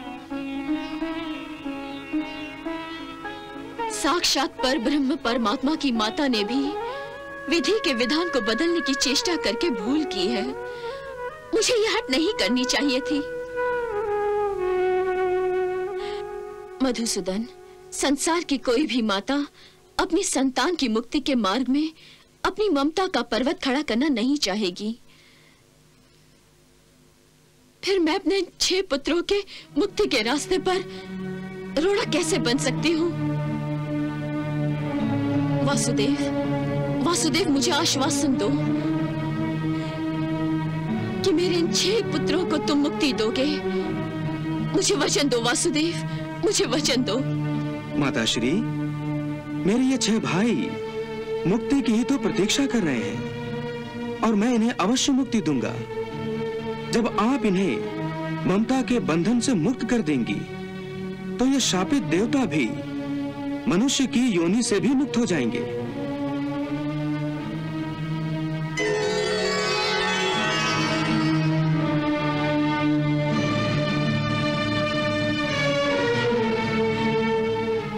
मैंने इन्हें अपनी ममता के बंधन से मुक्त कर दिया है।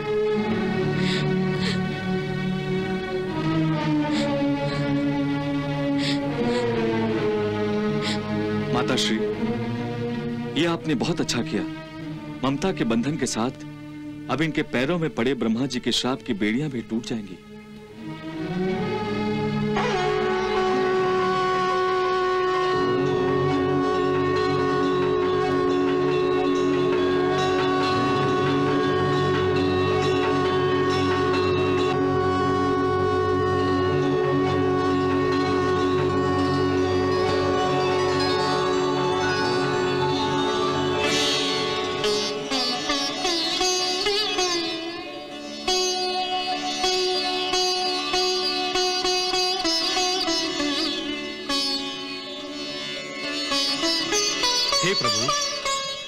हे माता श्री हे भगवान शेष, हम सबका आपको प्रणाम।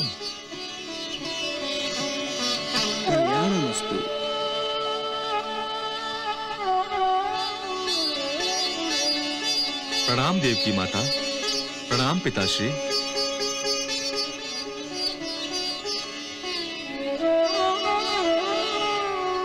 हे देव की माता, हमने अपने ब्रह्मदेव का जो उपहास किया था जिसके कारणवश मिले शाप से आपने हमें आज मुक्त करके अनुग्रहित किया है।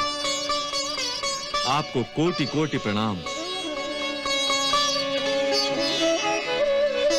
प्रभु, अब हमें आज्ञा दीजिए।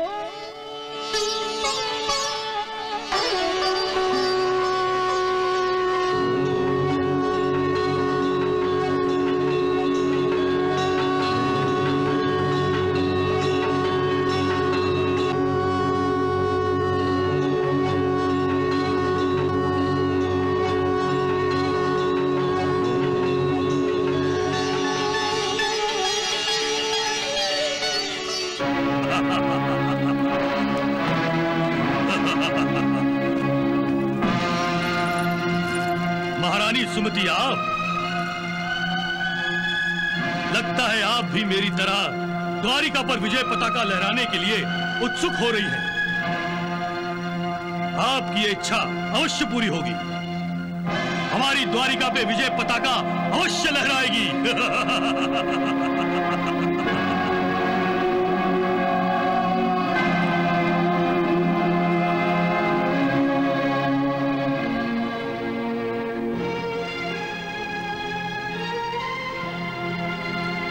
मत कीजिए द्वारिका पर आक्रमण।